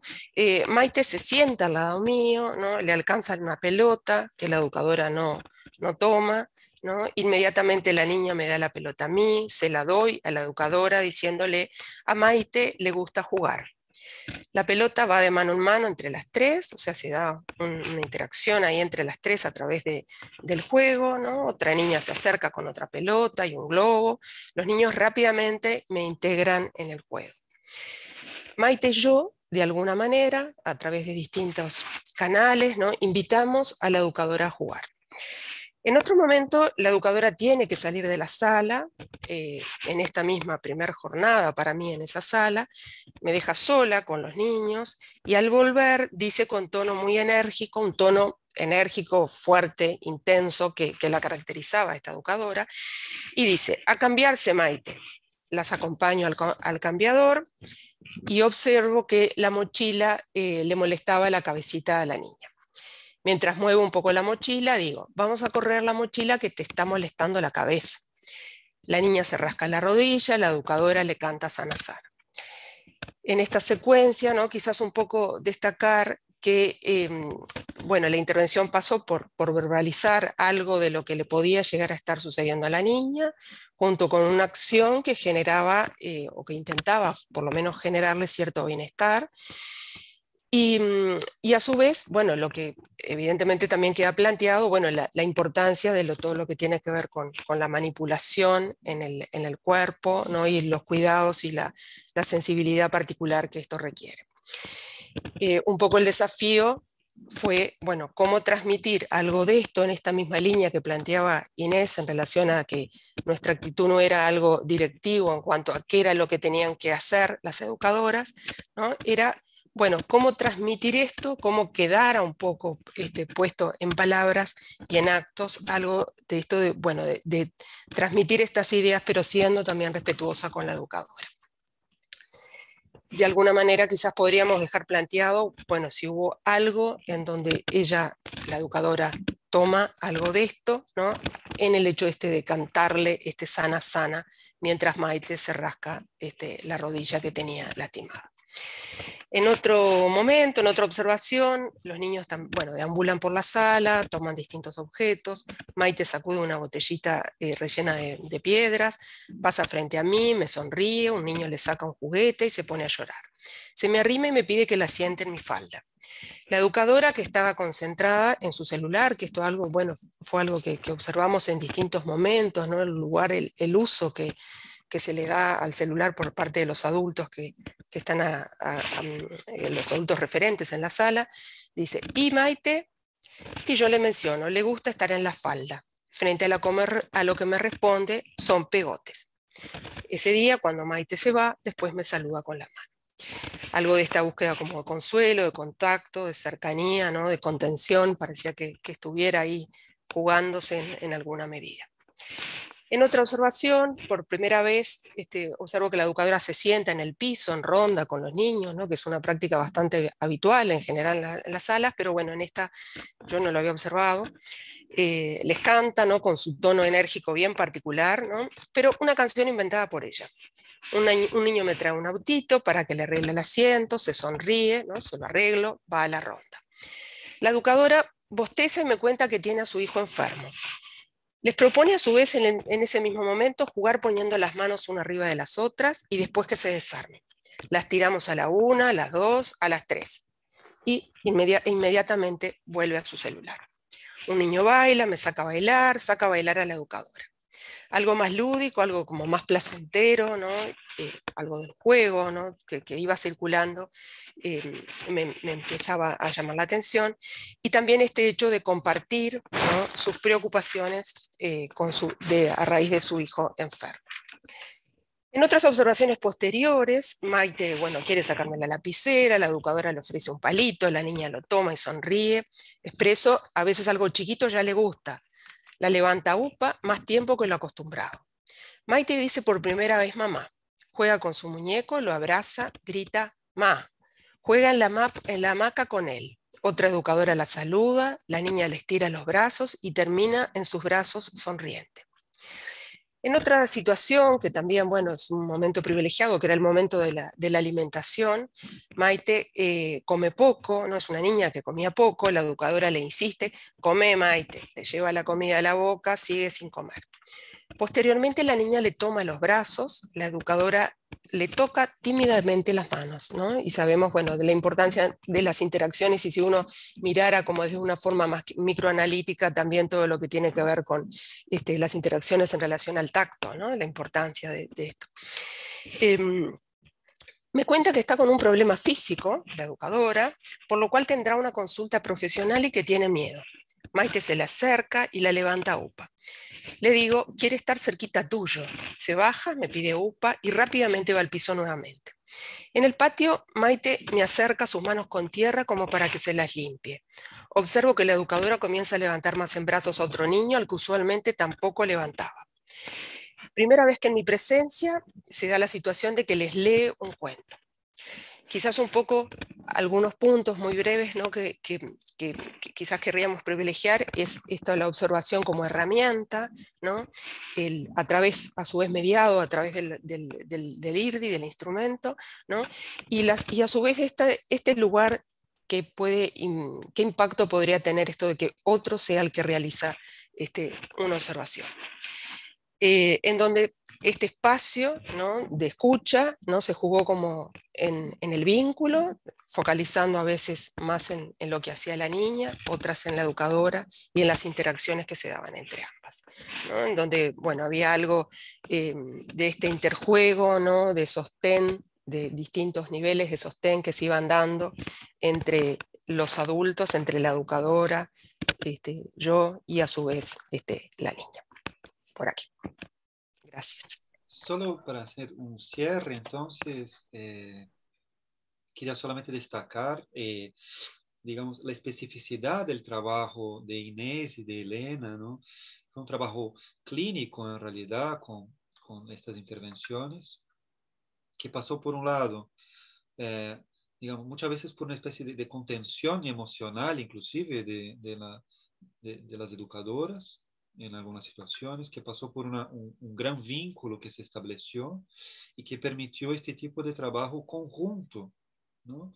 donde eh, no, no, había una, una actitud pedagógica del, del, lado de Inés y Elena de, como de, de, transmitir orientaciones o de qué se debería hacer, sino más bien de problematizar y señalar y, digamos, eh, desarrollar la mirada de las educadoras acerca de eh, las situaciones de riesgo y de las eh, posibles intervenciones que podrían darse en estos casos. ¿no? Y, y, creo que esto también pasó por una, una apropiación de, la, de las educadoras de estas herramientas, ¿no? que para ellas ¿no? hacían, un, un, cumplían ahí un, un lugar que, se, que, estaba vacío, ¿no? de, de este saber que, que, quizás tenían, pero que no tenía forma todavía. ¿no? Dado que en gran medida la, las capacitaciones y la formación terminaba siendo siempre como de alguna medida eh, una, una, mirada biologicista, una mirada orientada al crecimiento y que se perdía estos, estos matices más subjetivos. ¿no? Y ahí, para finalizar, solo destacar la necesidad o la importancia de contar con este tipo de herramienta y con este tipo de intervención, ¿no? en el sentido de que eh, nuestro trabajo es un trabajo de prevención en la salud mental infantil, es un trabajo de uh, evitar que determinadas situaciones eh, puedan desencadenarse desde estas edades tempranas y que, eh, como vimos, como yo mostraba en el caso de algunas situaciones que los niños presentaban un alto riesgo, donde existe una posibilidad que eh, estén como manifestando señales de uh, por ejemplo, alguna psicopatología más severa de la infancia, ¿no? como, hasta como los trastornos del espectro autista. La, nuestra expectativa es que aún en estos casos eh, la reducción de riesgo fue significativa y aún así entonces podríamos plantear entonces una, un tipo de desarrollo o una trayectoria de desarrollo con menos sufrimiento, con más posibilidades, un desarrollo más creativo, entonces que eh, pudiésemos pensar ahí eh, en, en, relación a la salud de estos niños. Así que, bueno, final, finalmente agradecer a Inés y Elena que por, por, el excelente trabajo que han demostrado desde el punto de vista cuantitativo y cualitativo. Creo que tenemos todas las evidencias de la, de la eficacia de nuestro, nuestro programa de seguimiento del desarrollo. Bueno, muy bien, muy, muy rica la exposición. Este, gracias a los tres. Pasaríamos ahora a este, el siguiente trabajo que es ensayo.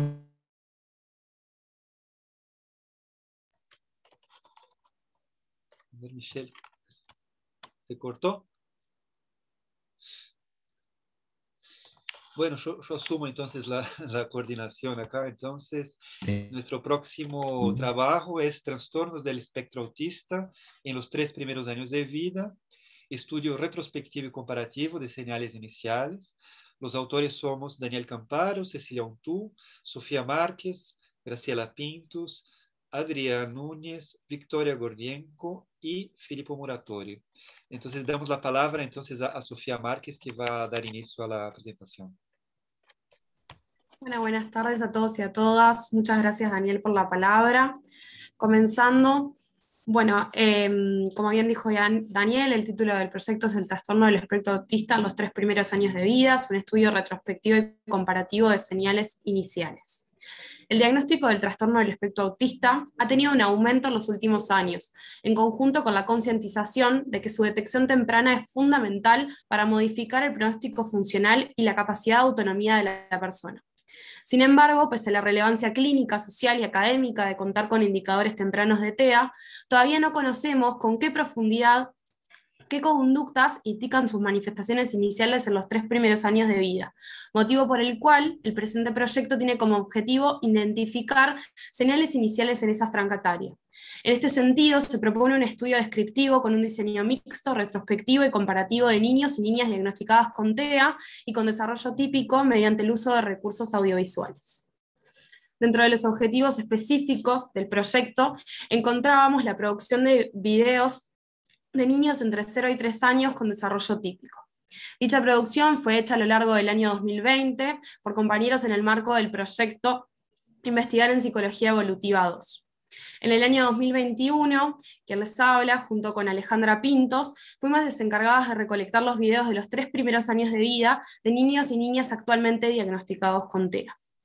Para ello, eh, realizamos un, un, proceso, disculpen, a lo largo del primer semestre de 2021, junto con Daniel y Cecilia, en el cual en un principio nos encargamos de hacer una revisión bibliográfica y luego comenzamos a hacer una difusión mediante redes sociales, em, partiendo de un flyer en el cual invitábamos a los padres y madres de niños con TEA a participar de la investigación, también lo acompañábamos de un texto informativo.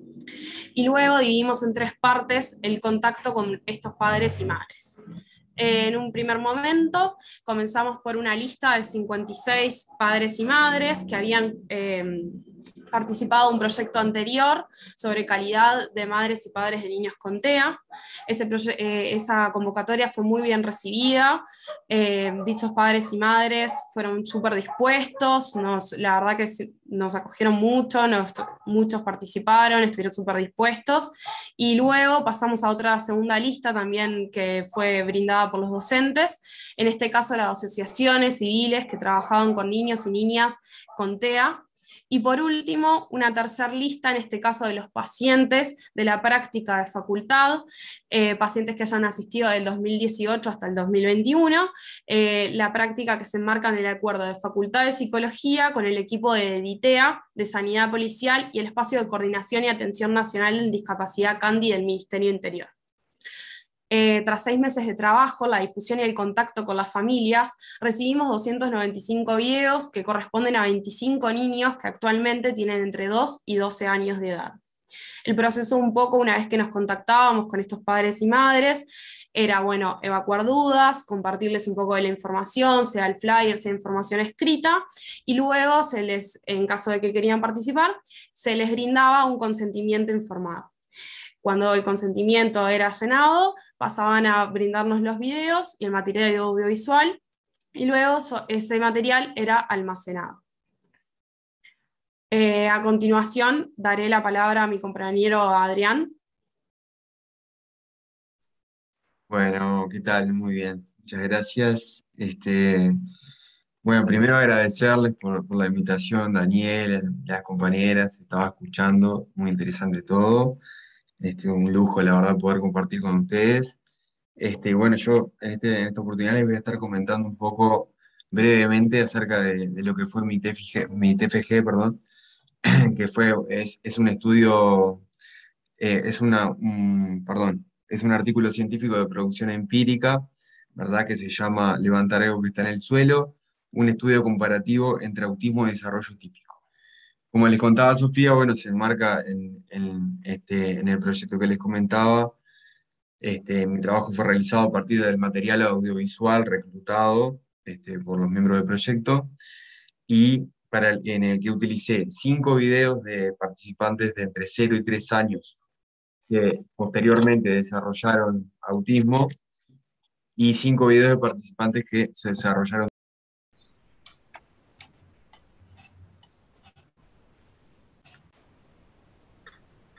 Bien, ahí pude, creo que lo están viendo todos y todas.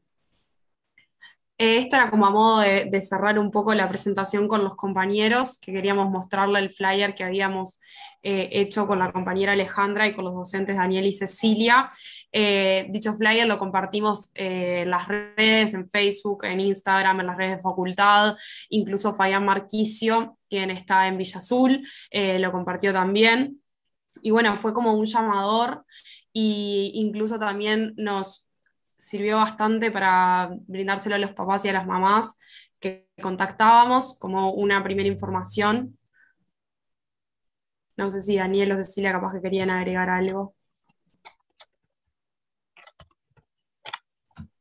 Cecilia.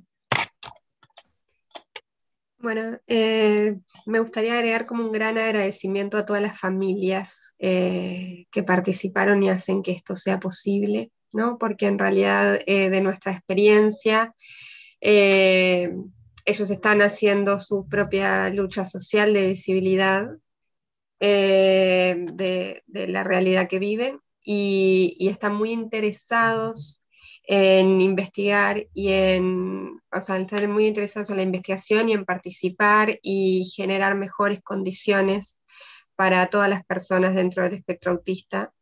Y bueno, un poco esa es como nuestra línea en realidad eh, en todas estas investigaciones. Entonces agradecerles gran, muy grandemente a todos los participantes. Bien.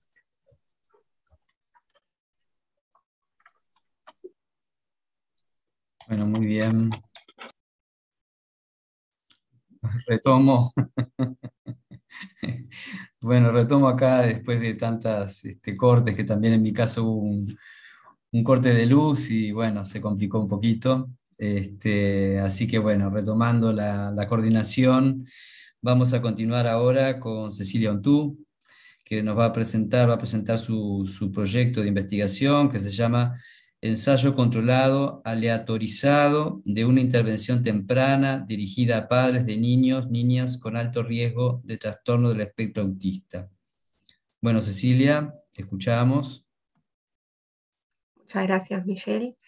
Voy a seguir con los agradecimientos a la mesa, eh, a las jornadas, digamos, y a, y a esta mesa en particular, a los colegas con los que compartimos, que es súper interesantes, eh, todas las presentaciones. Y bueno, acá está también parte, agradecerle a Daniela, Adrián, Victoria y Sofía particularmente, porque parte de lo que yo les voy a presentar, ellos me hicieron una excelente introducción con, la otra línea de investigación que compartimos, así que va a ser más fácil mi tarea. Eh, y bueno, y a todos obviamente los que están escuchándonos y dándonos su tiempo un viernes de tarde.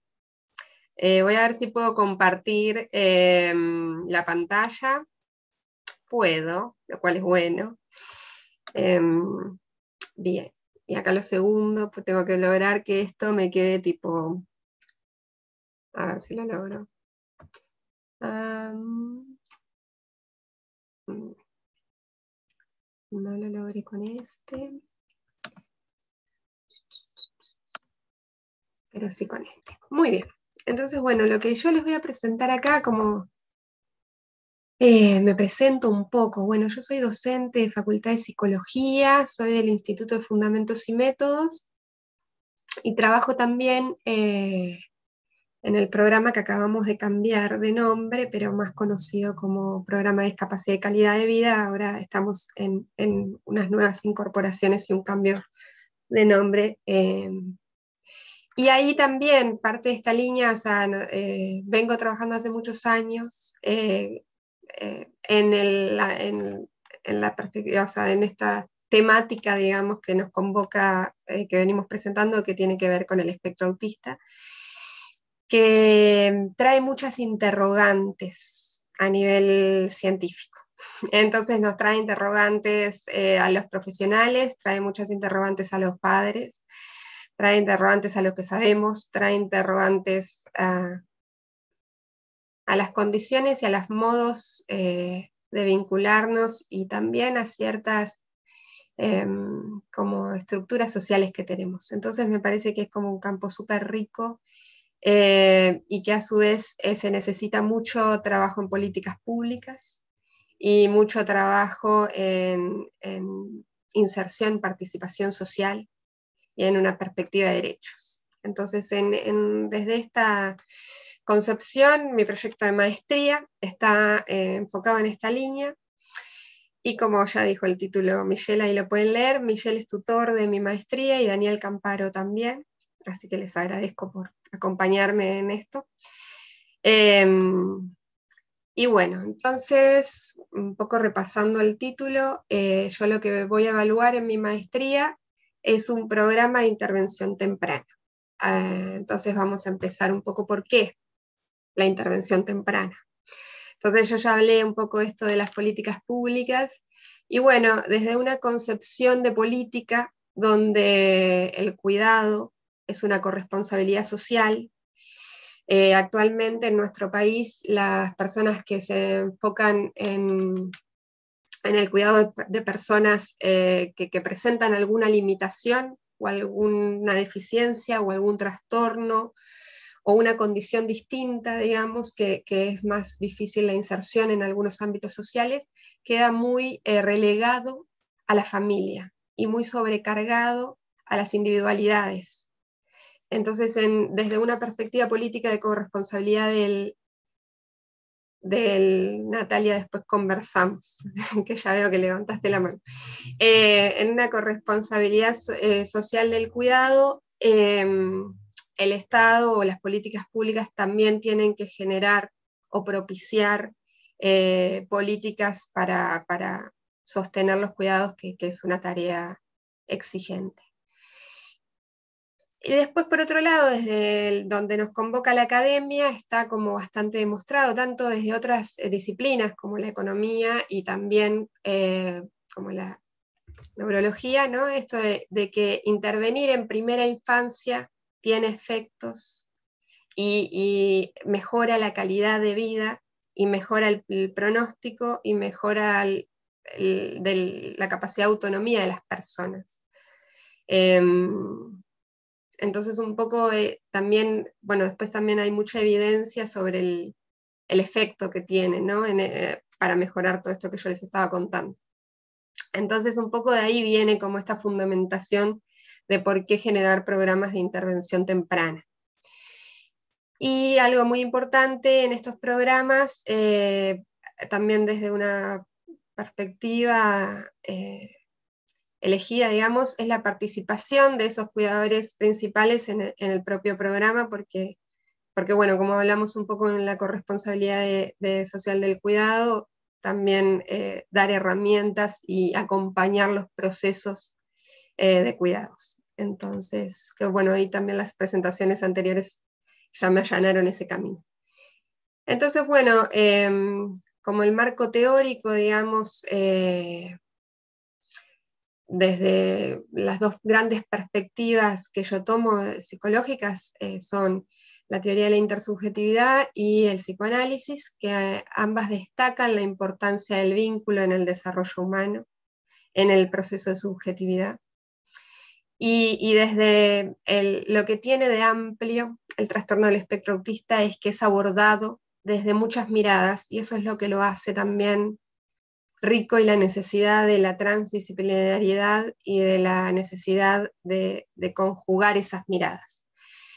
En esto mi, proyecto eh, toma como de marco teórico al trastorno del espectro autista como déficit de la intersubjetividad, porque también esto hace que la intervención esté dirigida a potenciar o a, generar recursos, como esté dirigida justamente con los objetivos dirigidos en la intersubjetividad y en, este, em, en, estos, en estas cadenas complejas de reciprocidad emocional, que un poco ya Adrián habló de ellas. Entonces, em, desde estas perspectivas, eh, esto es como muy común en el campo del TEA, hablar de desarrollo típico y desarrollo atípico, como, como eh, una nomenclatura que se hizo como popular. Bueno, entonces nosotros esperaríamos en un desarrollo típico temprano que, las personas ya, o los, bebés ya tengan habilidades intersubjetivas y un poco esto también fue lo que planteó Victoria en, en la atención social y cómo responden los niños a la estimulación social del ambiente y ellos, tanto Adrián como Victoria, presentaron evidencia de estudios retrospectivos, hay mucha evidencia sobre esto. Eh, también a su vez eh, en las consultas eh, pediátricas los padres desde hace muchos años vienen mostrando y, y preguntándose por el desarrollo de su hijo cuando tiene alguna alteración. Eh, entonces esto como que es también un fundamento de por qué empezar a intervenir tempranamente, aunque ya vemos alteraciones en ese desarrollo desde edades muy tempranas, capaz que insospechadas hace años, o sea, hace unos años tal vez no lo sospechábamos y por suerte la, evidencia y, los movimientos nos han logrado verlo y acá es otro tema muy importante, eh, que bueno, que este vínculo, y que tiene tanta importancia en el desarrollo, es una interacción bidireccional, co-construida entre este niño que, yo les vengo contando, que puede tener alteraciones en estas habilidades intersubjetivas esperadas desde temprana edad, y cuando estas habilidades no se presentan, esa sonrisa social no aparece, esa búsqueda del otro, ese, el, bebé es un buscador activo de tu atención, de tu sonrisa, de tu mirada, o sea, hace sonidos, gorgojea, se ríe, te toca eh, para que lo mires, te busca la mirada. Cuando estas cosas no están en esta interacción dialógica y co-construida, se va como, como perdiendo eh, eh, ese diálogo que necesitamos para el desarrollo tan importante. Entonces, eh, hablamos del campo de los estudios retrospectivos, que son con los videos caseros. Dentro del espectro autista están los estudios prospectivos, digamos, que en este caso se hace mucho con eh, hermanos, con hermanos más pequeños, ¿no? en estas etapas del desarrollo. Em, de niños que ya presenten o ya tengan un diagnóstico de, del espectro autista. ¿Por qué? Porque hay una alta prevalencia. Es un 20% de prevalencia. No quiere decir que todos los hermanos vayan a tener eh, TEA, pero bueno, es una alta prevalencia y por eso también es un campo muy fructífero y muy eh, actual de investigación. Entonces, este estudio de mi maestría está en este tipo de estudios, en los prospectivos, y también lo que nos permite a nivel eh, académico es expandir los conocimientos que tenemos sobre el curso del desarrollo y sobre diversas trayectorias del desarrollo, independientemente que tal vez los niños que participen, eh, estos hermanos tal vez no presenten esta característica, pero aún así nos, nos abre el campo de conocimiento que, que en realidad es lo que buscamos siempre en última instancia. Entonces la intervención, yo les voy a compartir un poco como de que, como mi proyecto, entonces, em, y algo que yo no dije, bueno, ahí hay como, esto un poco Daniel lo dijo, pero em, actualmente está muy en boga eh, esto mismo que yo estoy tratando de hacer, buscar evidencia sobre las intervenciones, eficacia de las intervenciones. Y em, bueno, y la mayoría, eh, en el campo del espectro autista, la mayoría de las eficacias y la mayoría de este tipo de estudios de ensayos controlados, aleatorizados, eh, vienen de marcos teóricos eh, más cognitivo-conductuales, y hay muchísima evidencia allí. Pero hay poca evidencia de intervenciones con otros fundamentos teóricos. Entonces, un poco ahí se ancla un poco el tipo de intervención eh, que yo propongo, que no es dirigida a, aspectos cognitivos conductuales o conductas o, a mejorar como algunas conductas del desarrollo, sino está dirigida más a lo relacional, en cierto sentido, esta interacción em, que les venía comentando. Entonces la intervención, em, así como en el plano de lo concreto, Serían 12 sesiones enfocadas a la interacción diádica en un intervalo de seis meses. Eh, em, eh, ahí dice, ¿no? Como, como, hechas o realizadas en el hogar familiar por una cuestión de familiaridad y de comodidad y, de menos, y más de contexto real, digamos, del desarrollo de ese niño. Y la característica es que las intervenciones van son dirigidas al cuidador principal, eh, porque están enfocadas a, la sensibilidad, a acompañar al padre, que eh, hay una frase muy común que es eh, ¿no? que uno se hace como padre en la práctica, no, nadie nace sabiendo ser padre y uno incluso además no es el mismo padre ni la misma mamá, así tengan con cada hijo, ¿no? A, tiene una construcción distinta de, eso, de esa parentalidad en cierto sentido. Entonces, es, eh, el programa está dirigido a la sensibilidad parental sobre estas capacidades dialógicas que les estuve comentando al inicio, que, ya vienen con el hándicap que tal vez el bebé no presente em, esas eh, características que generan la reciprocidad en la relación. Y acá cuando estamos hablando de reciprocidad también un poco con, la sincronicidad y el ritmo en esa relación y que, hay como un corte y no se genera como, como la, em, la co-construcción que, se espera. Entonces, un poco allí. Les comparto el objetivo general de, la investigación, eh, es estudiar el efecto de la intervención temprana dirigida a padres de niños y niñas con alto riesgo de TEA en estas capacidades dialógicas parentales y las habilidades intersubjetivas del niño. Esto es lo que es particular de justamente este marco eh, donde está basado la intervención. En los objetivos específicos, un poco les comenté en los generales, pero es evaluar, porque en este diseño ahora les voy con la metodología, pero en este diseño voy a evaluar antes y después de la intervención. Entonces, ¿qué voy a evaluar antes y después? Las capacidades dialógicas antes de la intervención, las habilidades intersubjetivas y después lo mismo. También voy a definir esto, una línea de base de riesgo, porque estamos hablando justamente, como, como les comenté, es un estudio prospectivo, son no necesariamente, o sea, no, tal vez nunca desarrollo, o sea, no, no, estén luego en su desarrollo bajo esta nomenclatura, o sea, bajo este diagnóstico. Entonces, bueno, es definir eh, la línea de base de riesgo de cada uno de los niños, eh, diseñar e implementar el programa de intervención que les comenté, evaluar la capacidad dialógica, bueno, esto es lo que les decía al principio, después de la intervención. Y ahora les cuento un poco sobre la metodología. Eh, elegí una metodología mixta, les comenté ya que es un ensayo controlado y autorizado, tiene un, grupo experimental y un grupo control, eh, medidas pre y post intervención.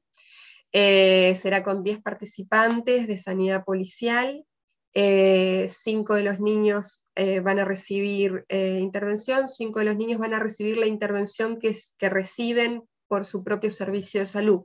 O sea, van a recibir, eh, incluso si en el estudio se detecta algún riesgo que amerite dentro de una derivación dentro de su, dentro de su institución de salud, se realizará. ¿no? O sea, por supuesto, eso es un beneficio también que, que, se puede detectar tal vez si hay algún riesgo, se puede detectar antes de capaz los canales eh, comunes de la institución.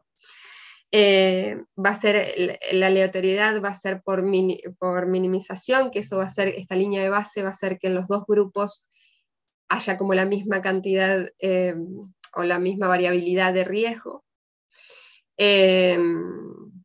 y bueno, y entonces las, las medidas o este pre-post, digamos, el componente cuantitativo voy a utilizar el MChat, que es un, instrumento de screening muy ampliamente utilizado eh, para, detectar riesgo eh, eh, dentro de TEA.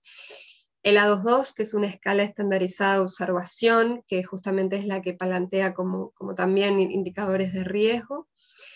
Y luego también una, voy a grabar una hora videograbada de las interacciones diádicas previo a la intervención y post-intervención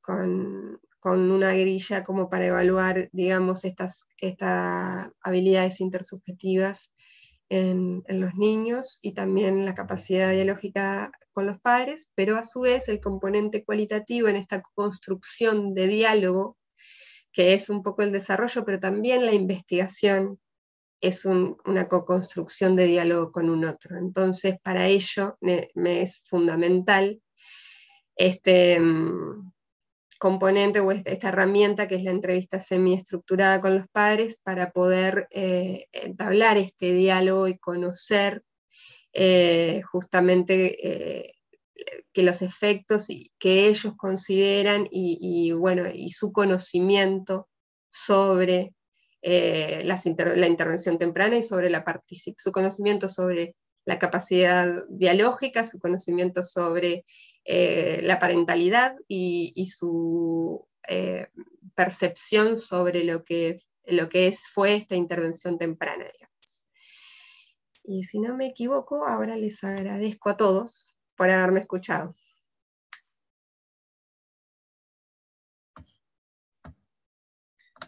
Bueno, muy bien, muy bien, muchas gracias, este, Cecilia.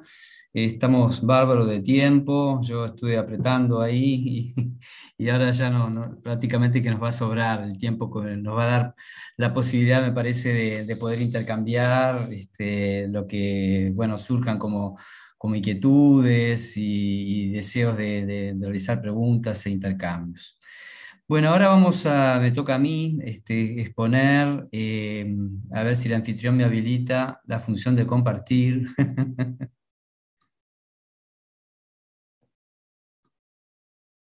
a ver.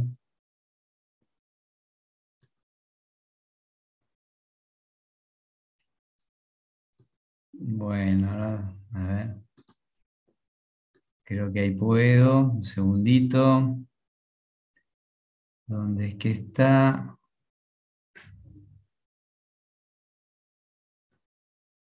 Bueno, esperen un momentito porque no está abierta ahora la... Tuve un percance. Déjenme ver, a ver. Ahora sí. Hoy no es mi día. Bueno. Con la tecnología. Sí, con la tecnología. Ah, está. Llegamos, muy bien.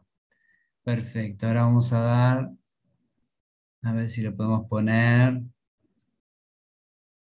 como presentación, transición, animación, presentación de diapositivas. Bien, ahí. Bueno, bueno, este, esta se trata de una, investigación que está en curso, que se llama Impacto del femicidio íntimo en la salud mental y trayectoria de vida de los hijos. Eh, es una investigación eh, que, donde forma parte, digamos, de un convenio que se ha realizado interinstitucional entre la eh, Universidad de la República con la Unidad de Víctimas y Testigos de Fiscalía General de la Nación, el INAU y tiene el apoyo también de UNICEF. El equipo eh, está conformado por eh, todos estos investigadores, Alicia Kachinovsky, Daniel Camparo, Leticia Bernet, Rosana Rodríguez, Carmen Rodríguez, Alexandra Perdomo, Carolina Borges, Fiorella Nesta, Soledad Rodríguez, Romina Martínez y Aña Urqueví. Eh, es un equipo interdisciplinario donde hay psicólogos, asistentes sociales, eh, abogados, psicoanalistas, eh, analistas institucionales. bueno, como les decía, es una investigación que este, está en curso, que fue a partir de, de abril del año pasado. Y bueno, se trata de justamente abordar un punto en el cual eh, está poco estudiado en Uruguay. Eh, el femicidio íntimo en Uruguay, si bien es de alta preocupación social y política, eh, existe muy, muy poca producción, tanto a nivel académico como a nivel de, este, de las políticas sociales con respecto al destino de los hijos de las mujeres asesinadas o sea que aparecen como esos vacíos en las políticas públicas con respecto a las respuestas que se le dan a estos niños eh, que han quedado huérfanos por femicidio íntimo. Esto hace que haya también una ausencia de modelos comprensivos y de intervención clínica oportuna para trabajar con estos niños que nosotros consideramos que, es este, que tiene una especificidad el, trabajo con, estos niños. En estado de situación, para contextuar un poco de qué estamos hablando, em, en el 2019, el año 2019, por decreto presidencial se declaró estado de emergencia nacional en materia de violencia de género y esto es porque, según el Observatorio de Igualdad de Género de América Latina y el Caribe, Uruguay ocupa el segundo lugar en América Latina en cuanto a la cifra de femicidios. ¿No? O sea, realmente es alarmante, si bien eh, prácticamente hay casi un femicidio este, por mes y medio, más o menos, ese es la, el promedio. Este, y dentro de, los femicidios, que, que, es una categoría amplia, existe una prevalencia de mujeres asesinadas por su expareja, que es femicidio íntimo. Acá nosotros nos vamos a encargar de lo que es el femicidio íntimo, es decir, estos que tienen que ver con eh, las mujeres que son asesinadas por su pareja o por su expareja. Existen otros tipos de femicidios que pueden ser por, este, por, algún familiar o, puede ser este, un femicidio eventual también por, un agresor eh, no conocido, eh, etcétera, pero dentro de los femicidios vamos a encargarnos de los femicidios íntimos. Dentro de los femicidios íntimos en Uruguay, el 84 es, es, el 84% de los casos de los femicidios son íntimos. El rango de, edades de las mujeres asesinadas es de entre 30 y 40 años. En el 75% de los casos no existía denuncia previa y los femicidas, en el 64%, son procesados o formalizados luego de cometer el crimen, y un 33% comete suicidio posterior, que es un patrón que solo se, da en los femicidios y no en otro tipo de homicidios. Según este, datos de un, estudio reciente, eh, en el 2018 hubieron 30 femicidios de los cuales 11 tenían hijos, o sea, el 36%, arrojando un 30 niños, niñas y adolescentes que quedaron huérfanos por esta, por esta razón. Y en el 2019 hubieron 25 femicidios, de los cuales 13 tenían hijos, o sea, es un 53%, donde quedaron 21 niños, niñas y adolescentes huérfanos por, por, esta, por esta situación.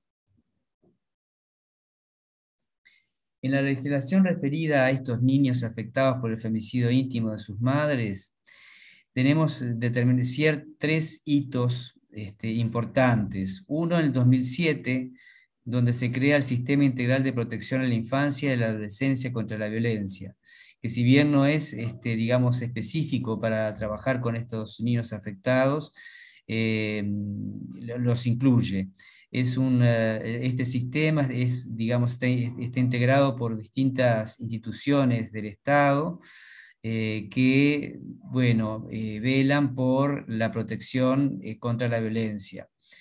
después, en el 2011, se decretó la ley 18.850, que se llama Hijos de Personas Fallecidas como consecuencia de hechos de violencia doméstica esta ley eh, otorga una pensión este, a los niños menores de 18 años y eh, también eh, les, por lo menos desde la ley, se sugiere se, garantizaría la asistencia psicológica desde esta ley. Digo porque la ley existe, pero hay grandes dificultades para la aplicación de la ley en los hechos reales es uno de los, de los puntos que estamos investigando nosotros en estas trayectorias de vida de estos niños. Luego está la ley 19, en el 2019, la ley 19.747 ya este, considera a los niños víctimas por exposición a violencia de género y no como este, víctimas secundarias de la violencia, sino directamente víctimas este, directas por exposición a violencia de género, y que es también este, un reconocimiento de, este, de los niños que, eh, que, han vivido esto. Porque suele pasar que eh, en cuestiones de género las infancias quedan de alguna forma invisibilizadas. Eso según, según estudios que ha realizado este, UNICEF, plantea eso en el 2012, ha planteado que en cuestiones de género las infancias han quedado invisibilizadas. Entonces, bueno, ahora con esta ley se intenta, este, bueno, que eh, darle visibilidad eh, también a, a este tipo de violencia dirigida a las infancias. Como antecedentes a nivel nacional, existen dos, uno, uno, muy actual, que es respuestas públicas dirigidas a hijos e hijas de mujeres víctimas de femicidio, que es un estudio este, más eh, que es cuantitativo y cualitativo, donde bueno, investigan o dan resultados sobre justamente estas respuestas públicas y las dificultades y carencias que, hay respecto a, la aplicación de, la ley y, mm, el acceso de los implicados a los servicios de salud. Y eh, también hay un, eh, un, protocolo de, que habla del proceso de reparación del daño, que fue elaborado en 2020, pero que habla de, este, de los niños, eh, digamos, de la violencia en general, no habla específicamente de los niños este, por femicidio íntimo. Y a nivel internacional, la literatura relevada este, es que existen estudios cuantitativos y cualitativos, pero con un modelo teórico basado en el paradigma del estrés postraumático.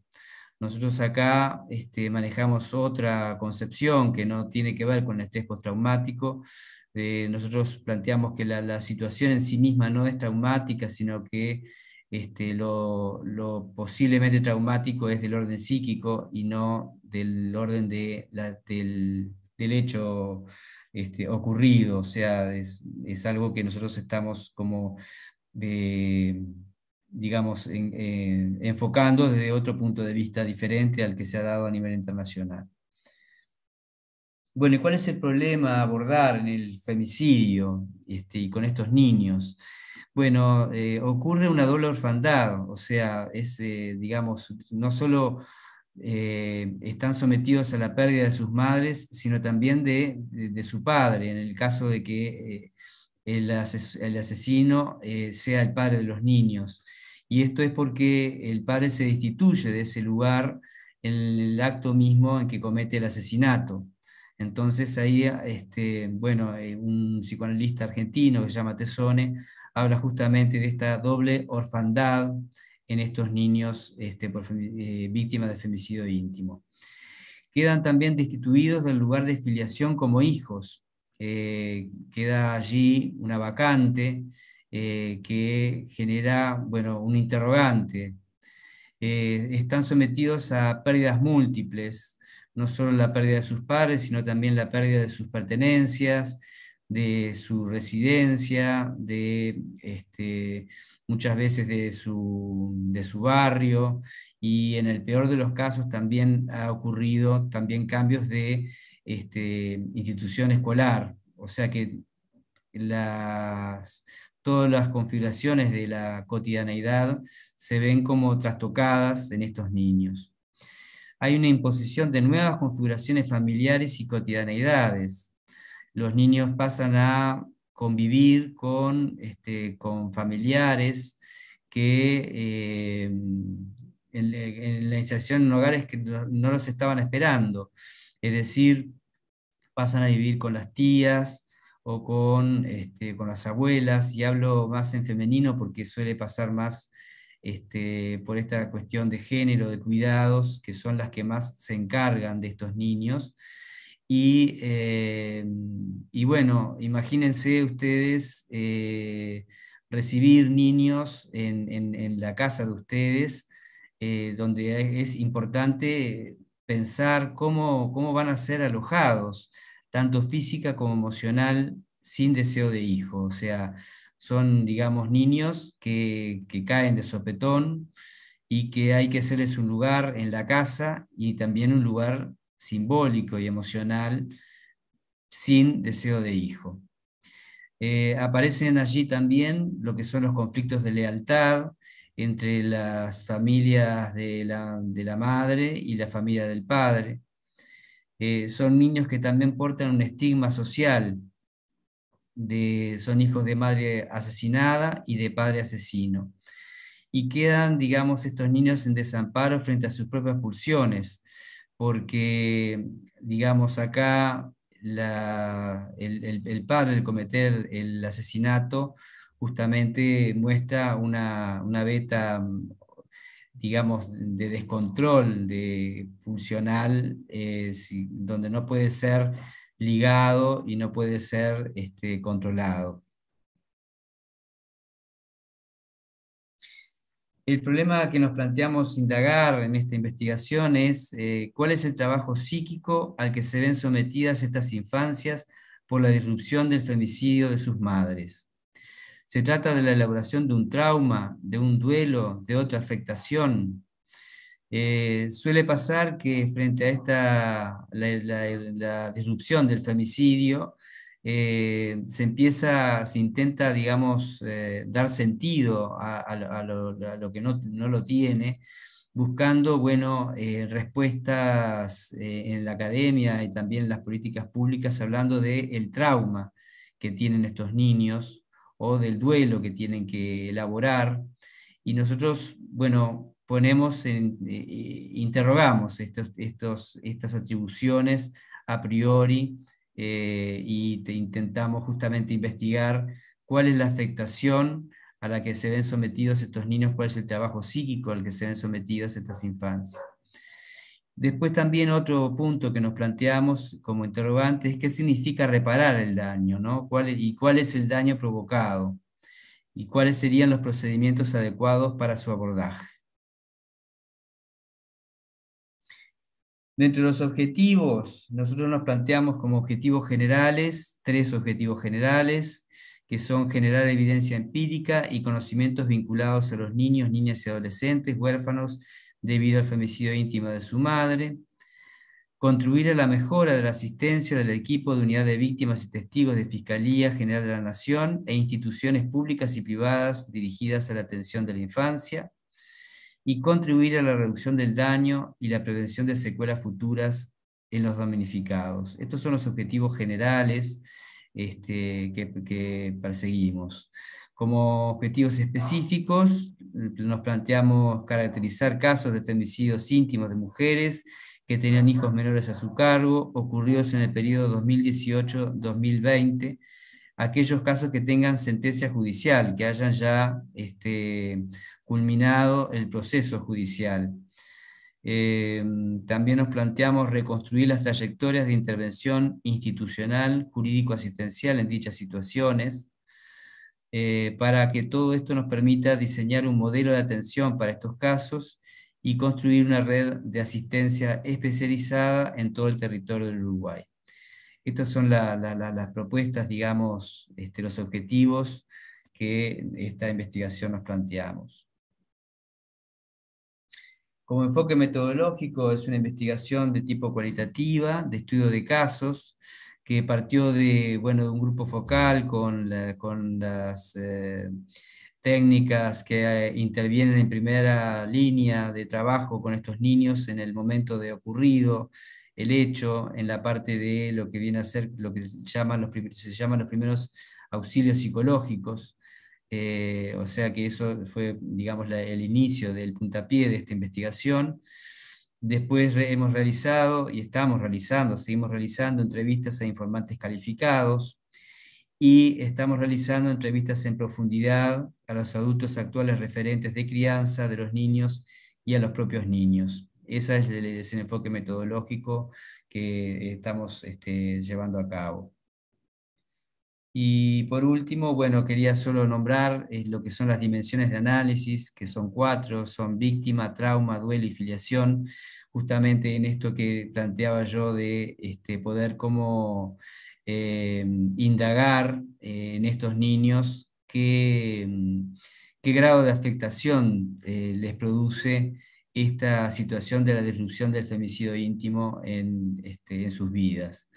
Eh, esto lo hemos trabajado en un artículo que publicamos con, con, este, con Daniel Camparo y con Alicia Kachinovsky. Eh, o sea que, bueno, yo me remito a ello y hoy daba, no nos da como para seguir este, desarrollando esto que nos llevaría mucho más tiempo. Bueno, yo dejaría por acá, no sé, a ver, este, esta sería la, la presentación, les agradezco la atención. Y bueno, eh, tenemos, yo creo que tenemos todavía, ah no, un minuto nos queda este, para, pensé que, íbamos a tener más tiempo, pero bueno, este, llegamos a, a la hora esperada. Eh, agradezco a todos los eh, panelistas, han sido muy ricas las exposiciones, creo que han quedado, bueno, motivos para, hacer preguntas, para, intercambiar, que esperamos que se puedan realizar este, a través de la página web de la, del SICP, ¿no? que, que esa la idea de poder recibir este, las preguntas y poder contestarlas también por esa vía. Bueno, damos por finalizada entonces esta jornada y nos veríamos mañana con las, mesas que, que continúan el día de mañana. ¿Sí? Así no sé si Muchas gracias.